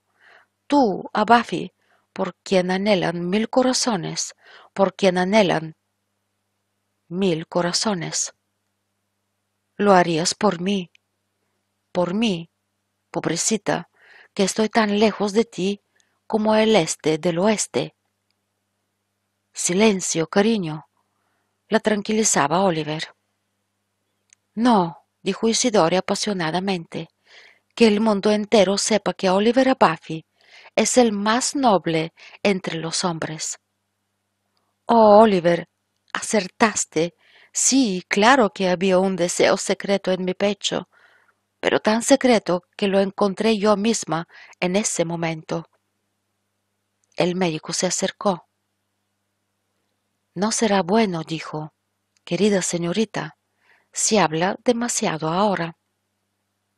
Oliver, dijo Isidore, ¿es real o es un sueño? Oliver es mío, mi esposo. ¿Ya no estoy excluido del mundo? ¿Puedo estar en línea con aquellos que dirían toda su vida por oportunidad de estar contigo? Soy tuya, dijo entre lágrimas y riendo convulsivamente. Señora Buffy, aparecer en el mundo al lado de un marido así, y mirar con orgullo a la primera reina, y debérselo todo a aquel a quien adoro, quien está ante mí como un dios, elevado por encima de todo. Te he agraviado con esta declaración, dijo a Buffy, apretando su mano con profunda compasión. Cállate, no sea que me culpe de haber sido repentino. No, no, dijo apasionadamente. No voy a morir, voy a vivir. Ya ves, todo el dolor ha desaparecido. Abrazaré a mi hijo. Seré la mujer más envidiada, la más feliz. Oliver, dijo ella apenas audible. Lo abrazó por el cuello y lo atrajo hacia su pecho. Así abrazó a Abafi, y sus ojos se cerraron, sus labios se volvieron pálidos, sus brazos se apretaron a Abafi como el hielo. Isidore ya no estaba. La maté, gritó Abafi con horror. Ella murió. Oh, Guiarfas, ¿qué hemos hecho? continuó levantándose y apretando los puños. ¿Puede, señor, culparse a sí mismo por eso? Guiarfas lo tranquilizaba, uniendo sus brazos y levantando los ojos al cielo. Tenía que morir. No hubo salvación para ella. Puedo testificarlo. Puede que nunca haya sido más feliz de lo que fue en esta hora. El silencioso Abafi estaba ante la bella muerta y su mundo de dolor pesaba en su corazón. Poco después de esta desgarradora escena, entró un venerable monje acompañado por el serviente que Abafi acababa de enviar. Oliver le tendió la mano. Demasiado tarde, padre, dijo señalando a la muerta. Del exterior llegó el ruido sordo de un caballo y el salto al suelo de un cuerpo pesado. Es Marco Deli, dijo a Buffy. El pequeño siga. Isidore fue enterrada al día siguiente con honores militares. Doce paladines llevaban a una bella mujer muerta tendida sobre banderas ante su tumba, la colocaron en un simple ataúd, y así su cuerpo, lejos de su país, fue recibido en el cementerio de la ciudad más cercana. No hay pluma para describir el dolor de Marco Deli. No se mostró en luto, ni en las lágrimas. Estaba silencioso, oscuro, frío, como una tumba de invierno. La sonrisa desapareció de sus labios para siempre, y se quedó como una torre de hielo nocturna en medio de las olas, esperando que la calamidad socavara su base, cayendo con un terrible estruendo. El príncipe entregó a Capataz a Marco, pero antes de que pudiera tomar su venganza, que habría sido terrible, el asesino fue encontrado muerto. Tenía una herida abierta en la cabeza y la sangre se extendía por la arena a su alrededor. Sus guardianes afirmaron haber escuchado un golpe sordo la noche anterior, seguido de un profundo estruendo. El desafortunado hombre se había aplastado la cabeza con el poste al que estaba encadenado. La acción de Abafi, que llegó a conocimiento del feroz campeón a través de Giarfas y el monje, le conmovió el corazón. Dos días después del entierro, cuyos disparos del cañón aún resonaban como el infierno en su cabeza, Marco Deli entró en la tienda de Abafi. Abafi lo recibió sin decir palabra. El rostro del apuesto joven héroe había cambiado. El temblor en sus labios, sus ojos entrecerrados y su postura encorvada eran testigos del efecto de este incidente en su alma y un testimonio de la variedad de sentimientos que acosaban al corazón. El pesar, la gratitud y la amistad se unieron en Abafi, lo que aumentó aún más la amargura de su pérdida. Y ahora, después de que este ser interesante, que con toda su alma solo era suya, había dejado de existir, Abafi sintió en su corazón un vacío que sólo podía ser comprendido por quien había perdido una vez a un amigo querido, a un amigo en el más pleno sentido de la palabra. Marco Deli se paró en silencio frente a Abafi. Tú, dijo en voz baja, eres un hombre noble y generoso. Abafi guardó silencio, apoyándose en el hombro de acero del serio caballero. Lo que hiciste por mi hija, dijo Marco, porque tomo las buenas intenciones completamente como un hecho.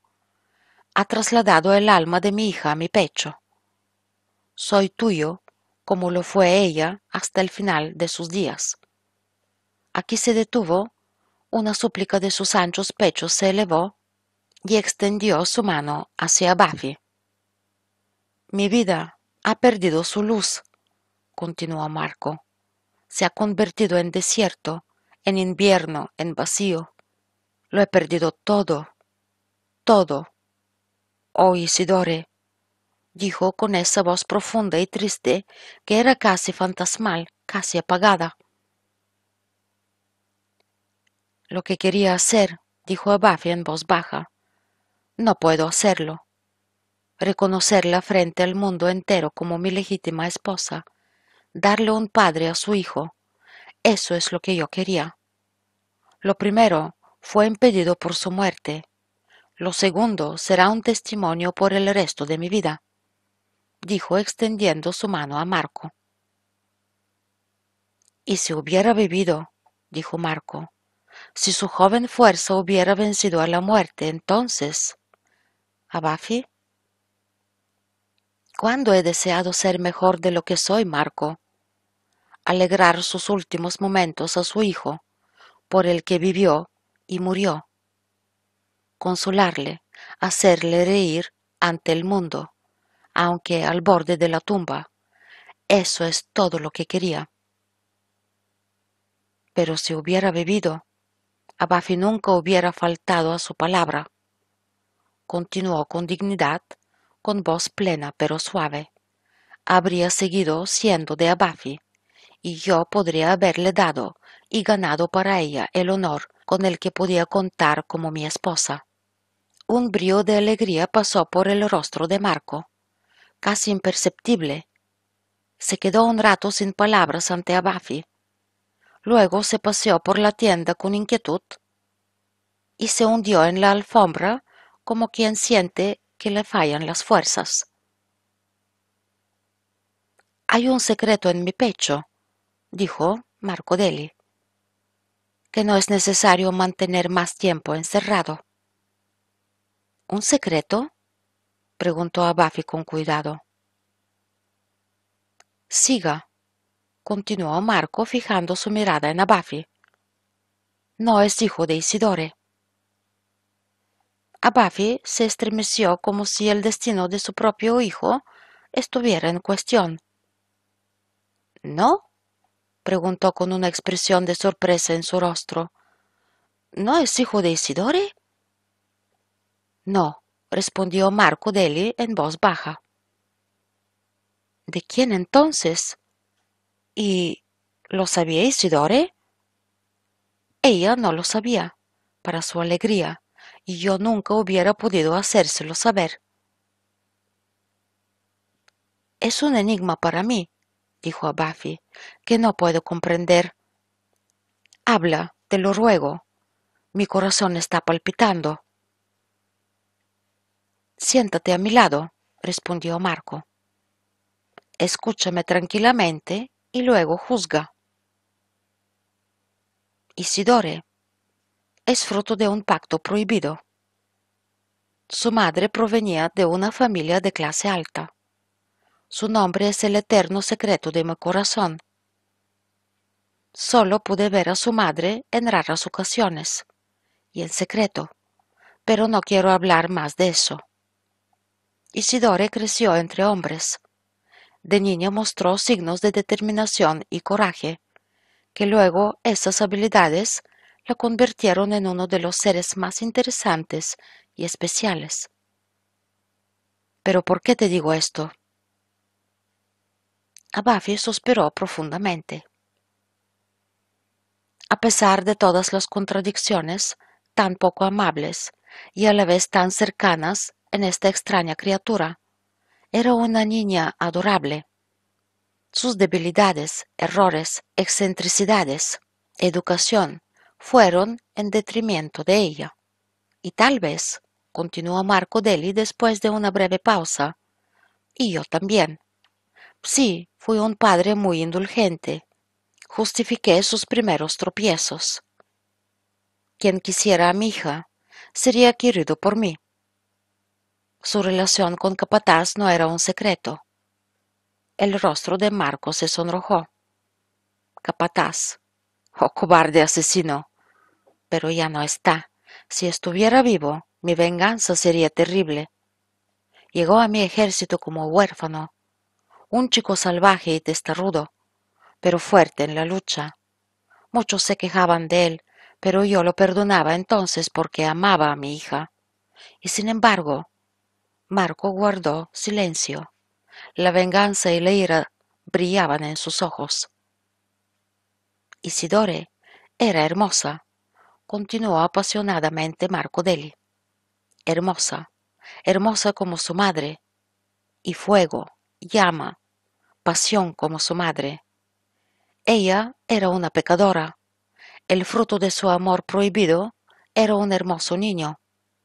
Y yo, créeme, en lugar de maldecirlo, estaba loco por ese niño. Era un abuelo con su nieto. Lo mecía en mi regazo durante horas. ¿Y quién era el padre del niño? preguntó a Buffy tenso. Mi hija nunca confesó. Sospecho que se trata de Valent Giulafi, el marido de Margit Mícola.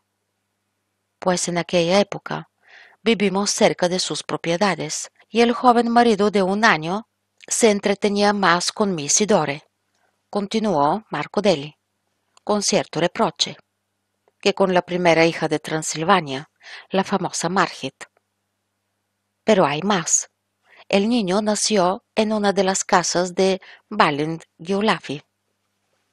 Isidore estaba muy débil y durante un tiempo temí por su vida incluso en el momento de su estado de debilidad, la mayor parte del cual pasaba en un sueño profundo.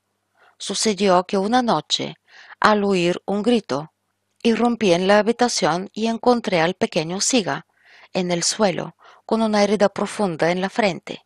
Isidore se despertó de su delirante sueño, y la anciana con quien Isidore se estaba recuperando y que era más conocida en la zona como herbolaria, ayudó al niño como sabía. La herida no era tan profunda y pronto el niño sanó. Tan terrible como era entonces el dolor de Isidore por el niño, también lo era su amor por él cuando fue sanado. Entonces, recuerdo bien esto. Noté en el hombro derecho del niño un signo negro en forma de cruz que había pasado por alto antes. Mi Isidore se curó. El bebé creció y cuando tenía cinco años mi hija se lo encomendó a una anciana en Alving, porque la forma en que vivíamos y los frecuentes cambios de nuestros campamentos no le permitían cuidar del niño. Sabes muy bien cuánto amaba mi hija a su hijo. Como solía venir en Alving, lo visitaba todas las semanas.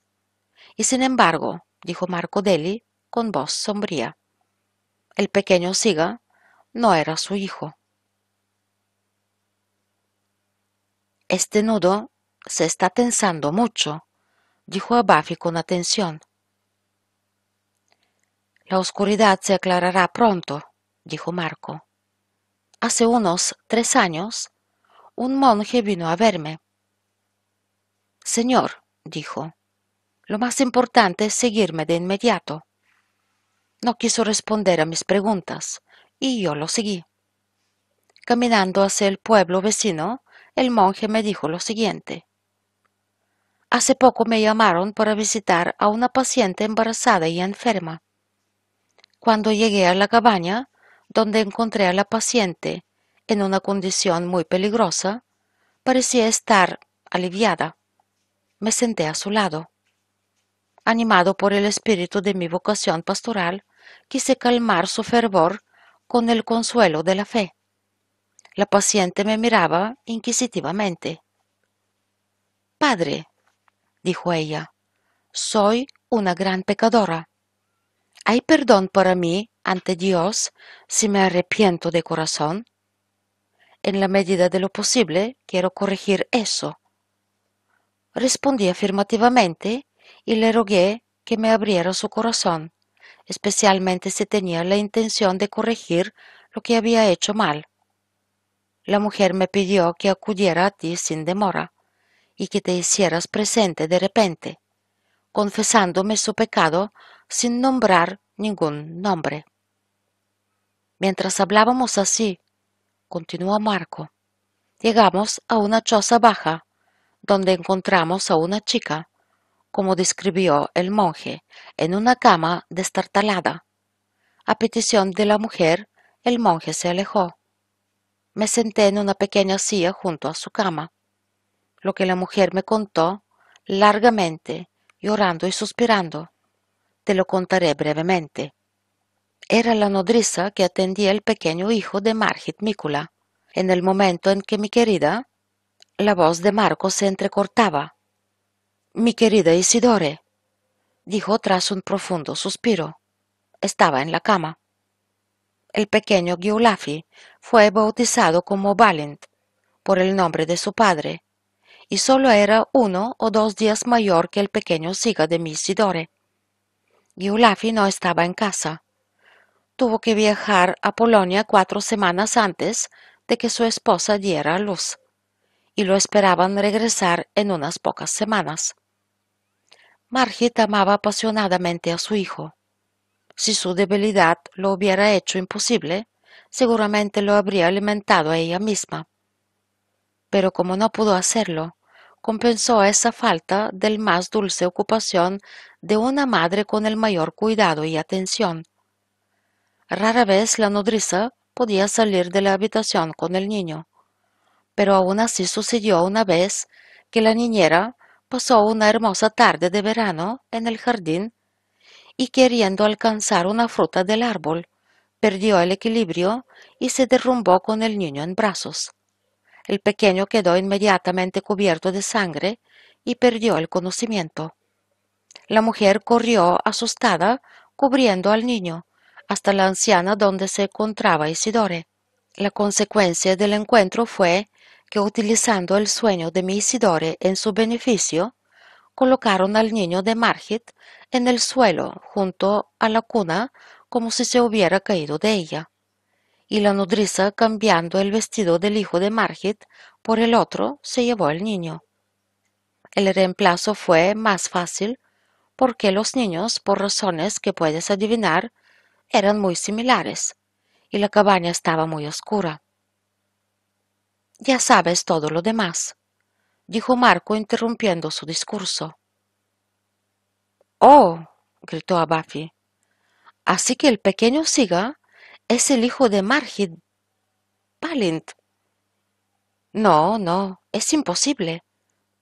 ¿Cómo ha podido permanecer en secreto durante tanto tiempo?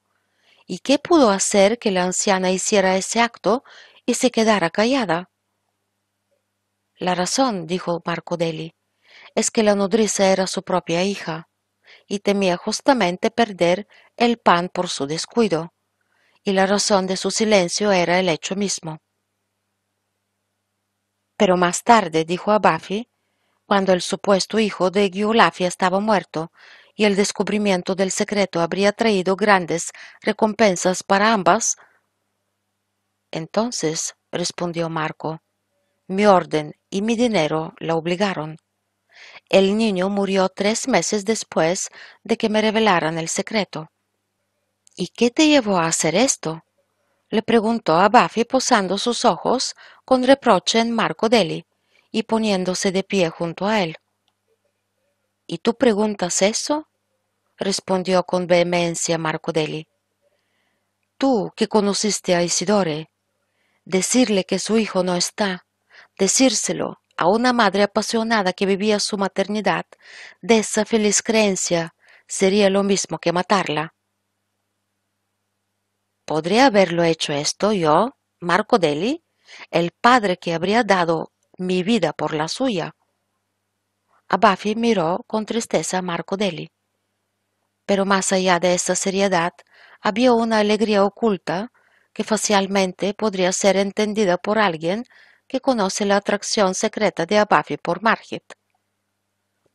El hecho, dijo Abafi con gravedad, no fue correcto, amigo y héroe mío Marco.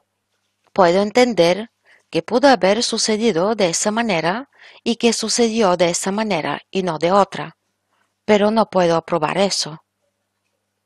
¿Y matarías a Isidore? Porque esa sería la consecuencia segura al haber revelado ese secreto. Otros están ligados a la vida por mil alegrías, mil bellezas. Isidore vivía solo por su hijo.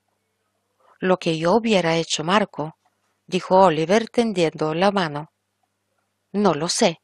Soy un hombre y no diré de mí mismo, pues no soy padre, si hubiera hecho otra cosa, pero privar a una madre de su hijo para que otra viva en la decepción de tenerlo está mal. Creo por mí mismo que no podría, pero hay una gran distancia entre la fe y el conocimiento, y soy un hombre. Marco Deli se paró en silencio frente a Buffy.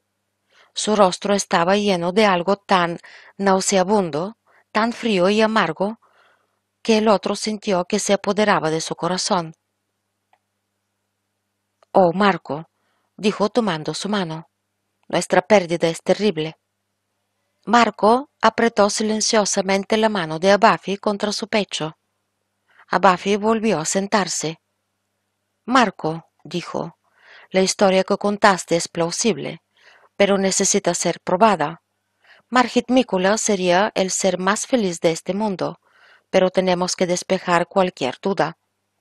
Se puede resolver fácilmente, dijo Marco Deli con calma. La nodriza se recuperó después de la declaración, está viva, y su madre aún está viva. Además, la marca en forma de cruz demuestra algo. Y una cosa más, exclamó a Buffy animado. Sí, sí, no hay duda. El niño se parece a Margit.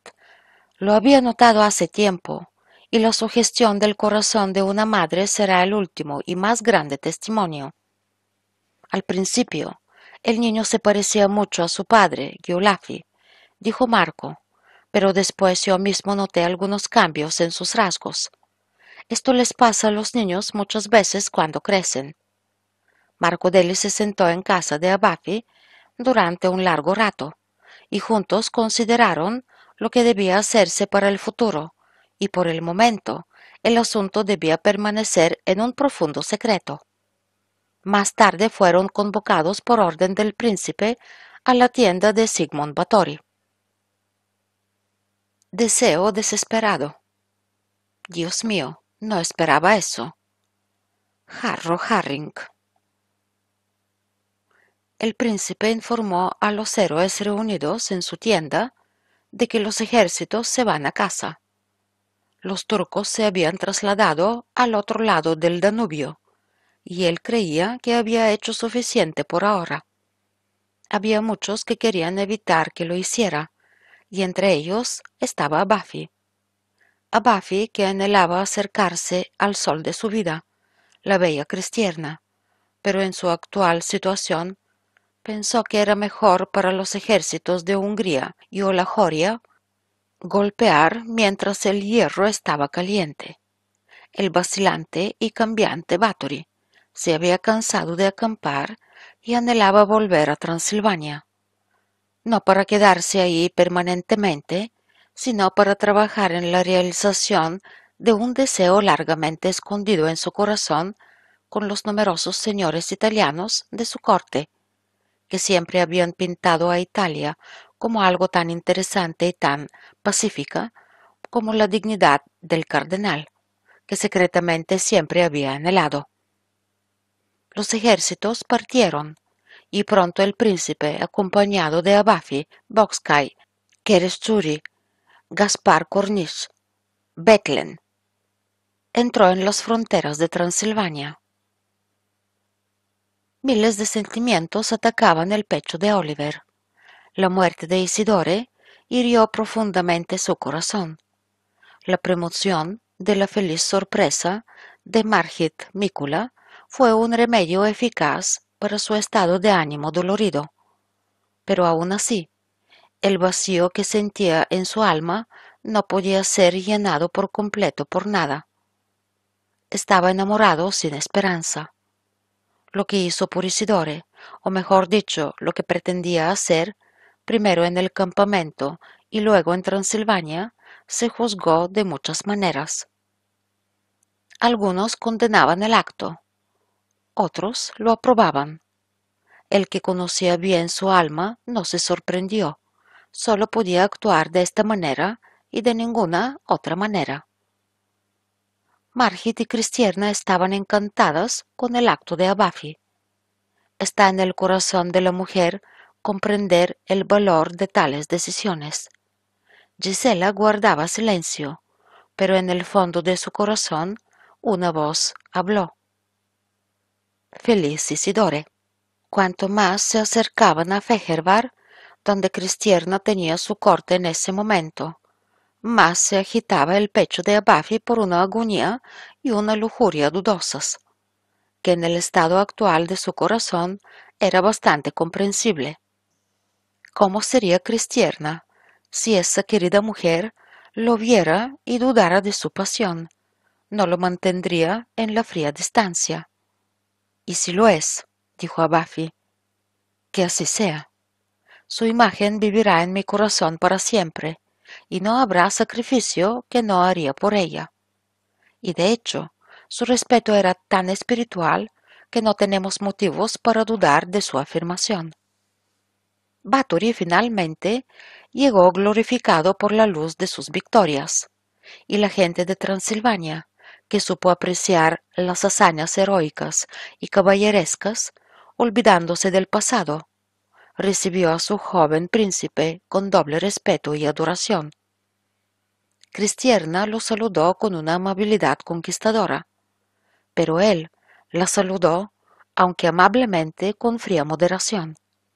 Por mucho que este comportamiento indigno de su marido le hiriera el corazón, supo ocultarlo. Cualquiera que viera la mirada amable y alegre en su rostro, pensaría que estaba feliz. Finalmente se llevaron a cabo las celebraciones y los homenajes habituales. Abafi se dirigió a sus propiedades.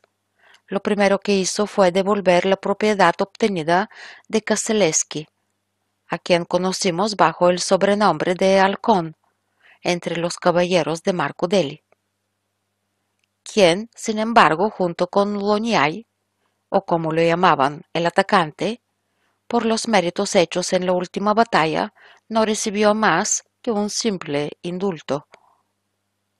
A no le gustó este acto de Abafi, pero esta vez no quiso romper su palabra. Abafi encontró al pequeño Valent, que ya no era siga, vivo y coleando en casa. Su capellán de la corte no podía alabar lo suficiente los progresos y los esfuerzos del encantador niño. Abafi y Marco Deli, que lo acompañaban, obtuvieron todas las pruebas sobre el destino del pequeño Valent. Abafi estaba convencido de que todo era exactamente como le había dicho Marco Deli. No hubo más dudas.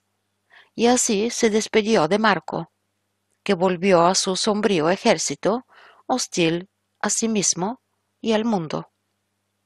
Abafi se apresuró a ir a Fejervar y se llevó al pequeño Valent con él, a quien ya se lo había dicho todo antes. Valent amaba a la mujer que pensaba que era su madre. Estaba indescriptiblemente apegado a Abafi. No es de extrañar entonces que debido a la desconocida felicidad de su nueva situación no pudiera olvidar su pérdida. El niño estaba triste, infeliz, y siempre anhelaba a Isidore. ¿Quién me amará? decía él, abrazando a Abafi tal como me amaba Isidore.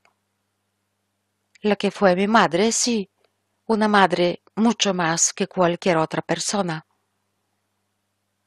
El efecto de la súbita alegría fue aún más fresco en la memoria de nuestro héroe, que se atrevió a dar a conocer su felicidad a Margit, que se encontraba en Fejerver en ese momento visitando a Gisela, con su padre, el alegre y viejo Miklos Mikula.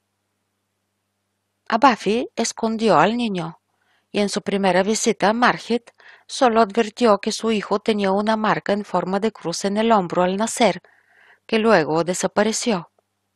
¿Puede haber alguna duda sobre esta base de que el niño ha sido sustituido? Margit no se sorprendió por este comentario, pero terminó su respuesta diciendo que su hijo terminó con su vida en sus brazos y que sus signos a menudo desaparecen o cambian. Al día siguiente, Abafi volvió a mencionar lo mismo y agregó que sospechaba que el tal intercambio había sucedido. Margit se puso más atenta. Abafi, dijo, despertar tal esperanza en el pecho de la madre sin que la misma se pueda realizar es despiadado. Pero no hablemos más de eso. ¡Qué felicidad, Dios! Esa felicidad celestial no ocurre en esta vida terrenal. ¿Y si ocurre? dijo Abafi. ¿Y yo te lo puedo demostrar? Margit se levantó de su asiento. Oliver, gritó, esto es imposible. Así, acostumbrando tranquilamente su mente a la realidad, Abafi, con moderación y cautela, le contó todo el secreto a Margit. ¿Quién podría describir su felicidad? Un nuevo mundo se abría ante ella. Era madre, y cuando estrechó al encantador e interesante niño contra su pecho, cuando descubrió en su rostro los rasgos de su marido, cuando depositó mil besos en la marca en forma de cruz de su hombro, cuando lo supo todo, los sufrimientos del pasado se fundieron con el calor de la rica felicidad del presente. Estaba en el cielo. No tengo más deseos en la vida, dijo ella, extasiada de alegría y levantando sus ojos llenos de lágrimas al cielo, atrayendo a su hijo a su pecho. Oh, no, continuó llorando, pero sonriendo y extendiendo una mano hacia Buffy. Tengo uno. Mucha felicidad al que trajo la salvación celestial a mi vida y quien es tan digno de ella. Mícula estaba muy feliz por su nieto, y pronto la historia se conoció en toda Transilvania. El pequeño Valent se acostumbró a su nueva situación en los brazos de su cariñoso abuelo y su adorable madre. Era un niño. Y pronto le dijo a Margit madre, con tanta dulzura, con tanto cariño, como le había dicho una vez a Isidore. Mientras tanto, a a menudo estaba cerca de la princesa, y allí veía a Gisela muchas veces, sin sentir más por ella que antes. Con Cristierna, a no podía pensar en nadie más que en ella. A los pocos días de conocerse el caso del pequeño Valent, la señora Bathory, en cuyo comportamiento a no había notado ningún cambio, le llamó. Hemos visto que durante su última estancia en Fejervar, la princesa no lo llamaba con tanta frecuencia y no le asignaba tantas tareas como antes. Su gozo, por tanto, fue dos veces mayor y al recibir el mandamiento se apresuró con las alas del amor hacia su amada. Encontró a Cristierna en la biblioteca sentada en un sillón. Su rostro era suave pero serio. Bienvenido, caballero, dijo la princesa. Acércate. Y su figura era tan indescriptiblemente hermosa, su mirada tan tierna, que Buffy se paró ante ella en éxtasis y absorto en su mirada. Tengo que pedirte algo, dijo Cristierna con lentitud. Buffy permaneció en silencio, pero su expresión mostraba la disposición y la alegría que había suscitado la petición de Cristierna. Le pareció que nunca había sido tan amable, tan celestialmente amable con él. La petición es importante, dijo después de una breve pausa, sonriendo a Buffy. Oliver se quedó en silencio, con el rostro radiante de alegría, como si quisiera decir lo contento que estaba de lo que se le considera una petición importante. Tu silencio, continuó Cristierna, garantiza que cumplirás mi deseo. ¿Y me lo puedes prometer inefablemente de antemano? Buffy respondió apasionadamente, sí. Por muy difícil que sea, por mucho que cambie tu vida, continuó Cristierna con los ojos siempre fijos en él. Cuanto más importante, más difícil, mayor es el placer, respondió en un tono moderado como para controlar su pasión. Pero, dijo la señora Bathory, si la petición es inesperada, si te resulta gravoso cumplirla, si interfiere con todos tus planes de vida, si... si es imposible, respondió a Buffy apasionadamente. La haré posible. Estoy listo para realizar la orden. No es una orden, corrigió suavemente la princesa, sino un deseo que mi corazón está acostumbrado a creer posible y que me haría feliz. Y creo que con el tiempo contribuirá a tu felicidad. ¿Y cuál sería, Alteza? Dígame, para demostrar mi disposición a cumplir sus deseos. La princesa parecía estar pensando. Su rostro se sonrojó y dijo en voz baja, Abafi, he elegido para ti a una mujer buena, sumamente interesante y encantadora. Abafi palideció. Su rostro de repente se puso serio. Sus rasgos faciales reflejaban algo de reproche. La petición de Cristierna, hecha en el tono más sincero, más aceptable, ofendió e hirió a Buffy. Se maldijo a sí mismo por la vacilación de su corazón. Le avergonzaba el hecho de dejarse llevar por sus pasiones. Sabía de lo atrevida que era su pasión, de lo defectuosa que era, y sin embargo no logró superar su sorpresa como en otros casos. En el fondo de su corazón sentía que su amor era puro, sufriente, abnegado, que no hay nada en él que pueda ofender incluso a un serafín celestial. Pensar en todo esto lo hundió en una mirada sin palabras. Cristiana se quedó en silencio, mirando al joven caballero. Estás callado, dijo por fin. Su excelencia. Eso fue todo lo que Oliver pudo decir, o más bien pronunciar. ¿Y es tan difícil para Buffy?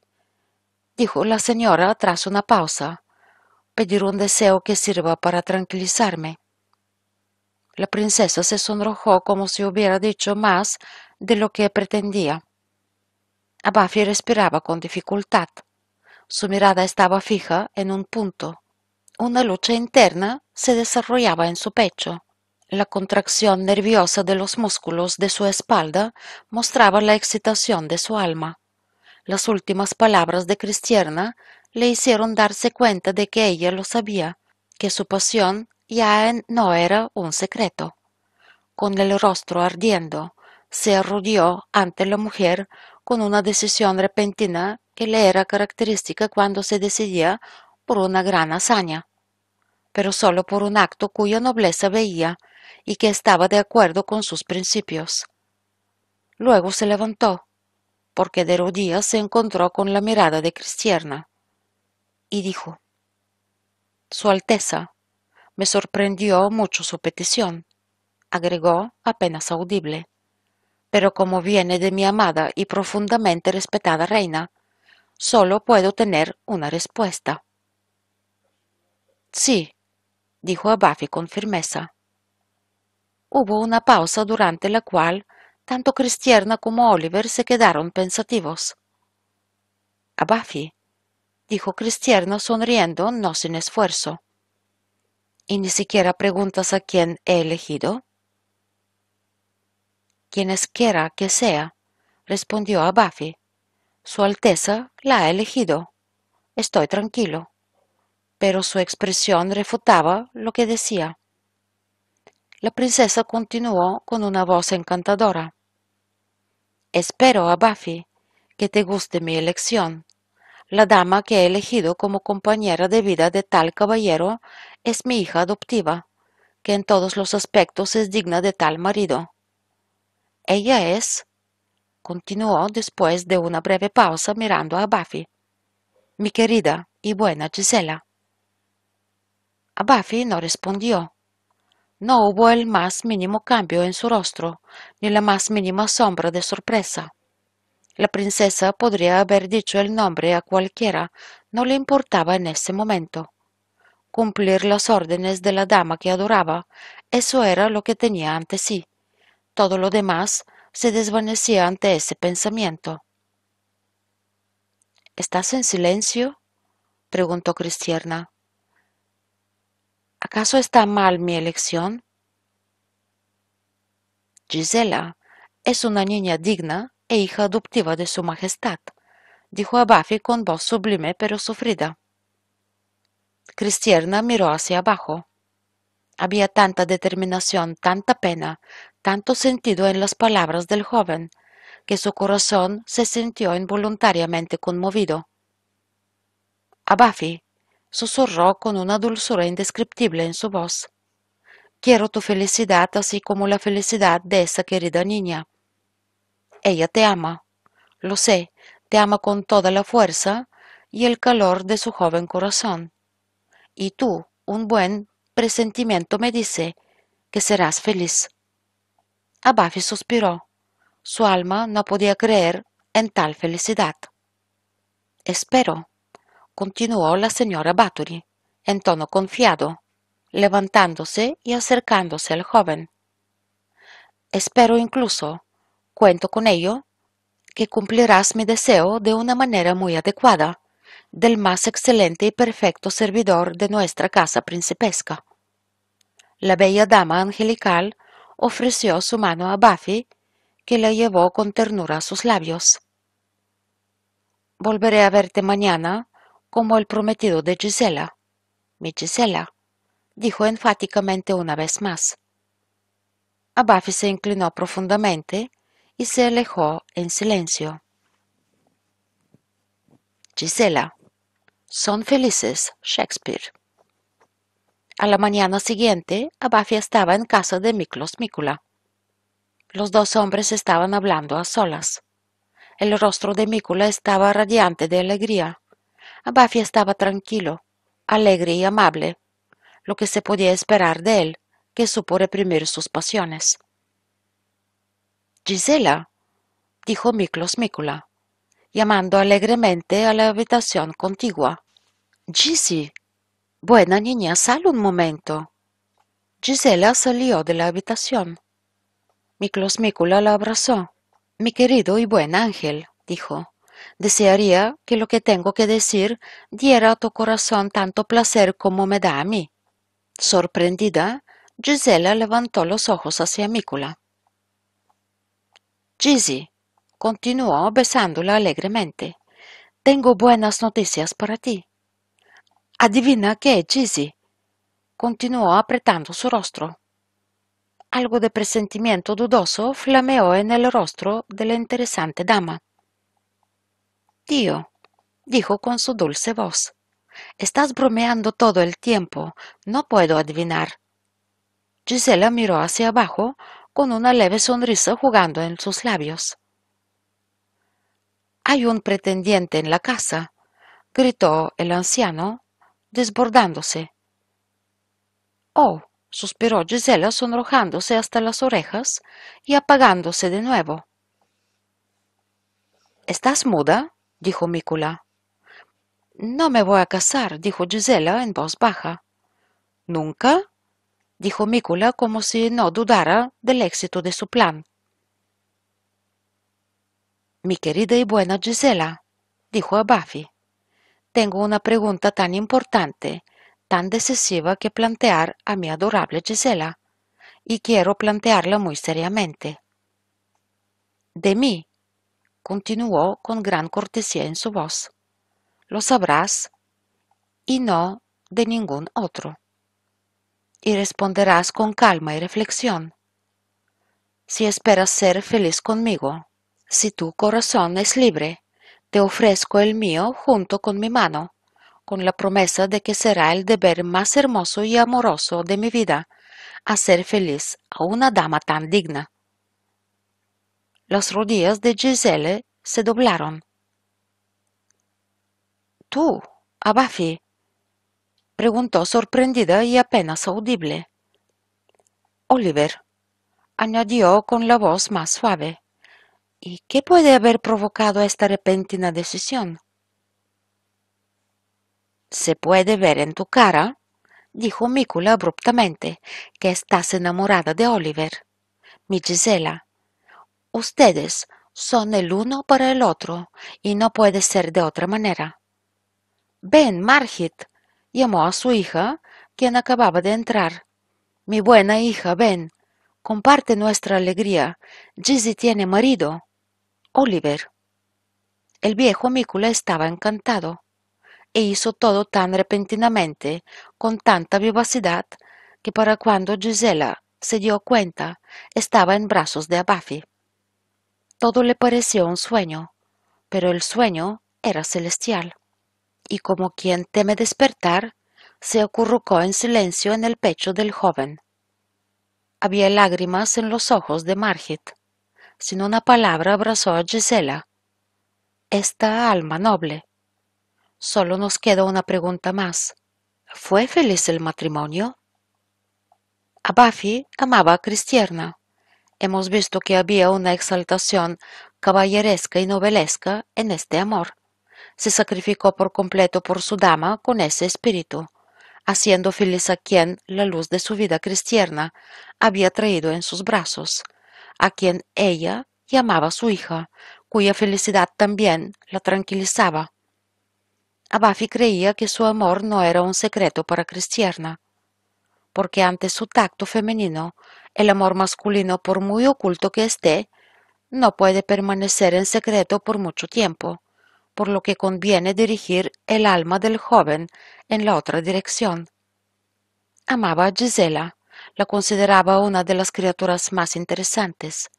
Sabía que a Buffy la amaba. Cristierna conocía los sentimientos de Oliver hacia ella y creía que la pasión con la que la trataba en otras circunstancias podría ser más suave y que al final, cerca de una persona extremadamente interesante como Gisela, que también adora a Buffy, eventualmente cedería el paso a los demás sentimientos. Hemos visto a Buffy en tantas circunstancias que conocemos su forma de pensar. Hemos visto cómo ha pasado de ser un hombre vil, un hombre de todos los males, a ser un hombre tranquilamente conspicuo en todos los aspectos noble, interesante y honorable. Pero también hemos visto cómo a Buffy es un hombre de palabra, cómo no hace nada a medias, cómo el sentido de la gratitud y del deber tiene tanta fuerza en su corazón. Sabiendo todo esto, percibiremos fácilmente que estaba, si no feliz de antemano, sí tranquilo de Buffy tal como lo conocemos, debemos creer que fue más atento, compasivo y caballeroso con Gisela que un marido por el momento. Y como su alianza no fue precedida por las dulces y puras anticipaciones del amor, la alegría, el encanto y la novedad de éstas hicieron que Gisela fuera feliz en su matrimonio. Gisela era una de las damas más perfectas de Transilvania, había que verla muchas veces y de cerca para evocar el respeto que tanto merecía. Fue en los hechos, no en las palabras, donde se reveló su espíritu. Pureza, modestia, estas dos palabras la describen perfectamente. Amaba a Buffy como a ningún otro, y tan bien podría aplicarse a él, tan bien podía inventar sus pasiones, sus hábitos, casi sus pensamientos, que no podía considerar a esta inocente, pura y angelical criatura sin la profunda compasión y gratitud de su marido. Vimos lo tímida que era Gisela. Cada pequeño susto la desconcentraba. Esto no era del agrado del varonil y valiente Buffy, aunque su ternura nunca permitiría que su esposa lo sintiera. Gisela no se habría subido a un caballo por nada del mundo. ¿Quién podría describir la sorpresa de Abafi cuando una vez, al regresar de la cacería, fue recibido por su hermosa esposa montada en un caballo? Y así, el curioso vínculo que los unía se hacía cada vez más estrecho. Una vez Abafi tuvo que ir a Viena. La ausencia de la buena y bella Gisela había levantado la penumbra de su alma sintió lo mucho que necesitaba Gisela, sintió la primera alegría pura de la felicidad, libre de toda pretensión, que amaba a Gisela. La exaltación novelística había desaparecido. Abafi estaba feliz. Margit Mikula vivía para su hijo. Ella fue testigo de la felicidad de Oliver y Gisela. Ella no conoció más la pasión Amó a Buffy hasta la muerte. Un ser perfecto como Margit podría amar solo una vez, pero sus principios y moral superaron su pasión. Su amor tomó la forma de amor fraternal. El destino de Cristierna y del príncipe es conocido por la historia de Transilvania. El príncipe cedió su principiado a András Bathory por los cardenales en 1599 pero se arrepintió de nuevo. Después de muchas penurias, finalmente vagó por varias partes de Europa. Se separó de su bella esposa y ella volvió más tarde con sus padres. Marco Deli aparece una vez más en la historia de Transilvania, durante el reinado de Andras Bathory, un hombre entrenado para la guerra seria con su feroz ejército. La felicidad conyugal de Abafi se convirtió en un proverbio en Transilvania. El recuerdo de Cristierna para él fue hasta la muerte, y para la querida Gisela, que le debía su felicidad. Muchas veces a Buffy le decía Gisela, con quien no tenía ningún secreto, ya que la amaba. La providencia lo ha organizado todo para bien. Lo que le atraía de Isidore era la gratitud y la piedad. El más profundo respeto por Margit Mícula se mezcla en mi pecho con el amor fraternal. Cristiana ha llenado mi alma de una novedosa exaltación, y mientras este corazón late, su imagen vivirá en él. A ella le debo mi cielo, pero lo que siento por ti, dulce, buen y amable ángel, es amor. Sí, sí, decía él, con el rostro encendido, atrayendo apasionadamente a la mujer más bella de Transilvania hacia su pecho. Amor. Fin.